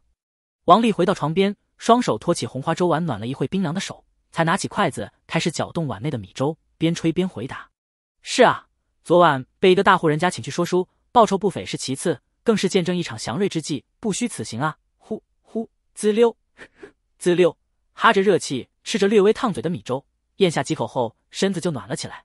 王先生，您这字写的可不如文曲街上的那些大先生。男孩好奇的看着纸面上潦草的字迹，纪元则看看王丽的气象，望向其谈到昨夜之事，倒也算得上气象清明，也有几分才气。虽然字写的确实不咋样，嘿嘿，那都是正统读书人，我哪能比啊？而且我习惯写的快些，自己能看懂就行了。王丽这么说一句，拿起一个包子撕开。就这么在粥碗里划拉两下，像是将粥当成蘸料，这么往嘴里送，吃的很香。王先生昨晚去了什么大户人家？有什么好玩的东西和我说说嘛？这大先生租住这边也已经半年了，男孩早就和他混熟了。说出来怕你不信，我昨天可是被请去了王府。王府你知道不？王府，皇上儿子住的地方。对对对，就是皇上儿子住的地方。王立刚夹起一块咸菜送嘴里，提着筷子朝着男孩连连空点表示正确。我还见到当今皇上了呢，男孩立刻瞪大了眼睛。皇上长什么样？是不是特别高、特别壮？是不是真的像老虎一样可怕？这话问的王丽一愣，就是纪元也笑着侧目看了看这男孩。嗯，特别高、特别壮，坐他边上先生，我连大气都不敢喘。不过更有意思的是在后头，时辰到了子时之后，王府花园里居然冰雪消融，百花绽放，好多人都说是天降祥瑞。男孩挠了挠头，有些想象不到那场面，但听着先生说的那些词藻。就觉得很厉害的样子，像是察觉到男孩没听明白，王丽换了种说辞，就是有神仙在昨晚施法，让王府花园的花草树木全都抽芽，春天、夏天、秋天才开的花，全都在那一刻盛开，那可好看了。哇！这下男孩懂了，惊呼一声之后，又有些不信：“真的假的啊？王先生，您没骗我吧？我爹说您是个说书先生，最会编了。”王丽一阵气闷：“你爹，小东，说书人的故事也不是空穴来风。”多是照着原型改的，有些是夸张，但有些其实就是真事。比如先生，我刚刚讲的那件，我还没编排成故事呢，所以还是亲身经历，是真的。哦，对了，我去给先生端热水泡脚。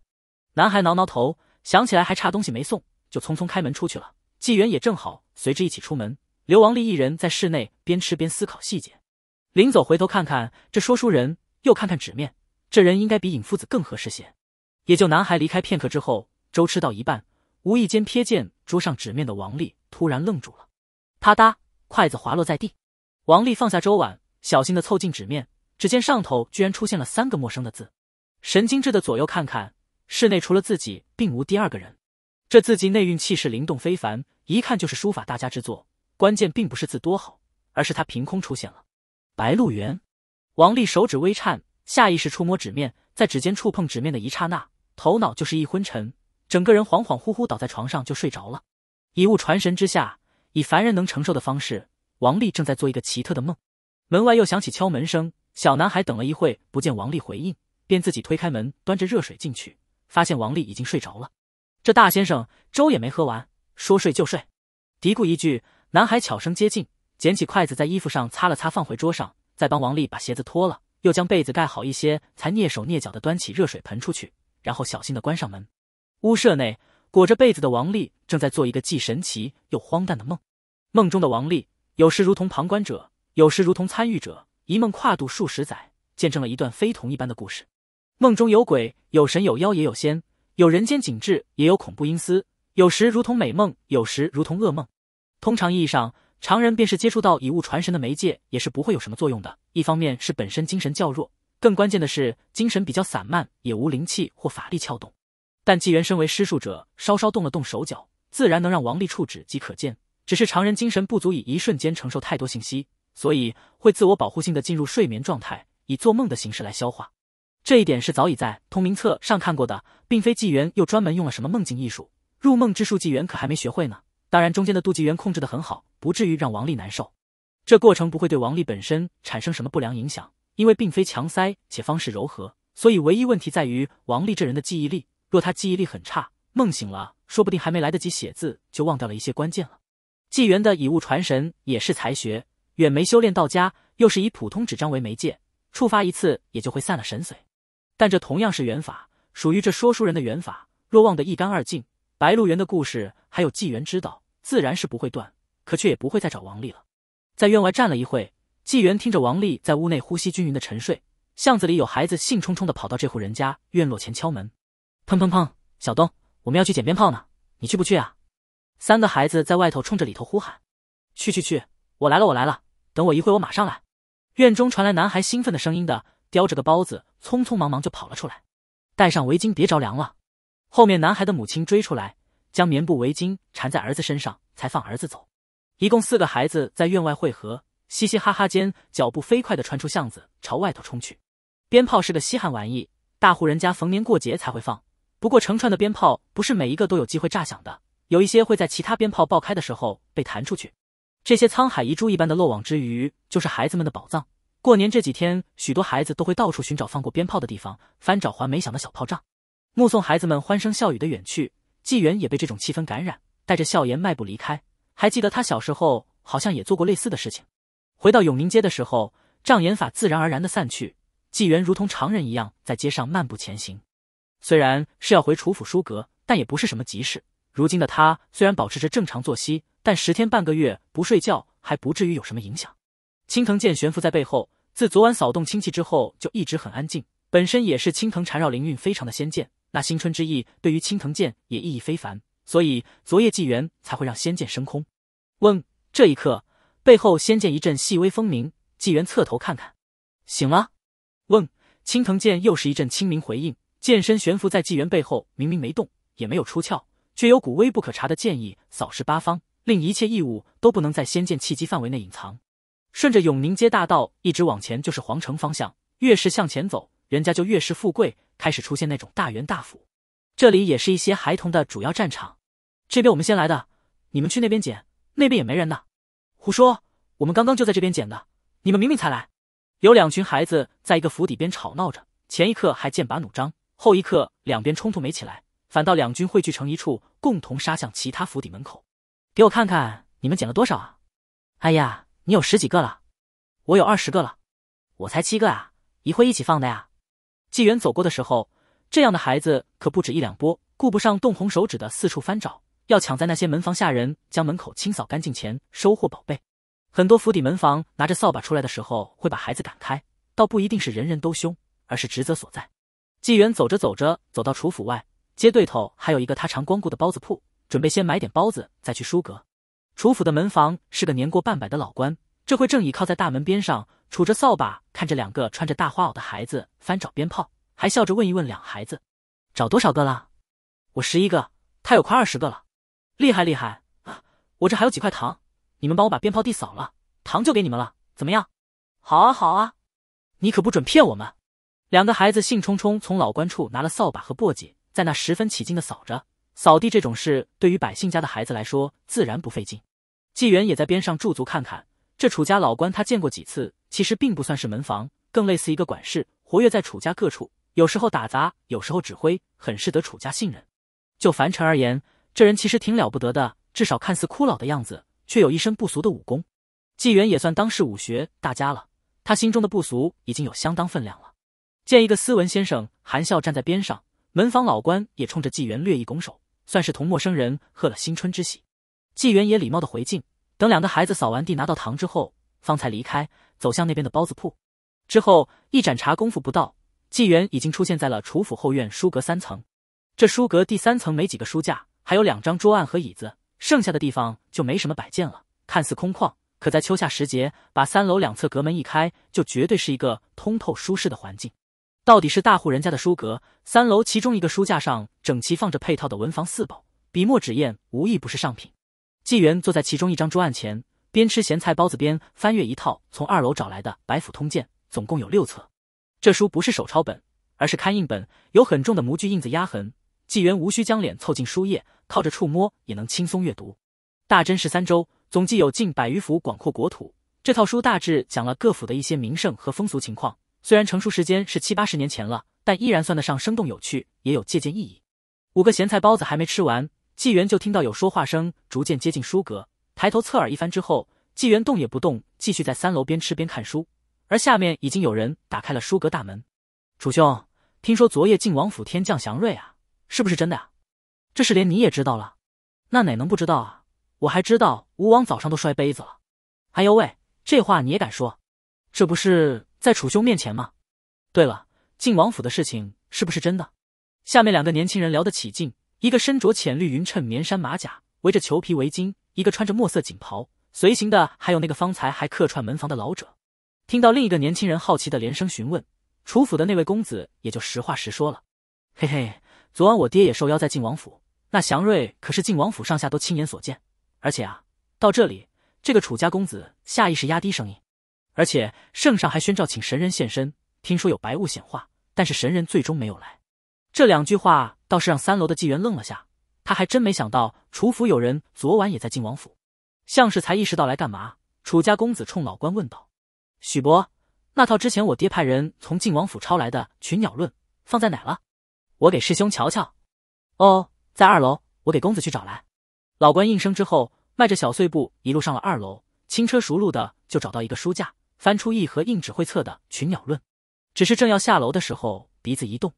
嗯，这一声疑惑的鼻音很低，却让三楼的纪元一下顿住了。看看手上的咸菜包，失策失策！果然，仅仅几息之后，那老官身手矫健的脚尖几下点上三楼，整个过程悄无声息。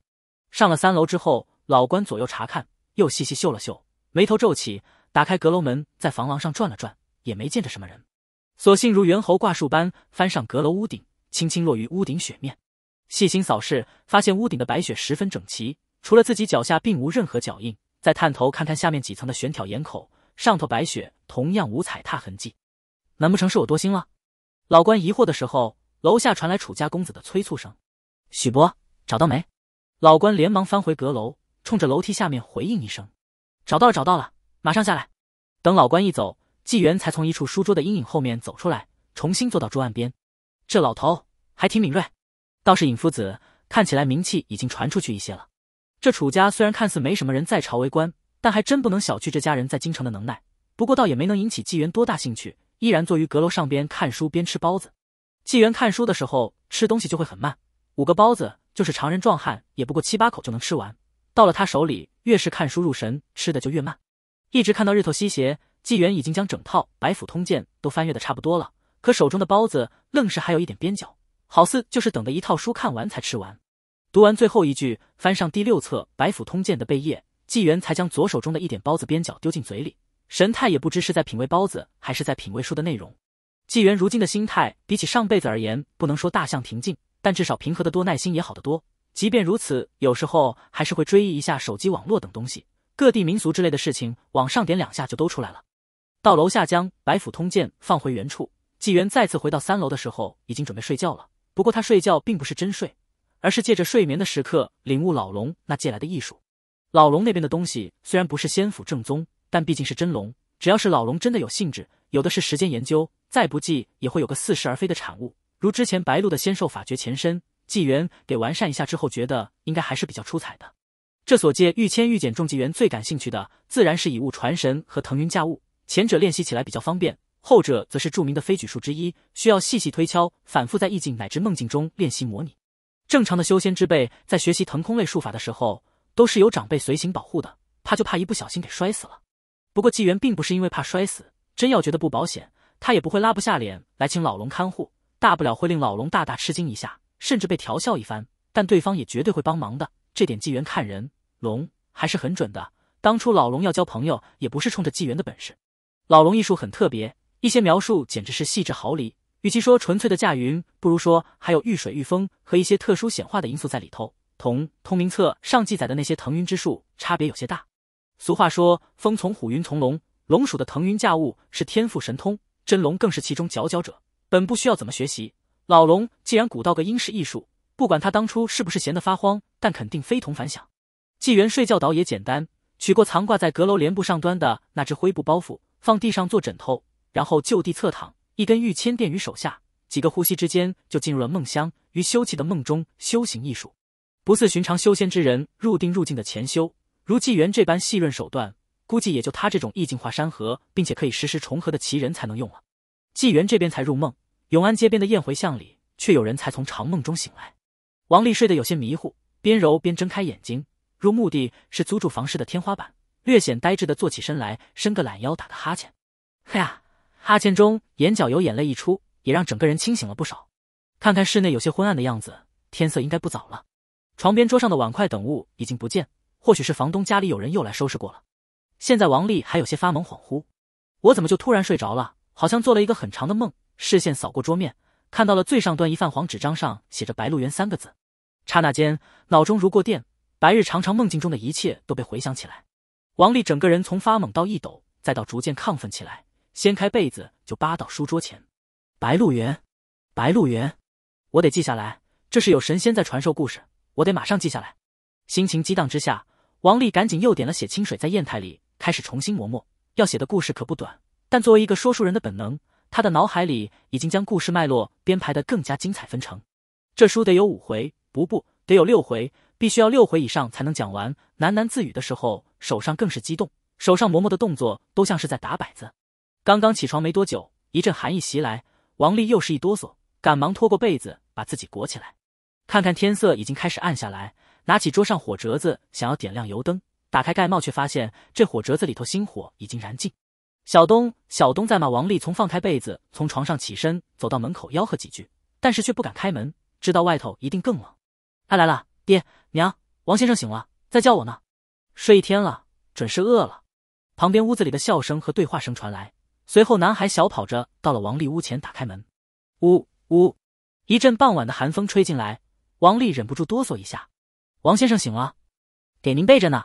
今天初一，有扣肉和白斩鸭，嘿嘿嘿，可好吃了。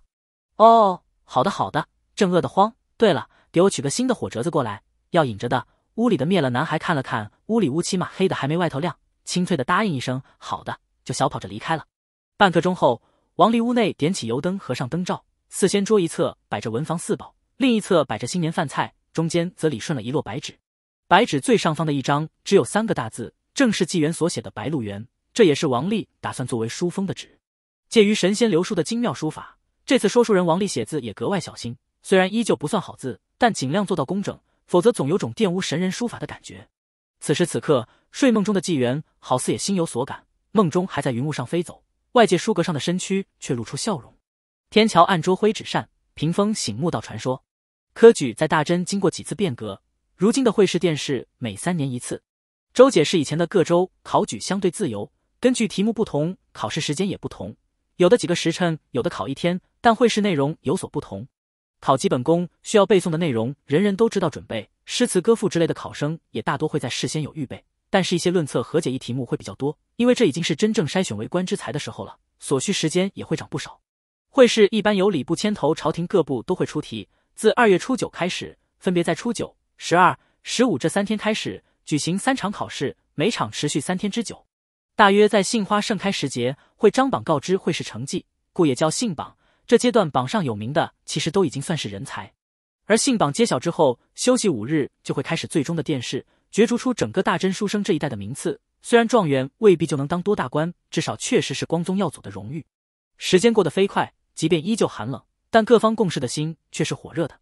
今天是二月三十，信榜揭晓之日，大真各州的书生才子全都集中在京城贡院榜墙外，带着各种复杂情绪，焦急等待着官差张榜。纪元便是原本不知道贡院在哪个方位，可站在楚府的书阁一眺望，就知道确切位置了，因为那边真当是文气群集，浓密成云，想忽视都难。尹夫子本就才情卓绝，过年得了天地清气，如今浩然之气正盛，灵台思绪清明无比，成绩肯定会更上一层楼。带着这种对友人的信心。纪元根本就没去贡院外凑热闹，尹兆先和史玉生挤不过别人，也没有家仆开道，就被一众书生压缩到了角落。哎呀，尹兄啊，你怎么一点都不急啊？我这心里和猫爪一样的。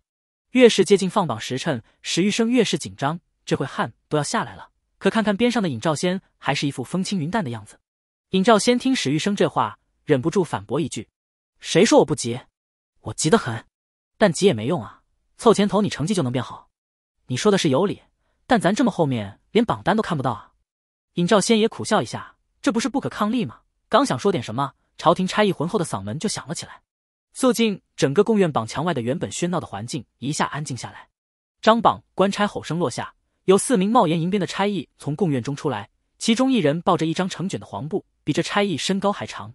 外头有差役持棍将一众书生挡开，在武艺不俗的差役面前，这些书生再挤也过不了线。又有差役在墙上提前刷浆，随后四名差役合力将之展开，之后一起躬身起跳，轻功展开之下，在空中提起动作，纷纷抓住黄布一角往榜墙拍去，砰砰砰砰四声掌墙交击，等差役落下，巨大的信榜已然张贴。片刻后，尹兆先感受到了一种熟悉的氛围，一如当初在冀州春会府那般。人群中众多书生纷纷在传：“尹兆先是谁啊？这人在哪？我上榜了！”哈哈哈。我上榜了，我也是，哈哈哈！恭喜恭喜啊！认识尹兆先吗？不知道啊，我知道，我知道，文曲街上听过名头，是冀州解元。哎呀，才高八斗，才高八斗啊！声音从道后传来，滚滚嘈杂中，尹兆先三个字被反复提及。史玉生表情有些不可置信，尹兆先自己也心跳加速。在到达金鸡府之后，尹兆先也同大真诸多学子接触过，更和少师李木书这样的人物叙聊过。几个月来，对于自己的学识也是颇有自信的。可尹兆先本身不是狂妄之人，性子上其实和纪元挺像的。有自信的是一回事，但也仅仅是认为自己根本不可能落榜。说到底，金鸡府如今才子云集，卧虎藏龙，厉害角色绝对不止他尹兆先一人。有权有势有关系有学识，几样都占全的也大有人在。所以，虽然尹兆先也如其他考生一样渴望拔得头筹，却也仅仅存一个念想，不敢说势在必得。但人群中的声响无一不证明了。他尹兆先拿到了会员，尹会员在不在啊？谁认识尹兆先啊？知道名头，但没见过呀。让让让让，让我们过去了。别急啊，哎。史玉生和尹兆先现在都激动了，就连尹兆先也是使出了吃奶的劲，一起往前挤，不用太靠前，仅仅是从最边往往中间挤了几步，就能看清信榜了。果然，信榜最高处那醒目的大字就写着“会员冀州尹兆先”。确认成绩的那一刻，尹兆先都有微微的晕眩感。晋王府中，晋王赵延正和自己的老师在暖炉前茶聊，谈论的也是会试的事情。李师，您不去凑凑宫院的热闹吗？有什么好凑的？这次我也没什么学生参考，倒是王爷你没去，挺令老朽意外的。从小教到大的李木书在了解自己这个学生，不过这晋王其实是个挺爱凑热闹的人，但这么问并不是疑惑，而是有调侃的意思。不去了，不去了。上次祥瑞的事情令大哥现在处处看我不顺眼，反正现在和朝野有关的大场面，如非必要。我都不去了。李木书抓起茶盏喝了口茶后笑道：“这对王爷来说未必是好事，可对吴王殿下来说就肯定是坏事了。什么人容易做出格的事，自然是气急败坏的人。如今吴王的状态就比较类似，本身在一众皇子中年纪最大，羽翼最丰，从立嫡立长来看，怎么也是储君之选。但近些年来朝野气氛微妙，吴王就越来越感觉不自在了。尤其几次有大臣提出立太子，皇帝都没给好脸色。这时候。”出来个晋王府天降祥瑞就很扎眼了，得亏了当时有皇帝在场，还可以说是圣上降临，引得祥瑞现。可便是如此，晋王这三弟也成了吴王眼中钉，找茬那是难免的。不过这些事情，朝野中和朝野之上的眼睛也都是能看到的。可话说回来，吴王就不清楚这点吗？便是他不清楚，就没有清楚的人提点吗？想必不是的。但清楚是一回事，气不气得过又是另一回事了。就在这时，有下人急匆匆的从外头跑到这处王府偏厅。王爷，李少师信绑出来了，会员是冀州尹兆先。即便对尹兆先寄予厚望，可真听到这消息，还是让师徒两面面相觑。李木书放下茶盏，感慨：“尹兆先果非池中之物也。”晋王也是自得的笑了起来。不知是从哪传出来的，说这尹兆先身具浩然正气，乃是当世不可多得的贤臣之才。但不可否认，其人才学确实出众，这可已经是连中两元了。李木书听晋王这话，转头望向自己这个学生，眼神极为认真。若中途不夭，再加上王爷相助，十几二十年后，朝野权臣定有此子一席之地。而此番说不准就会出现我大真开国以来第二个三元及第。李师的评价让晋王赵岩收敛笑容，这可比上次的评价分量又重了不少。晋王本来想说一句书生文章写的再好，未必治国就行，可一想到群鸟论和魏之义，这话也就没说出口，而是换成了另一句话：三元及第。李师认为这尹兆先可以。呵呵，会师就已经是统考了，等于尹介元，是尹会员已经胜了一局。有些人在知晓会师大致方向的情况下，尚且不能胜他。殿试有圣上亲自介入，呵。李木书一声笑，让靖王思考片刻，又接着说下去。况且当今圣上心思太重，若有选择，让一个真正的寒门子弟当这个状元，也符合圣意。尹兆先不论才情还是背景，都是上上之选。这就是李木书，即便仅仅是一个少师官职，却令靖王从小敬重。有时候他真的很庆幸自己小时候的老师就是李木书。此刻靖王闻言微微点头。即便将来有有心人真的查到尹兆先来王府参过宴，但毕竟在会试之前，只要之后自己避嫌少和尹兆先接触就好。尹兆先本身的背景还是做不得假的。信榜已经揭晓，有人欢喜有人愁，在剩下五天时间内，怀揣着各自的心情，准备着即将到来的殿试。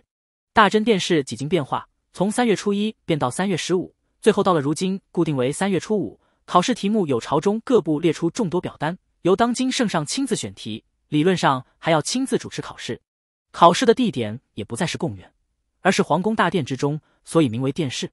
对于寒门考生来说，重大的心理压力也是其中一关。巍峨的皇宫，森严的守备，一道道关卡进去，经历官文检查和多次搜身等步骤之后，才到达考试的最终宫殿。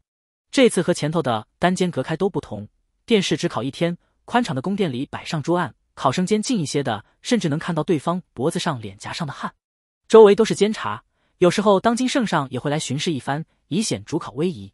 一天下来，所有考生在巨大压力下使尽浑身才学，比拼的不但是才略和记忆力，也比一手书法。当恐怖的殿试终于结束，所有考生全都入住由朝廷安排的驿馆、客栈等处，等候殿试结果揭晓。而各部臣子则处于紧张的阅卷之中。参考人数虽然比之前少了一大截，但质量高的那批都在，更是需要费心费力。况且上头还有皇上盯着。十几天后，皇宫的御书房中，元德帝正在翻阅一本书，正是尹兆先的《群鸟论》，凤鸣梧桐。好一个天下群鸟皆朝凤，千岛之冠不可逾。在元德帝看来，这代表着皇权的至高无上，底下的大臣不能有冠鸟那般天高皇帝远的思想来胡搞乱搞。早在知道尹兆先连中两元之后，其人的一些事情就已经引起了元德帝的兴趣，自然也就不难得到所写的书册。谓之意，还没来得及看，且先不说《群鸟论》。不但写得妙趣横生，内容也符合圣意。每个皇帝都希望如同书中凤凰那样圣明，那样至高无上的。这回有太监慢慢走进皇帝书桌前，低声禀告：“皇上，礼部几位大人来了。”元德帝抬起头，合上手中书册，让他们进来。是。太监退出去不久，几位朝官就举着几个托盘来到御书房，在皇帝桌案面前躬身，启奏圣上：殿试批阅已然结束，各部司官尽已阅卷。这是各部推举一甲候选，请圣上过目。一甲一共就三人，定名次的事情只有皇帝有资格。定下之后，一甲三人算是天子门生。呈上来。是。一共三个托盘，里头有七个人的卷子，都是慎之又慎选择的结果。有时候皇帝还会亲自参与阅卷，那会基本阅完卷就能定名次。即便元德帝没有参与阅卷，但这方面手脚是没人敢做的。元德帝翻了翻托盘，果然看到了尹兆先的名字。和另外两份试卷一样，盖着红布，一定程度上代表着不分伯仲。你们下去吧，今晚我好好看看这些卷子，明早定下一甲。遵旨。礼部众人行礼退下之后，元德帝就独自坐在书房中，细细翻阅着七份卷子，其他几分也就粗翻，着重看了那三分红卷。不错不错，这么称赞一句之后，元德帝才取笔题字。几日后，尹兆先连取解元、会元、状元，成为大真开国以来第二位三元及第之人的事情，在整个京畿府传开。传闻琼林宴上还有圣上亲自赐酒，成为不论官场还是百姓人家茶余饭后的美谈。作为状元郎的尹兆先，既有疲于应酬的无奈。也有三元及第的兴奋与喜悦，便是上无官职，在此刻的京城中，其人也是风头无两。这消息很快就会快马加鞭传向冀州，再马不停蹄的传到德胜府宁安县。站在楚府书阁上，纪元望着手中属于尹兆先的凝石白子上文气璀璨，正气翻腾，也是喃喃道：“十年苦读无人问，一举成名天下知。”说完，纪元从书阁三楼的桌案上站起来，伸手从帘布上摄取来自己的包袱。随后缓步到阁楼门前，将之轻轻推开。桌旁青藤剑悬浮而起，跟随在纪元身后。尹夫子，好自为之啊！自语中看了看城中驿馆方向，关上书阁之门。纪元脚下生雾，缓缓漂浮而起，游曳至京城上空之后，朝着东方飘然而去。而在楚府书阁三层的桌案上，有留字宣纸一张。至于楚家人什么时候发现，就不清楚了。驾雾而去的纪元，并没有飞太高，更没有飞太远，不过是才出京畿府府城外十余里。就缓缓落下地面，离地十数丈，雾气随风如烟絮飘荡。到城外落地的时候，用去了小半个时辰。这算是纪元首次尝试飞举之术，所以未免有些谨慎。这点高度速度，就算出个什么特大意外都没事，光凭轻功就能安稳落地。不过整个过程比纪元想象中的要轻松得多。或许是老龙的腾云驾雾之术神异，也或许有他手中老白胶这颗白子的因素在里头。尽管飞得不高，但那种飞行的感觉还是很棒的。落地之后，也令纪元信心大增。不过，若是套用《西游记》里菩提祖师的评价，我这连爬云都算不上吧？带着些许恶趣味的想法，纪元也快步朝着不远处通天江行去。毕竟时至三月已是春，即便现在不过是天明之后的清晨，但通天江畔码头到金鸡府之间却已经异常繁忙，来往车马络绎不绝，没了严冬时节的寂静。纪元一个背包带伞形单影只的路人，看起来倒像是个落榜返乡的书生，没人会多看他一眼。行进途中，偶尔还能听到有人议论。今年科举三元及第的状元郎，到达江边，纪元没有往靠左的大码头方向走，而是靠右往南侧江畔道路前行。那边已经有一个老者在等候，正是早对纪元形成有预料的老龙。老龙抚须看着远处的友人，由远及近，到合适距离差不多，和纪元同时拱手。纪先生，英老先生，两人相互问候之后，于江边同行。老龙看看纪元背着的包袱和那把黄油纸伞，有时候老朽岛也挺羡慕纪先生的。有着耐心和闲情嬉戏凡尘，纪元也看看老龙，每次见他几乎都是同样的打扮。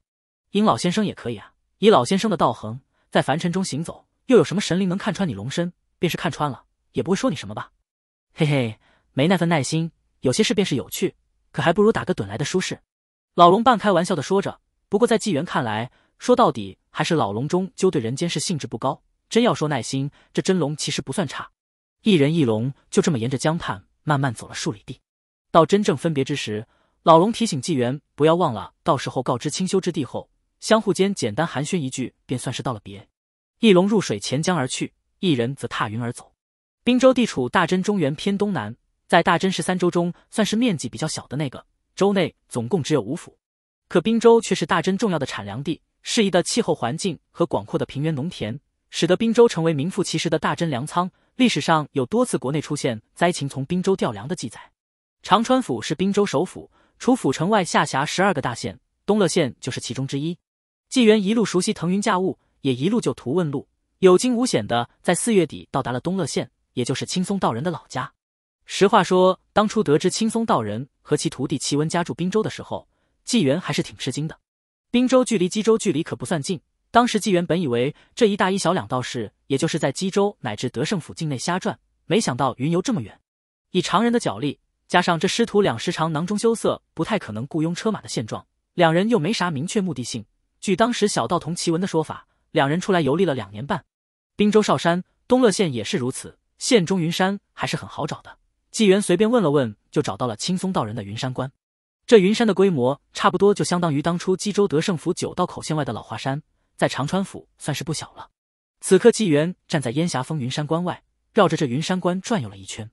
这座道馆的规模看似不大，但五脏俱全，除了供奉星宿的主殿，从偏房居舍到厨房后院都不少。后院种植了一些蔬菜，因为是在山峰上腰处，所以并没有水井，水还得下山到云山山涧之处去挑。整个道馆占地约一亩有余，只住了青松道人和徒弟齐文两人。从道观气象上看，青松道人和齐文应该早已经回来了。现在道馆里一个人也没有，显然两人应该是出去了。这山上估计是不太会有贼的了，所以从内到外都没有上锁。啧啧啧，这青松道人不会又出去给人算命了吧？纪元推开道观院门进去，没有去看两人屋设什么样的癖好，而是直往观中主殿走去。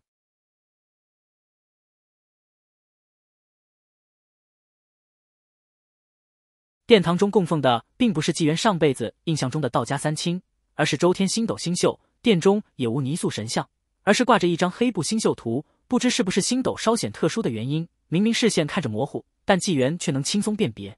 最显眼的就是九星七线二影的北斗和南斗六星，此外还有东西中斗和其他诸多星宿绣绘其上。嗯，奉星不供神，这里的道家有点意思。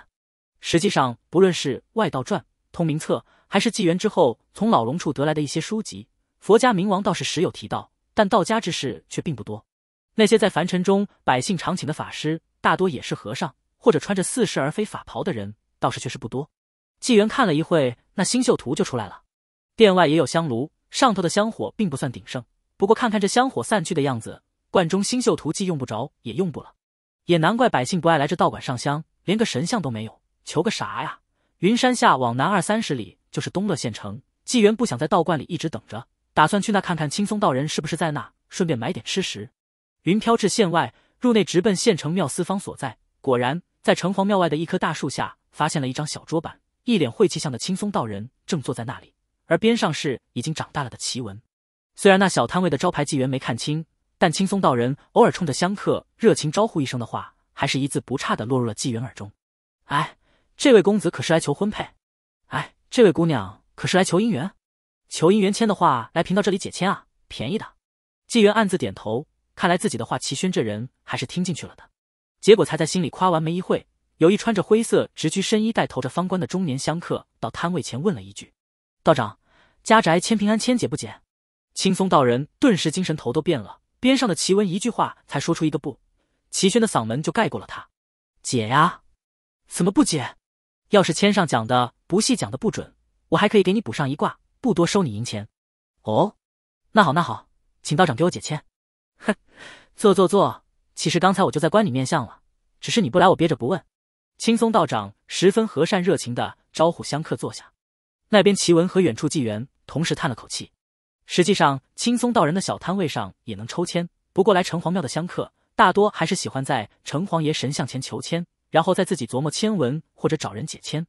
庙中求签这一模式算是一种特殊的神道回应，正统城隍座签的竹签还是有点讲究的，多少和阴司中神道不测有点牵扯。所求者心诚之下，还是能得到一个大概方向，只是看得清的不多。而算命先生让人抽签的那种签文之类的事物，则又有不同，算是一种特殊的起卦手段，也是卜算的一种。在青松道人的热情招呼之下，那中年香客也在摊位前的小凳上坐下，听到青松道人说刚刚就在观察自己面相，也就好奇的问了一句。道长说在观察我的面相，那有什么可说到的吗？青松道人摇了摇头，还没说话，边上齐宣小道士就啊咳了一声：“仙解签，仙解签，我对照一下签文看看，还记得签文吧？”中年男子也没多想，就如实相告了：“我见那庙众签文上写了‘募兵斗之以不休’，丙甲。”纪元已经在不知不觉间走到了青松道人摊位的树旁，也没用什么艺术障眼法，就是几人注意力集中在其他事上，所以没发现他。从中年男子的话中。纪元得到的信息，首先是这人可能识字，话语形容中说的是自己所见，而非庙祝告知签文内容。至于解签的事情，就要看青松道人的了。反正纪元乍一听这签文，感觉不是很好。纪元也不刻意关气，只不过撇了撇其人命火，还算旺盛。再看这香客的样子，应该不是会随便动手打人的那种。青松道人一听这签文，眉头就是一皱。再看看这香客，下下签啊！到这里，青松道人也算是一副高人相。表情也明显是在细细思索，引得香客也略微紧张。看来你这一脸衰相也不是生来就有的。青松道人表情很认真的补上一句：“你。”这男子当即就是一阵胸中气闷，所幸涵养还不错，只是语气重了一些。请道长解签。齐文在边上很是尴尬，连忙冲着这男子解释一句：“啊，这位先生，请不要误会，我师傅那是看出了你面相是近期变差的，不是在骂你。”青松道人好似也意识到自己刚刚多嘴了一句，也是一脸陪笑，马上开始解签。这位先生，你在庙中所求之事是家宅还是平安，又或是事业？都有。青松道人点点头，再次看了看男子面相。照理说，先生你相貌堂正，五官笔挺，面相是不错的。只是如今情况有异，当时印在低谷。照你这签文上的意思，你最近不是就有素冤缠身，便是有心机之人在谋算你，并且不论哪种情况，你自己已经隐隐约约感受到了什么？是也不是？中年深衣男子闻言明显一惊，表情也慎重不少。道长再细细说道：“说道，能否讲讲有什么应对之法？”青松道人喜欢算命的其中一个小原因，就是喜欢看那些人被算中时的表情和反应。见男子这反应，自己也显得更认真一些。先生可知，这募兵乃多代指军中大将手下参与军机幕僚。募兵之斗看似有点斯文意，却是实打实的军阵惨烈，在刀光剑影中要见血的。中年男子听得有些头皮发麻，脸色都变了。不过青松道人的话还没结束，若是寻常签文也就罢了，但先生，你的签文上有“不修”二字，预示着其中凶险啊！这话就是没什么文化的人听来都已经够明白了，更何况中年男子还是有点见识的，脸色比刚才更难看了一些。这会边上的奇文也听得十分认真，就是几步开外的纪元同样皱起眉头，但忍住了开眼细瞧这中年男子的念头，打算等青松道人解完签，或者说算完再以法眼观气。道长的意思是，这事已经到了不死不休的地步，没有任何回旋的余地了。哎，世事无绝对，签文这也算是加重程度，但未必就真的无解，还是得具体的就事论事。反正少些恶念，多行善积德，肯定是没错的。青松道人难得还会宽慰一句，看来多少也是记打的。只是所说的办法，大概在九成签文中都适用，虽是至理，可于旁人耳中多少觉得没什么营养。我看这位先生，你心中也有些方向了，否则签文就不是募兵做头，而是愚公了。不如你把八字给我，让我好好替你算上一卦。这话说到最后一句的时候，青松道人语气明显已经是很感兴趣的状态了。按照纪元的理解，齐轩这人大概就是会在心中想算普通的命有啥意思啊？当然是越波折的越带劲喽，之类的人。感觉可能就和一些大夫对疑难奇症的兴趣一个样，不过中年男子显然有自己的想法，可能是觉得青松道人刚才解签的话已经差不多，又或者已经算过很多次命了，并无告知八字的想法。多谢道长替我解签了。男子看了一眼小摊的招牌，从钱袋中里出五个一文铜钱放在桌上，这是资费，告辞了。说完，男子就站了起来，拱了拱手，打算离开。这么一来，反倒是青松道人有些着急了。哎哎，这位先生别急着走啊！我看你现在面相晦暗，你让我算算你命数，看看你福寿啊，是死是活也得有个明白不是？那男子转头看了看青松道人，又看了看边上一脸紧张正拉扯自己师傅的齐文，深呼吸一口气，才头也不回的离开。这位先生，我和别的算命的不一样，他们看不出来的，我能看出来。哎呀，齐文，你拉着我干嘛？师傅您别说了，算徒弟我求你了。那先生不想算，他怎么不想算？他那是怕算，我多劝劝他就算了。哎看那香客已经走远，青松道人也泄了气，叹了一句：“难得这人脾气好。”纪元正张大一些眼睛看着远远离开的那个中年男子，听到青松道人这话，也是哭笑不得。感情你齐道长也是知道的啊，要是那人脾气差点，是不是又该挨打了？纪元中正清朗的嗓音一开口，顿时就将青松道人和齐文的注意力吸引了过去。两人一回头，就看到纪元正站在树旁，是纪先生，哈哈，真的是纪先生。纪先生一点都没变。齐文开心的神色流于言表，就是青松道人齐轩也是十分兴奋，但想到刚刚的情况，突然就有些尴尬，只是赶忙站起来拱手作揖。纪元也笑着拱了拱手，对齐文道：“齐文小道长倒是已经长成大人了，当初你才到你师傅下巴那呢，现在都差不多高了。”嗯，哼，季先生您什么时候来的？青松道长稍稍有些局促不安，这一位可真的不是凡人，来了有一会了，还去你们那云山关逛了逛，才来找你们的，不知道长什么时候收摊啊？收收收，马上收！齐文别愣着，我们收摊了。青松道人看出季先生是专程来找自己师徒的，哪还坐得住？赶紧和齐文一起收拾东西，还敢让神仙等自己到傍晚？这小摊位其实也就两个木枝，摆上一块木板，再罩上一块黄麻布，三两下就被师徒两拆解，连带铅桶、挂盘等物一起装进一个箩筐里，由齐文背在背上。收拾好了，收拾好了。季先生和我们一起回云山关吃顿便饭吧。是啊，季先生。我师傅做的菜可好吃了，只要你们不嫌我打搅你们清静就好。纪元玩笑一句，就随着师徒俩一起迈开了脚步。哪能啊，纪先生，能来我们那小破观，那可真是蓬荜生辉。今天我就露两手给先生瞧瞧，让您品鉴一下我这凡人手艺比仙人狭路如何。口气倒是不小，不过纪元之前可是去云山关厨房看过一眼，米倒是不缺，可油盐酱醋什么的就不是很充裕了。那可真要见识一下道长手艺了。餐霞引路什么可没什么滋味，但龙宫盛宴我还是吃过的。青松道长闻言，顿时紧张兮兮的。他不过是句客气话嘛，季先生别当真啊。纪元干脆就带着师徒俩一起去县市场，将该买的东西都买上一点，还不忘购置一点鱼和肉。只不过在离开东乐县的时候，纪元还是回头看了看，龙涎香肯定是要让齐轩喝上几杯了的，估计会令这道人睡上数日。这几日自然是不会再去摆摊了，就是不知道那香客会不会回去找道人算命解救了。云山因山中云雾而得名。当日头合适的时候，云山雾气弥漫，尤其是站在一些高处山峰上的时候，观山雾如观海，风景美不胜收。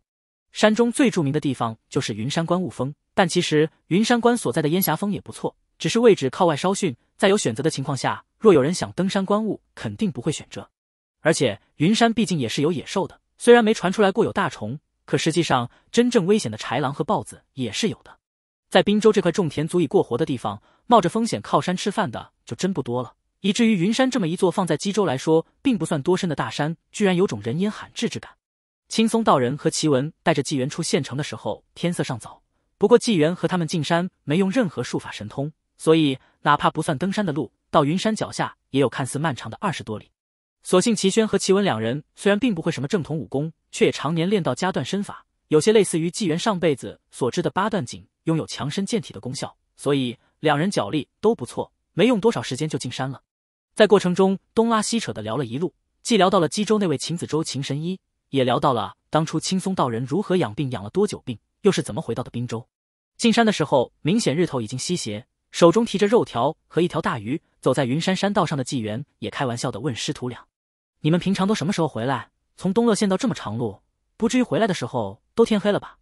这一路下来都一起步行，加上纪元的随和，师徒俩说话也不至于像刚才那么拘谨。听到纪元这话，齐文顿时抱怨起来：“纪先生，您可是说到点子上了。”有时候和师傅回道观，山还没爬呢，天都黑了。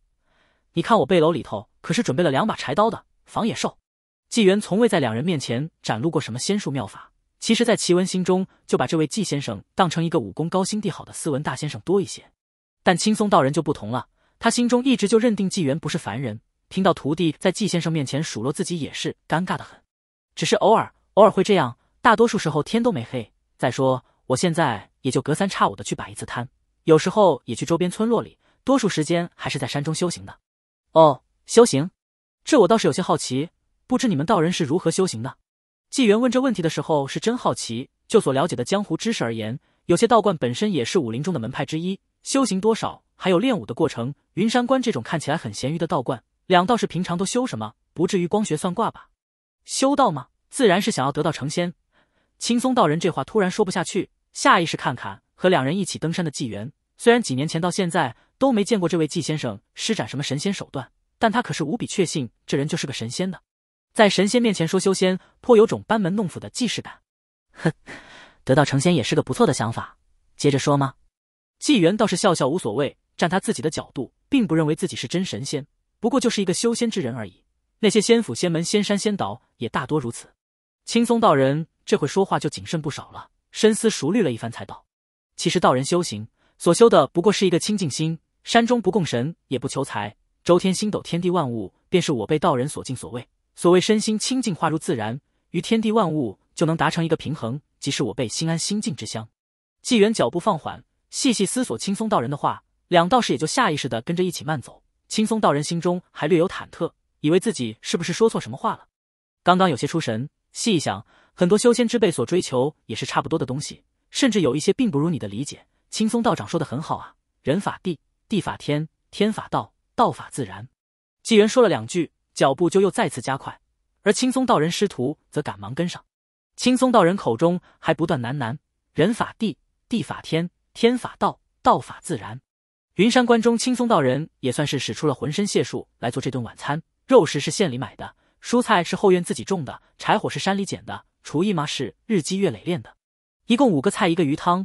闻着看着都还不错，吃起来滋味自然不如龙君酒宴，但也新鲜味美。纪元不和两人客套，两道士也不在餐桌上矜持，道观厨房的一张八仙桌上，三人吃的酣畅，从天色还明吃到点亮油灯。等看到青松道人已经吃了不少，纪元这才神秘兮兮的提过自己的包袱，从里头拿出一个酒壶。来来来，道长先不忙吃，看看这是什么。嗯，奇文，你吃你的。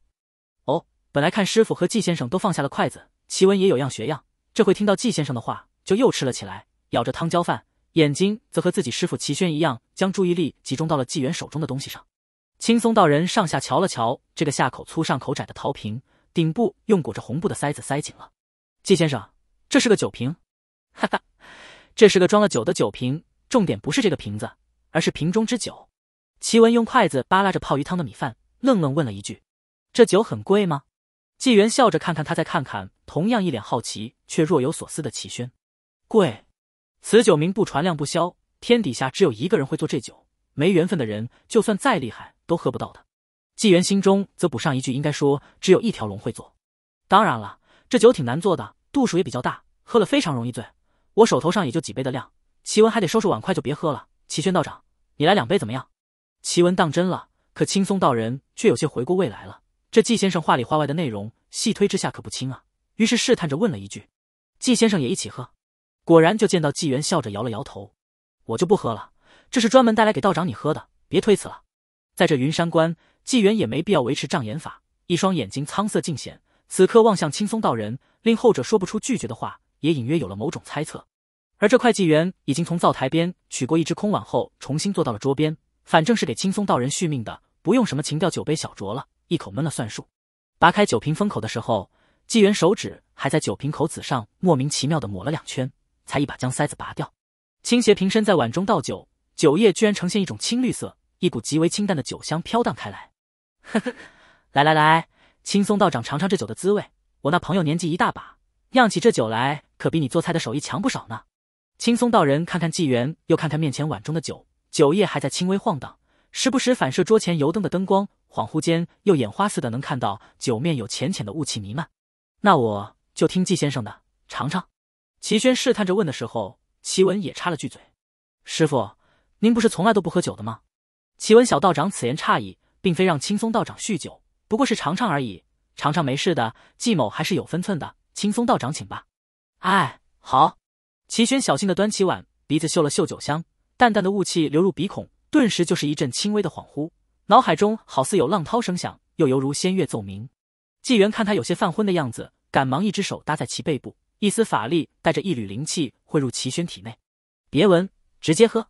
齐轩清醒一下，把酒碗往嘴中倾斜，顿时舌尖就碰到了酒液。无穷滋味在其中绽放，眼睛都眯了起来。不过还没等他想再细品，突然感到碗面上大力传来。呜！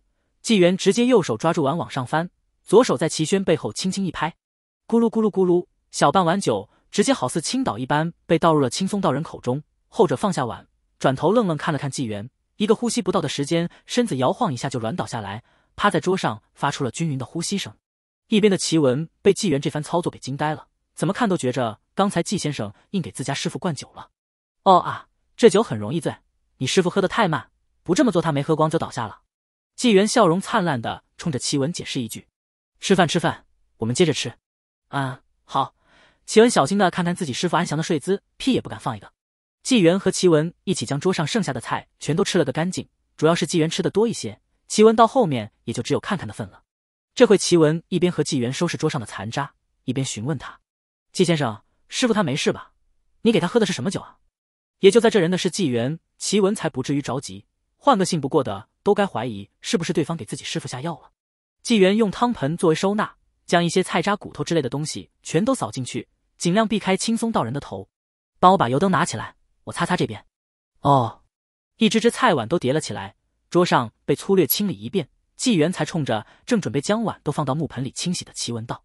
你师傅喝的酒里头有很多名贵药材，药力强，酒劲也大，但是喝了对身体很有好处。只是一下子喝太多，估计得睡个三五天了。一下喝太多，启文缩了缩脖子。虽然厨房油灯不算太亮堂，可还是看得清的。那不是纪先生您灌进去的吗？不过听到纪元后面的话，齐文马上反应过来，睡三五天，这么久啊？是啊，酒中的药力会渗入你师傅的身体各处。以他的个性，这些年没少挨打吧？一些就急老伤什么的都会好的，身体也会比以前更结实。青松道人当初一挂去了半条命的事情，其实只有他自己和纪元知道。齐文虽然了解师傅那次算命出了大问题，可对于齐轩寿命的事，一直是被蒙在鼓里的。所以现在纪元也只说身体好之类的事。不过齐文的脑回路却拐到了另外的地方，脸上忽然有些兴奋。季先生，您带的是不是那种传言中的武林神药什么的？吃了能让人功力大涨，或者打通什么经脉，成为江湖高手？纪元也是乐了。齐文这是说书先生的故事听多了，差不多就是那种了。只不过你师傅本身不练武，成不了武林高手的。两人闲聊着，将厨房都收拾好，最后才一左一右扛着江青松道人送回房室。别看青松道人看起来不胖，可实际上纪元扛人的时候，觉得他还是挺重的，说明皮肉扎实，嗯，比较抗揍。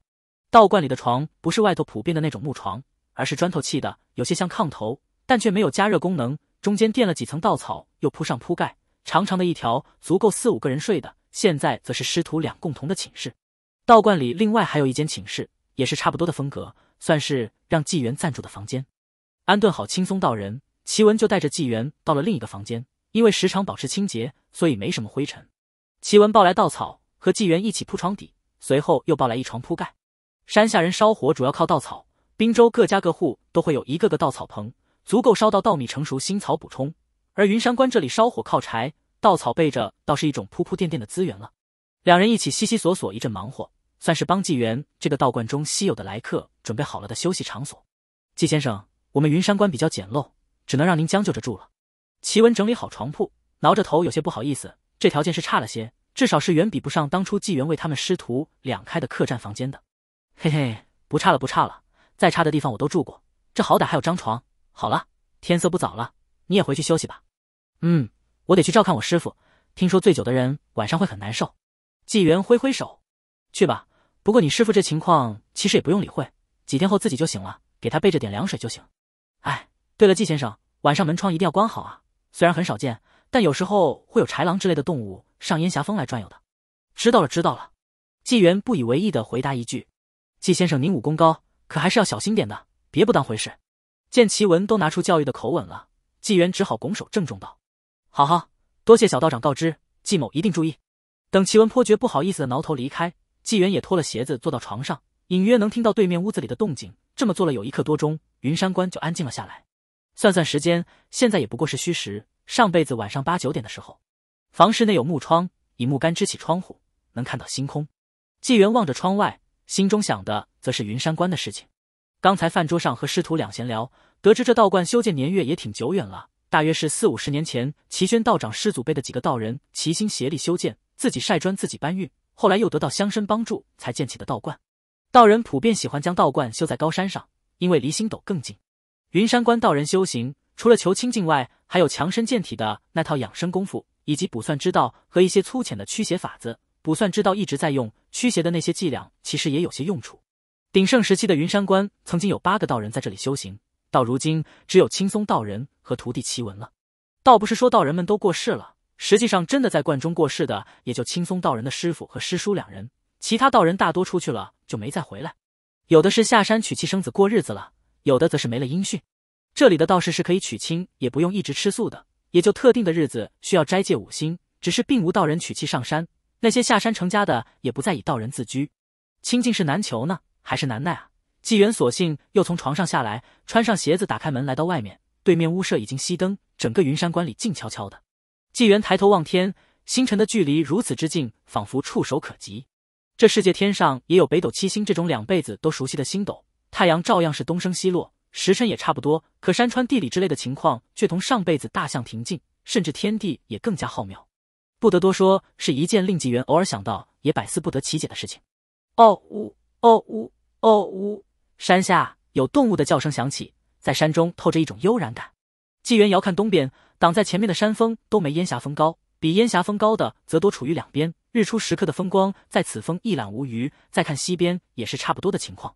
看天看地看山探风，扫视感受一周之后，纪元也不由心中感叹：确实是个好地方啊！就这了。纪元在观中看了一会星空之后，也就回到屋内睡觉去了。室内的床榻垫上了稻草和棉铺，其实还是挺舒服的，尤其是这稻草铺的均匀，还是新的。不过这种床最好要定期换稻草。拖鞋宽衣，侧着身躺下，枕头上方的玉签已经换了一个，现在是玉水蕨。绝对是比正统仙门玉水诀还正统的遇水之术。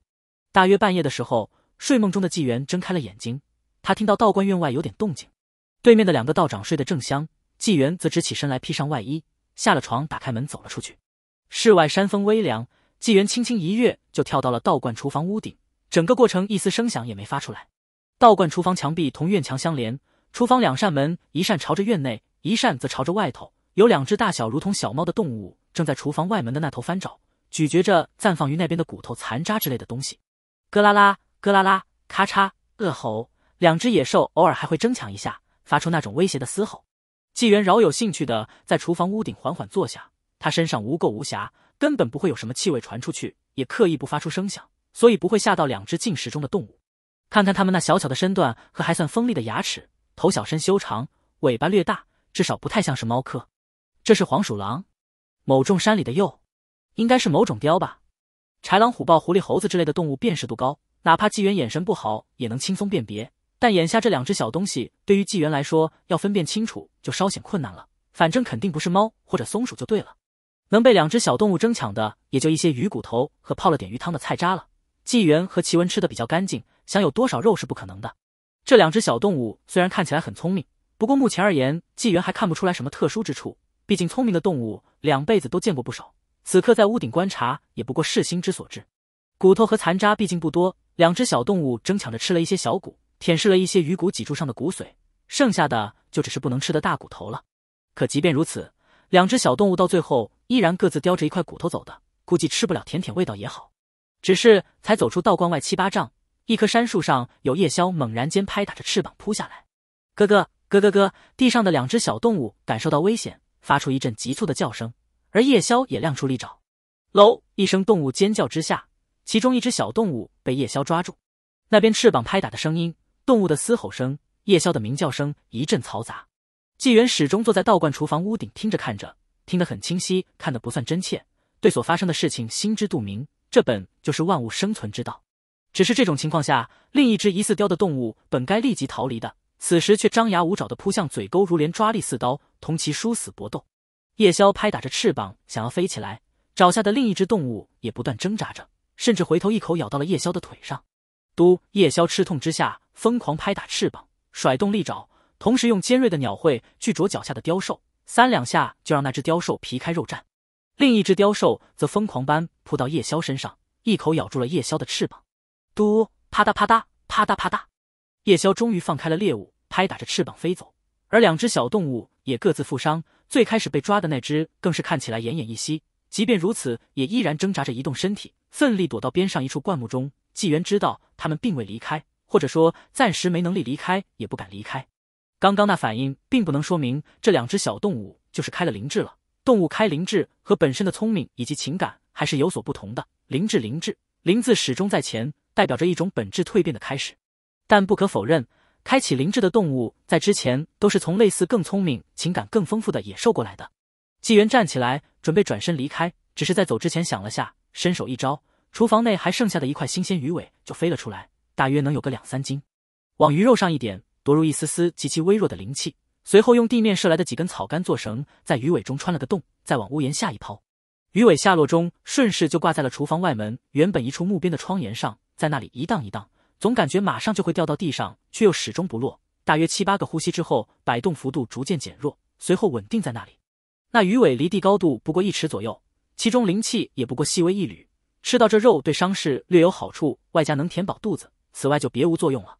在鱼尾稳定住的时候，厨房屋顶上的人已经消失不见。至于那两只小兽会不会有胆子再来叼走鱼尾，就不清楚了。甚至是那只夜枭或者其他野兽来抓走鱼肉，也说不定。若第二天一早鱼尾还在，就拿来做菜吧。带着这种想法，纪元回到屋内，没重新躺下，就突然又有了想法。于是从床榻边的包袱内摸了一张皱巴巴的白纸，又再一次出屋。随后，纪元直接跨步如烟絮轻飘，在山石上踏步连点，好似在山溪中见月一般，朝着烟霞峰山顶而去。原本还靠在屋内床榻边的青藤剑，感应到纪元离开道观，攀登往上，立刻悬浮而起，穿出室内窗户，追向自己主人。云山关本身位于烟霞峰腰线以上，并不在山顶。可云山关位置足够高，纪元登顶不过用去了十几个呼吸。烟霞峰顶端大约六七丈见方的空间，没什么山石树木遮挡，加上前后通透，山峰也比下头大了很多。盘腿在一块平整的大岩石上坐下，纪元从怀中取出白纸，双手按在两边纸面上一搓，白纸就重新归于平整。左手为托，右手食指为笔，纪元就这么在这张白纸上写起字来。虽无墨汁，却有法力编就其上，算是敕令和以物传神的结合运用。对于这种小发明，纪元还是挺在行的。写完了，感受一下。为求保险的纪元又多度入了一些细润法力，使之铺满整张纸面。嗯，接下来就要考教我的手工水平有没有退步了。应该是这么折的吧？纪元嘀咕一句，开始对这张白纸动起手来，反复折叠尝试，纸张也变皱又平整。数次之后，一只精美的千纸鹤出现在他手中。呼，还过得去，还过得去。左右细看这只千纸鹤，反复确认其精美程度后，才安心一些。随后，纪元用食指沾了点自己的舌头上的口水，对着纸鹤两只翅膀分别嘘嘘写了下一个字：左边是善，右边是动。差不多就这样吧，麻烦你走一趟了。纪元这句话可不是对纸鹤说的，而是对背后青藤剑说的。这小纸鹤根本不可能有能力飞越千山万水的。纪元又取了一根自己的长发，在纸鹤脖子上缠绕数周，随后系于青藤剑剑柄上。去吧，主人话音一落，青藤剑即刻牵引着纸鹤升向高空罡峰。以剑意护住纸鹤身躯，随后化为流光，朝着金鸡府方向远去。目送青藤剑离去，纪元却并未下山，因为登顶也并非是为了传书，否则在云山关也能做。更多原因则是来看看日出。就连纸鹤也是临时起意做个小实验，在夜风中等待了小半夜，天边已经翻起白肚皮，随后隐现金光。片刻之后，整个云山这一片则犹如云海生日，不提自有云霞灵气汇聚而来。纪元此时也不由睁大的眼睛。云海日出的美景也是这辈子头一遭。云山之处已是日出时分，而在金鸡府，天色依然灰蒙。青藤剑跨越数千里之遥，在冀州通天江之上的高空中破开罡风落下，位置精准的悬于状元渡旁的江神娘娘庙顶端。剑身一阵细微风鸣，剑柄处纪元的长发脱落，整根缠绕在纸鹤的脖子上。在纸鹤自由落体后，被风吹拂几下，神奇的事情就发生了，纸鹤居然开始扇动翅膀。稳定住随风飘荡的身形，随后拍打着纸翅，朝着江神娘娘庙落去。青藤剑于空中等待片刻，见纸鹤落入庙中，方才重新升空而去。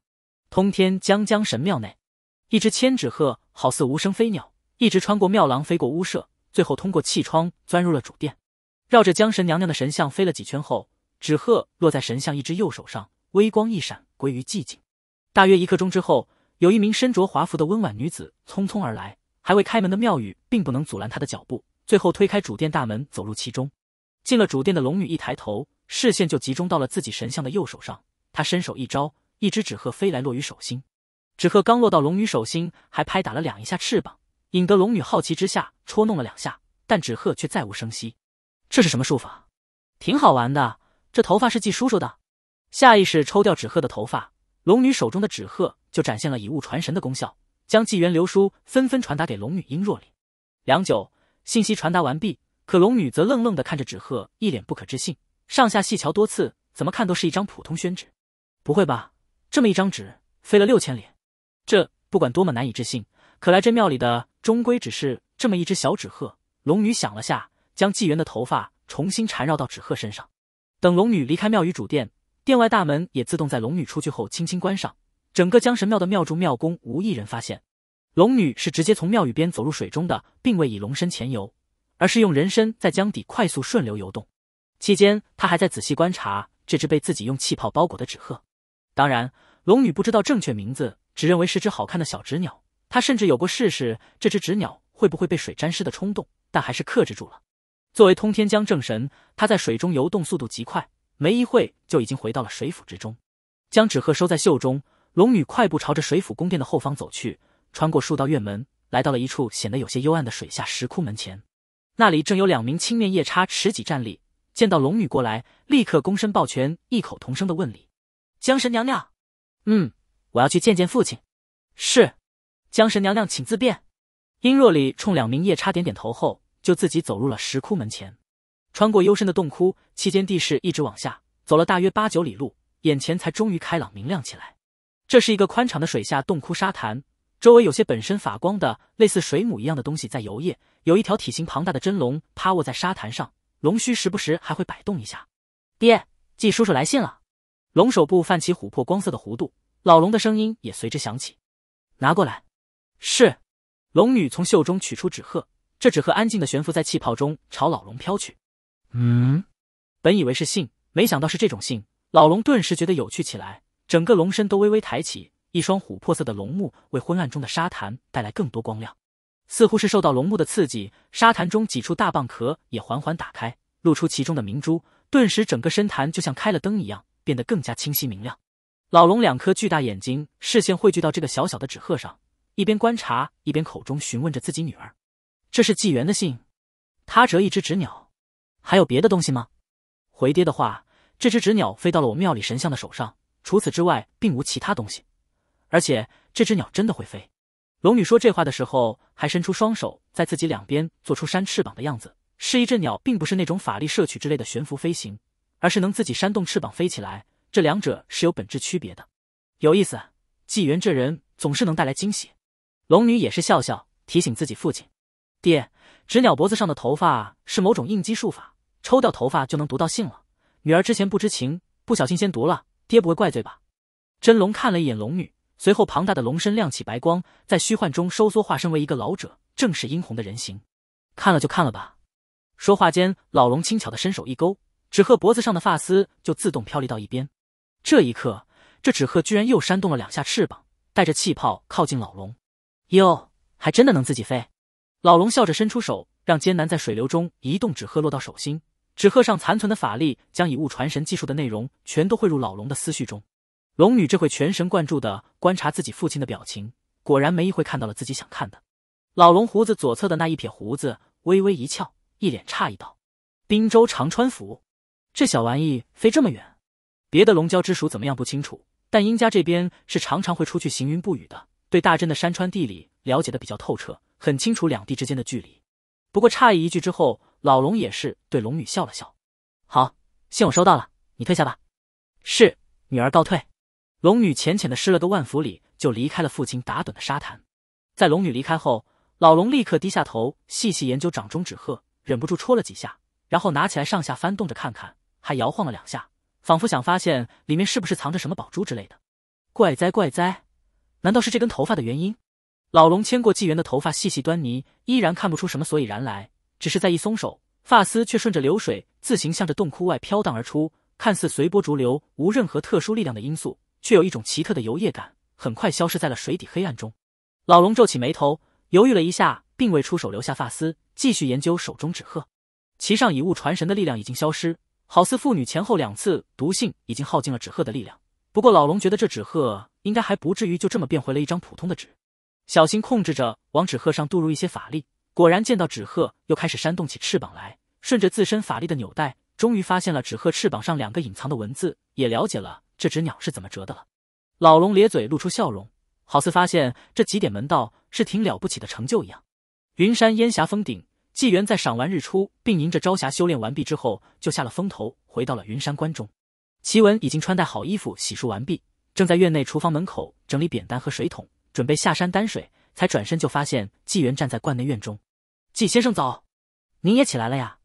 我都没听到你的开门声。齐文小道长早，其实我起的比你还早一些，已经出去转过一圈了。齐文恍然大悟。对了，纪先生，厨房锅里煮着粥，等我挑水上山，应该就能吃了。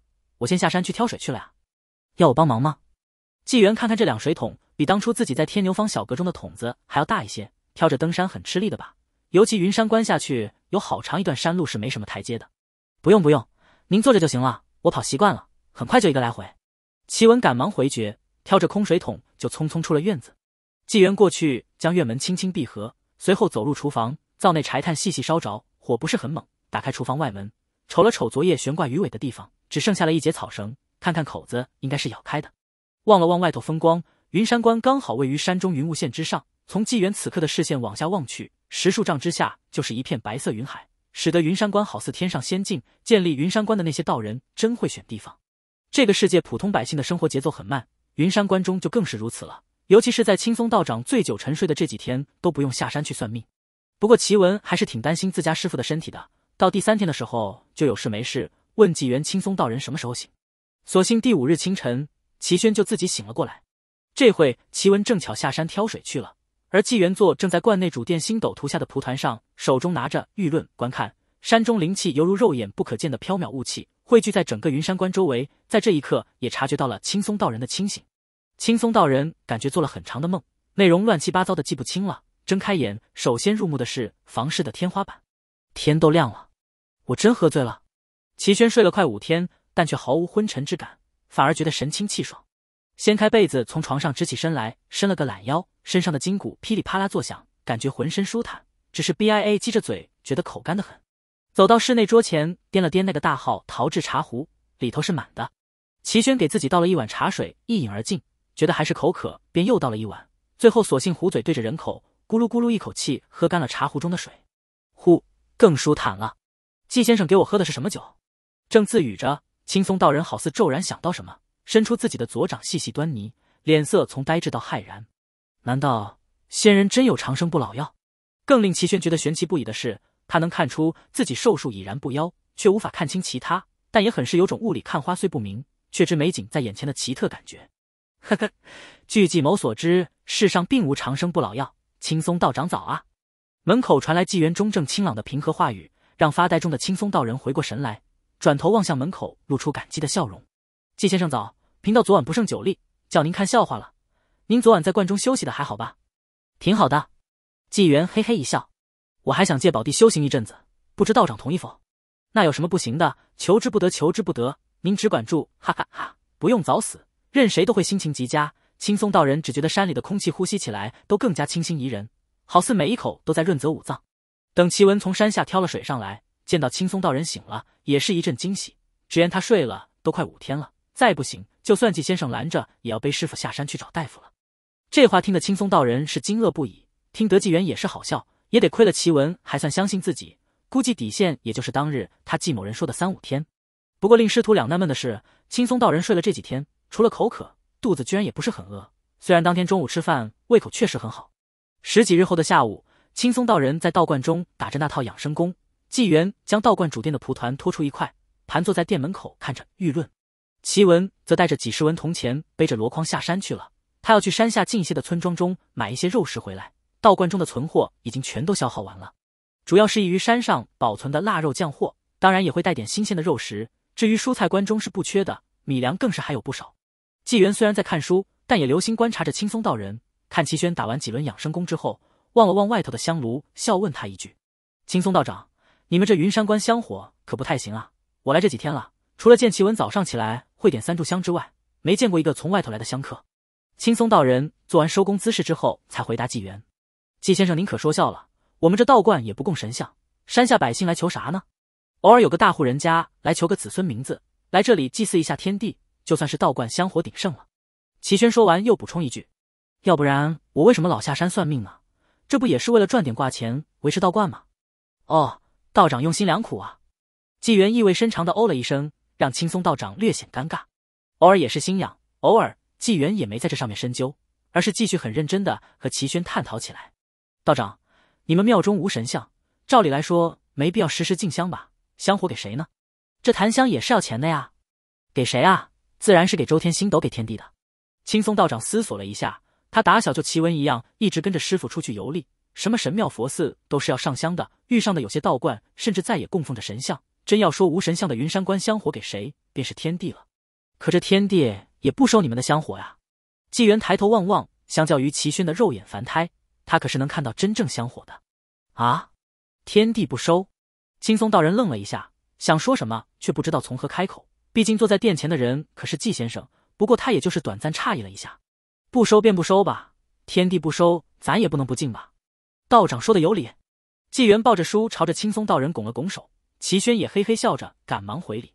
齐文背着箩筐下山，在云山中沿着师徒两常走的山道穿行，一路跨过山溪，走过山脊，脚步轻快之下，不过半个时辰就走出了云山。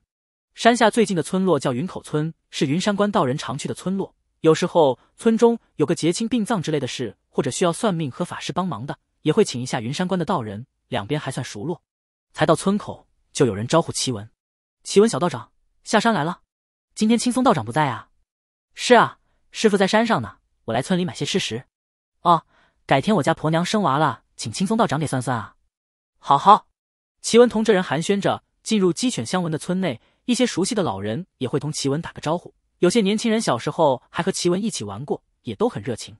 照例还是去了村长家和相熟的几个村人家，几十文钱也能买不少东西。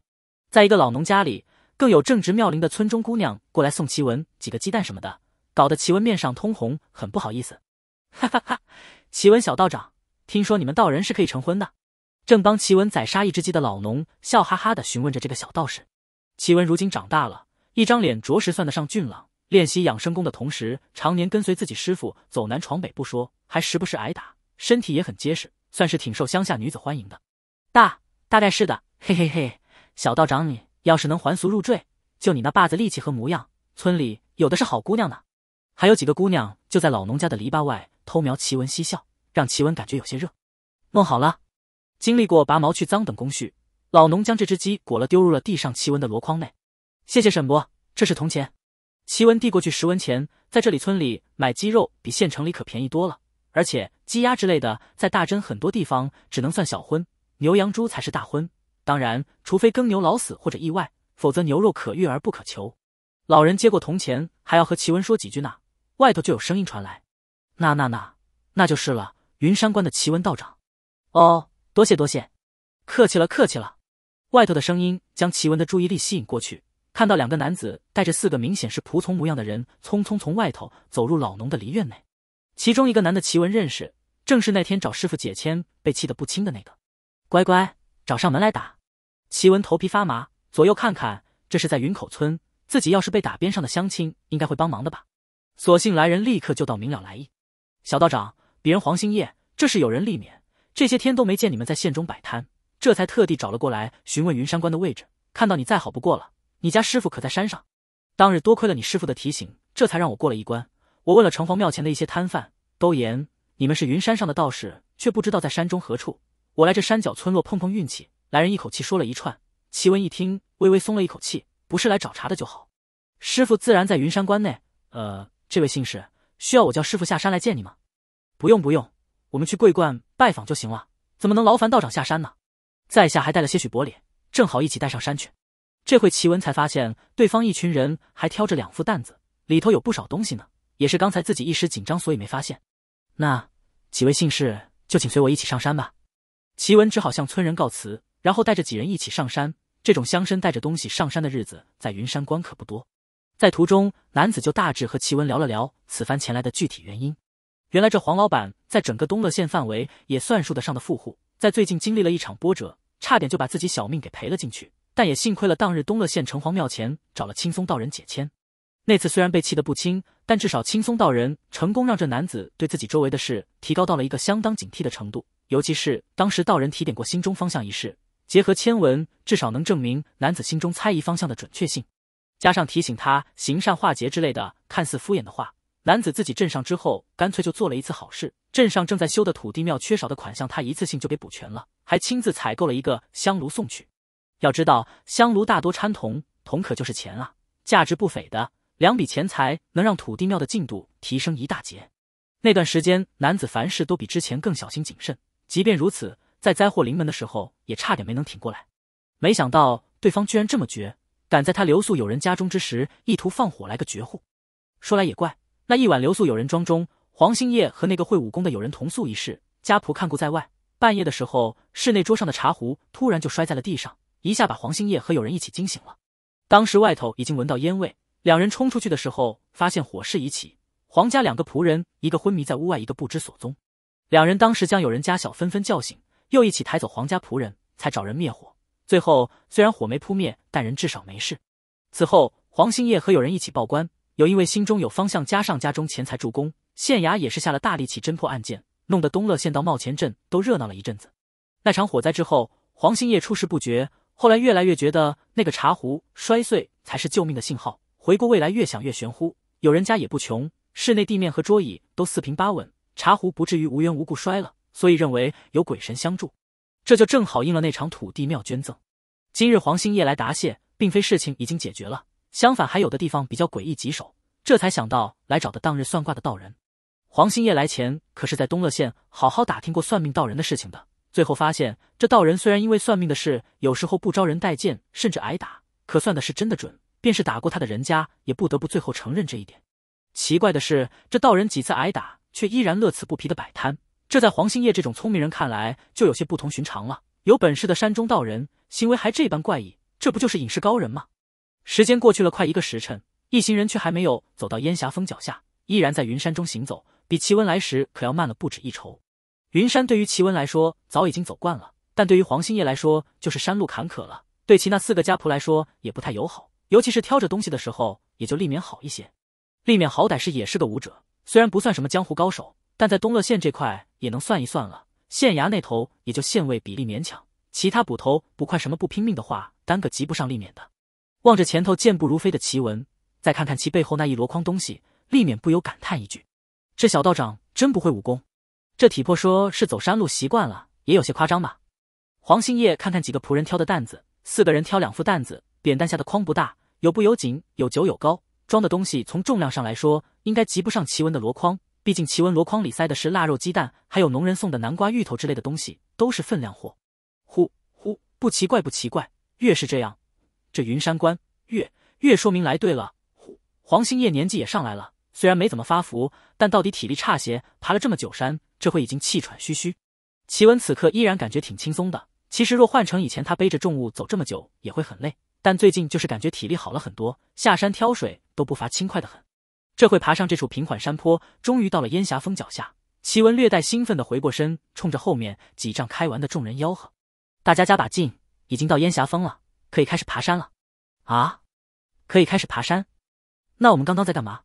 黄兴业等人都有些发愣，本以为已经快到云山关了的，没想到等来这么一句话。再抬头看了看高耸的烟霞峰，下意识咽了口口水。不算这处山坡的高度，也不理什么海拔之类的计算，单从此刻奇文脚下开始，烟霞峰总高约一百五十丈，云山关大约在一百丈高的位置。虽然实际上也算不得多高，可坡度就大了很多。在登山过程中，走走停停，歇了又歇。等到达云山关外不远处时候，黄兴业和几个家仆已经累得不行，就是一直搀扶黄兴业的立面都出了一身大汗。齐文用袖口擦擦自己额头的汗水，兴奋地冲着道观中大喊：“师傅，季先生来客人了！”几声吆喝之下，青松道人和早已听到动静的纪元才一同出来。呵呵，几位信士远道而来，有失远迎，有失远迎啊！请请请，快请到云山观中休息。青松道人寒暄着，和纪元一起上前。一人一副就从几个仆人手上接过的担子，帮他们挑向罐中。这块也不是相互推辞着不收礼的地方。罐内，纪元和两个道人分别从厨房和两间房室内将几个凳子椅子搬出来，让几人在厨房边坐下休息。除了道观的茶水，黄兴业等人带来的一些点心也直接拿出来，大家一起吃。这会体力消耗巨大，就算是自己带来的礼品，几人也顾不上客气了。等到这些来客休息了一阵，尤其是黄兴业也缓过气来。轻松道人才询问对方来意，不知几位信使来我云山关中所为何事啊？听其文说是为了来道谢，这礼品未免有些重了。黄兴业整理了一下思绪，这次的说辞和之前童其文的说法又有不同，张嘴就是求救。青松道长，您一定要救救我呀！我遇上大麻烦了。黄兴业一边恳求，站起来躬身作揖，连连拱手。黄老板，您这出了什么事啊？赶忙起身扶住黄兴业的青松道人也是一脸诧异，便是坐在靠近厨房门口的纪元也皱起眉头。道长，此事黄某先得向您道谢。当日您替我解签也是救了我一命。黄兴业先是一五一十的将之前在路上和齐文说过的事情再说了一次，只是这位细致了很多，甚至包括怀疑土地公救命的事情也一并说了出来。既然黄老板已经报官，县衙也在全力追查，那即便主犯暂且逃脱，也应当是威胁不到你了才对啊。青松道人有些疑惑。哎呀，道长啊，若真是如此就好了。可是前段时间在下有感土地公救助，便去镇上庙宇感谢。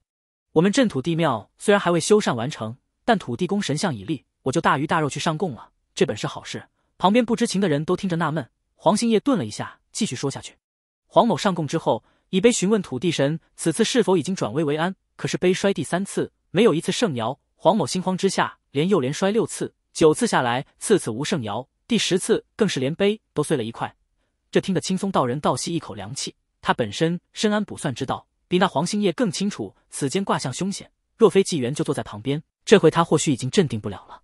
杯和签筒一样，是一种庙宇中常备的卜算用具，一般由金竹的竹根制作，剖成两半，有的也用某种小棒的两扇壳代替。基本大小大约一指长，两指宽。用来配合签筒求签或者单问吉凶，是香客同神灵的一种简单交流途径。有的灵，有的不灵，和神灵本身和香客虔诚都有些关系。碑从几尺高处由香客自己衰落，一正一反，则代表阴阳相合，是盛爻，也就是吉。其他不论是两面正还是两面反，都是凶。黄兴业的情况明显不可能是土地公不回应，所以因为土地公回应你尚且凶险，黄老板就来找我了，想让我帮你细细算算。青松道人分析了一下，却见黄兴业神色不安的摇摇头。不止如此，不止如此啊！那土地公说到这里，黄兴业像是心有余悸，带着更为紧张的语气开口：“第二日，我心绪不宁之下，再去土地庙上香，结果发现庙前围着不少镇上的人。询问之下才知，土地像昨夜被人破坏。我进庙一看，土地爷的左手被人撕下来了。”黄兴业说到这里，脸色已经难看至极。当时他忽然就清楚了。土地爷的神像绝对不是乡人议论中那样有贼匪破坏，很可能是被某种可怕的东西给毁了。在场诸人听着黄兴业的话，纷纷觉得有寒气从脚底升起，直窜头顶。就是如立勉这般知道些情况的人也是如此。青松道人更是脸色有些苍白，哪怕他平常在作死，也知道这是绝对超出自己能力范畴了。黄黄老板，这个云山关不过是闲野小关，我也不过是个给人算算命的穷道士，你这是我哪管得了啊？黄兴业一张脸比哭还难看，不断作揖哀求：“青松道长，我知晓是我当初有眼不识珠。您当日在庙前其实已经想管了，是我不知好歹，态度差，几次不听劝自己走了。求您再给我一次机会，黄某必定不忘道长之恩啊！”青松道长也慌了，这种事太诡异，甚至都忘了纪元这尊大神就在边上。黄老板，你误会了呀，我这不过不等齐宣说完，脸色严肃的纪元第一次喧宾夺主的开口：“敢问黄老板？”可否去求过东乐县城隍庙的城隍爷？纪元声音中正清朗中带着浑厚，好似有某种平复心绪的力量，令场中的人都平静下来。这是处处透着诡异，有能耐对土地公下手，黄兴业一个凡人却到现在还活蹦乱跳。纪元起先从奇闻处得知黄兴业的事情解决，此番时来答谢之后，开始也就听个热闹。但听到了土地爷之事后，纪元便知晓事情特殊了，从简单的人祸偏向妖邪之事。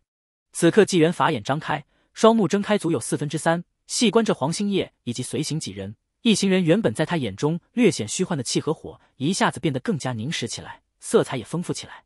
纪元发现黄兴业本人还好，几名仆从虽然命火气象的规模没有变化，却已经有血光和死气隐藏在命火升腾之中。而听到纪元突然开口，心绪定了一下之后的黄兴业也看看青松道长，询问道：“青松道长，这位是？这是纪先生，是我和师傅的大恩。”齐文赶紧想回答一句。不过纪元马上断了他的话，自己的事没必要在外人面前添加太多色彩。我是青松道长的朋友，几年前道长游历他州之地的时候认识的，如今在云山关小住。对对对，纪先生是我观中贵客。刚刚他问的话，也正是贫道想问的。黄老板是否去东乐县城隍庙求拜过？这个时代，百姓即便没见过鬼神，也普遍信神，乃至迷信一些歪门邪道的东西。黄兴业都这样了，不至于没反应吧？黄兴业这会情绪也稳定了不少。呼吸也不像刚才那样激动急促，定了定神才回答道：“在下当然去了东乐县城的城隍庙，也是在那里打听到青松道长您是云山道士。我一面出资命人将家乡镇上的土地像修缮，也带了足够丰盛的贡品进献给城隍爷，然后才一路找来云山脚下。纪元看看这黄兴业，这人还真算是有头脑的，面面俱到。然后面对青松道人，很自然的开口：青松道长，我听你说过，土地爷还没立庙，那本身神道道行应该还不算高，至少还没接受香火。”成就正神，纪元心中也在思量，那土地公应当不是实修勾连地脉以立成神的，否则也不会因为黄兴业对庙宇贡献巨大而几次像。不过土地公显然也没想到后面的事。青松道长愣了一下，我说过这种事。不过见纪元这么认真的问自己，齐轩马上反应了过来，确实如此，季先生所说不差。纪元点点头，看来我没记错。以季某的角度思考，土地爷的神像若是人为破坏，那自然是加大追查力度。若是真有邪物在侧，茂前镇也是东乐县辖境，即便黄老板没有进献贡品，只要知道了这事，城隍大人也不会坐视不理的。道长，我说的对吧？青松道人连连点头，对对对，季先生说的对，这样最好，这样最好。黄兴业听闻也是心下稍安。寻常百姓虽然信城隍、信土地之类的神灵，但毕竟基本谁也没见过，一些所谓灵验的传闻，也不过是百姓口口相传，真遇上事了，心里都没底。还是如青松道人这种看得见、摸得着的高人更令人安心。对了，黄老板，方才听闻你所言，前半段的凶险几乎都是人为，到后面被你识破并掌握证据报官之后，也无什么异常发生。只是在你得了土地爷挂爻之后，才意识到不对。黄兴业冲着纪元拱了拱手，才回答：“确如这位纪先生所言，此前我还以为劫难已过，是送了贡品去谢土地爷的。能和青松道长这样的高人为友，想必这位季先生也有过人之处，至少单凭这份镇定和气度就不简单。”纪元看看青松道人，后者也下意识的和他对视一眼。道长，你也觉得此事颇为蹊跷吧？对，如季先生所言，贫道也是如此想的，而且。黄老板还能活生生走到这，也真是运道不错呀！青松道人不只是附和纪元，此时也开始细观黄兴业如今的面相面色，加上以此前所描述的事情起卦，算出一些怪异来。黄老板，你的生辰八字方便告诉贫道吗？有纪元在一旁，青松道人胆气也足了起来。这回听到青松道长要给自己算命，黄兴业自然不会再推脱，赶忙将自己生辰八字小声告诉青松道人。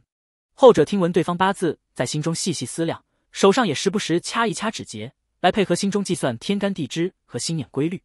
纪元好奇的看着黄兴业等人，则是紧张的候着。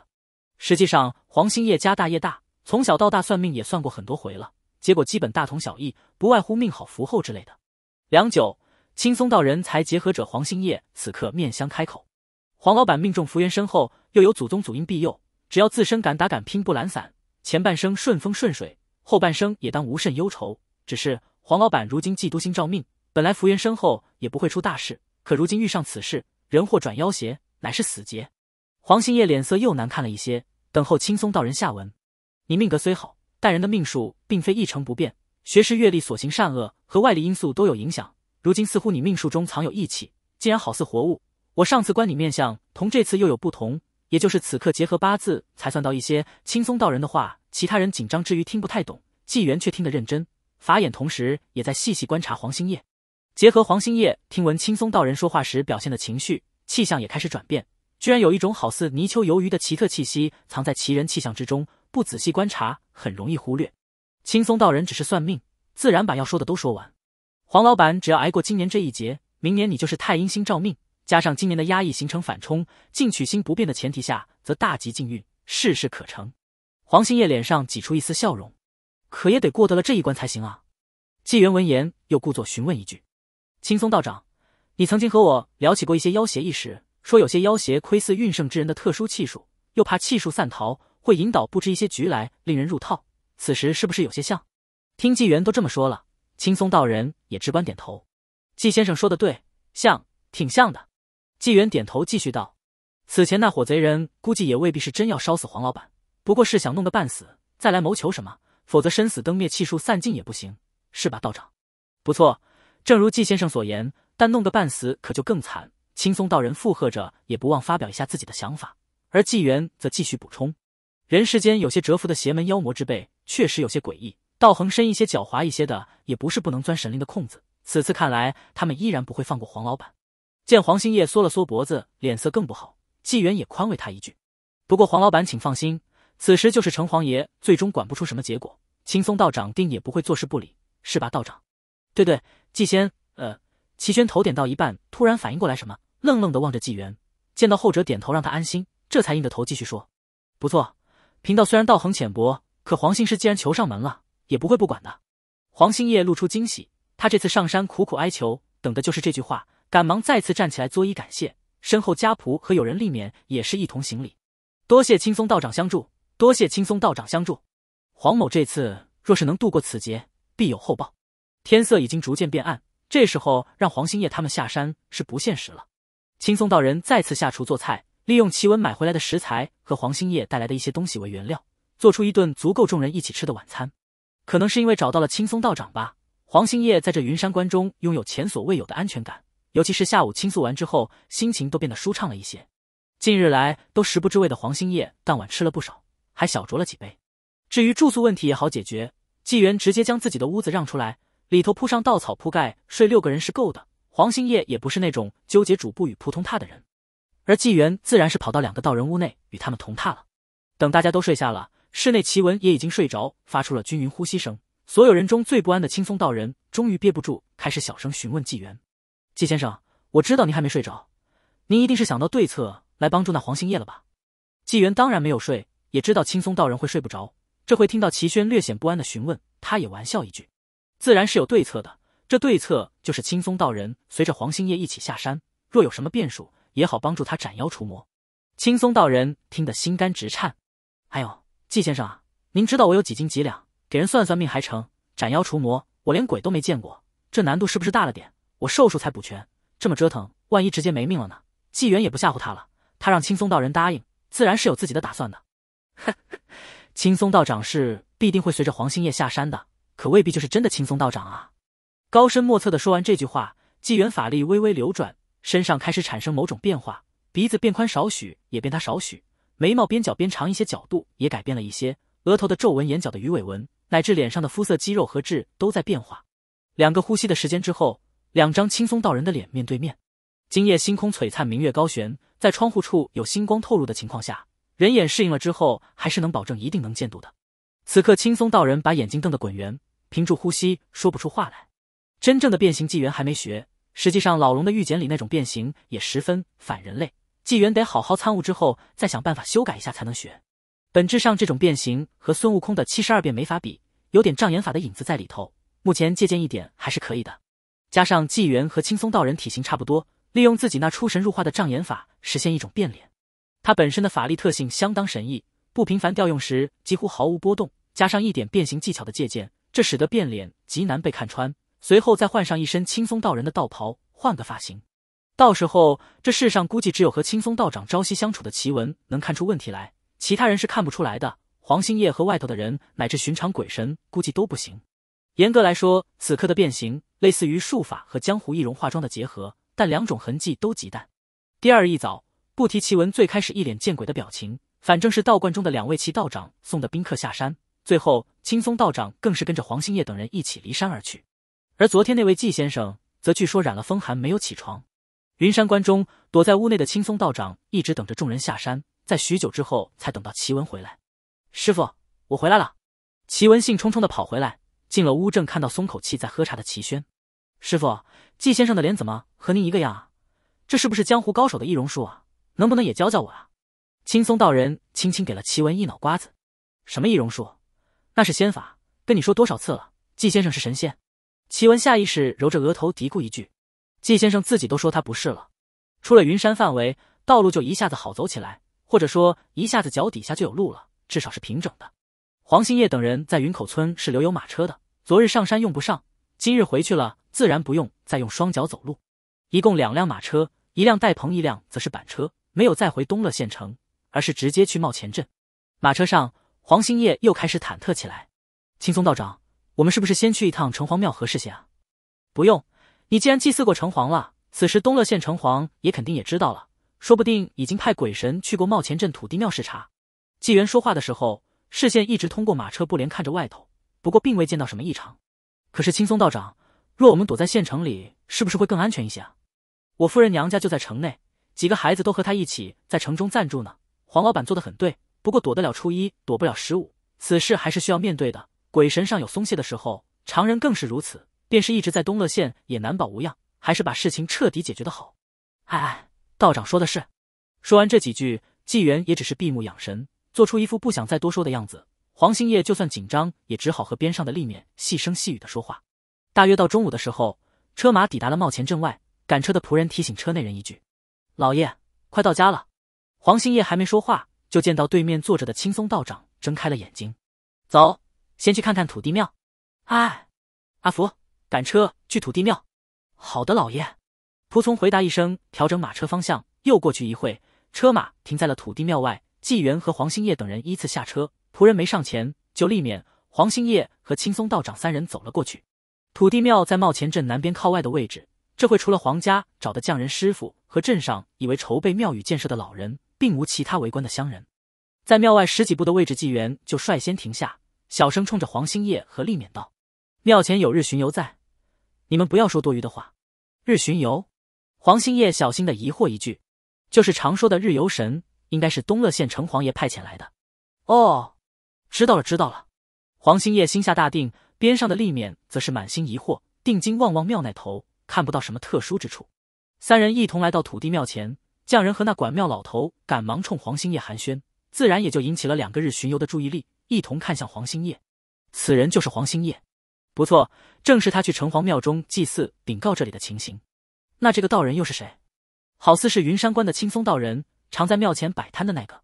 两明日巡游交谈间，在黄兴业边上细细打量他。纪元就算看到了，也没提醒黄兴业，省得他大惊小怪。仔细观察庙中神像，纪元发现神像有很多不似人的特征。目前香火很淡，神像残留的神道气息也不强，明显这两天没来过土地庙。再看看放在角落的神像手臂。那名匠人老师傅正在填土起撑，但还没接回神像上，其上也并无任何邪气残留，更像是被人为敲下来的。难道只是人祸？看了一会，纪元就和黄兴业等人一起回了镇上的黄府，两明日巡游也一起跟了回来。黄府自然比不上金鸡府那边的王府和楚府，但在东乐县这块绝对算高门大宅。因为青松道人的到来，黄兴业准备要好酒好菜招待一番。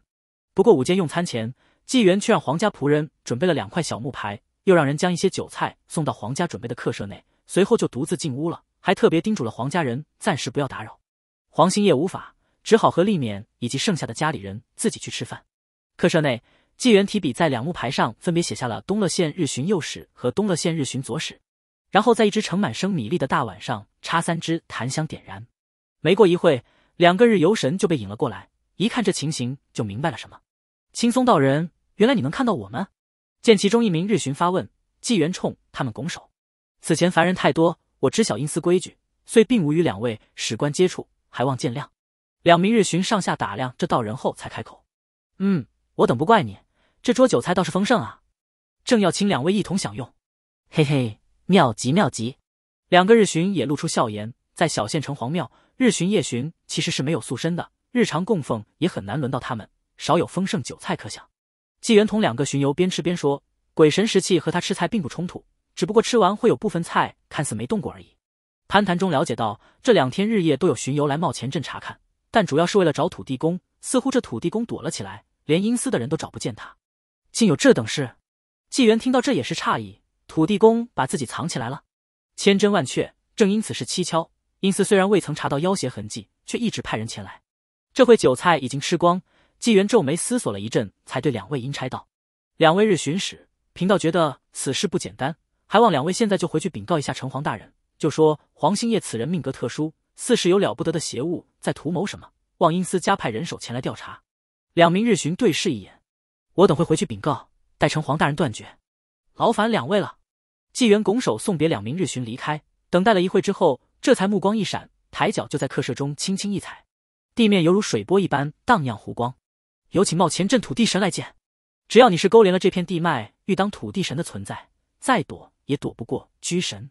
室内一阵青烟自地面旋转上，一名身材佝偻、穿着黄土色袍子的人出现在在纪元眼前，一张脸上满是黄毛，却有人的五官。一看到纪元，这土地神就赶忙不断躬身作揖：“茂前镇土地拜见上仙，拜见上仙。上仙乃道庙高人，您来了就好了，您来了就好了，定要为小神做主啊！”这土地的样子和昨日上山求救的黄兴业何其相似，让纪元再一次眉头紧皱。土地公，请坐下说话。为何阴司找你却不现身？这土地神似乎知道居神这一艺术，此刻信心大定，却执意要站着。回上仙的话，这黄兴业惹到了厉害的东西，东乐县城隍也未必压得住。我此前不知情帮了黄家，这回若非您来了，我哪敢现身？看着土地公笃定的样子，似乎很有些见识。纪元疑惑更重，什么厉害的东西？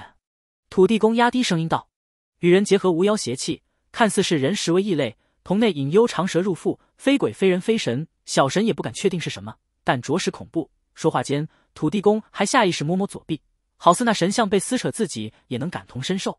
那日黄兴业来我庙中求挂爻时，其实我并未看出什么，但因皇家对我建庙有恩，我便再渡了灵气到黄兴业身上，让他挂爻更准。摔杯有两种情况，一种是类似城隍这样的神灵，本身和求问者息息相关。知道一些情况，某些是可以直接这样传达；还有一种情况，则是人身自灵，如外地人来城隍庙，或者其他不问凡人琐事的神灵，就多会用这种方式。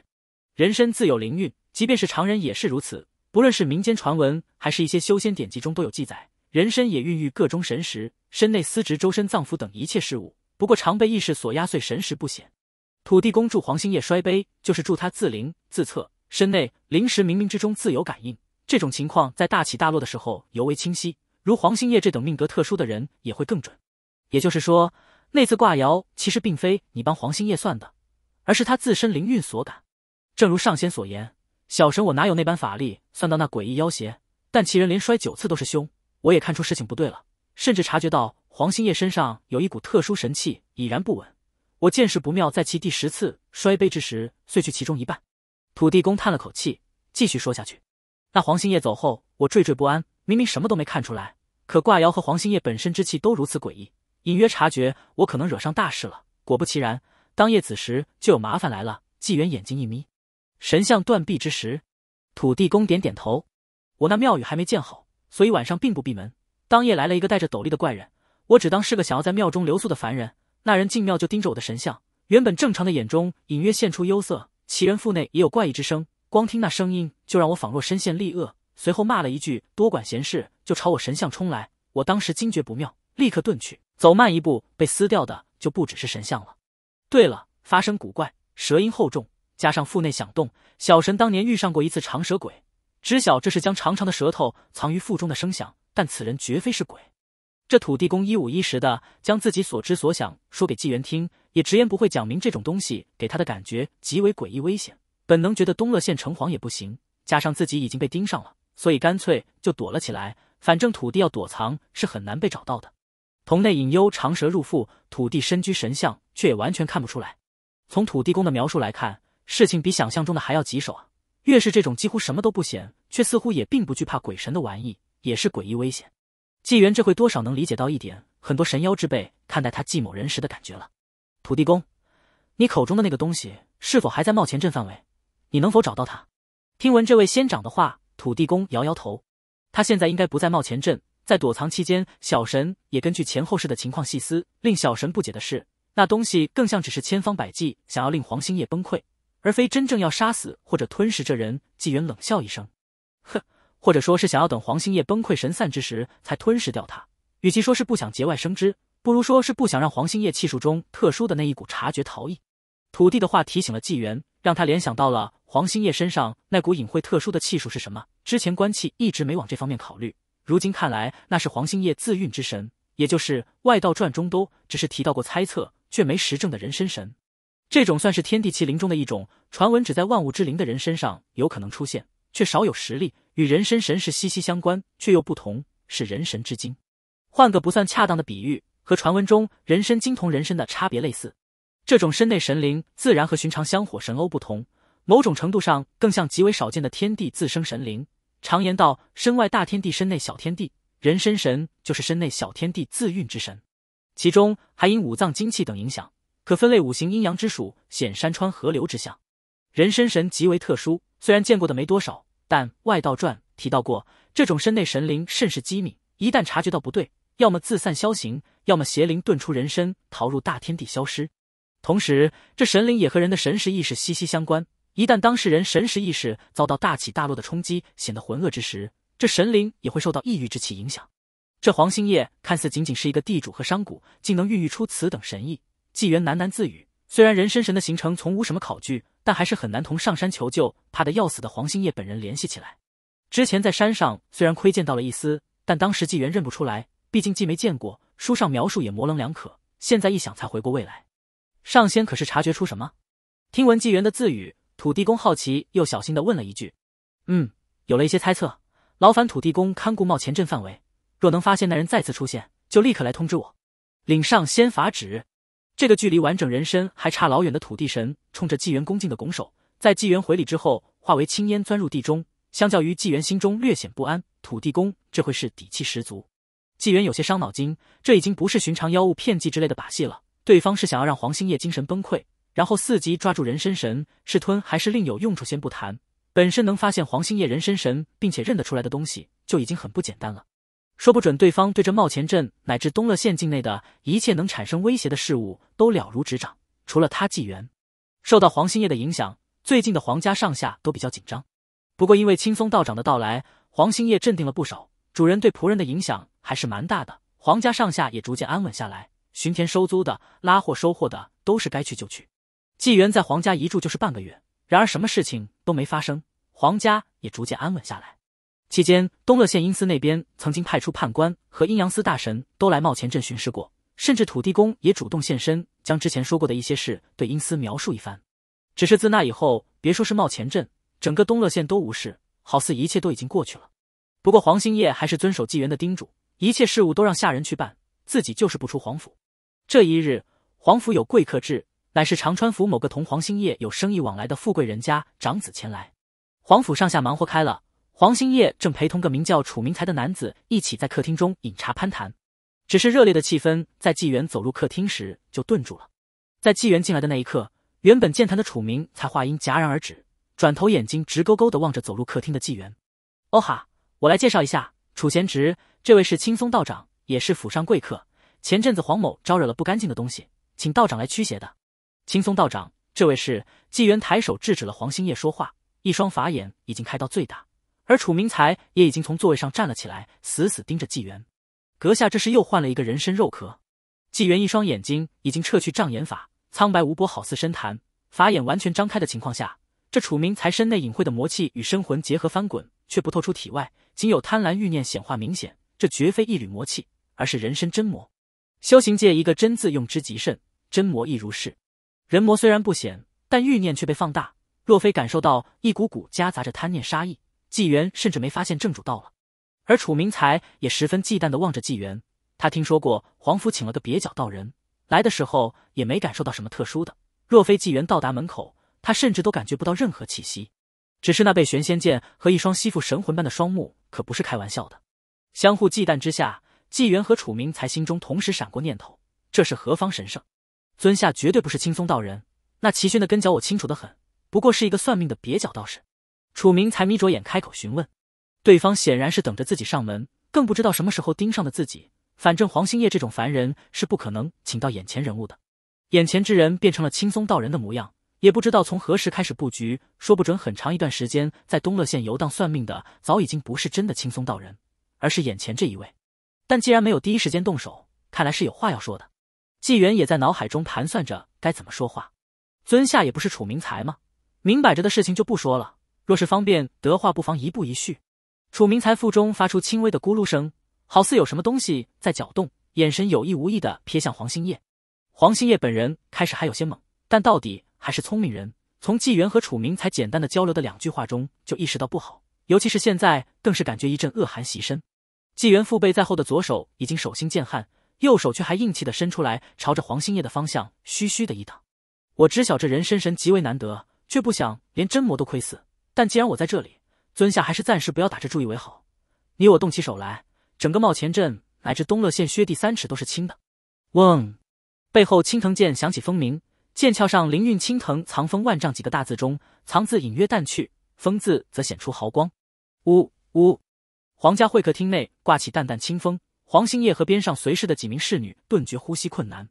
而楚明才眼中，纪元背后仿佛有万丈剑光亮起，一甩头却什么都没有。我道为何这黄兴业能孕育人身神？不成想居然背后隐着一尊真仙。呵呵，尊下说的对，你我动起手来，对谁都没好处，不知有何方便你我续聊的去处。到现在为止，双方都极为克制，甚至于仙魔势不两立的情况下，都用着敬称。纪元对真魔忌惮到了极点，哪怕仙剑在侧，自己也十分危险。楚明才对纪元忌惮同样不轻，更有种对方在暗，自己已经在明的焦虑。这回必须得装。这念头在纪元脑海中升起，就有了想法。呵，你我谁都信不过谁。肯定不希望离这黄兴业太远，好去处只能问问合适的人了。说到这，纪元尽量以不刺激对方的动作，轻轻抬腿往地上一踏，土地速来，黄韵荡漾而过，地面烟气随之上升，土地爷旋转着就召唤过来。楚明才眼神又是一凝，这是货真价实的居神，并且运用的如此轻描淡写不说，居然并无多少法力散逸，言出法随的感觉极为强烈，心中有些打鼓了，不可抑制的开始思量如何安然脱身。土地公从烟絮中一出现。立刻对着纪元躬身作揖，小神拜见上仙。那邪乎的东西并无在茂前镇出现。小神我日。土地公话说到一半，身子突然僵住了。本来想说日夜监察不懈怠的话，被卡死在喉咙里。他终于发现了站在上仙对立面的楚明才。这种紧张的氛围下，虽然明知土地公是被惊吓到的，可听到他话语结尾音，还是有属于上辈子的喜感，令纪元不由一笑。在这冒前镇中找地方问土地再合适不过了。土地公。我们要找一处清静地方谈一谈，不知哪里合适啊？土地公顺了顺气，看看楚明，才又看看纪元，很机敏的察觉出那东西不简单，否则上仙哪会和对方废话？不过有上仙在边上，土地公也镇定，至少上仙还有说有笑。对面那货连屁都不敢放。回上仙的话，不如去我那土地庙庙府内，虽然简陋，但既不会有凡人出现，也不会有阴司鬼差打搅。庙府不是庙，而是庙下土地府。纪元看看楚明才，尊下意下如何？楚明才心中不断思索，眼神微微闪烁。这土地神是你招来的，地方与其说是他定的，未必不是尊下早定好的。小小土地哪敢在真仙面前说个不字？我本就是魔，以恶度人，那土地府我可不去，换个地方吧。这话说的再敞亮再合理，但以纪元的角度看，难掩心虚一词，也令纪某人胆气顿时宽了不少。你虚就好，虽然我也虚，但是你不知道啊。那不若尊下定个地方吧，我反正何处都可，便是出了这冒前阵，也是悉听尊便。那就在这皇府吧。楚明才又在位置上坐下了。黄兴业流着冷汗，动也不敢动，求助的望向青松道长。虽然刚刚的对话中听出这可能不是青松道长，但至少是算是自己这边的。刚刚楚明才这一虚，让纪元更敢发挥了一些。好，皇府就皇府，为避免打扰，我看就这样吧。土地公将黄兴业与皇府上下杂役仆从全都送走吧。纪元说完这句，主动朝着黄兴业的位置走去。现在暮色苍白，无法给他一个心安的眼神，但冲他微微颔首，还是令黄兴业心中安定不少。领法旨，土地公不敢怠慢，领命之后，率先走到黄兴业身边，藤杖冲其一点，就和黄兴业一起消失在地面。皇家丫鬟杂役之类的也先后一一消失。整个过程，纪元一直微笑着注视客厅前方，看也没看楚明才，对方也眯着眼坐着，默许了土地公的动作。直到皇府上下所有人全都消失，青藤渐渐翘上的字迹才纷纷淡化下去，恢复了平静。楚明才面上不显，心中却莫名松了口气。刚刚有那么一个瞬间，他已经做好了暴起的准备，很怀疑在场凡人全都被送走之后，身旁这一位会立刻动手。所幸只是自己多心了。纪元已经在心中组织了一会语言，这会也做出善意举动，坐在黄兴业原本的位置上，提起茶壶为楚明才续上一杯茶水，然后从茶盘上取个新杯子，也自己倒上一杯。这才适时开口。实话说，除了玉怀山和通天江，大真国境内看到尊下也是吓了我一跳。楚明才自然不会认为对方为自己倒茶就是示弱。道庙之人修行随性至真，行事很多时候比魔头还古怪。看到尊下，我也被吓得不轻呢。看起来来这大真凑热闹的可真不少，连真仙都来了。喝了一口茶水，楚明才刻意讽刺一句：“都说到妙真仙道义深长，难为人间动欲念，可现在还不是来了。”不过楚明才讽刺也只敢浅浅的在字面提一下，不敢太过。简单接触下来，他已经明白，论修为，论道行，自己很可能都逊色不少，更别提对方有灵性非比寻常的仙剑悬于背后，杀伐之力非同小可。纪元自然听得出他话中讽刺，可心中更惊异于楚明才话语中另外的信息，来凑热闹。大真有什么热闹可凑的？老龙知不知道什么？楚先生怕是误会了，鄙人本就是大真国土之人。当然了，那会这还不叫大真？但鄙人确实并非从外方之地前来。嗯，楚明才转头看了看纪元，大真境内除了一条真龙，居然还有尊下这种真仙，那老龙不知道吗？纪元做出很是奇怪但真情的表情，看看他。殷老先生就算知道，难道就得到处大声嚷嚷，让别人也知道？我与那通天江一脉乃是故交，龙子龙女都得喊我一声叔叔呢。这是大实话。纪元说的毫无压力，却听得楚明才的人身都下意识想咽口水。完全是这身体以前的生理习惯反应，还好克制住了。仙妖也大多相互不待见。楚明才方才可没想到这两家居然认识，会不会是假的？然后纪元又补上了一句：“前些日子我还给通天江传书，说我准备在这东乐县小住，以那老龙的性子，说不准很快就会来找我。”嘿嘿，纪元这句话阐述的是一个事实，却是一种隐晦的威胁，也令他终于在旁边之人身上看到了一些反应，其身内魔气动荡了一下，虽然比较克制。换别人未必看得出来，但纪元现在一直忍着酸痛，睁大着眼，一点破绽都逃不过法眼照见。不过纪元现在心中如猫爪一般的想要知道真魔口中的凑热闹到底指的是什么，听起来像是大真境内会有什么特殊的事。这回天色开始暗下来，不过并非天要黑了，而是边汇聚起阴云，轰隆隆，昂吼，雷鸣声中隐隐夹杂这一阵隐晦的龙吟，寻常百姓听不到。可纪元和楚明才的脸色都变了，纪元是眉宇间展现喜色。后者则是脸色难看至极，连装都装不住。殷老哥好助攻！纪元忍不住在心中喝彩。来得早不如来得巧。纪元侧头看看边上的楚明才，端起茶盏喝了一口。真是巧了，才说着呢，这老龙就到了。见到楚明才难看的脸色和透露出来那股阴郁的气息，便是纪元如今的心境，心里也有种莫名的畅快感。别看这老龙都一千岁的年纪了，其实有时候还是蛮小心眼的。若我同尊下在这里喝茶，却不知会他，定是会一直记着。上次他寿辰，我就吃了这亏，还是得叫他一声。纪元讲的基本全是真话，却听得边上楚明才差点捏碎茶盏，偏偏嘴里酝酿了半天，蹦不出一句话来，并不是想不到站得住脚的理由来阻止纪元叫老龙。而是楚明才现在已经深刻明白了什么叫做形势比人强。不过纪元还没想好用什么合适的办法提醒老龙自己在这，就发现有混杂着湿气的清风吹来。纪元下意识的伸出右手，一根长长的发丝飘荡在风中，自然而然的回到了他手中。纪元面上没什么表情，但心中却有些诧异的在想：这头发怎么回事？在长发飞入皇府范围，他就已经有细微感应，并且明白这不是老龙施法送来的，而是长发自己回来的。楚明才的注意力也全都锁在纪元身上，甚至短暂忘了有真龙在天空游曳。比起纪元，楚明才看到了两点：长发自归只是其一，哪怕毫无法力痕迹，却没纪元感受深切。重点在于连纪元都没有留意的第二点。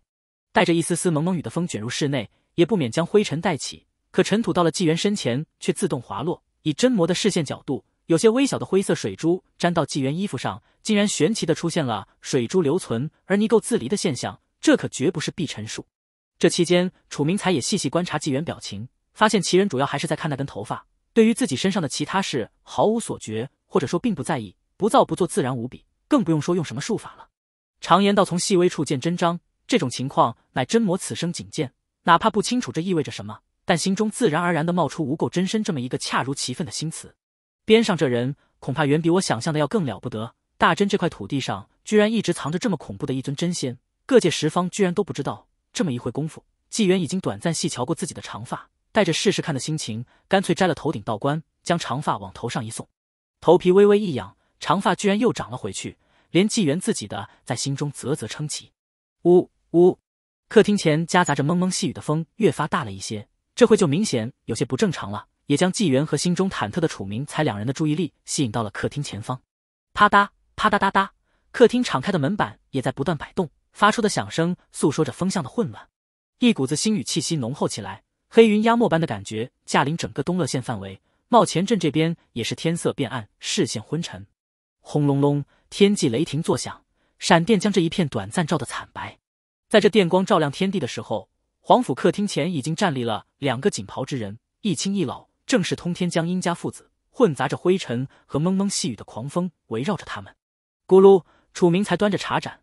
重重咽下一口茶水，我就知晓顺着那根头发准能找到季先生，不过倒是没想到还有惊喜。老龙的声线开始还爽朗，后面就略显压沙了，因为有龙气不断从嘴角溢出。龙子英风比自己父亲更现实一些，扫了一眼楚明才，然后将视线集中到纪元身上，恭敬的冲他作揖：“小侄见过季叔叔。”“嗯，那条大鳙鱼滋味鲜美，承殿下的情了。”阴风这回这生计叔叔叫德纪元还是挺舒坦的，毕竟应景。平常觉得这笼子太缠人，现在看就别提多顺眼了。本来还维持严肃的阴风，这下表情绷不住了，满脸喜色就爬上面部，心中窃喜更甚。嘿嘿嘿，季叔叔喜欢就好，我那其实也就是顺手为之。不过看到这气氛，阴风也就是卖了乖，就适可而止的收口。纪元这会也起身冲着老龙拱手：“殷老先生别来无恙啊，进来喝茶吧。”老龙也拱手回礼：“自然好得很。”若非芒种前后，我奔波多处较为繁忙，早就来这滨州拜访季先生了。不过今日来的倒是很巧，嘿嘿嘿！老龙笑起来，视线余光一直盯着楚明才，巧得很，巧得很啊！呵呵呵，纪元也是附和着一起笑笑。这双方自顾寒暄对话，看似完全没有涵盖楚明才这个外人，可巨大的压力却全都会拢在这桌案边，独独压向他一人，令真魔感觉泰山压顶之余，又如坐针毡，心里别提有多难受了。于是乎，片刻之后。皇家客厅的坐局产生了微妙变化，纪元和楚明才依然坐在上首左右，而老龙殷红和龙子殷风则坐在楚明才这一侧的两个偏座上。这真魔算是正好被夹在中间，一张脸从刚才开始就一直阴沉难看。哦，原来这黄星夜孕育了人参神，这倒着实是少见啊！刚刚听完纪元粗略说了一遍前因后果，老龙也是惊讶了一声，然后再一次对楚明才行注目礼。嗯，殷家父子两双龙目一起，是啊。确实少见，季某也着实惊讶了一番。既然之前已经被老龙叫破季先生的身份了，纪元也就不再比人了。这会谈完这些基础前提，接下来就到重头戏了。纪元放下刚喝了一口的茶盏，再次提起茶壶，主动帮楚明才续上一杯，嘴角流露着微笑。看来尊下倒是个喜欢喝茶的，饮茶颇快。琐事过后，也该继续谈正事了。说话间，纪元也看了看老龙，再视线回转到楚明才身上。实不相瞒，尊下之前说来凑大真的热闹，究竟所指何事？我闲散惯了，消息闭塞，还真不清楚。楚明才张了张嘴，一个“此”字才吐到一半，老龙就带着诧异开口了：“季先生竟然不知道？哈哈，也是也是，就是我也才知道没多久。而季先生就喜欢闲云野鹤那种日子，更不可能去打听什么消息。”老龙手指一勾，茶壶飞到了身边，自动给自己的茶盏倒上一杯茶。传闻天玄洞天内天机阁中参悟道化石的三位长须翁，在数年前有感而挂，费时一载而挂成，得出东土云州南角。嗯。差不多就是大真国境所在，隐现气数大圣之相，无穷道元之机隐匿其中。还有呢？没了。听说天玄洞天现在已经禁制大开，完全封闭了。天机阁谢绝一切拜访。三位长须翁貌似都受了重伤，也不知道消息怎么传出来的。楚明才终于找到机会说一句话，似乎是为了缓和气氛，语气也尽量轻柔。这等事能传出来，本就蹊跷，所以说真说假的都有，又无法同天机阁求证。所谓大真的热闹，就是自此而来。我也是过来看看，见到黄星夜孕育人参神，一时好奇，多瞧了一段时间。老龙冷眼看向他，哦，那你这具肉身呢？之前那些事呢？我这老朋友虽无什么妖仙魔的偏执之念，却最讨厌歪魔邪道作恶。别看他笑呵呵和你喝茶，青藤剑中孕育的万丈剑意，说不定都快压不住了。嘿嘿嘿嘿，龙子阴风很不厚道的笑了起来。反正自己老爹和季叔叔都在，他毫无压力，看热闹不嫌事大吗。老龙这话听得楚明才颇有种要流冷汗的感觉，余光瞥向纪元身后仙剑，明明安安静静，甚至毫无剑意，剑气流出，可这会莫名有种不动则已，一动惊天的感觉。左有真龙，右有真仙，真龙乃千岁老龙，真仙更深不可测，一种这或许是长久以来最危险的一刻了的明悟升起。老龙的那威胁的句话确实吓到了楚明才，但纪元这会清楚，眼前的真魔在但凡有一点余地的情况下，绝对不敢随便抱起。不过即便如此，在楚明才心中。认为此刻老龙已经释放了一个很危险的信号，甚至很可能是刻意在慧之边上这位真仙告诉他，咱是不是该动手了？心中若魔念不胜，即便是我也无法轻易入主。躯壳如臂驱使，说白了，这楚明才和此前窥伺黄星夜家业的黄世鹤都是一丘之貉，算不上什么好人。楚明才讽刺意味明显的大声说出这句话，面上表现的一副风轻云淡的样子。况且季先生同我在这聊这么久，不外乎是顾虑东乐县苍生，难得见到季先生。这等对妖魔人神君无偏见的真仙，我也卖两位先生一个面子，答应你们不会在大真境内随意出手，更不会再动那黄星叶。楚明才这句话说的相当有水平，隐晦服软的同时也带着威胁。我是忌惮你们，但如果你们真撕破脸动手，这东乐县乃至这大真也得给搅得生灵涂炭，不得安宁。这句话一出，老龙面露冷笑，没有说话。纪元也双目也略微眯起，就连阴风都不敢吱声了。这氛围看起来比刚才还紧张。整个皇府范围已经隐约弥漫了一股淡淡的龙气，家宅范围的蛇虫鼠蚁纷纷仓皇出逃，小动物的动静为这昏暗的厅室内更增添了一分压抑感。轰隆隆，天上雷霆炸裂，将两条龙的表情照得极其可怖。咔嚓，楚明才一直握着的茶盏都裂开一道细纹。刚刚那句话似乎说的起了反作用了。龙族大多脾气不好，老龙的脾气纪元也是清楚一些的。对于看得顺眼的，怎么都顺眼；对于看不顺眼的，怎么都不顺眼。虽然讲道理，但绝对是头顺毛驴。这占据楚明才肉壳的真魔，略带挑衅的话可不妙。殷老先生，且先消消气。纪元适时出声开解了一下。虽然明知老龙是有分寸，可也架不住这气氛实在太压抑。尊下所言也有些道理。我等动手确实动静太大。不过这楚明才和黄世和是何等人，也不过是尊下一面之词。身为真魔，只要愿意，便是十足的大好人，也堵不住你的侵蚀。这样吧，找东乐县阴司查一查这两人品性。若如你所言，今日就放尊下安然离开。若有所偏差，尊下好歹也得有所表示。听到纪元这话，楚明才心下狠狠松了一口。这已经算是给双方一个台阶下了。哪怕黄世鹤和楚明才也不算多坏，但那句有所表示，至少也比刚才剑拔弩张要缓和多了。如此劣势的情况下，同时和真龙真仙动手，结果极有可能就是生死道消。他可不敢尝试，哪怕一次。便听季先生所言吧。楚明才赶紧表态。老龙嗯了一声，也没反对。纪元缓了口气，抬起左脚轻踏地面，土地公一声令下，居神而现，土地公再次转着青烟出现在纪元身侧。老龙和龙子两双龙目这一刻全都转过来盯着纪元和土地。老龙还好，阴风更是忍不住面露惊色。居神这种艺术，听过大名的不少，见过的真没几个。但居神的特征又太过鲜明，只要有点见识的看到了，就绝对分辨得出来。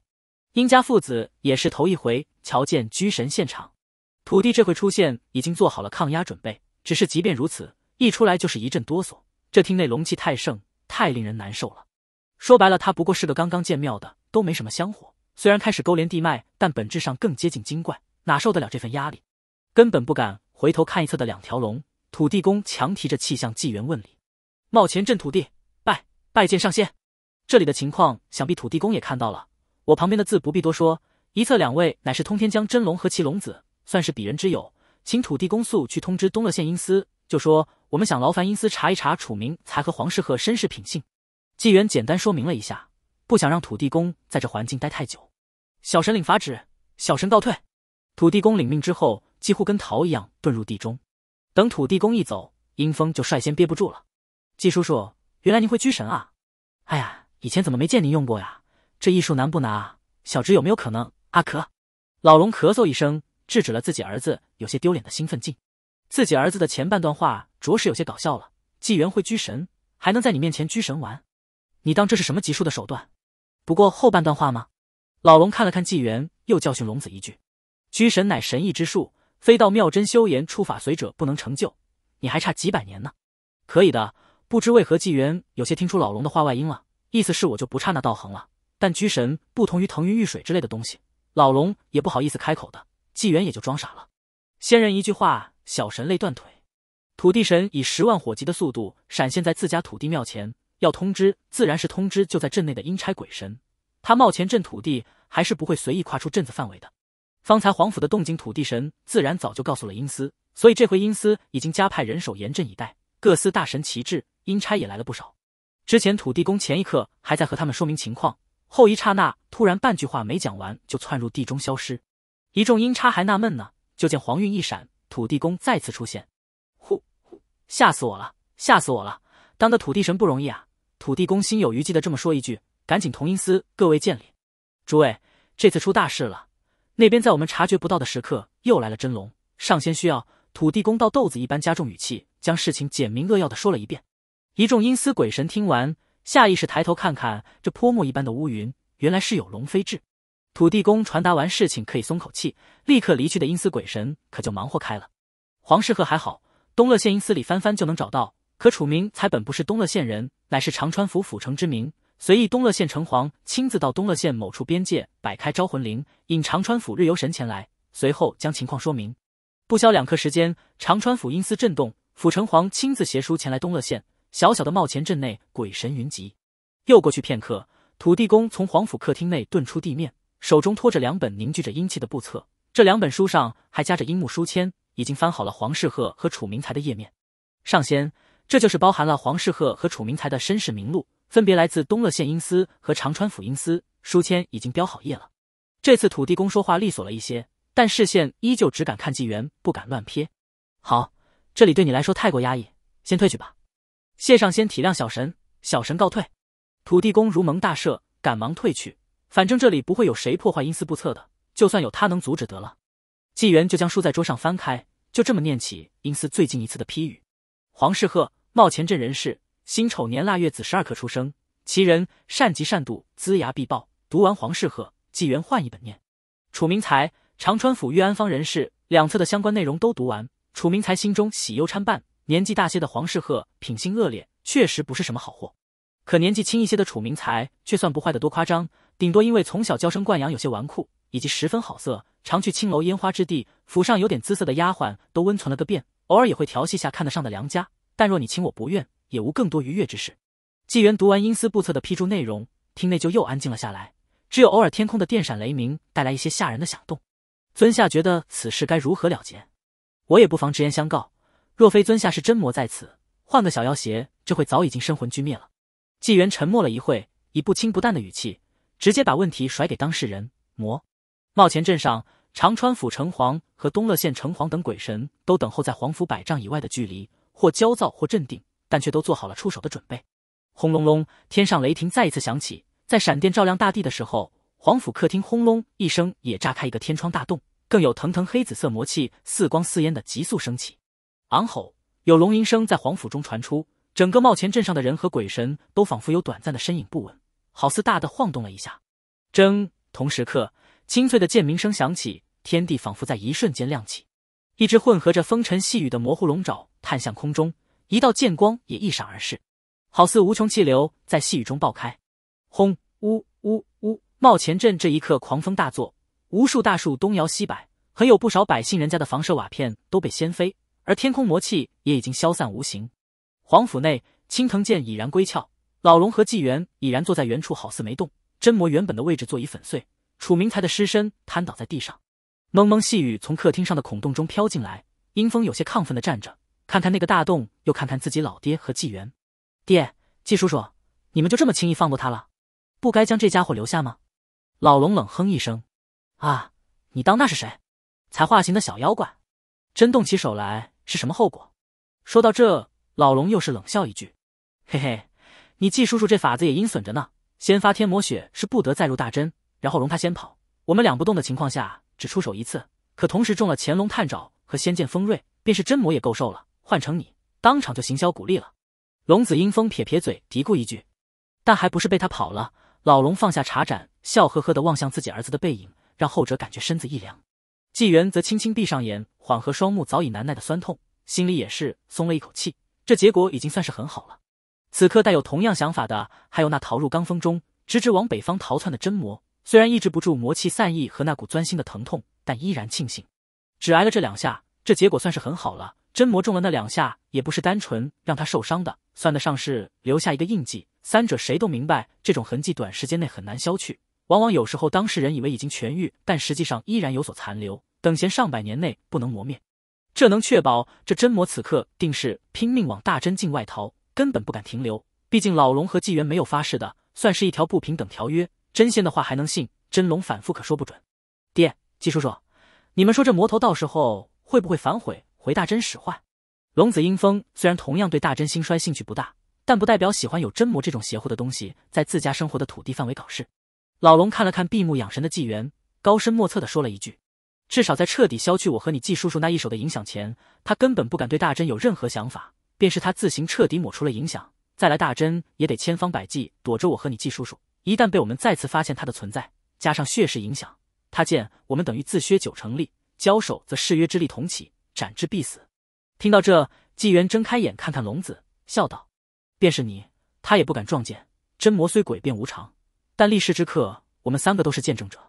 那天魔血誓的内容很简单，不能再入大真，也不能以任何形式对大真伸手。到了真魔真龙这一级数，并不存在什么纪元上辈子的邪约文字游戏，一切誓约随乎本心大道。虽然魔头假话连篇玩弄人心，可也得分对谁。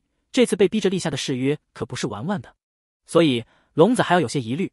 纪元这种能感受天地气机的，和老龙这种本身见多识广、道行强的，都已经安心了。但皇府里头的两龙一人已经安逸下来，皇府外头的鬼神、土地乃至皇家人可焦虑的不行。长川府城隍法相伫立三丈高，目光盯着刚才起过变化的天空。这会乌云密布，电闪雷鸣，看起来依旧有种山雨欲来的压力。土地公，你说上仙能压得住那邪物吗？里头真就只是在喝茶？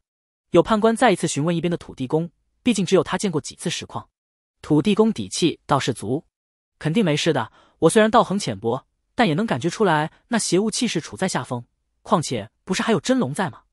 龙属性格难测，不好说的。其实判官还想说一句，龙属毕竟也是妖类，可想到离得这么近，而且对方是真龙，也不敢多说什么。你们说那邪物究竟是什么来头？定非寻常妖邪，否则上仙还需如此。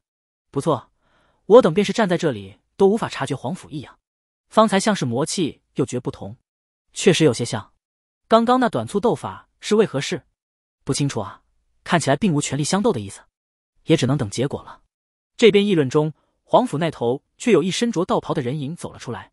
那人并未带着道冠，在蒙蒙细雨中也无任何神异之处显现。但所有鬼神到那道人却全都精神一振。通过土地公，一众鬼神自然知晓那是谁，纷纷拱手问礼，见过上仙。拜见上仙。面对几乎可以认定是传说中真仙一级的存在，便是长川府大城隍也不敢怠慢礼数。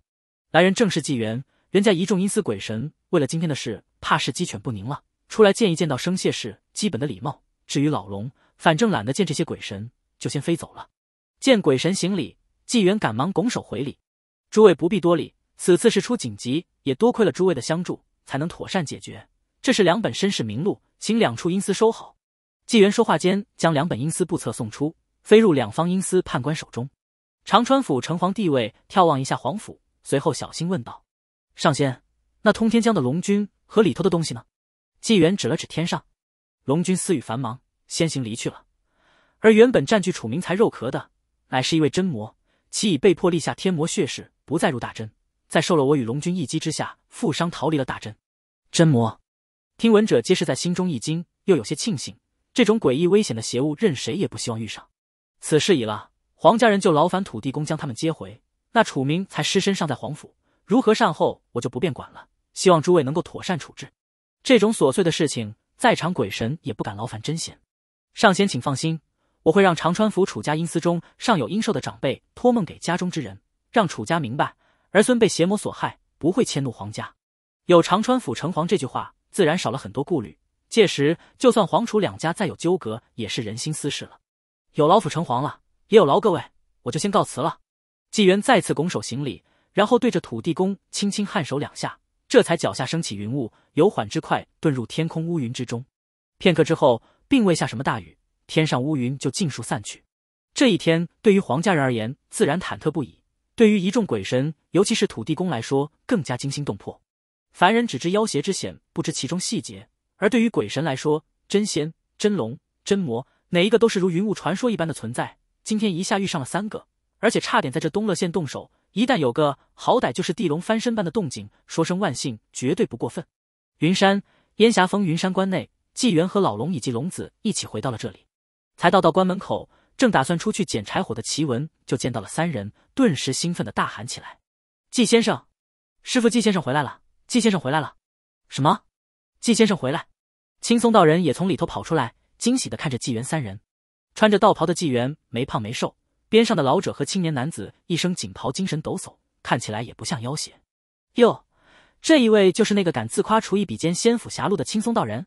龙子见到青松道人就调侃一句，然后变戏法一样从身侧提出一条半人高的大鳙鱼。这是通天江的大仙鳙，我看看你能做出什么人间美味来。这么大一条鱼，我能提一下吗？齐文眼睛瞪得老大，好奇的走上来，龙子于是就将鱼交给了他。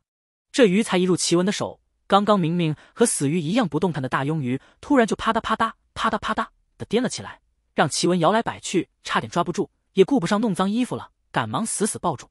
这鱼是活的，你们怎么带着它登山的？好重啊，师傅，这鱼得有四十斤不止。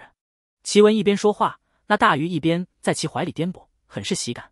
实话说，换个寻常男子，这会已经抱都抱不住了。啊，都别站在外头，快请进，快请进，有这大鱼。今晚我一定做一顿好菜。齐轩招呼的时候，纪元向着老龙引手作请，几人随后才一起进了道观。在殿前稍作介绍又看茶之后，青松道人找准一个空隙，将纪元请到一边的厨房内，瞅着那头坐着的两名锦袍者，老的闭目养神，年轻的正和齐文聊天。齐轩小声询问纪元：“纪先生，那两位面相看得我云里雾里，也不是凡人吧？”“啊，老毛病又犯了不是？三分敬畏，七分平常就行了。”纪元不以为意的笑了一句，没说破什么就离开了。事到如今，和殷家是真的没什么生分的了。厨房里师徒两忙活着料理大鱼，道观主殿前搬出来的小桌边，纪元和老龙则聊着今天的事和天机阁的传闻。原本天机阁之事，我只当个笑话，不成想连真魔都引来了。只不过他比较倒霉，正巧碰上了纪先生。这笑话可不好笑喽。只希望别有太多好事之徒，殷老先生也需动一动啊。这大真毕竟是你我生息之所。老龙品了品道观的烈茶。有些喝不惯，那是自然。话说回来，玉怀山那些家伙虽然不顶什么用，可这反应也太迟钝了。老龙这句吐槽也提醒了纪元。大真虽然在东土云州南角这种偏僻地方，可到底不是只有一条真龙。玉怀山也能看一看的。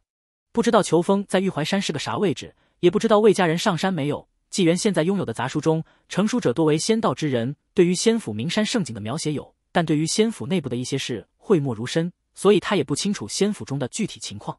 想到这里，纪元借由最近抽空看借自青松道人的书册所学的精细卦术，摸出那块魏家玉佩，感受契机，掐指算了片刻。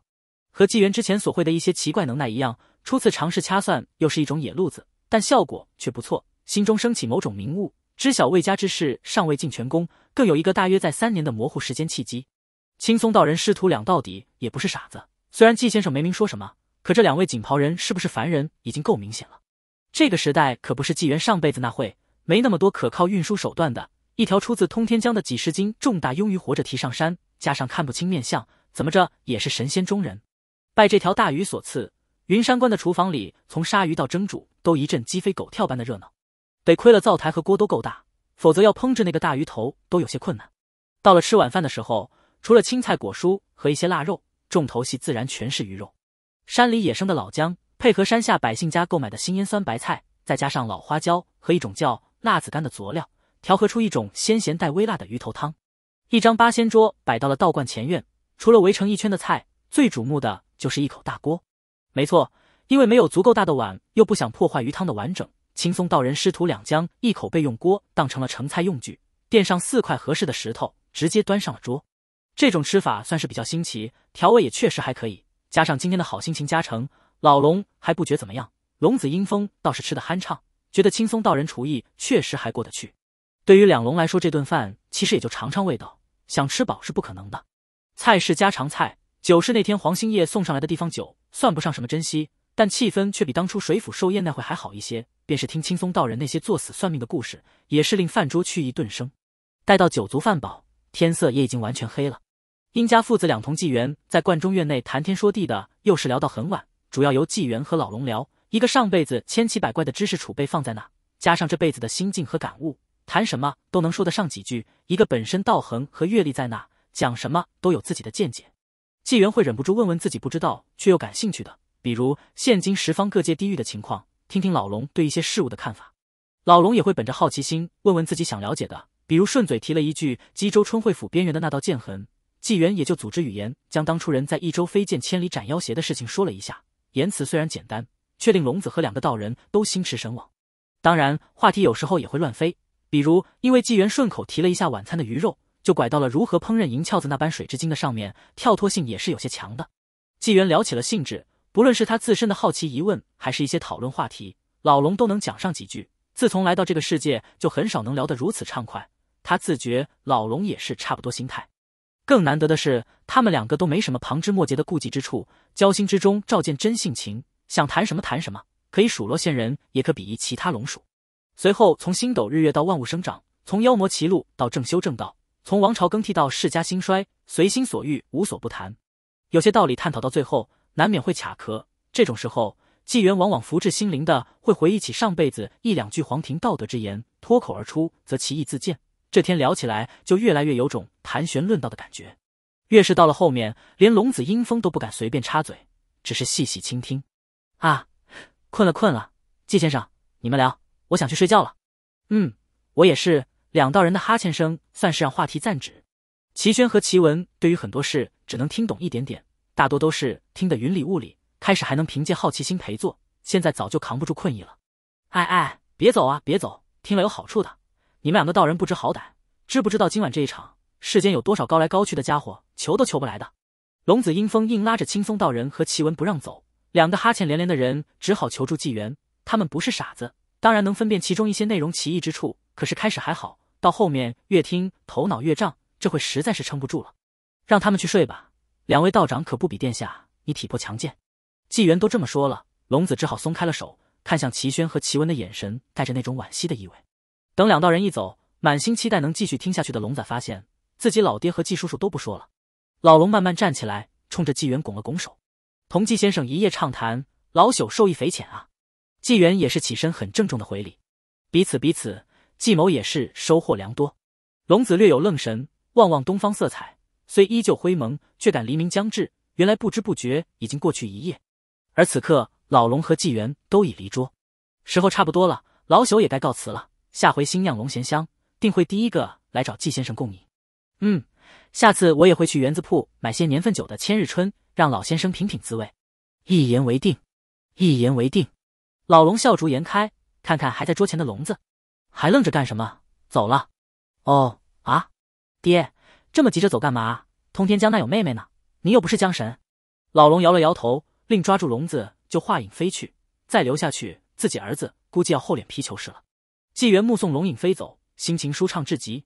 这一夜聊下来，老龙说自己受益匪浅，那他纪某人就更是如此了。打算去看看日出，不过在此之前还有一件事。纪元轻身一跃，如飘絮一般跨出云山关，直直落到了关外厨房边一处灌木前，弯下腰，探手伸到灌木下摸索一下，就拎出两只毛色灰中带白的小东西，正是两只旧伤未愈的雕。这会已经昏睡过去。啧啧啧，你们俩也是运道好。不过若在这昏睡，被山猫鸟兽吃了去，可就未免太惨了。换个地方睡吧。再次起身，一跳跃入云山关中。纪元甩着柔劲，将两只小雕嗖得一下丢入道观厨房，投到了柴火堆下，自己则踏云往云山关日峰而去。天下大白之时，云海之上观日升，太阳之力引星火旺盛，星火引生脾土，脾土运生肺金，肺金化生肾水，肾水滋润肝木。五行往复，生生不息。纪元自觉修行精进无碍，在云山中修行体悟术法神意。有时在烟霞峰，有时在观日峰，有时又会在其他峰头。有时在清晨演化云海升腾，白雾潮生；有时也会在傍晚体悟太阴太阳平衡之刻的阴阳事变。没人打扰也杂念的情况下，往往试验一个借清风以传神的设想，就会用去数日。甚至纪元还会同孩子一样踏云追逐一股清风，想要复刻神髓上去。而不断尝试将三昧真火引出，则更非一朝一夕之事。纪元少部分时间会在云山关睡，大部分时间则直接在山中坐。不是不想睡床，而是体悟术法玄妙，很容易忘了时间，真就废寝忘食。有时候一不留神，时间居然就是一旬一旬的跳，转瞬过去一年半载。纪元也不得不感叹：山中无岁月。期间也有黄兴业再次拜访云山关等琐事，但都和纪元无关。作为招邪事件的当事人。黄兴业依然有一大堆麻烦事，鬼神之事，即便没土地公特别叮嘱，黄兴业也不打算宣扬。但楚明才死在了黄家这件事，还是得给长川府那边一个交代，同时也需要处理官府的一应事宜。即便中间有些麻烦闹心的事情，但总体来说，黄兴业还是心中安定的，毕竟生命危险已经没有了。等到一切事了，黄兴业又一次带人拜访云山致谢。即便知晓当初跟他下山的不是青松道人，但终归是从云山求来的救星。礼数不能缺，并打定主意，逢年过节都往云山送礼。春去夏至响蝉鸣，夏去秋来金风起。已是纪元云山清修的第二年秋，远在冀州德胜府的宁安县，这一年居安小阁中枣树又开花，却不结果。实际上，居安小阁的枣树去年就花开茂盛，结的果子却很少。尹清闲着没事，爬上树数了不知道多少回，连上还留于枝头的活枣，挂果不足百粒。这些枣果全都又大又红，十分诱人。尤其是两年前就留存的最早一批火枣，更是鲜艳如火。有时候尹清在晚上都会错觉般以为火枣有微光。这一天，尹清坐在居安小阁石桌上看书，因为在大枣树下，他觉得精神更容易集中，呼吸也更畅快，并且这种夏秋之际，枣树下却总有微弱清风吹拂，凉快的很。一本理学早已背得滚瓜烂熟，尹清放下书，抬头看看大枣树上那诱人的枣子。哎，这快两年了，你都不让摘一粒，真小气。爹爹一个三元及第的状元，到头来却没能留在京城，去宛州当了一个知府。我娘是一起去了宛州了，可我不能去啊！我去了，家里和小阁谁来打扫？谁来照顾大枣树？你啊！我这么辛苦，你就不能给我吃个枣子安慰一下吗？尹清叽里呱啦一顿说，枣树就是随着清风摇摆没反应，就如同一棵寻常果树。哎，过段时间我就要去书院了，不能每天来看你了，只能半个月一个月的回来一趟了。哎，叹了口气，尹清又悄悄抬头，枣树依然随风摇曳。好你个大枣树，铁石心肠，不对，木头脑袋。正恨恨说着呢，尹清低头的时候，忽然发现半开的院门处窜进来一抹火红。小狐狸，惊喜的声响从尹清口中蹦出，还没说下一句话呢，忽然发现有一粒火红大枣落下，正中狐狸头顶。咚赤狐立刻受到惊吓般跳开，抱着脑袋抬头，结果刚好看到又一粒大枣在眼前放大。东屋狐狸肉爪揉着鼻子，还没缓过一口气，头顶又是咚咚咚。三声，尹清目瞪口呆的看着这一幕，颤着手指指着大枣树：“你你偏心，你太偏心了！如今大枣树知道藏拙了，树上的很多枣子都隐藏在茂盛的树叶之下，就算仔细看，也只能看到其中一小部分，真实数量也确实不多。尹清每次都是爬上树去数，一次落下五粒，相对于枣子的总量来说，可不是小数目了。更何况其中有两粒枣面上隐约有火色流窜，根本就是最初的火枣。不过气愤一句之后。”尹清的心情又马上被喜悦取代，再次看向在那边用肉爪又揉鼻子又揉头的赤狐。小狐狸，这些年你怎么都不来看我呀？我可想你了。尹清说话间，赶忙帮赤狐把地上还在滚动的一粒粒大枣捡起来。这要是被哪只路过的老鼠、野猫什么的叼走，可就心疼死了。赤狐疑惑又茫然的看看头顶的大树，然后缩在一边仔细打量尹清，依稀看出了当年那个男孩的样子，这才放松了不少。过来，过来，来这边嘛！你以前不是最喜欢趴在石桌上吗？尹清冲着赤狐招手，将五粒枣子放在桌上。赤狐犹豫了一下，就走进了，轻轻一跃，跳上了石桌。桌上五粒枣子的大小都差不多，每一粒都好似一个小号苹果那么大，鲜红鲜红的，十分诱人。尹清盯着枣子咽了好几次口水，小狐狸也凑近了，细细嗅嗅这几个枣子，尤其是其中两个更奇特的，虽然表面上没什么气味流出，但总有种想要下口吃的冲动。沙沙沙，沙沙沙沙，大枣树的枝叶在轻轻摇摆着，也不只是风带动了叶，还是叶带起了风。呜呜。赤狐伸出爪子，按住其中一个色泽特别的枣子，将之拨动着滚向尹清的位置。结果尹清抓住枣子后，又给放回了原处。不行不行，这个我不能吃。咕噜，必须你吃。你都好多年没回来了，一年一粒都差点意思。尽管还咽着口水，可尹清到底从小家教甚严，受到尹兆先和纪元的影响也很深。年纪不大，但有些事原则性很强。快吃啊！这个果子放久了就不好吃了。快吃啊！狐狸不会不吃果子吧？尹清尽量让自己不去看枣子，对着赤狐一顿劝。沙沙沙沙沙沙沙，头顶枣树又是一阵颤动，好似在笑。咚的一声，尹清脑袋上挨了一下，他敏捷的一伸手就接住了一颗从头顶落下的大枣。尹清根一下子就变得更兴奋了，本顾不上揉头顶，拿着枣子在身上使劲擦了擦。嘿嘿嘿，这颗我就能吃了，我吃给你看。咔嚓，好吃。说着就抓着枣子啃了一口。清脆的果肉咀嚼声伴随着一阵奇异的果香从尹清嘴边传出，赤狐鼻子抽动几下，就再也忍不住，抱着其中一粒大枣就咯吱咯吱啃了起来。一时间，居安小阁院内果香四溢，只不过都出不了院墙，散出的香气基本都被枣汁吸收了回去。狐狸啃枣吃的很不干净，主要是时不时就有碎屑掉在石桌上。好在赤狐也知道手中的东西珍贵，掉落的碎屑都会舔掉。五个枣子也顶不住多久，片刻就被吃完。啃下最后一口果肉。小狐狸喉咙深处发出“咯”的一声，打了个饱含果香的饱嗝，然后就趴在石桌上昏昏欲睡了。狐狸身体内部现在暖洋洋的，流转的灵气与这几年它在山中自己坎坎坷坷、日升日落、月缺月圆时吸纳的效率对比，就夸张太多了。尹清只吃了一个，精神头好得很。不过看着赤狐这样子，也就安静的坐在石桌前，偶尔也会小心的摸摸狐毛。小狐狸，你这毛发真干净，还这么浓密柔顺，可别被那些猎户看到了。这话说的赤狐下意识抖了抖，也清醒了不少，在石桌上以后肢和尾巴支撑，呈现坐立状起来。呜呜，狐狸爪子点点居安小阁的屋子，尹清顺着狐狸爪子比划的方向看看，大致知道他在想什么。季先生不在家呢，出去好多年了，一直没回来。赤狐的声音明显带着一种失落的情绪。这些年，他从才开灵智的灵狐到修行，逐渐步入正轨，想要在炼化恒古前再来找一找季先生。从去年开始犹豫。到今年，终于鼓足勇气潜入了宁安县，却扑了个空。小狐狸，你现在是不是也很厉害了？就像就像大枣树一样。尹清兴致盎然的和赤狐聊了起来。他十分清楚，这可不是普通野狐狸。赤狐自然听得懂尹清的话，不过这回他看看院中枣树，庞大的树荫中有灵气缓缓汇聚，怎么看都觉得自己和大枣树完全不是一个量级的。毕竟枣树一直在那大先生身边。呜，这一声显得更加失落了。赤狐趴在石桌上，身子贴着桌面，一条毛茸茸的火红大尾在身后甩来甩去，眼睛盯着石桌前那块空地。那个舞剑的大先生却不在那。这尾巴甩着甩着，赤狐就渐渐睡着了。睡梦中，狐狸有种念头无限拉长的感觉，梦中思绪回到了从前，身体上石桌的触感犹在，眼前却仿佛隐约看到了当初居安小阁。远在数千里外的滨州云山红顶峰巅，正闭目侧躺的纪元忽然心有所感，双目睁开少许。身前右手剑指之上显现一枚虚幻棋子，隐约可见一只毛发蓬松柔顺的赤狐趴在石桌上酣睡。呵呵，笑了几声，纪元再次闭上了眼睛，棋子也从手中消失。意境山河之内，身体犹如法的像天般伟岸的纪元手持属于赤狐的棋子，似乎当棋子处于某种极为特殊的关口，他都能感受到一些联系和变化。山河中赤令尾音依然不断回荡，随着风声一起有强有弱的呼啸着。纪元好似口含宪章，汇聚玄黄，却不发声，心中好似在等待着某一刻。待到某种熟悉的感觉升起的一刹那，纪元心中道一声“元法已至”，冲着棋子吐露轻声细语：“胡云。”居安小阁内，石桌前看书的尹清不知道的是，眼前的赤狐正在梦中重温当初的一切。